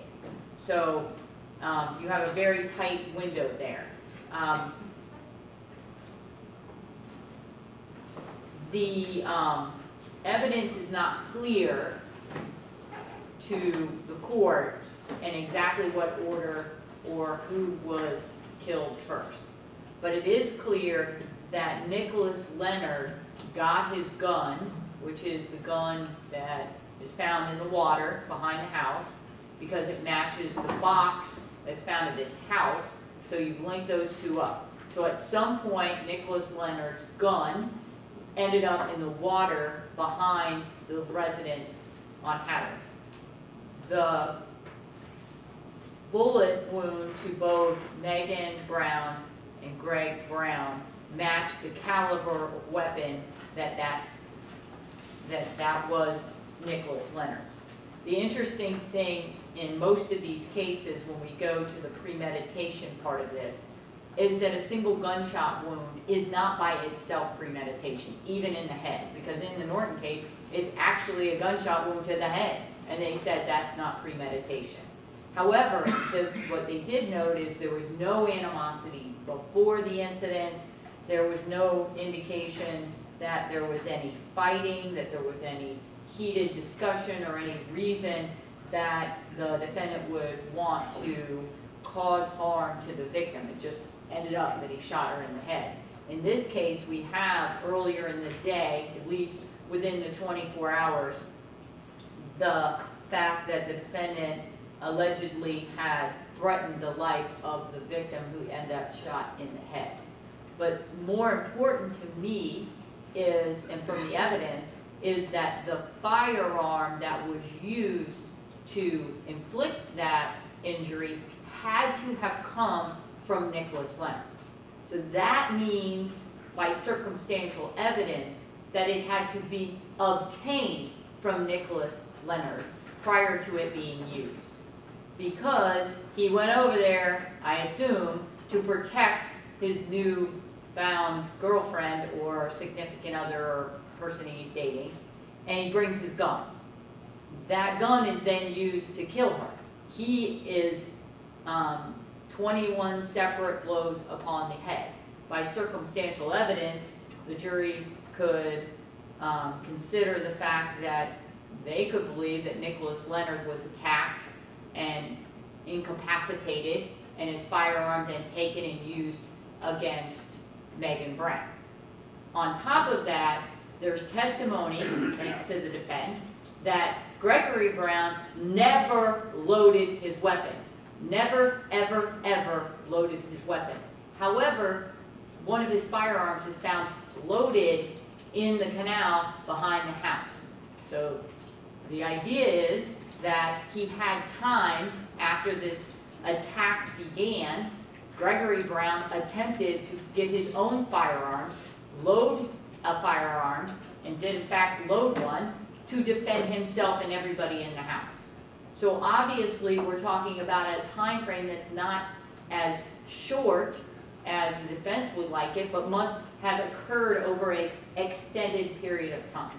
It must have had enough time for Nicholas Leonard to be beat about the body, the head, he got, I think there's wounds on his arms from a knife, so there's, there's a lot of, there's a lot of injuries to Nicholas Leonard that must have occurred at some point with the likelihood that it occurred prior to Mr. Matos obtaining the firearm that he ultimately used to shoot Megan Brown in the head. So that shows that he had uh, attacked for a very long length of time these three individuals upstairs.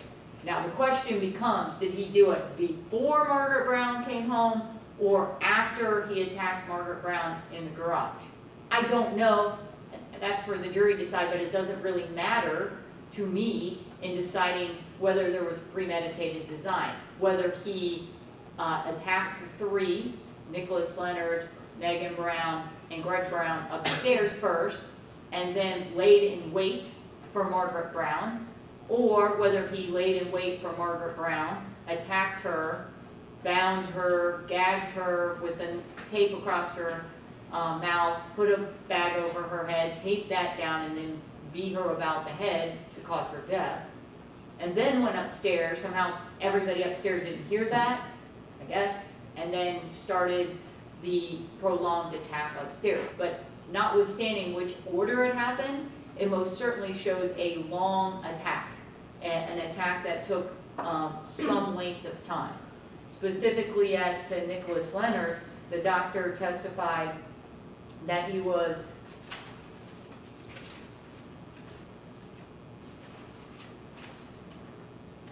Twenty-one separate blows to his head, five to the top of his head, four to the right side of his head, nine to the left side of his head, and a gaping uh, slash injury to his jaw. He also had uh, injuries to one of his knife wound or sharp wound. I'm calling it a knife only because it was a sharp force wound to his um, arm. So obviously the attack on Nicholas Leonard was an extended attack using multiple weapons causing death.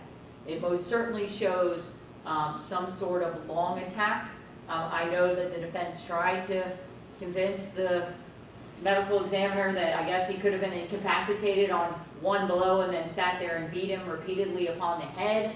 Uh, I don't believe Dr. Palma was um, opining that, and he basically said he didn't believe that that was a reasonable way that it occurred, but it wouldn't have accounted for the sharp injury to his arms or to his jaw. So the beating upon the head obviously occurred during the knife injuries um, and it had some length of time. So it's not a single blow and then he just sits there and beats him with the hammer. There was other instruments used to attack Nicholas Leonard. Again, that occurred, that is a, a lengthy um, injury with multiple blows which would show premeditation because it's going to take time every time he uses the hammer to strike the victim, and, and the doctor couldn't say that any one blow would have caused death. It was the multiple injuries to his head. Again, um, as to uh, Megan Brown, the reason that I'm finding premeditation is because the firearm that was used to cause her death had to have come from Nicholas Leonard. So the injury to Nicholas Leonard's had to occur at, at least parts, parts of it prior to him getting the firearm that he then turned on Megan Brown. As to Gregory Brown, again, there was premeditated. He ran to his closet, obviously was able to get a gun. He was able to load that gun, but he was shot from the back. So obviously there was some premeditation to chase him down, to go into the closet, because the, that, that's the one other thing is that these people were murdered in different rooms. So obviously there was movement across the house to get from one victim to the other victim to the other victim which would indicate that it, it was an extended length of time. Now, Margaret Brown specifically, with the testimony of the blood spatter expert, was obviously attacked downstairs after she came in with her van. Um, obviously, she was attacked, blood came off of her injuries onto different locations throughout the, the, that garage and into that hallway. Um, there's blood up high, there's some down low. And then at some point, the plastic bag is put over her head, and then the fatal blow that caused her death occurred. And that occurred after the bag was placed over her head because Dr. Palma said that the, the brain matter that was in there would have occurred after the bag was put over her head. Um, and she was bound and tape was put over her mouth. Um, you wouldn't do that. There's no reason to do that if you were just trying to incapacitate her. Obviously, they were trying to um, keep, keep her from going into the house, which would lead to the idea that they, she was attacked first, she was incapacitated, and then the person, Mr. Matos, went upstairs uh, and hand, handled the other four um, people. Again, the fact that he attacked one downstairs and then moved upstairs to all four victims, putting together, would show a premeditated design based on the actions of the defendant. So he didn't just attack one person and then, oh, I don't know what's gonna happen. He went from person to person, from room to room, based on the blood spatter expert, and caused the deaths in different rooms. He then tried to clean it up. Um, he then disposed of the bodies, but that alone doesn't show premeditation. What he did after cannot be used to show the premeditation, but the physical evidence does show that these people were murdered in different rooms in a house, which means he had to move from room to room to cause the death, which shows premeditation in every case. So as to um, a judgment of acquittal to a second degree murder, um, the court will find that the state has, in the light most favorable to the state, proved a prima facie case to go to the jury on murder in the first degree on all four victims under a premeditated design. Defense, any other argument? No, Your Honor. State, anything else? No, Your Honor. All right, so defense, uh, you ready to put on your case tomorrow? Yes, Your Honor. All right, how many witnesses do you think you'll be calling? Possibly three? All right, are they gonna be ready at nine thirty? Yes, Your Honor. All right, and then the, do we know whether the defendant, um, what time do you think it'll take, nine thirty, how long will each witness be? An hour, thirty minutes? We're hoping we'd be done by lunch. With your entire case? Yes. Okay. Yes. All right, so um, if that is true, then you all should be ready for closing arguments. What I'll probably do, um, if the time frame goes the way that we're talking about, now I'm not holding anybody's feet to the fire, believe me, I know how this goes, um, that we'll be doing closing arguments tomorrow, then I'll send the jury home, I'll bring them back on Thursday for instructions and for them to start to deliberate.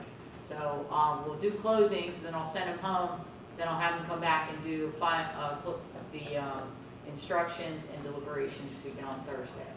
Any questions from either side? No, Judge, but we'd ask you to, we'd ask you to inquire the defendant now, and um, if he could give his response tomorrow morning. Well, I talked to him a little bit about it the other day. I don't know if you were here. I believe so, Judge. but Okay. I just want to make sure that, you know, he's under, uh, we've already talked to him, and we've told him definitely it's his decision. He's under, uh, uh, we cannot force him to testify, don't want to force him to not testify either.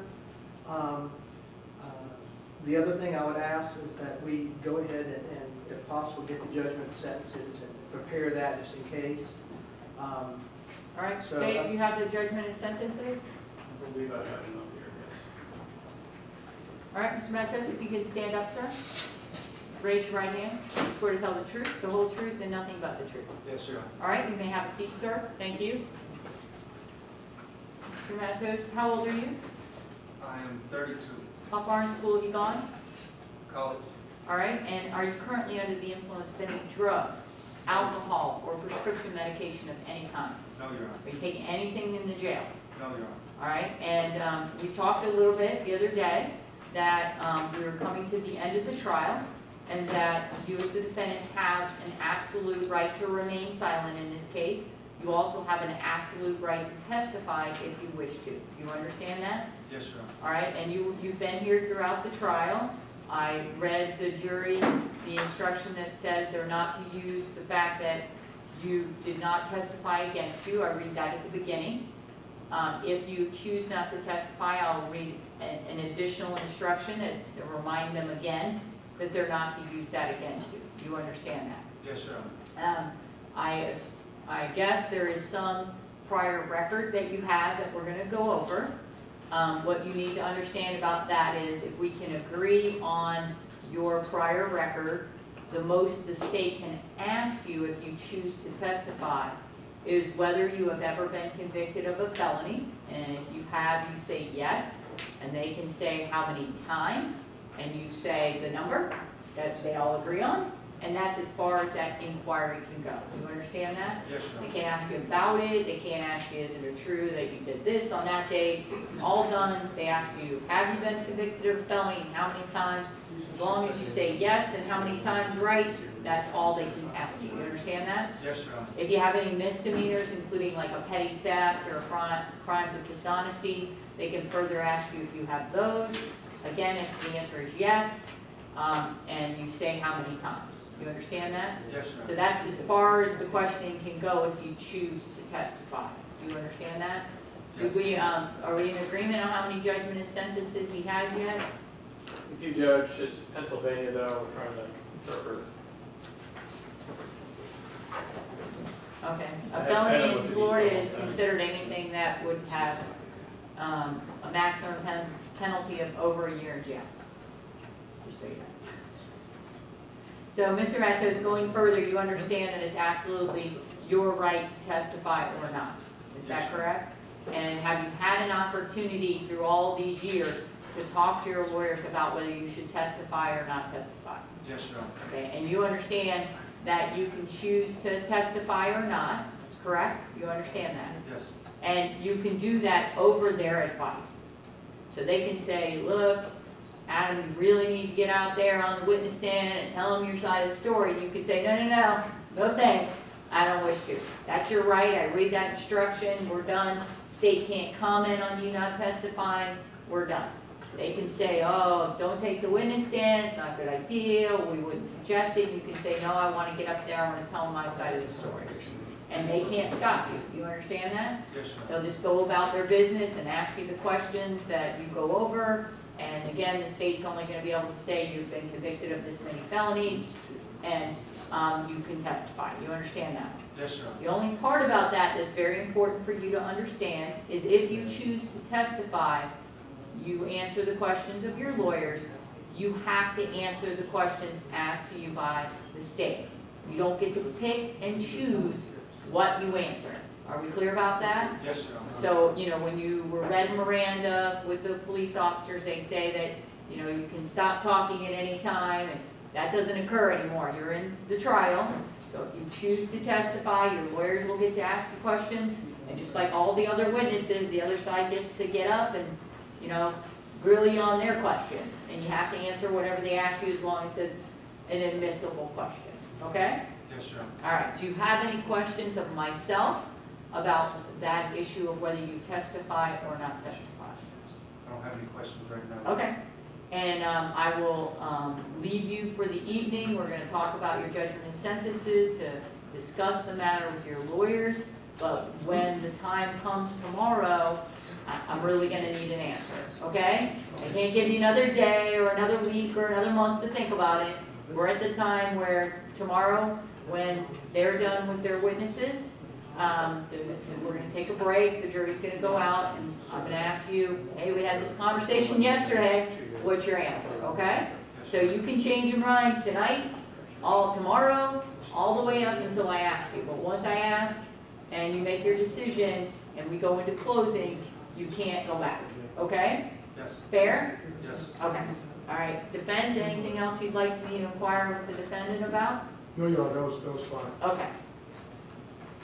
Have we agreed on his judgment and sentence?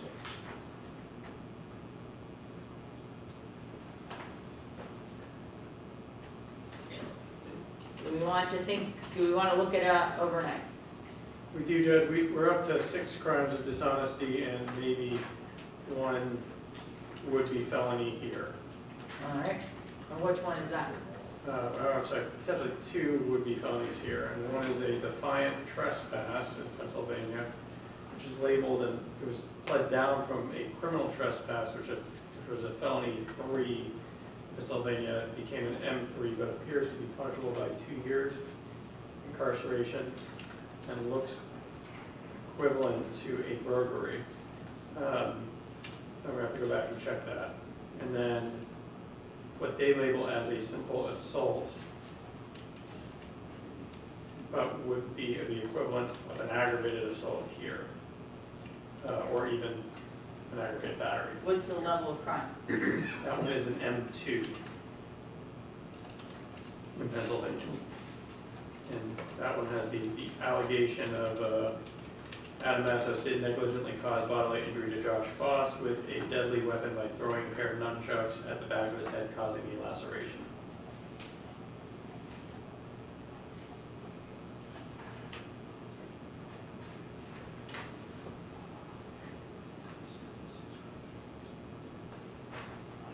Judge, we're going to step to six crimes of dishonesty. I know it's a different um, jurisdiction. Um, I did look at those certified copies that the state has. All right, it appears that in the state of Pennsylvania, a first-degree misdemeanor is punishable by up to five years, or uh, excuse me, yes, five years in state prison. And a second-degree misdemeanor is up to two years in state prison, and a third-degree misdemeanor is up to one year in county jail. So it appears from the sentencing guidelines that the, anything that would be a first-degree misdemeanor or a second-degree misdemeanor would be considered a felony under our rules. And we're kind of getting into semantics, but We'll, do- we'll do some research on that, Judge, just to double check that overnight.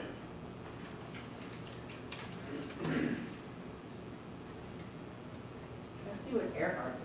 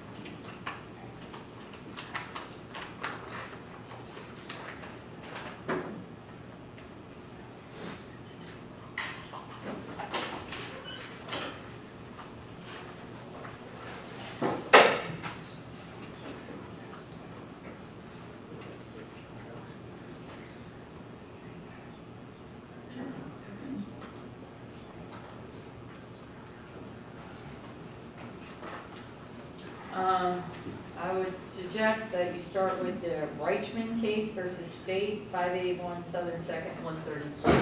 Ehrhardt seems to say if the, the state or the defense, whoever's asking the question, can show that the punishment for that crime in that jurisdiction is more than one year in jail, then it would be considered a felony. That they could be. Second, I'm sorry, oh, Judge. Sorry. I'm sorry. Five eighty-one, Southern Second, one thirty-three. It's a Supreme Court case, nineteen ninety-one. I'm sure it has a lot of stuff since then, I'm just giving you the first thing that Eric Ehrhardt has here. Um, I know that, um, our client believes that he was told by his counsel up there in Pennsylvania that, um, the, they were all reduced to misdemeanors. Uh, That is the correct term in Pennsylvania. Yeah, I know it's like five of them would, apply- would, would be considered, uh, five of them are punishable by more than a year. So five of them, it would be equivalent of five felony convictions and two crimes of dishonesty.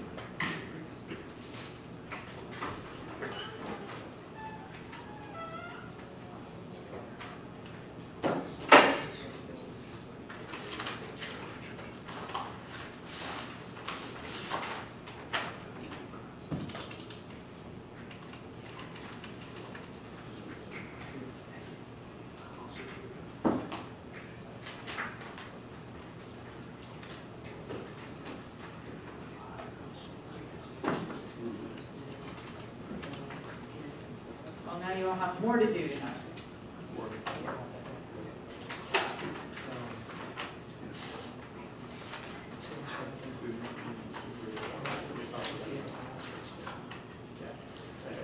Okay, all right.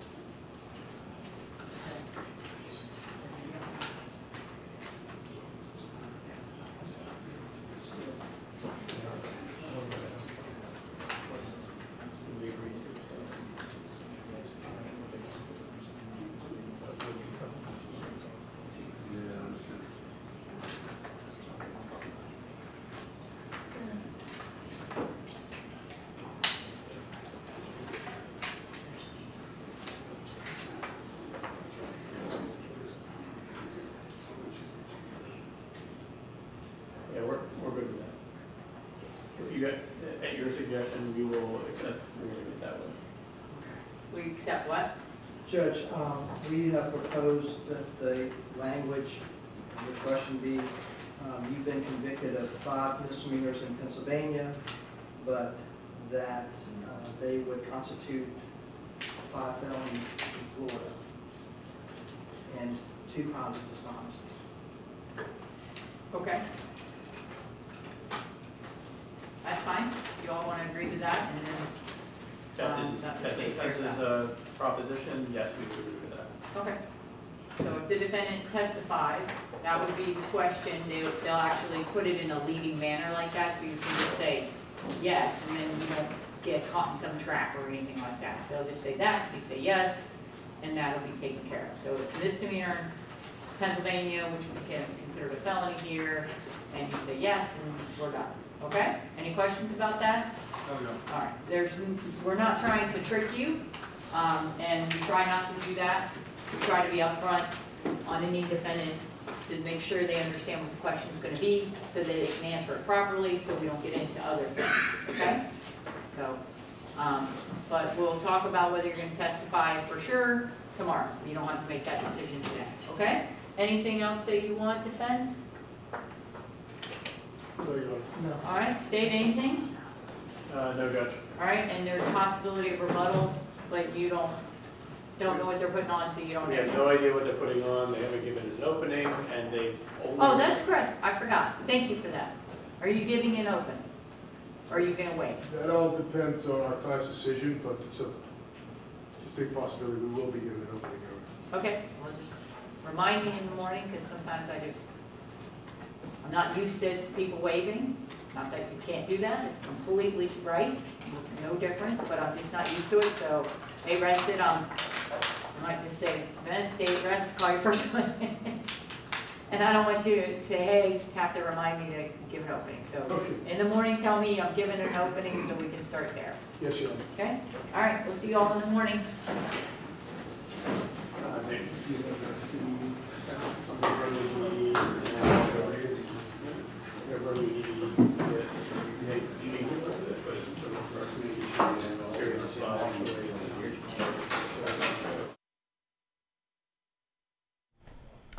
We have reached the end of the day in the Adam Matos case out of Florida. Some lengthy discussions right at the end of the day as to whether or not the defendant is going to testify, and if he does, just what elements from his prior record in Pennsylvania will come into the case in Florida. Now, this is assuming he'll testify. If he testifies, this is the standard rule in every state, his prior record can come into evidence to impeach his testimony. The trick is that Pennsylvania law doesn't easily match up with Florida law, and that's the process that the attorneys and the judge were trying to go through, taking crimes from Pennsylvania, trying to plug them into Florida, and then see how they fit. And it's weird, Stephanie, that in Pennsylvania, things are considered misdemeanors, Right. even though they're punishable by well more than a, Than a year, year. Because in most states, that would be a felony. Exactly. So in most states, what we have is that if uh, a a crime is punishable by more than a year, then it would be considered a felony. And I know you and I were having a discussion um, on this while while uh, the judge was speaking. It's that. Uh, it, in my opinion, it just seems kind of unfair. We know that this is uh, generally what happens from state to state once a state is, uh, I guess, transferred, once a crime is transferred in, excuse me, from one state to another based upon the defendant's uh, pr- uh, previous convictions. But it just seems as if why, what, why call it a misdemeanor then, right? Uh, Well, I mean, I think, I think the problem isn't necessarily one of unfairness because if, if it if it's a crime that's punishable by this amount of, Right. then look, if it, if it's this in one state, you know, if it's a spade in one state and th- then it ought to be a spade in the other state. You know, just because they they use different versions of it, they, they've got to. You know what I'm saying? I Agreed, mean, I hope but that I'm making sense. No, you are. You're making perfect sense. But where I have a problem with it is generally, I believe uh, the the convictions that are, the state will attempt to bring in, should he decide to testify, is um, um, convictions based upon his propensity to tell a lie. So um, if these misdemeanors are coming in and he does decide to testify, that's another axe against uh, Adam Matos in this case. So I, that's where I, I, I tend to see, I guess, uh, you know, I tend to, to see it as a little unfair that Well, you know, these, they- they uh, what's called a misdemeanor uh, in one state will be able to come in in another. Well, it, it seems to me that just because Pennsylvania does this thing that is uncommon, where they call in most states, look, it, the rule is that if the crime is punishable by more than a year Right.